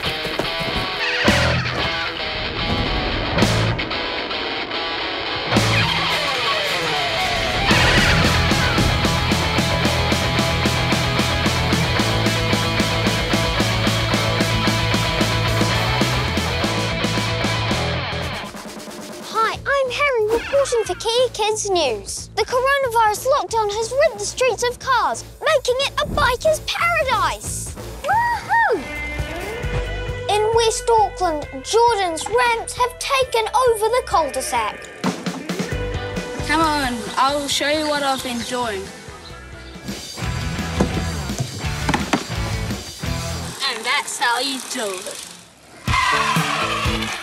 Kiki's reporter Theo has proof that it's safe to drive off-road without bursting your bubble. I'm Theo. I'm reporting for Kea Kids News. I'm doing skids and stunts. I've got a cool mountain biking track too. This has been Theo reporting for Kea Kids News.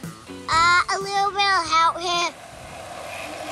Riding around the city is cool, kids in the countryside have taken it to the next level. Hi, I'm Josh. And I'm Sophie. We're reporting for Kea Kids News in the beautiful sunny North Waikato. And we're certainly happy to help our farm in these tough times. I love riding my motorbike because you can go super fast. But then mums get scared. What I like about lockdown is we get to chew through lots of fuel. But Mum says we have to be careful, otherwise we might crash and the ambulance isn't there to help us. One thing we do a lot is tow each other on the go kart behind the motorbike. I hope you're all doing well in self isolation. This, is how the farm kids do it. Hi, I'm Matthew Zamaric, Hi, I'm Caitlin Demarick, and we're from here. and we're reporting for Kea Kids News. We're on lockdown, school's shut, coronavirus is out. Doesn't change much for us though because, yeah, we're living on a farm. I'm grateful for living on a farm because I get to do lots of fun stuff and I get to ride my bike, which often I get to beat my beat my big big brother. No, that's not true. Dad. Thanks for watching. So far, the weather has been good for biking, but winter is coming. But Kea Kids reporter Cooper has the scoop on how to keep riding through the bad weather. I wanted to create a stationary stand for my mountain bike. So this is what I did. I got this first top piece of wood and it kept on falling over. So I decided to get these two pieces of wood. To make it as authentic as possible, I got the laptop and I got some raw mountain biking footage. Here I am off my ride.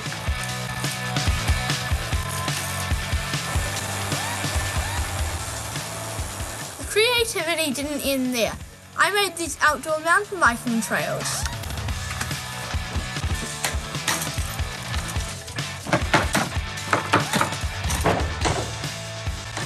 So that's the news from the streets of New Zealand, where biking is the big winner in the lockdown.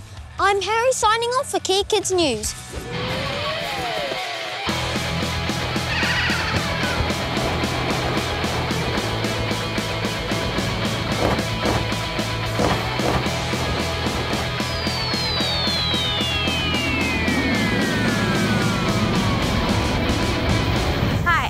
Georgia, and this is Kea Kids News. In the news today, New Zealand musicians have their music in a US game Beyond Blue. Released this week on Apple Arcade and coming soon on PC and consoles. It's amazing how an international game has come to New Zealand for its soundtrack. Today, I'm talking to some people involved with the music of Beyond Blue. First, I'm meeting the New Zealand based music supervisor Karyn Rachtman. Hi, Karen. Hi, Georgia. What's your job?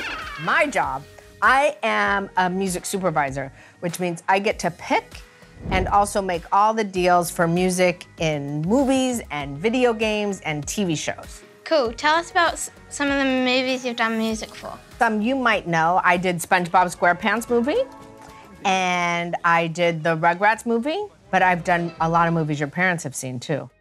So, what can we learn from playing the game? I think it's really cool that uh, there's so many women scientists in the game. At the same time, you can learn all about classification of different sea life, all different kinds of fish and squid and whales, and they're trying to solve a mystery, which I guess when you play the game, you'll find out. Who are some of the artists on the video game? There's Mahuia Bridgman Cooper, he's a composer. Maisie Rika, who is a New Zealander as well. I put a lot of New Zealanders on here because I love it, and I think New Zealand is good for the ocean, you know? Now let's meet some of those New Zealand artists. Hi, I'm Mahuia. Hi, how are you going? Good, how are you? I'm pretty good. What inspired you when you were a kid? I went to see a film when I was when I was six, and it was about a violin player, and that inspired me to start playing the violin. And also, I love playing spaceys at the dairy. That inspired me. Tell us about Beyond Blue and how that project began. So Beyond Blue is this wonderful game, and it's about these scientists who go and they kind of help the, these whales and, and track them and make sure that they're okay. We sort of had this idea of kind of writing a whale song, maybe. This is kind of where it all happens. So if you've got a piano line,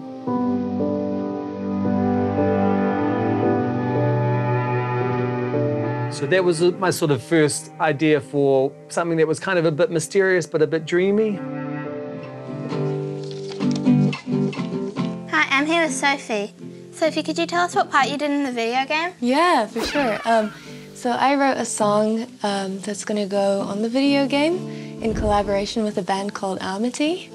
Uh, it's called Something in the Water, and it's going to be the ending title for the video game and also in the gameplay too. Like a stone into water, sinking to the bottom. I let the air out. I disappear further and further and further down. Cool, so what had inspired you while you did the track? I went scuba diving in Thailand a few years ago, uh, which was really fun. And I was sort of thinking about how calm it felt under the water.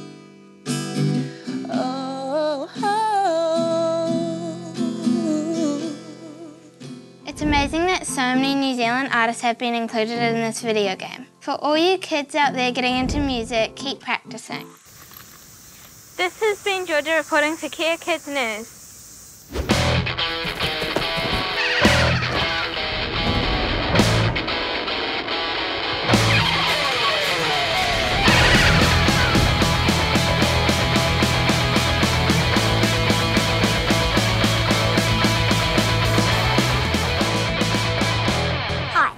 Olivia reporting for Kea Kids News.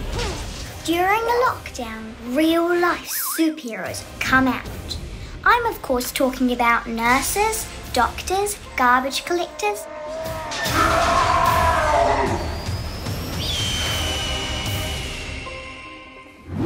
And supermarket workers. And I know all about it because both my parents are superheroes. Sorry, I mean essential workers. My mum is an intensive care nurse at Starship. She looks after kids that need special help. And my dad is a paediatrician at Middlemore Hospital. That means he's a doctor for children. As both of my parents are essential workers, they're sometimes working at the same time. So we have a nice caregiver called Jo, and she comes and looks after us when our parents need her. She's also part of our bubble. Hi, Joe, Do you mind if I ask you a few questions? Sure. What did you do before the coronavirus? Um, I was a preschool teacher and I was teaching kids how to swim. How did you find out about us? I heard um, that there was a call out for essential workers, so I put my name down. I'm going to interview both my mum and dad to find out more about their jobs and what it's like for them in lockdown. How have things changed for you at work? Um, well, as you know, at the moment we're in this kind of lockdown period because of the coronavirus.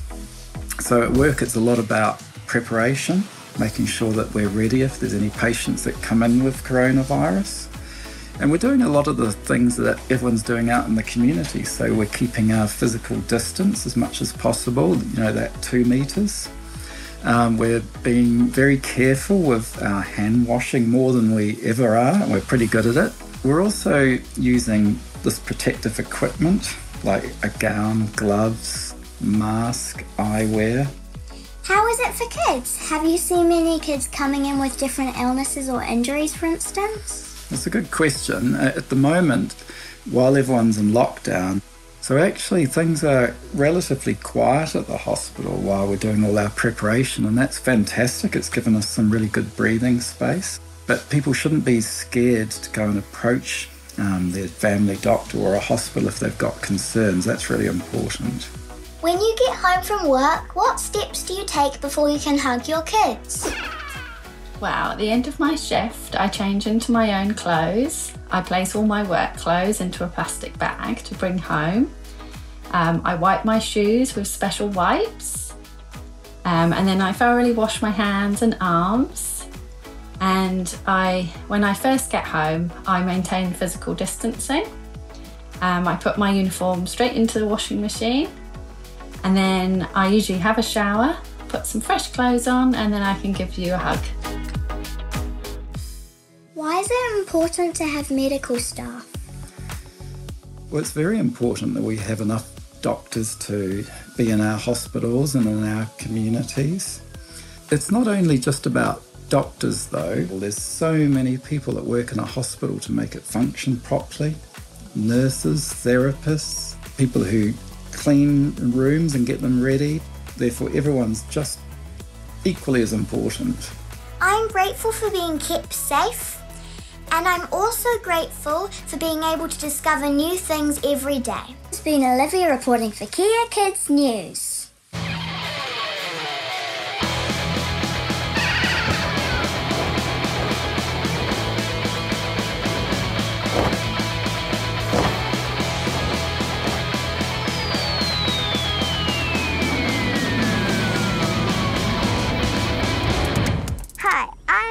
Reporting from Kea Kids News. Caitlin O'Reilly is an ocean swimmer and this is her training ground. Caitlin O'Reilly swam the length of Lake Taupo, that's 40k, or 327 rugby fields. She is also the youngest swimmer to cross Cook Strait, that's 183 rugby fields. Today she is preparing to take on Ocean 7. It's a marathon swimming challenge across England, California, Spain, New Zealand, Ireland, Hawaii, and Japan. I'm here at Takapuna Beach to find out how COVID 19 changes her plans. It's 6.45 in the morning. Hi, Caitlin. What's going on this morning for you? Well, I'm going to do a training session here at Takapuna Beach with my North Shore swimming squad. We usually train in the pool. Unfortunately, the public pools are all closed. We've moved to the beach today to have a fun and lighten the mood. How are you going to lighten the coronavirus mood? We're going to have a fun swim with probably about 20 people. We're going to swim to the other end of Takapuna Beach and back and just have fun. We're trying to catch up with the swimmers in Caitlin, but we can't. They're too fast. So what makes you do this? Um, I like the challenge. It's, I like the adventure. I like travelling. Yeah. Have you ever met in a shark? There were dolphins on the way out to Cook Strait. That was pretty cool to see. Yeah, but no sharks. this is Caitlin's dad, the skipper. How are you? In your opinion, what are some of Caitlin's biggest achievements? I'm really proud of the Cook Strait crossing and, and Taupo. What was special about the Taupo swim you did? Um, I was the youngest female to swim Lake Taupo. I was 13 hours long. It was a really nice day, really calm. Had my coach beside me. I had my parents there. Yeah. How did you feel at the end of it? Pretty knackered.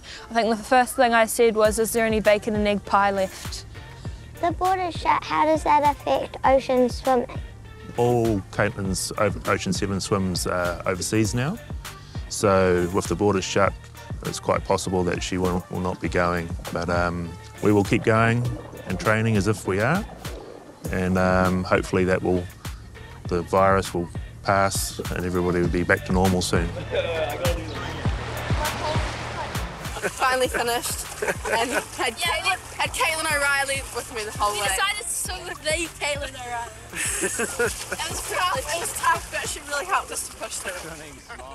Sadly, five days after we filmed this story, the whole country went in full lockdown, with ocean swimming not allowed. So we caught up with Caitlin at home and asked her what she thinks the future holds for her. Um, not a clue. not a clue. Um, it could change. We could be back in the pool in a month. We it could be two months. We don't know. We just gotta stay safe, stay at home, and train at home and do what we can while we can. To stay fit, I've got my I've got a rowing machine. There's heaps of land on the property. I go for runs. I've got core workout. I use the Nike training app and all that kind of stuff to stay fit. There you have it. Caitlin has some big challenges with COVID-19, but she seems to be working it out. This is Danielle Hoss signing off for Kea Kids News.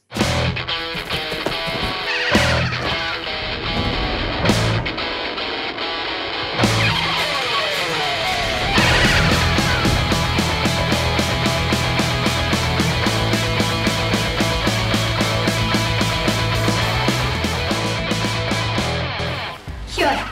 I'm India George, reporting for Kea Kids News. In March, we visited Butterfly Creek to see Cheryl, the alligator, come home. Since then, we've had a countrywide lockdown, and I was wondering how the animals are coping. So we got in touch with Cheryl's keeper, Ryan, to give us an update. I sent him some questions to answer for us, starting with finding out how Cheryl has been settling in. Cheryl has settled in really, really well in her new exhibit. Um, she's such a sweetheart. Um, takes her food a lot easier and a lot nicer than our other lot that we've got here. Um, has a few favourite spots where she likes to lounge around, um, bask on the side of the pool there. Um, and she spends a lot of time lounging around in the pool. So we've got a skeleton keeping staff who come in every day to look after the animals. We've had to be a bit creative with um, trying to get some, trying to get the food for the animals. We don't have any income coming in at the moment, so we've been lucky enough to have foodstuffs um, supply us with uh, with a bit of food. She's very keen for her food now. Settling in very nicely to her enclosure here. So she eats um, every. We're giving her about 400 grams of food today. Water is their safety safety net, so they like um, dragging their food into the water. Um, it's quite a natural way of them um, to, to kill their prey, to drag it in, into the water and under the water and drown it. What are the keepers' daily routines now? When we arrive in the morning, we need to go around check all our animals. Um, we've got a lot of cleaning that still needs taking place, and obviously a lot of feeding to do. So we've got a lot of animals to feed. The the care of the animals definitely doesn't drop during this time. Um, we still got to provide the right care for them. We give our animals um, health checks, regular health checks. So our kiwis had one recently. We we check them over, make sure they're all nice and healthy. Uh, we also weigh them before putting them back in the enclosure and giving them a bit more food. And what about the park's namesake? How are the butterflies? We've got a few butterflies still flying around. I don't know if you can see them. Pick them up in the background. There's one. So we've got a few butterflies still uh, flying around. We haven't had any um, shipments come through for uh, for this whole month. Um, so some species, most species we normally have here, um, they only live about two to three weeks. Um, some species do live a little bit longer, um, four, four, around four weeks. Um, so the ones that we've got here are the, the stragglers from that. Do you think the animals miss the visitors? We think some do. Um, the farm animals in particular, uh, especially the goats, um, they definitely miss the extra food that they get from the customers.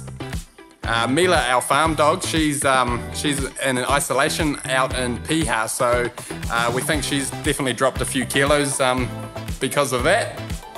So although the animals are in lockdown too, the keepers are in their bubble and can come and look after them. And it's great to see Cheryl is happy and waiting for visitors as soon as lockdown is over. This is India George reporting for Kea Kids News.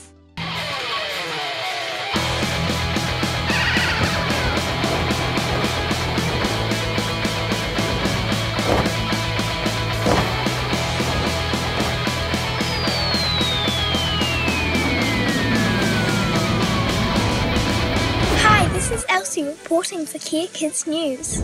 Activist Ruby Judson is on a mission to break down prejudice and make our country a better place. After the Christchurch attacks, she was deeply affected by what happened and created a project to make a difference. After the lockdown, Ruby has taken her plans online. I'm Ruby Judson, I'm 13, and I've been working with a group of four other 13 year olds, and our aim is to connect the children of New Zealand through celebrating our strengths to break down prejudice. So, our plan is to create a pack of strength cards. Each of the cards has one of the 24 core character strengths to help inspire curious conversations between kids. So we began this project the day after the Christchurch attacks because we were so horrified by the hate and the prejudice that was shown there. COVID 19 has limited our cause because we're now not able to do our classroom workshops. We also missed out on going to the international finals for community problem solving in America this year. It's made us think about other online solutions that we can have so we have an Instagram page and a website where we're going to get kids to film a video of themselves holding up one of the strength cards. Hi, I'm Sophie Lambert and I am proud to be resilient. I'm proud to have that strength because it means I always want to know more about everything. I wrote this song about a time when I was resilient. Kids are worried in these scary times. That's why it's more important than ever to connect and unite with others and build each other up and be kind.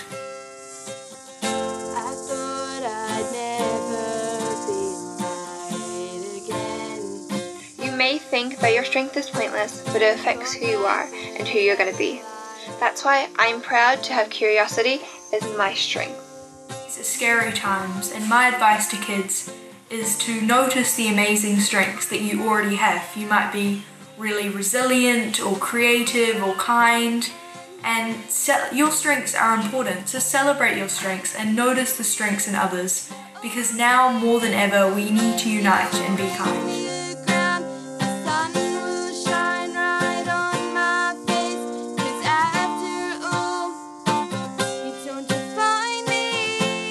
Thanks, Ruby. That was awesome. Everybody has strengths, and it's great to celebrate them. Mine is they always look on the bright side of life. This is Elsie signing off for Kea Kids News.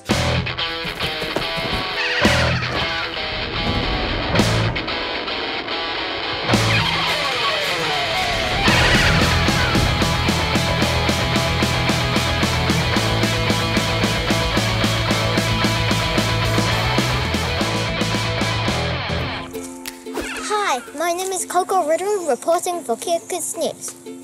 In the news today, a teacher has started uh, lockdown kapahaka classes um, from his living room. Vitali Poltawa had never done online classes before the lockdown. He was a kapahaka teacher in Wellington, but now he gets over 2,000 kids watching and learning kapahaka from his living room broadcast on Facebook.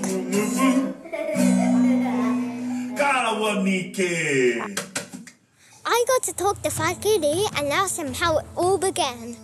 When the lockdown was first suggested, um, I was quite worried because I love my job. I love getting into schools. I love interacting with my students.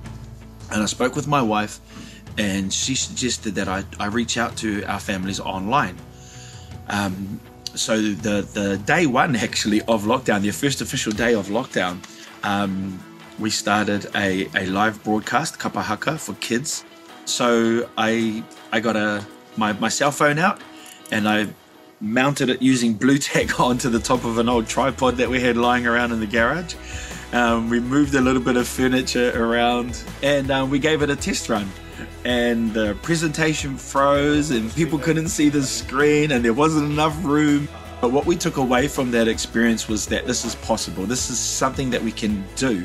This is a way that we can contribute. This is a way that we can stay connected with our students. After the first lesson got over 42,000 views, he decided to keep on going. We get so many beautiful messages from families all around the world now telling us that their kids look forward to it, or children or students that have always been a little bit apprehensive about wanting to join in kapahaka, to be given this opportunity to take part. But from the safety and the confidence of just being at home, I think there's real value, and that's the response that our family has really appreciated from everyone. He's also been sent videos from kids of what they learned and what they like about his classes. Tihei Mauriora, Tihei Mauriora, Nai we often motu When we're at school, we only get to do it once a week, and now we get to do it every day, which is really fun. Um, we get, and we've never done Rako or Poi before, and we're learning new songs. Yeah, more Te Reo. Da da da tu da da da tu poi poi yeah. Ti batu batu wa ti batu mai. Da da da tu da da da tu ti batu mai. The bit I like most is Rako Poi and singing because your singing is wonderful. and I like joining in with you. Kia tere te karo hirohi i mua i tō huarahi. Tihei mauri ora! With a er success, are you going to keep doing it after the lockdown? Yes, the answer is yes. Yes, I will keep going after lockdown, but it will be in a slightly different format. It probably won't be live. Actually, it definitely won't be live because I'll be back at work. But now that I am getting this sense of connection and that I can produce a resource in a way that families and schools and early childhood centres and whānau all around the world can, can engage with meaningfully, um, it's changed my view on, on putting some resources together. So, yes, I will continue, um, but it will just look a little bit different. That's great news.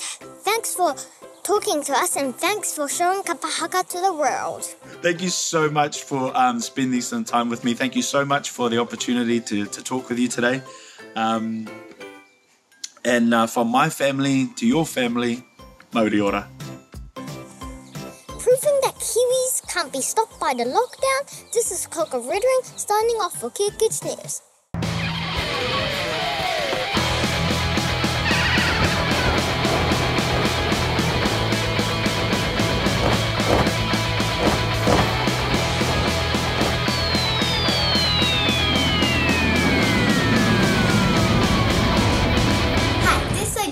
Kea Kids News. Now for some sad news. Kea Kids News is taking a short break, but don't worry, we'll be back soon. Before we go, here's 30 kids giving us the lockdown lowdown. Kia ora whānau, ko awesome to Kuingawa. This is Roseville Kid. This is Kino McAnally. Hi, my name's Ashton reporting for Kea Kids News, and welcome to my bubble. Since March 23rd, New Zealand has been in lockdown because of COVID 19. I think lockdown is important because it will stop the spread of coronavirus. Lockdown means we have to stay on our own property. The Prime Minister has told us to stay home and stop the spread. Things have really changed. My auntie has to wear one of these when she goes to the supermarket. Keep safe, everyone. Stay in your bubble and break the chain. Let's do this together. Stay home. Save lives. Everything is cancelled. Everything is cancelled because of COVID 19. And now I've got to do my schoolwork with two Terras, aka my sisters. Each day, Mum puts up a list for us to do right here. And we do phonics, reading, and maths. But we do lots of fun stuff too. We're taking care of crickets like one right in my hand. Some kids have been baking. We're making our own pizza now. What did you put in there, Ollie? Some sugar. And Green stuff. Can I do what green? did you follow a recipe, Ollie? No. And of course, with all this baking in comes a bit of exercise.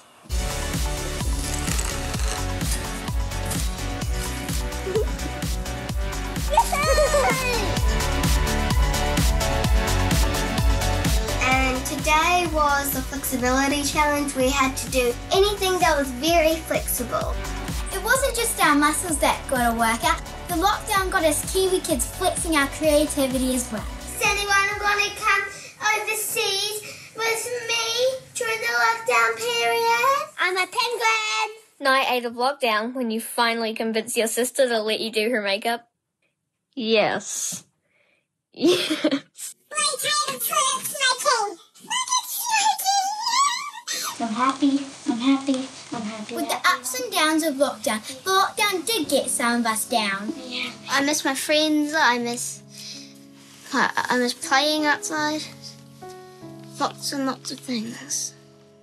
We can't go to supermarkets, shops, stores, and the library because they're all closed, closed, closed, closed, closed, closed, closed. Before I go to bed, I always pray with my mommy and daddy. But tonight, I'm doing it alone. Well, I'm praying that this coronavirus stop and that I don't get sick. Approaching level 3 and possibly level 2, it's good to think of what things might be like. After the lockdown, I think everyone will come together and start solving problems, and they'll be nicer and they'll care more.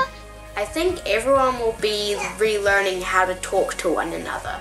Thank you for watching. Thank you for coming from our bubble to yours. We got through this month together. Well, To be correct, not together. It's been hard, but we did it! Now to get rid of this coronavirus. We have to keep up the hard mahi. Stay at home as much as you can and keep going with the social distancing. Give your bubble a hug. And wash your hands! I'm Ashley. This was Sophia. That's Odessa Key. Reporting for Kea Kids News. Reporting for Kea Kids News. Reporting for Kea Kids News inside the lockdown.